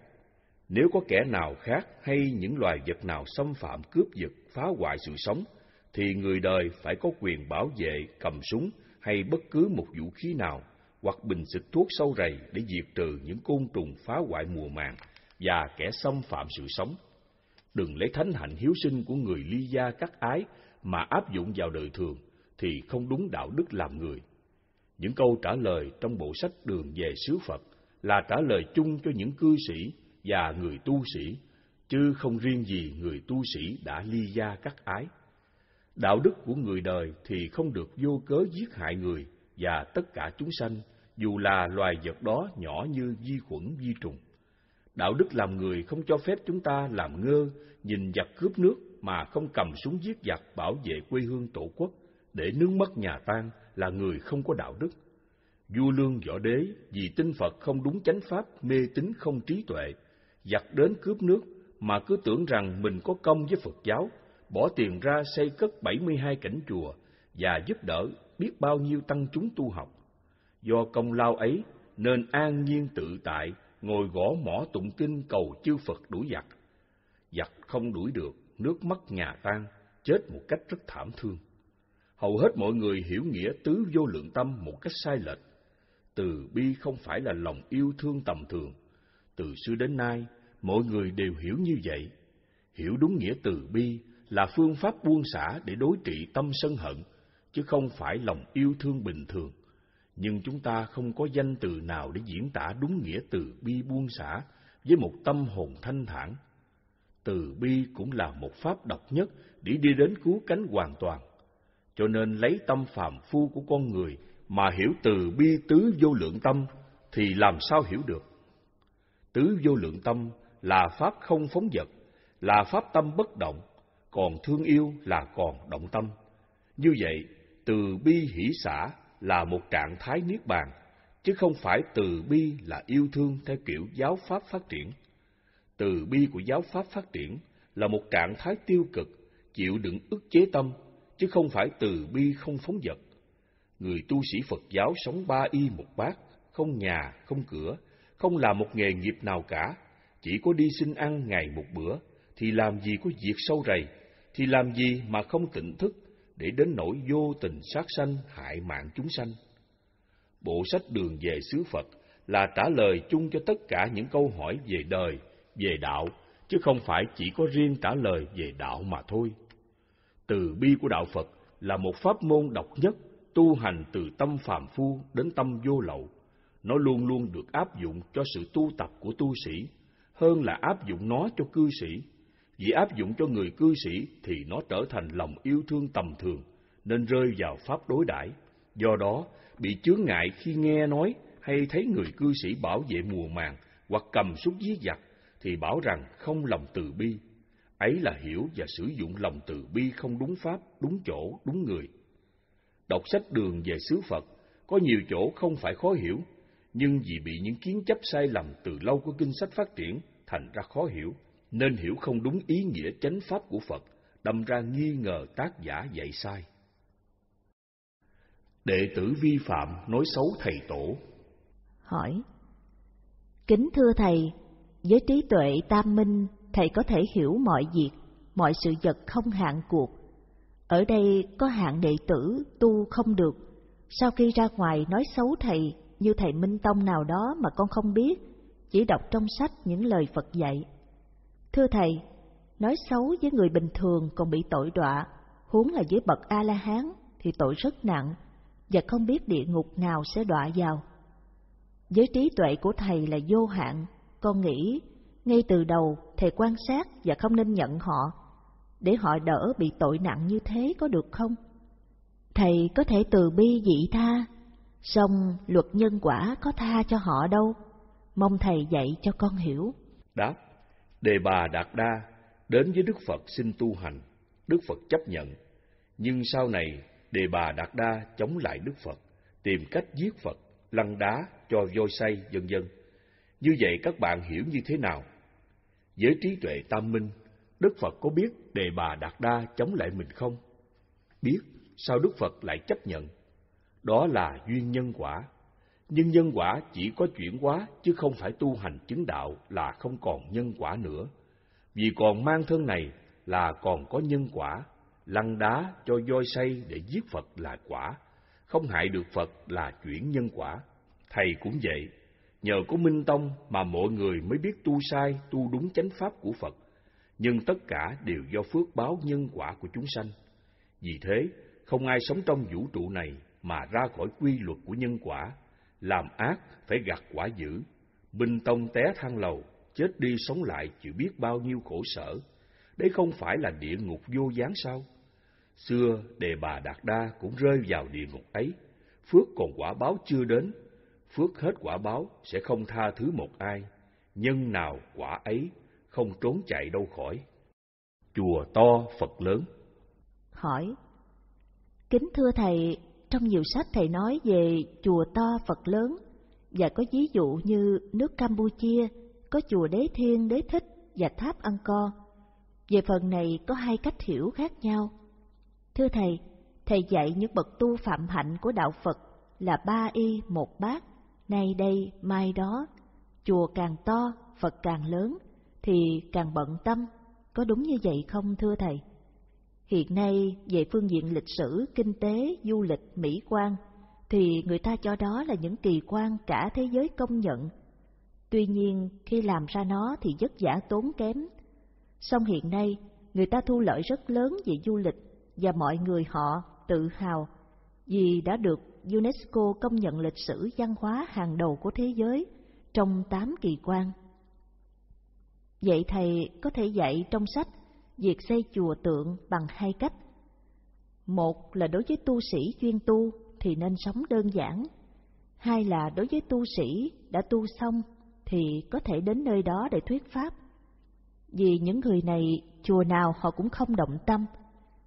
Nhờ nơi đó, người dân dễ tập trung nghe pháp. Nó sẽ làm tăng giá trị lịch sử của Phật giáo. Các thế hệ sau này cũng tự hào về tôn giáo của họ. Vậy thầy có thể giảng cho con tường tận vấn đề này được không? Đáp, ai đọc kinh sách Phật giáo nguyên thủy đều phải công nhận giáo lý của đạo Phật là chân lý của loài người. Nói chân lý loài người là nói đến một sự thật không hề có một chút xíu không đúng. Chính vì vậy, nó là đạo đức nhân bản nhân quả, nên Đức Phật đã xác định thiên thượng thiên hạ, duy ngã độc tôn. Đạo Phật chủ trương nhân bản, lấy con người làm trụ cột, biến cõi sống thế gian thành cảnh cực lạc thiên đàng, chứ không có hình thức mơ mộng, ảo tưởng thiên đàng cực lạc, hoặc thần thánh, tiên Phật, Ngọc Hoàng, Thượng Đế, Chúa Trời, vân vân. Do chủ trương nhân bản nhân quả, nên Phật giáo lấy đức hạnh, giới luật, làm chỗ nương tựa, làm thầy hướng dẫn, làm cuộc sống cho mình. Vì thế, xây chùa to Phật lớn là sai. Gương hạnh Đức Phật ngày xưa còn đó, thành đạo dưới cội cây Bồ Đề, chết dưới cội Sa La sông Thọ. Thế mà ngày nay chùa to Phật lớn khắp nơi, lại còn có những ngôi chùa tháp được mọi người công nhận là kỳ quan đệ nhất thế giới, thì thử hỏi, những việc làm này đi ngược lại tinh thần xã phú cầu bần của Phật giáo, thì còn gì là Phật giáo nữa, phải không các bạn? Vì lấy con người làm gốc nên Phật giáo phải xây dựng con người, xây dựng con người để trở thành những kỳ quan thế giới bằng chất liệu đức hạnh, không làm khổ mình, khổ người và khổ tất cả chúng sanh. Theo chúng tôi thiết nghĩ, đó là một kỳ quan thế giới tuyệt vời, xứng đáng để con người tự hào hãnh diện vì con người thì mới đúng nghĩa. Còn xây chùa to, Phật lớn, lấy chất liệu đất đá mô phỏng theo hình thức dạng vật vũ trụ thiên nhiên tạo ra, rồi tự hào bảo nhau đó là kỳ quan thế giới. Thực tế, trên hành tinh này, vũ trụ đã xây dựng biết bao nhiêu kỳ quan đẹp đẽ gấp trăm ngàn lần những kỳ quan của loài người, như Vịnh Hạ Long, Phong Nha, vân vân. Trước những cảnh này, con người có làm được như vậy không? Những kỳ quan thế giới hiện giờ chỉ là những sự mô phỏng bắt chước thiên nhiên vũ trụ, vẻ hùng vĩ đẹp đẽ của nó còn thua xa vũ trụ gấp trăm ngàn lần như trên đã nói, thì có gì mà chúng ta tự hào.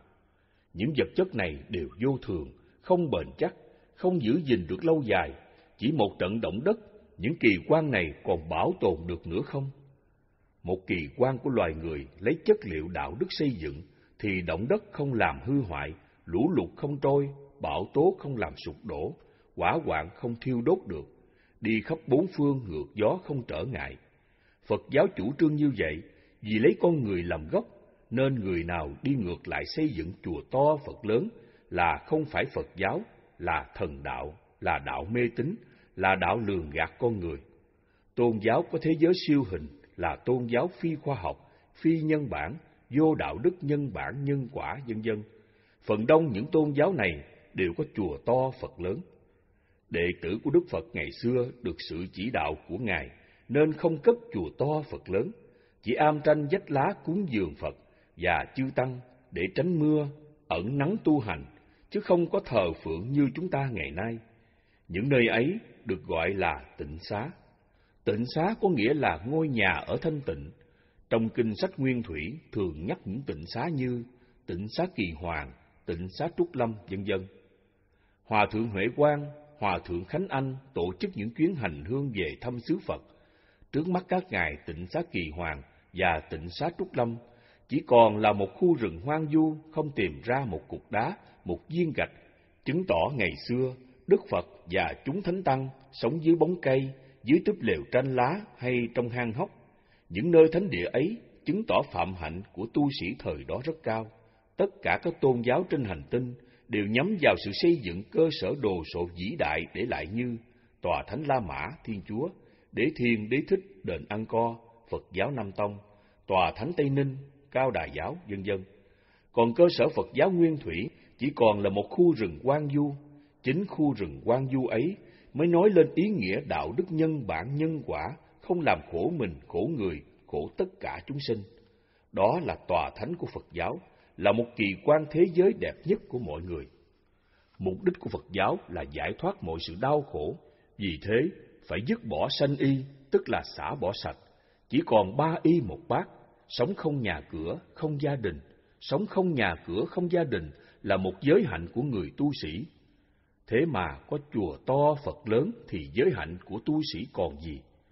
Như vậy, tu sĩ nào sống trong chùa to Phật lớn là tu sĩ phạm giới. Tu sĩ phạm giới là ma ba tuần trong Phật giáo, là trùng trong long sư tử đang diệt Phật giáo. Xin các bạn lưu ý.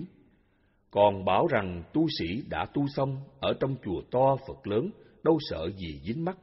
Giả lại, dùng cơ sở đó làm nơi giảng đạo, mọi người tập trung về nghe Pháp rất tiện lợi.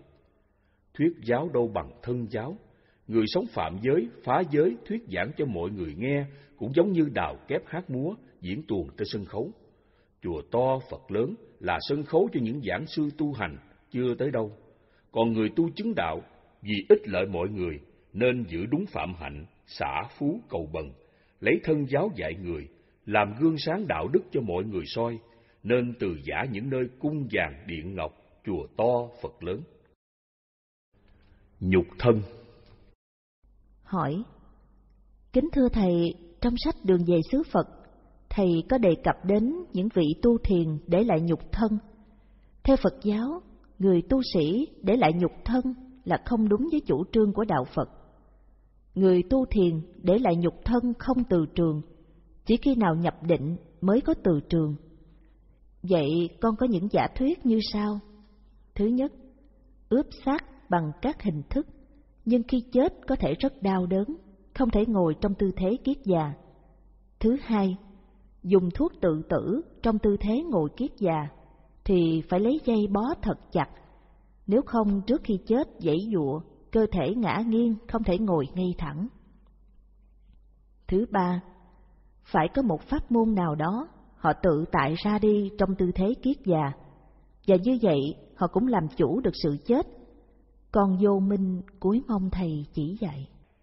Đáp, Đức Phật nhìn thân người là một chất bất tịnh, hôi thối, do các duyên hợp lại, thường thay đổi tạo nhiều khổ đau, nên thân người không có gì quý báu. Người tu hành không hiểu mục đích của đạo Phật, nên thường nghĩ ra những điều kỳ lạ để bảo chứng sự tu hành của mình chứng đạo. Thưa các bạn, mục đích của đạo Phật là chỗ bất động tâm trước pháp ác và các cảm thọ, chứ không phải để lại nhục thân xá lợi vân dân, hoặc ngồi thiền năm bảy ngày, tịnh chỉ hơi thở, hoặc thị hiện thần thông biến hóa tàn hình vân dân.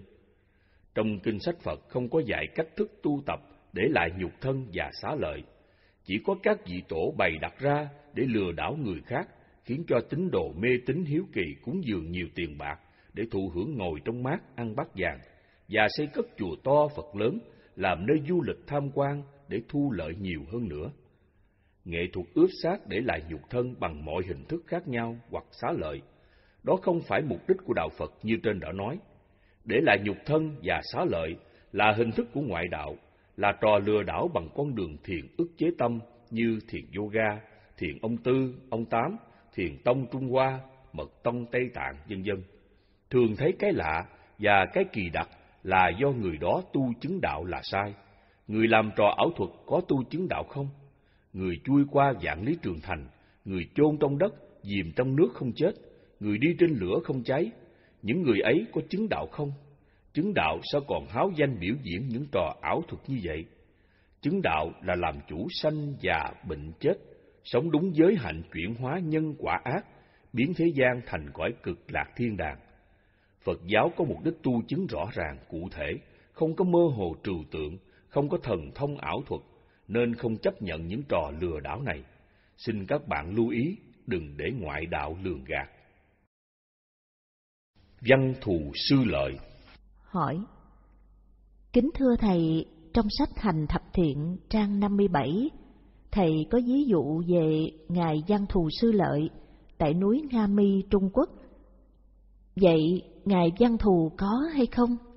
Kinh sách phát triển thường nói về Văn Thù Sư Lợi, nhưng kinh sách Nguyên Thủy thì không có, vậy mong Thầy dạy cho. Đáp, Ngài Văn Thù Sư Lợi ở núi Nga Mi là người Trung Quốc tu theo lão tử, tiên đạo. Đọc lại đoạn kinh hành thập thiện, thì chúng ta thấy lời nói của Ngài Văn Thù giống như lời nói của các vị thiền sư Trung Hoa. Kinh sách phát triển chịu ảnh hưởng tiên đạo sinh ra thiền tông. Thiền tông chính là con của lão tử. Văn Thù Sư Lợi trong kinh phát triển là một vị thần của Bà La Môn, chứ không phải văn thù sư lợi của Trung Hoa ở núi Nga Mi. Tiểu thuyết gia Trung Quốc tác giả bộ truyện Phong Thần đã biến hai vị văn thù sư lợi thành một vị bằng cách cho Ngài văn thù sư lợi trước tu tiên, sau tu theo Phật. Đó là những nhân vật tiểu thuyết, chứ không có thật. Chỉ có những người thiếu tri kiến nhận xét mới tin những nhân vật huyền thoại hư cấu của tiểu thuyết. Đây là những nhân vật hư cấu không có lịch sử chân thật. Khi đưa ra nhân vật này trong kinh hành thập thiện, thì chúng tôi có mục đích dung hòa Đại Thừa, Thiền Tông và Nguyên Thủy, vì thời điểm đó nói thẳng bất lợi. Kinh sách phát triển Đại Thừa có từ bên Ấn Độ, nên Ngài Văn Thù Sư Lợi phải là người Ấn Độ. Vì vậy có hai vị Văn Thù Sư Lợi, một Trung Hoa, một Ấn Độ. Từ xưa đến nay, người ta đã lầm tưởng là có một vị mà thôi.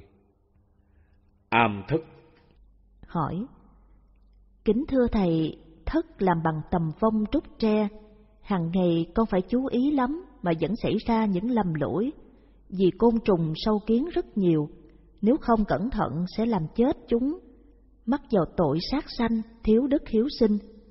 Do sự kiện này con suy nghĩ, tu viện nên xây cất thất cấp 4, không hao tốn nhiều, bền bỉ, lâu dài, tránh vô tình sát sanh.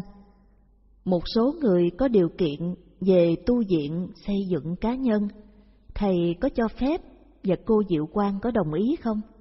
Còn những người có trụ xứ riêng thì việc xây dựng có được không? Đáp, ý kiến này rất hay, để thầy nghiên cứu lại mô hình xây cất thất như thế nào để phù hợp với phạm hạnh của người tu sĩ Phật giáo. Thất phải đơn giản, ít thao tốn, mát mẻ, vệ sinh, tiện nghi cho việc hành thiền, tránh được những loài côn trùng xâm chiếm vào thất và bảo trì được lâu dài. Nếu những người nào có điều kiện về tu viện xây dựng cá nhân, thầy sẽ cho phép họ xây cất theo mô hình đúng tiêu chuẩn phạm hạnh của tu viện, để nói lên được tinh thần bình đẳng và mỹ thuật của tu viện. Còn những người có trụ xứ riêng, muốn xây dựng thất ở tu hành, thì nên theo mô hình của tu viện mà xây cất đúng kích thước để nói lên được đời sống phạm hạnh của người đệ tử tu viện chân như. Giáo trình tu tập bát chánh đạo Hỏi Kính thưa Thầy, vì lợi ích chúng sanh, con xin thỉnh Thầy viết bộ giáo trình cốt lõi dành cho những người chuyên tu từ sơ cơ đến cao cấp A-la-hán. Trong từng cấp học có những bài học theo thứ tự từ thấp lên cao. Sau khi học xong mỗi cấp đều được kiểm chứng kết quả tu học. Nếu kiểm chứng kết quả tu học không đúng tiêu chuẩn, thì được ở lại tu học lớp cũ. Hiện giờ giáo trình tu học chưa có. Những người ở xa thầy gặp nhiều khó khăn.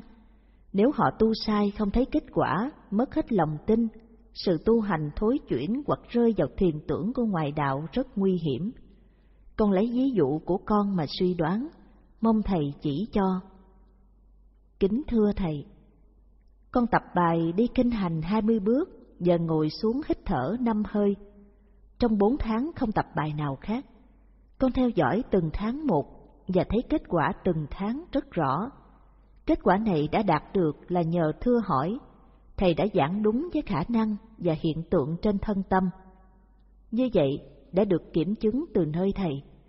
Do thế con suy nghĩ, nếu sau này thầy về với chư Phật thì chúng con rất thiệt thòi, vì không được thầy chỉ dạy trực tiếp mà chỉ thông qua kinh sách của thầy để lại. Thế hệ mai sau muốn kết tập từ nhiều bộ sách là rất khó khăn. Vậy, cuối xin thầy kết tập bộ giáo trình từ bây giờ để tránh sự sai lạc mai sau. Đáp Một mô hình kết tập kinh sách Phật lần thứ năm được thầy đã vẽ ra một cái khung sườn rất rõ ràng qua bài Đạo Đế trong tập đặt sang mừng ngày sinh nhật thầy. Lần kết tập này là lần biên soạn giáo trình tu học cho tám lớp đạo đế để đào tạo và rèn luyện đức hạnh vô lậu thánh đệ tử Phật. Nếu hiện giờ có được bốn năm vị A-la-hán, thì sự biên soạn chỉ trong năm ba năm là xong hết. Nhưng hiện giờ chỉ có một mình thầy, thì phải có thời gian dài. Nhưng dù sao cũng do phước báo của chúng sanh. Nếu phước chúng sanh không đủ, thì chúng ta có muốn gì cũng khó làm được. Theo thầy thiết nghĩ, giáo trình tu học tám lớp đạo đế để đào tạo và rèn luyện đạo đức nhân bản nhân quả, không làm khổ mình, khổ người, rất cần thiết cho mọi người trên hành tinh này. Do đó, thầy cũng quyết tâm soạn thảo cho xong chương trình giáo dục đào tạo đức hạnh, đem lại sự lợi ích an vui, hạnh phúc cho mọi người. Trước khi rời khỏi thế gian này, thì thầy mới mãn nguyện. Thần thông, câu hỏi của bạn Dũng. Hỏi trong Kinh Nguyên Thủy, Đức Phật không đề cập đến thần thông, siêu hình. Xem câu chuyện người bị bắn tên Kinh Trung Bộ tập 2, mục 63, Tiểu Kinh Malunkeya. Đáp, kính thưa các bạn, Nguyên Thanh được Thầy trao cho những câu hỏi của các bạn và khuyên Nguyên Thanh nên trả lời giúp cho Thầy. Vì Thầy quá bận nhiều công việc đang soạn thảo bộ sách Văn hóa truyền thống Thánh Hạnh tập 2 giới đức tỳ kheo tăng và tỳ kheo ni. Trước tiên, Nguyên Thanh xin các bạn xét qua câu hỏi của bạn Dũng. Theo thiện ý của Nguyên Thanh, thì các bạn hỏi câu này, cách thức xưng hô hơi dụng về, phải không các bạn? Trước khi muốn thưa hỏi một điều gì với người nào, dù người ấy nhỏ hơn mình, bằng mình hoặc lớn hơn mình, thì các bạn phải giữ gìn lễ độ, cung kính, có giáo dục thưa hỏi có văn hóa đạo đức của một con người có học thức, dù câu hỏi đó là câu vấn nạn, tranh chấp hơn thua, cũng phải giữ gìn lịch sự của người có văn hóa, có học thức, có lễ độ của dân tộc Việt Nam. Huống là các bạn hỏi để học, để hiểu biết những điều mình chưa hiểu biết, thì cần phải giữ gìn lễ độ cho đúng ý nghĩa cầu Pháp. Nhờ có sự cung kính lễ độ đó mà những bậc thông hiểu sẽ chỉ giáo cho các bạn. Ở đây, Nguyên Thanh chỉ nhắc nhở cho các bạn thôi, chứ Nguyên Thanh sẵn sàng trả lời những câu hỏi của các bạn theo khả năng của mình. Nếu có điều chi sơ sót không vừa ý, xin các bạn vui lòng tha thứ cho, vì Nguyên Thanh cũng chỉ là người đang tu học. Nguyên Thanh muốn các bạn phải gia công tìm đọc lại toàn bộ kinh sách Phật giáo Nguyên Thủy, để khi thưa hỏi là hỏi những điều chưa hiểu biết, để có sự lợi ích cho các bạn, chứ không phải như những câu hỏi trên đây, chẳng có ích lợi gì cho các bạn. Vì ảnh hưởng tư tưởng từ kinh sách phát triển, nên các bạn hiểu nghĩa những danh từ trong kinh sách nguyên thủy giống như kinh sách phát triển. An trú không, không tánh, chiếc bè, ngón tay, mặt trăng, vân vân. Tất cả sự hiểu biết này đều sai nghĩa, không đúng ý nghĩa trong kinh sách nguyên thủy. Những danh từ này trong kinh sách nguyên thủy đều có dạy, nhưng các bạn không phải là hành giả đúng chánh pháp của Phật giáo. Vì thế, các bạn hiểu theo kiểu ảnh hưởng Đại Thừa và Thiền Tông, chứ nghĩa của nó không phải vậy. Nguyên Thanh lần lượt sẽ giải thích cho các bạn hiểu rõ, nếu Thầy Thông Lạc đồng ý. Hãy cảnh giác thần thông. Hỏi Trong đoạn 51 Kinh Kandaraka, trong Kinh Trung Bộ, có mô tả một vị tu sĩ đạt qua các trạng thái chứng thiền thứ nhất, thiền thứ hai, thiền thứ ba, thiền thứ tư, trong đó hoàn toàn không có tịnh chỉ hơi thở. Vậy tịnh chỉ hơi thở có phải là ngoại đạo thần thông không? Nếu có mô tả về tịnh chỉ hơi thở, thì mô tả ở kinh nguyên thủy nào, mục nào? Nhờ thầy chỉ dẫn rõ ràng, nếu không có trong kinh nguyên thủy là ngoại đạo. Như vậy thầy thông lạc có bị kẹt trong thần thông không? Hãy cảnh giác với thần thông. Đáp, thưa các bạn, về văn phạm, một câu mà viết hai chữ trong thì câu văn què. Nguyên Thanh xin sửa lại câu hỏi của bạn. Trong đoạn kinh 51 Kandaraka thuộc kinh Trung Bộ có mô tả một vị tu sĩ đạt qua các trạng thái chứng. Các bạn chỉ đọc kinh Trung Bộ mà dám bảo rằng kinh Nguyên Thủy Phật không đề cập đến thần thông thì sự hiểu biết của bạn quá nông cạn. Nếu các bạn không tin thầy Thông Lạc nói tịnh chỉ hơi thở nhập thiền thứ tư thì các bạn cứ gửi thư hỏi báo giác ngộ hay trực tiếp đến dạng hạnh hỏi hòa thượng Minh Châu người dịch ra kinh sách Nguyên Thủy thì sẽ rõ. Thưa các bạn, kinh sách Nguyên Thủy Đức Phật đã đề cập đến thần thông có ba loại. Một, thần thông giáo hóa. Hai, thần thông ký thuyết. Ba, thần thông biến hóa. Nguyên Thanh sẽ trình bày ba loại thần thông để các bạn hiểu. Đức Phật đã xác định ba loại thần thông rất rõ ràng như sau. Tâm tôi có tham, tôi biết tâm tôi có tham, đó là thần thông giáo hóa. Tâm tôi có sân, tôi biết tâm tôi có sân, đó là thần thông giáo hóa. Tôi ăn uống phi thời, tôi biết tôi ăn uống phi thời, tôi sẽ cố gắng khắc phục không ăn uống phi thời, đó là thần thông giáo hóa. Người ta chửi mắng, mạ lị, mạt sát tôi, tôi biết nhưng tôi không giận họ, đó là thần thông giáo hóa. Tâm tôi có dục ăn, dục ngủ, tôi biết tâm tôi có dục ăn, dục ngủ, tôi cố gắng khắc phục không cho dục ăn, dục ngủ phi thời, đó là thần thông giáo hóa. Khi tôi bị hôn trầm, thùy miên, vô ký, tôi biết tâm tôi có hôn trầm, thùy miên và vô ký. Tôi liền tác ý, cút, thì hôn trầm, thùy miên, vô ký biến mất. Đó là thần thông giáo hóa. Khi thân tôi đau nhất, tôi biết thân tôi đau nhất, tôi liền tác ý, thọ là vô thường, quất, đau nhất tự biến đi mất. Đó là thần thông giáo hóa. Tôi biết cơ thể tôi già yếu, chẳng làm ích lợi gì cho đời. Tôi liền tác ý, hơi thở tịnh chỉ bỏ thân tứ đại, thì ngay đó hơi thở ngưng, tôi bỏ thân tứ đại, đó là thần thông giáo hóa. Thưa các bạn, khi tôi có khả năng làm chủ thân tâm mình như vậy, mà Đức Phật gọi là thần thông giáo hóa, hay còn gọi là tứ như ý túc. Xem thế, thần thông giáo hóa đem lại lợi ích cho thân tâm tôi như vậy, thì Thầy Thông Lạc có kẹt trong thần thông đó không các bạn? Có cần phải cảnh giác với thần thông này không các bạn? Bạn đọc kinh sách chưa thấu suốt, mà kêu gọi mọi người hãy cảnh giác với thần thông. Vậy thần thông nào cảnh giác bạn biết không? Đọc qua câu hỏi của bạn, người ta biết bạn chưa hiểu một chút gì về Phật giáo. Còn những thần thông khác, có dịp Nguyên Thanh sẽ giải thích cho các bạn hiểu, nếu các bạn muốn nghe. Nguyên Thanh chỉ ước mong các bạn thức thời hiểu biết nên sám hối những sự hiểu lầm nông cạn của mình để các bạn còn có duyên may mắn gặp được chánh pháp. Còn nếu không thì kiếp kiếp đời đời, các bạn sẽ trôi lăn trong dòng sanh tử luân hồi. Như vậy mà các bạn bảo rằng Đức Phật không đề cập đến thần thông.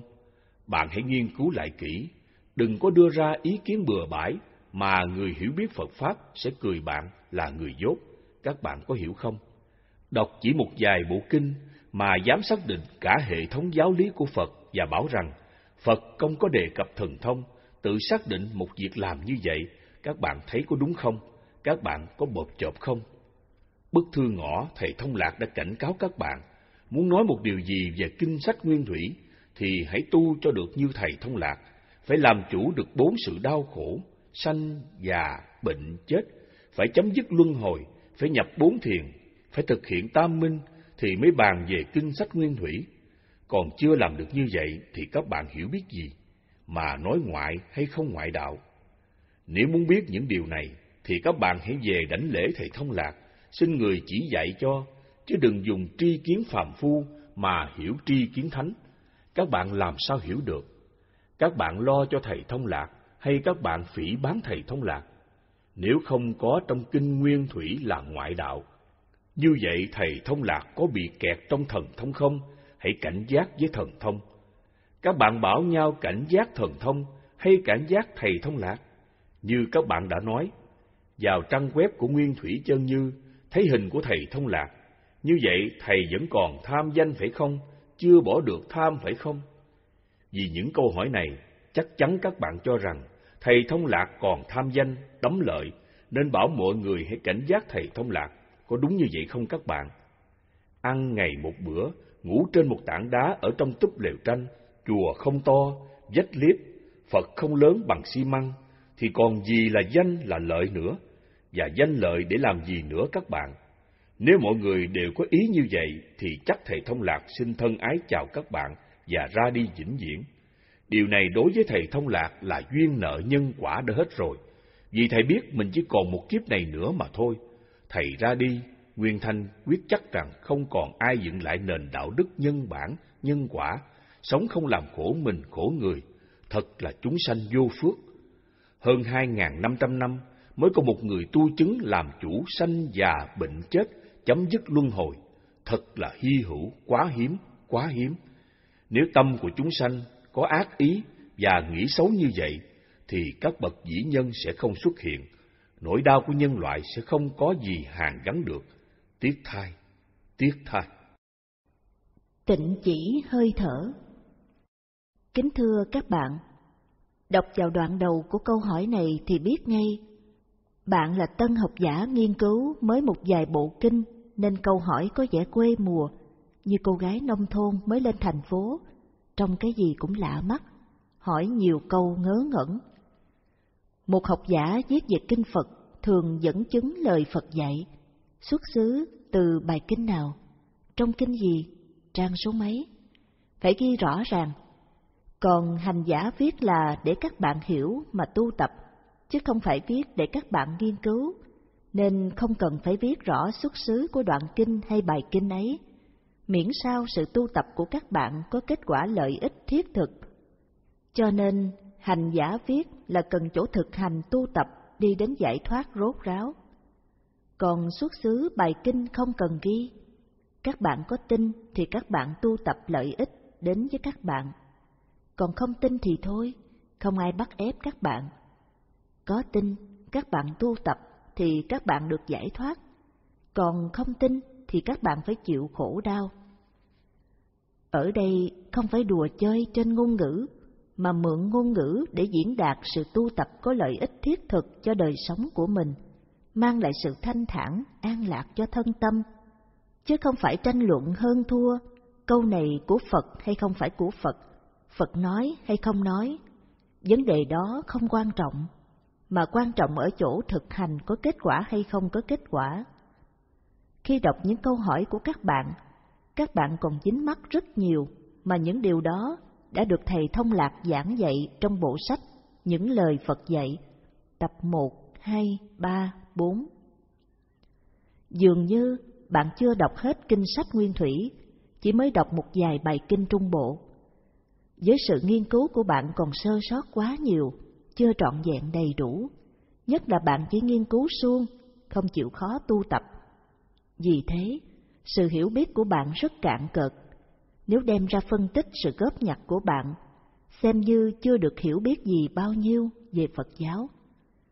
Kinh sách Phật vốn để tu tập giải thoát, chứ không phải để hiểu biết suông hay chỉ tụng đọc thường. Những câu hỏi thắc mắc của bạn chứng tỏ bạn là người không có thực hành tu tập theo kinh sách nguyên thủy, nhất là đầu óc bạn đang chịu ảnh hưởng tư tưởng của kinh sách phát triển nên bạn tưởng thầy thông lạc chưa đọc những tập kinh trung bộ sao? Muốn hiểu giáo lý nguyên thủy của Phật giáo trọn vẹn, thì không phải chỉ đọc một vài bài kinh mà hiểu hết được.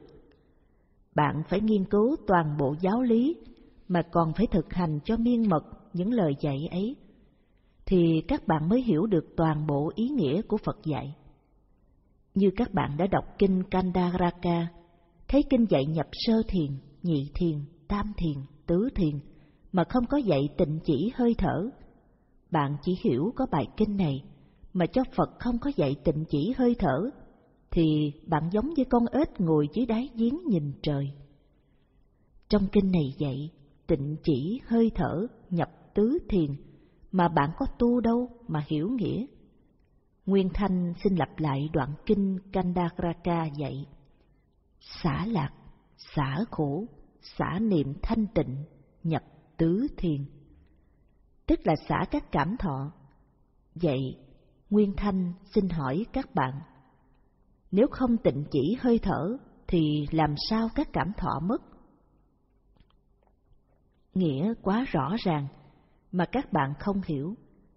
Vậy các bạn nghiên cứu kinh sách Phật để hiểu mà không hiểu.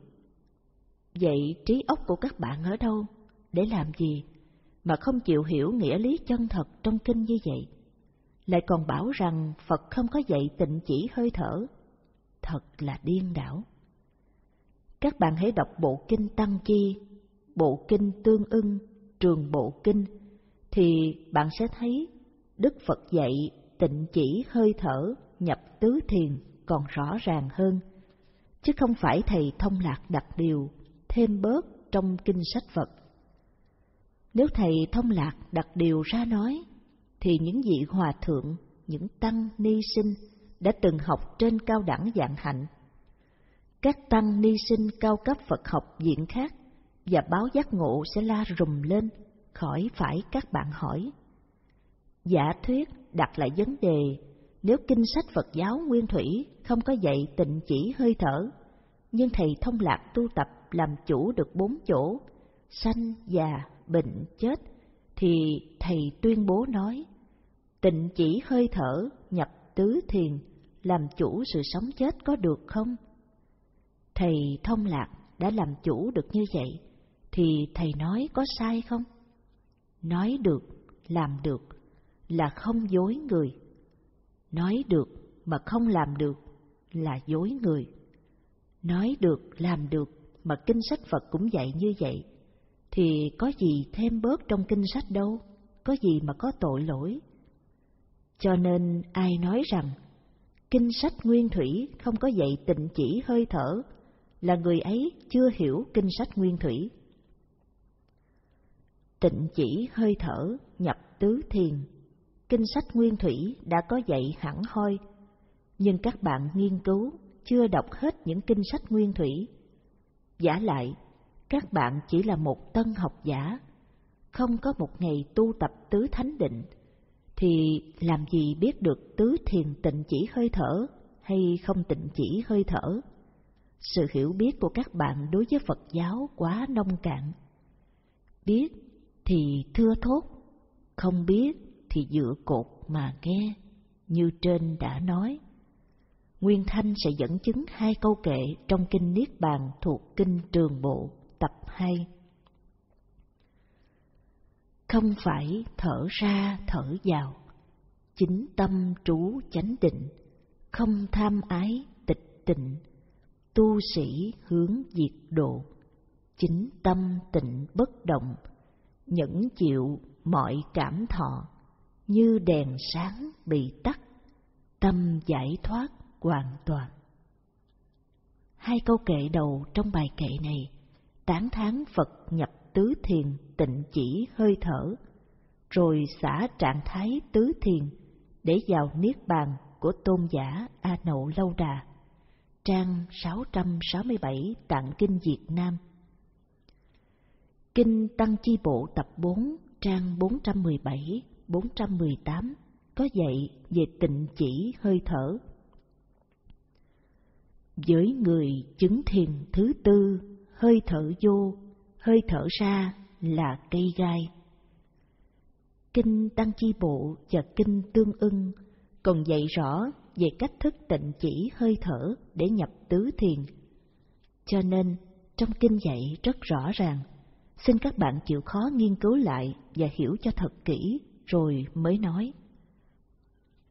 Thầy thông lạc không phải là học giả, con đường thầy đi trùng lập con đường Phật đi. Nên thầy nói ra đúng vào những lời dạy trong kinh sách nguyên thủy của Phật. Kinh sách Phật đã ghi rõ ràng như vậy, chứng tỏ bạn chỉ đọc lướt qua chứ chẳng hiểu gì cả. Xin thưa cùng các bạn, nếu Phật giáo tu tập chỉ tụng kinh niệm Phật cầu giảng sanh cực lạc Tây Phương, hoặc ngồi thiền kiến tánh thành Phật, mà không làm chủ được sanh già, bệnh chết, thì các bạn tu theo Phật giáo đó để làm gì? Nếu tu theo Phật giáo đó, không lợi ích thiết thực cụ thể, mà chỉ sống trong mơ mộng ảo tưởng, thì Nguyên Thanh xin tu hành theo ngoại đạo còn hơn Vì ngoại đạo tu tập làm chủ được sanh, già, bệnh, chết, chấm dứt luân hồi, sống không làm khổ mình, khổ người. Còn theo Phật giáo, mà chuyên cúng bái cầu siêu cầu an, thì chẳng khác nào là một tôn giáo mê tín, lừa đảo, dối người, thì quyết định không theo tôn giáo đó nữa. Phải không, hỡi các bạn? Không được nói người khác là sai. Hỏi, kính thưa Thầy, Phật dạy không được nói người khác là sai. Vậy Thầy Thông Lạc có làm sai lời Phật dạy không? Đáp, kính thưa các bạn, Nguyên Thanh xin trả lời, mong các bạn hãy nghe cho kỹ. Nguyên Thanh nghĩ rằng các bạn đều là những người có học, có kiến thức, có trí tuệ. Thế mà đọc kinh sách Phật, các bạn lại không hiểu lời Phật dạy, thật đáng thương thay. Trong kinh sách Phật đã dạy, người tu chưa chứng thì không được nói cái sai của người khác, có đúng như vậy không các bạn? Không nên nhìn lỗi người, người làm hay không làm, nên tự nhìn thân ta có làm hay không làm. Kinh Pháp Cú khi tu hành chưa chứng đạo, các bạn có hiểu biết điều gì đâu, có thông suốt chuyện gì đâu mà nói đúng, nói sai của người khác. Chính nơi thân tâm của các bạn, các bạn còn chưa hiểu, chưa rõ nó hết, thì các bạn biết những gì mà phê bình, chỉ trích nói sai, nói đúng mọi người. Ngày xưa, Đức Thánh Khổng Tử đánh xe đi ngang qua một đoạn đường, có các cháu bé đang hốt cát chơi. Đức Khổng Phu Tử dừng xe lại, bảo các cháu, các cháu hãy tránh cho xe ông đi. Trong các cháu bé có một cháu bé nhỏ nhất đứng dậy chắp tay và hỏi, Kính thưa ông, chúng cháu đang xây thành, vậy thành tránh xe hay xe tránh thành? Khổng Phu Tử nghe hỏi ngạc nhiên, há miệng mà không biết trả lời ra sao. Thì cháu bé ấy lại hỏi tiếp, Kính thưa ông, ông là ai? Khổng Phu Tử trả lời, ông là Khổng Phu Tử. Kính thưa ông, ông là một bậc thánh đã được mọi người kính trọng. Vậy cháu xin hỏi ông một câu nữa. Nếu ông trả lời được thì chúng cháu sẽ tránh đường cho ông đi. Kính thưa ông, cháu không hỏi ông chuyện xa vời mà hỏi chuyện trước mắt ông. Vậy lông nheo trước mắt ông, ông có biết mấy cộng không? Khổng phu tử nhìn cháu bé nói, hậu sinh khả quý, người sao đáng sợ. Đức Thánh Khổng Phu Tử nói xong đành quay xe rẽ sang lối khác.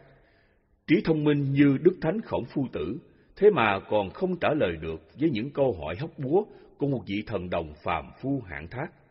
Còn một vị thánh A-la-hán trí tuệ vô lậu, phi không gian và thời gian, thì đó là một thứ trí tuệ không thể nghĩ bàn. Cho nên kinh sách Phật, với trí phàm phu tu hành chưa chứng đạo, thì các bạn biết những gì mà bảo rằng Phật dạy không được nói cái sai của người khác, của các hệ phái tôn giáo khác. Các bạn giống như người mù rờ voi, có phải vậy không các bạn? Kính thưa các bạn, Đức Phật dạy đúng như trên đã nói, nhưng ở đây các bạn lại hiểu sai lầm. Người tu hành không được nói cái sai của người khác.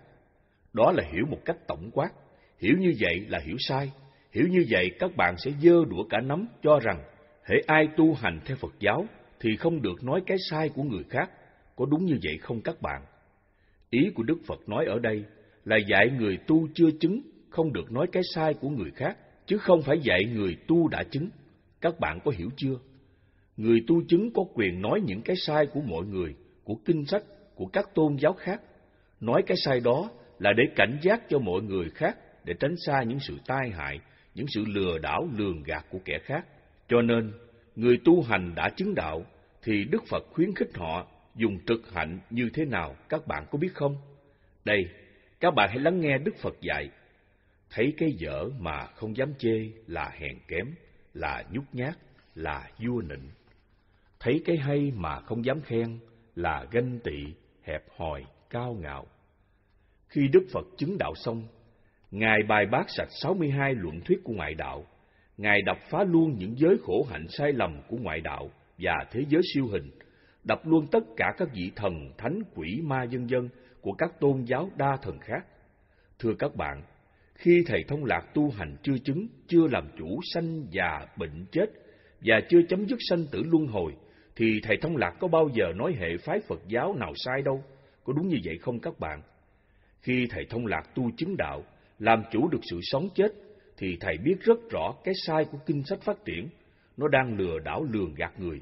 khiến cho mọi người tu theo nó phải hao tài tốn của và phí biết bao nhiêu công sức, nhưng kết quả của nó chẳng được lợi ích gì, chỉ uổng phí một đời tu hành, mà đôi khi còn bị điên khùng mất trí. Vì lòng thương người, vì lời Phật dạy, thấy cái dở mà không dám chê là hèn kém, là nhút nhát, là vua nịnh. Do đó thầy thông lạc mạnh tay đập thẳng những điều sai trong kinh sách phát triển, vì những giáo pháp này đã cố tình diệt Phật giáo. Nói thẳng, chỉ thẳng là vì lợi ích cho mọi người, chứ không phải vì lợi ích cho thầy thông lạc. Xin các bạn cảm thông cho. Như vậy, thầy thông lạc có làm sai lời Phật dạy không? Theo Nguyên Thanh nghĩ, thầy thông lạc nói đúng và làm đúng lời Phật dạy. Còn riêng sự phê phán đúng sai của các bạn, thì xin các bạn hãy đứng trên lập trường công tâm khách quan mà trả lời. Theo kinh sách Nguyên Thủy, thì Đức Phật luôn luôn dẹp bỏ những cái sai của luật sư ngoại đạo, cả thế giới siêu hình, Đức Phật còn dẹp luôn và không chấp nhận có thế giới siêu hình. Tham danh Hỏi Kính thưa Thầy, vào trang web của tu viện Chân Như, thấy hình của Thầy Thông Lạc. Như vậy, Thầy vẫn còn tham danh phải không? Chưa bỏ được tham phải không? Nếu nói là do học trò quản lý trang web, Thầy không biết chuyện này, thì như vậy là Thầy dung túng học trò làm điều sai phải không? Có nên bỏ hình ảnh của Thầy trên trang web không? Như vậy mới là vô ngã, theo lời Phật dạy phải không? Mới vào trang web, đã thấy vẫn còn tham, nên họ ngán ngẩm như bao vị thầy khác.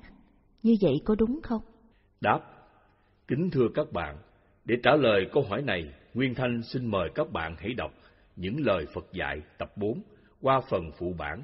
Các bạn sẽ đọc được những bức thư mà Thầy Thông Lạc đã gửi cho các Phật tử miền Bắc và nhà xuất bản văn hóa thông tin khi họ muốn in hình ảnh và tiểu sử của Thầy Thông Lạc trong những trang đầu của bộ sách Văn hóa Phật giáo đường về xứ Phật, thì các bạn sẽ thấy rõ Thầy Thông Lạc có tham danh hay không tham danh.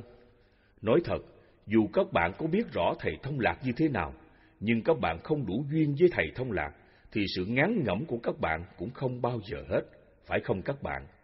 Khi đã không có duyên, tức là không có thiện cảm với người nào đó, dù người đó có tốt bao nhiêu, thì các bạn cũng thấy người đó xấu, người đó không đúng, có đúng như vậy không các bạn?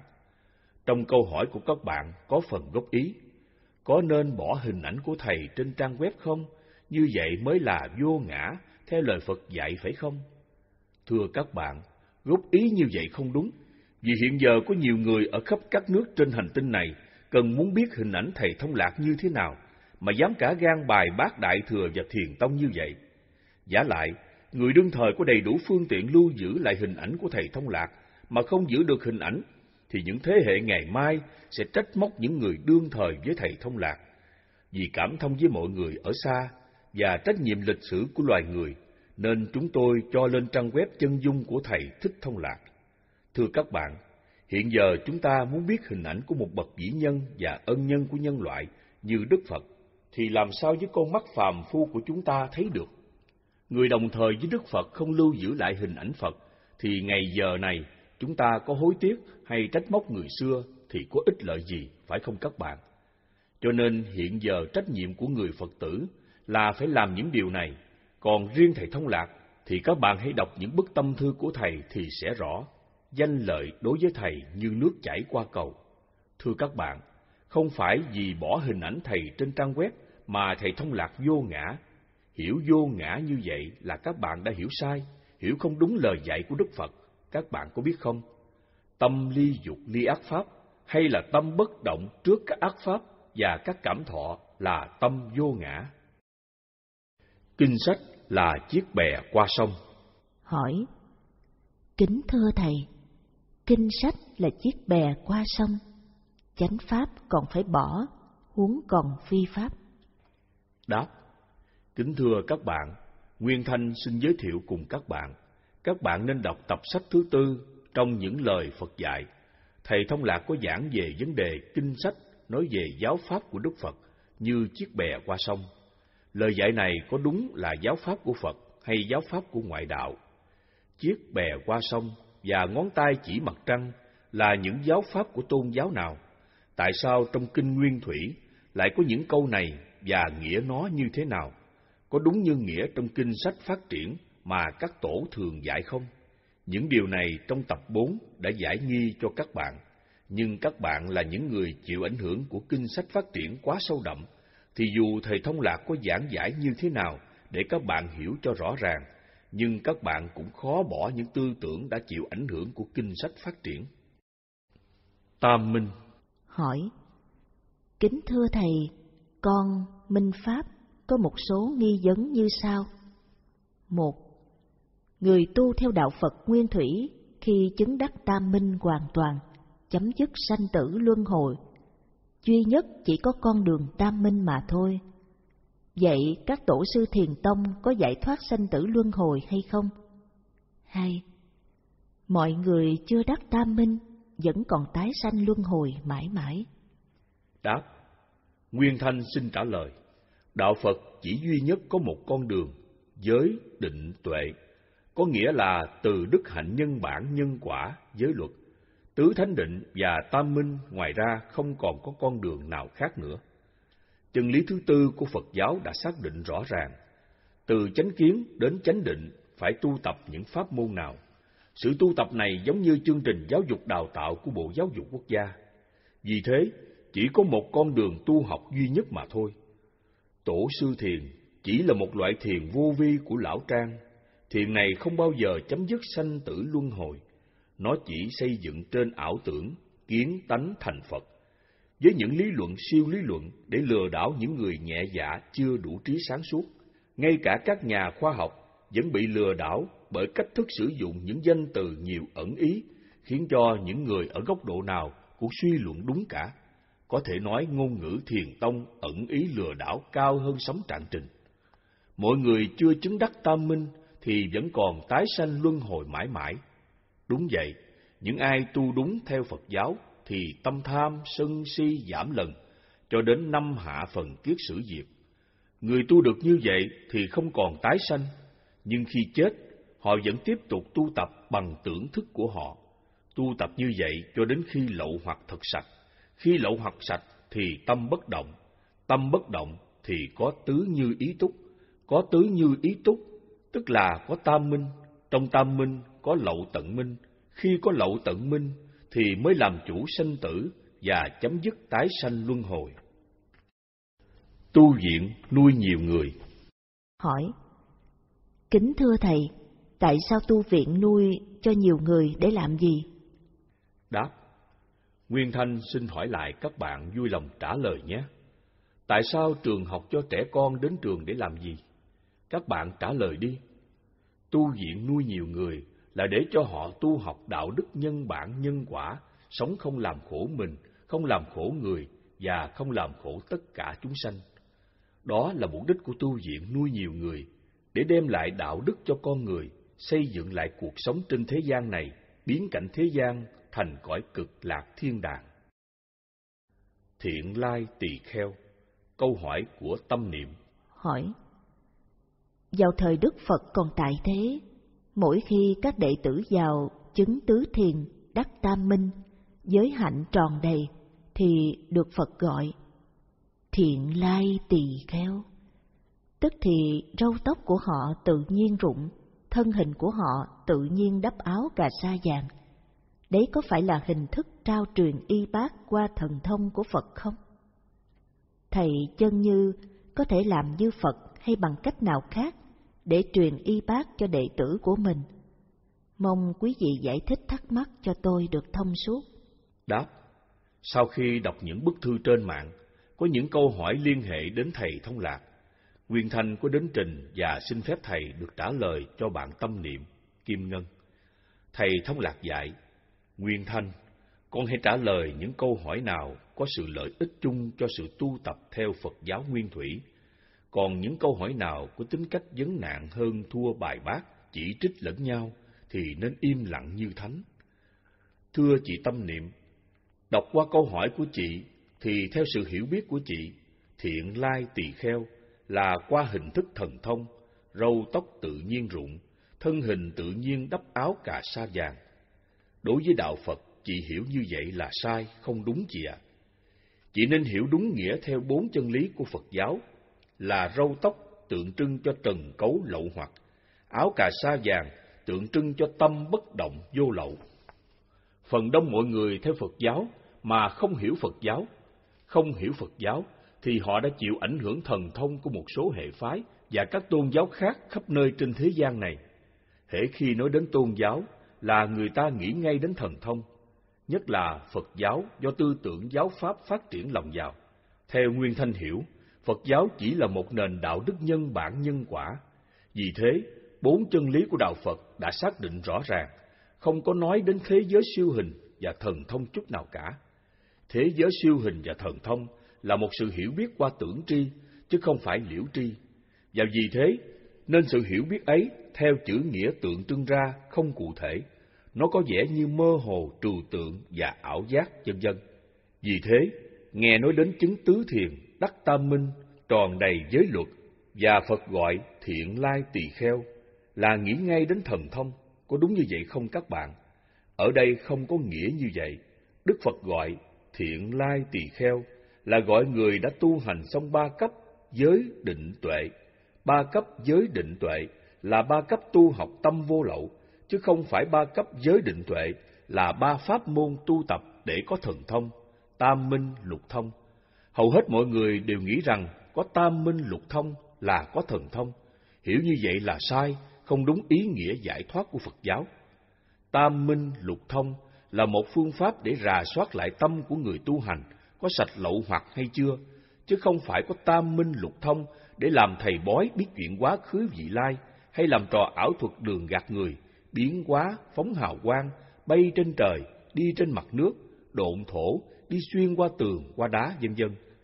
Các nhà học giả cứ theo chữ nghĩa nghiên cứu Phật giáo đến những từ tam minh, lục thông, chỉ hiểu nghĩa thần thông nên làm lệch ý nghĩa của kinh sách Phật.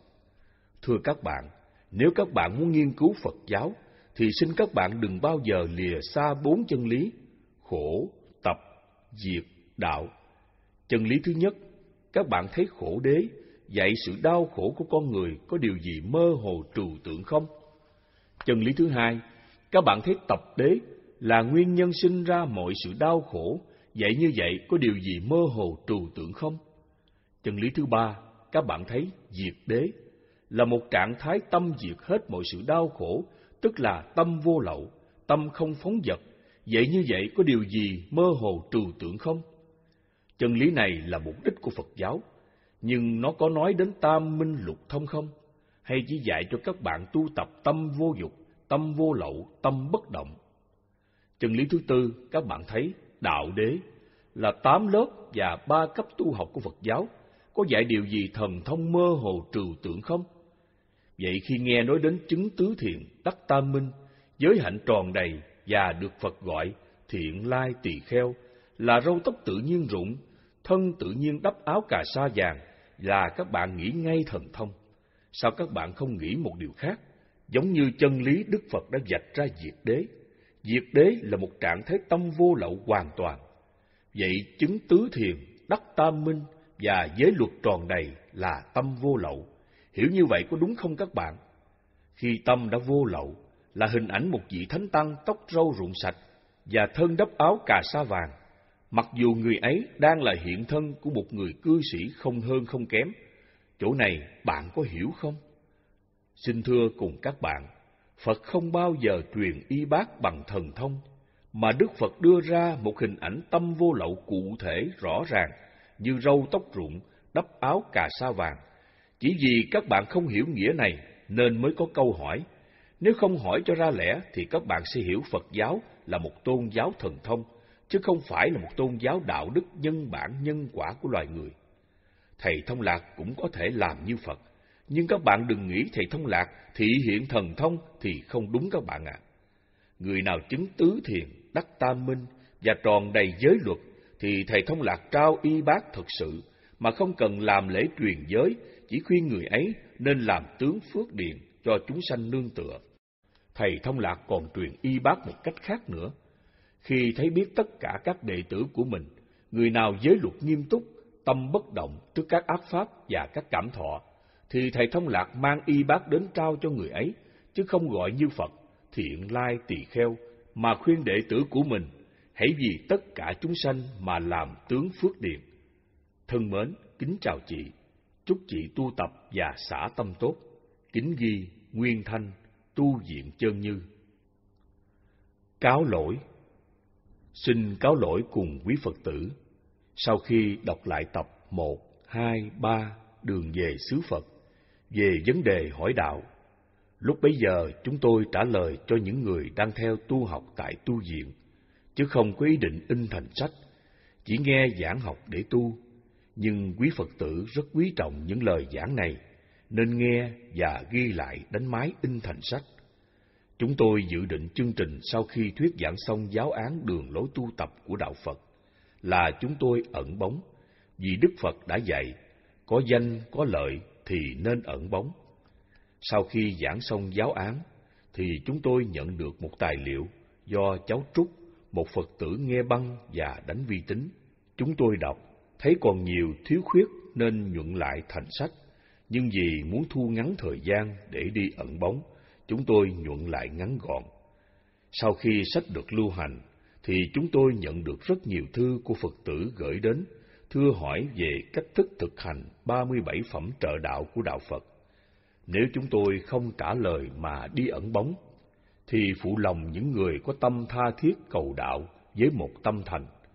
Vì thế, sau khi nhuận lại tập 1 làm sáng tỏ đường lối tu tập của Phật giáo, thấy gần một ngàn trang giấy chúng tôi chia làm ba tập. Nếu có ai đã được đọc tập 2 và tập 3 cũ, thấy tập 2 và tập 3 mới, tức là tập 2 và tập 3 nhuận lại, không giống tập 2 và 3 cũ, là vì lý do này. Như vậy, chúng tôi xin cáo lỗi cùng quý Phật tử. Hết tập 2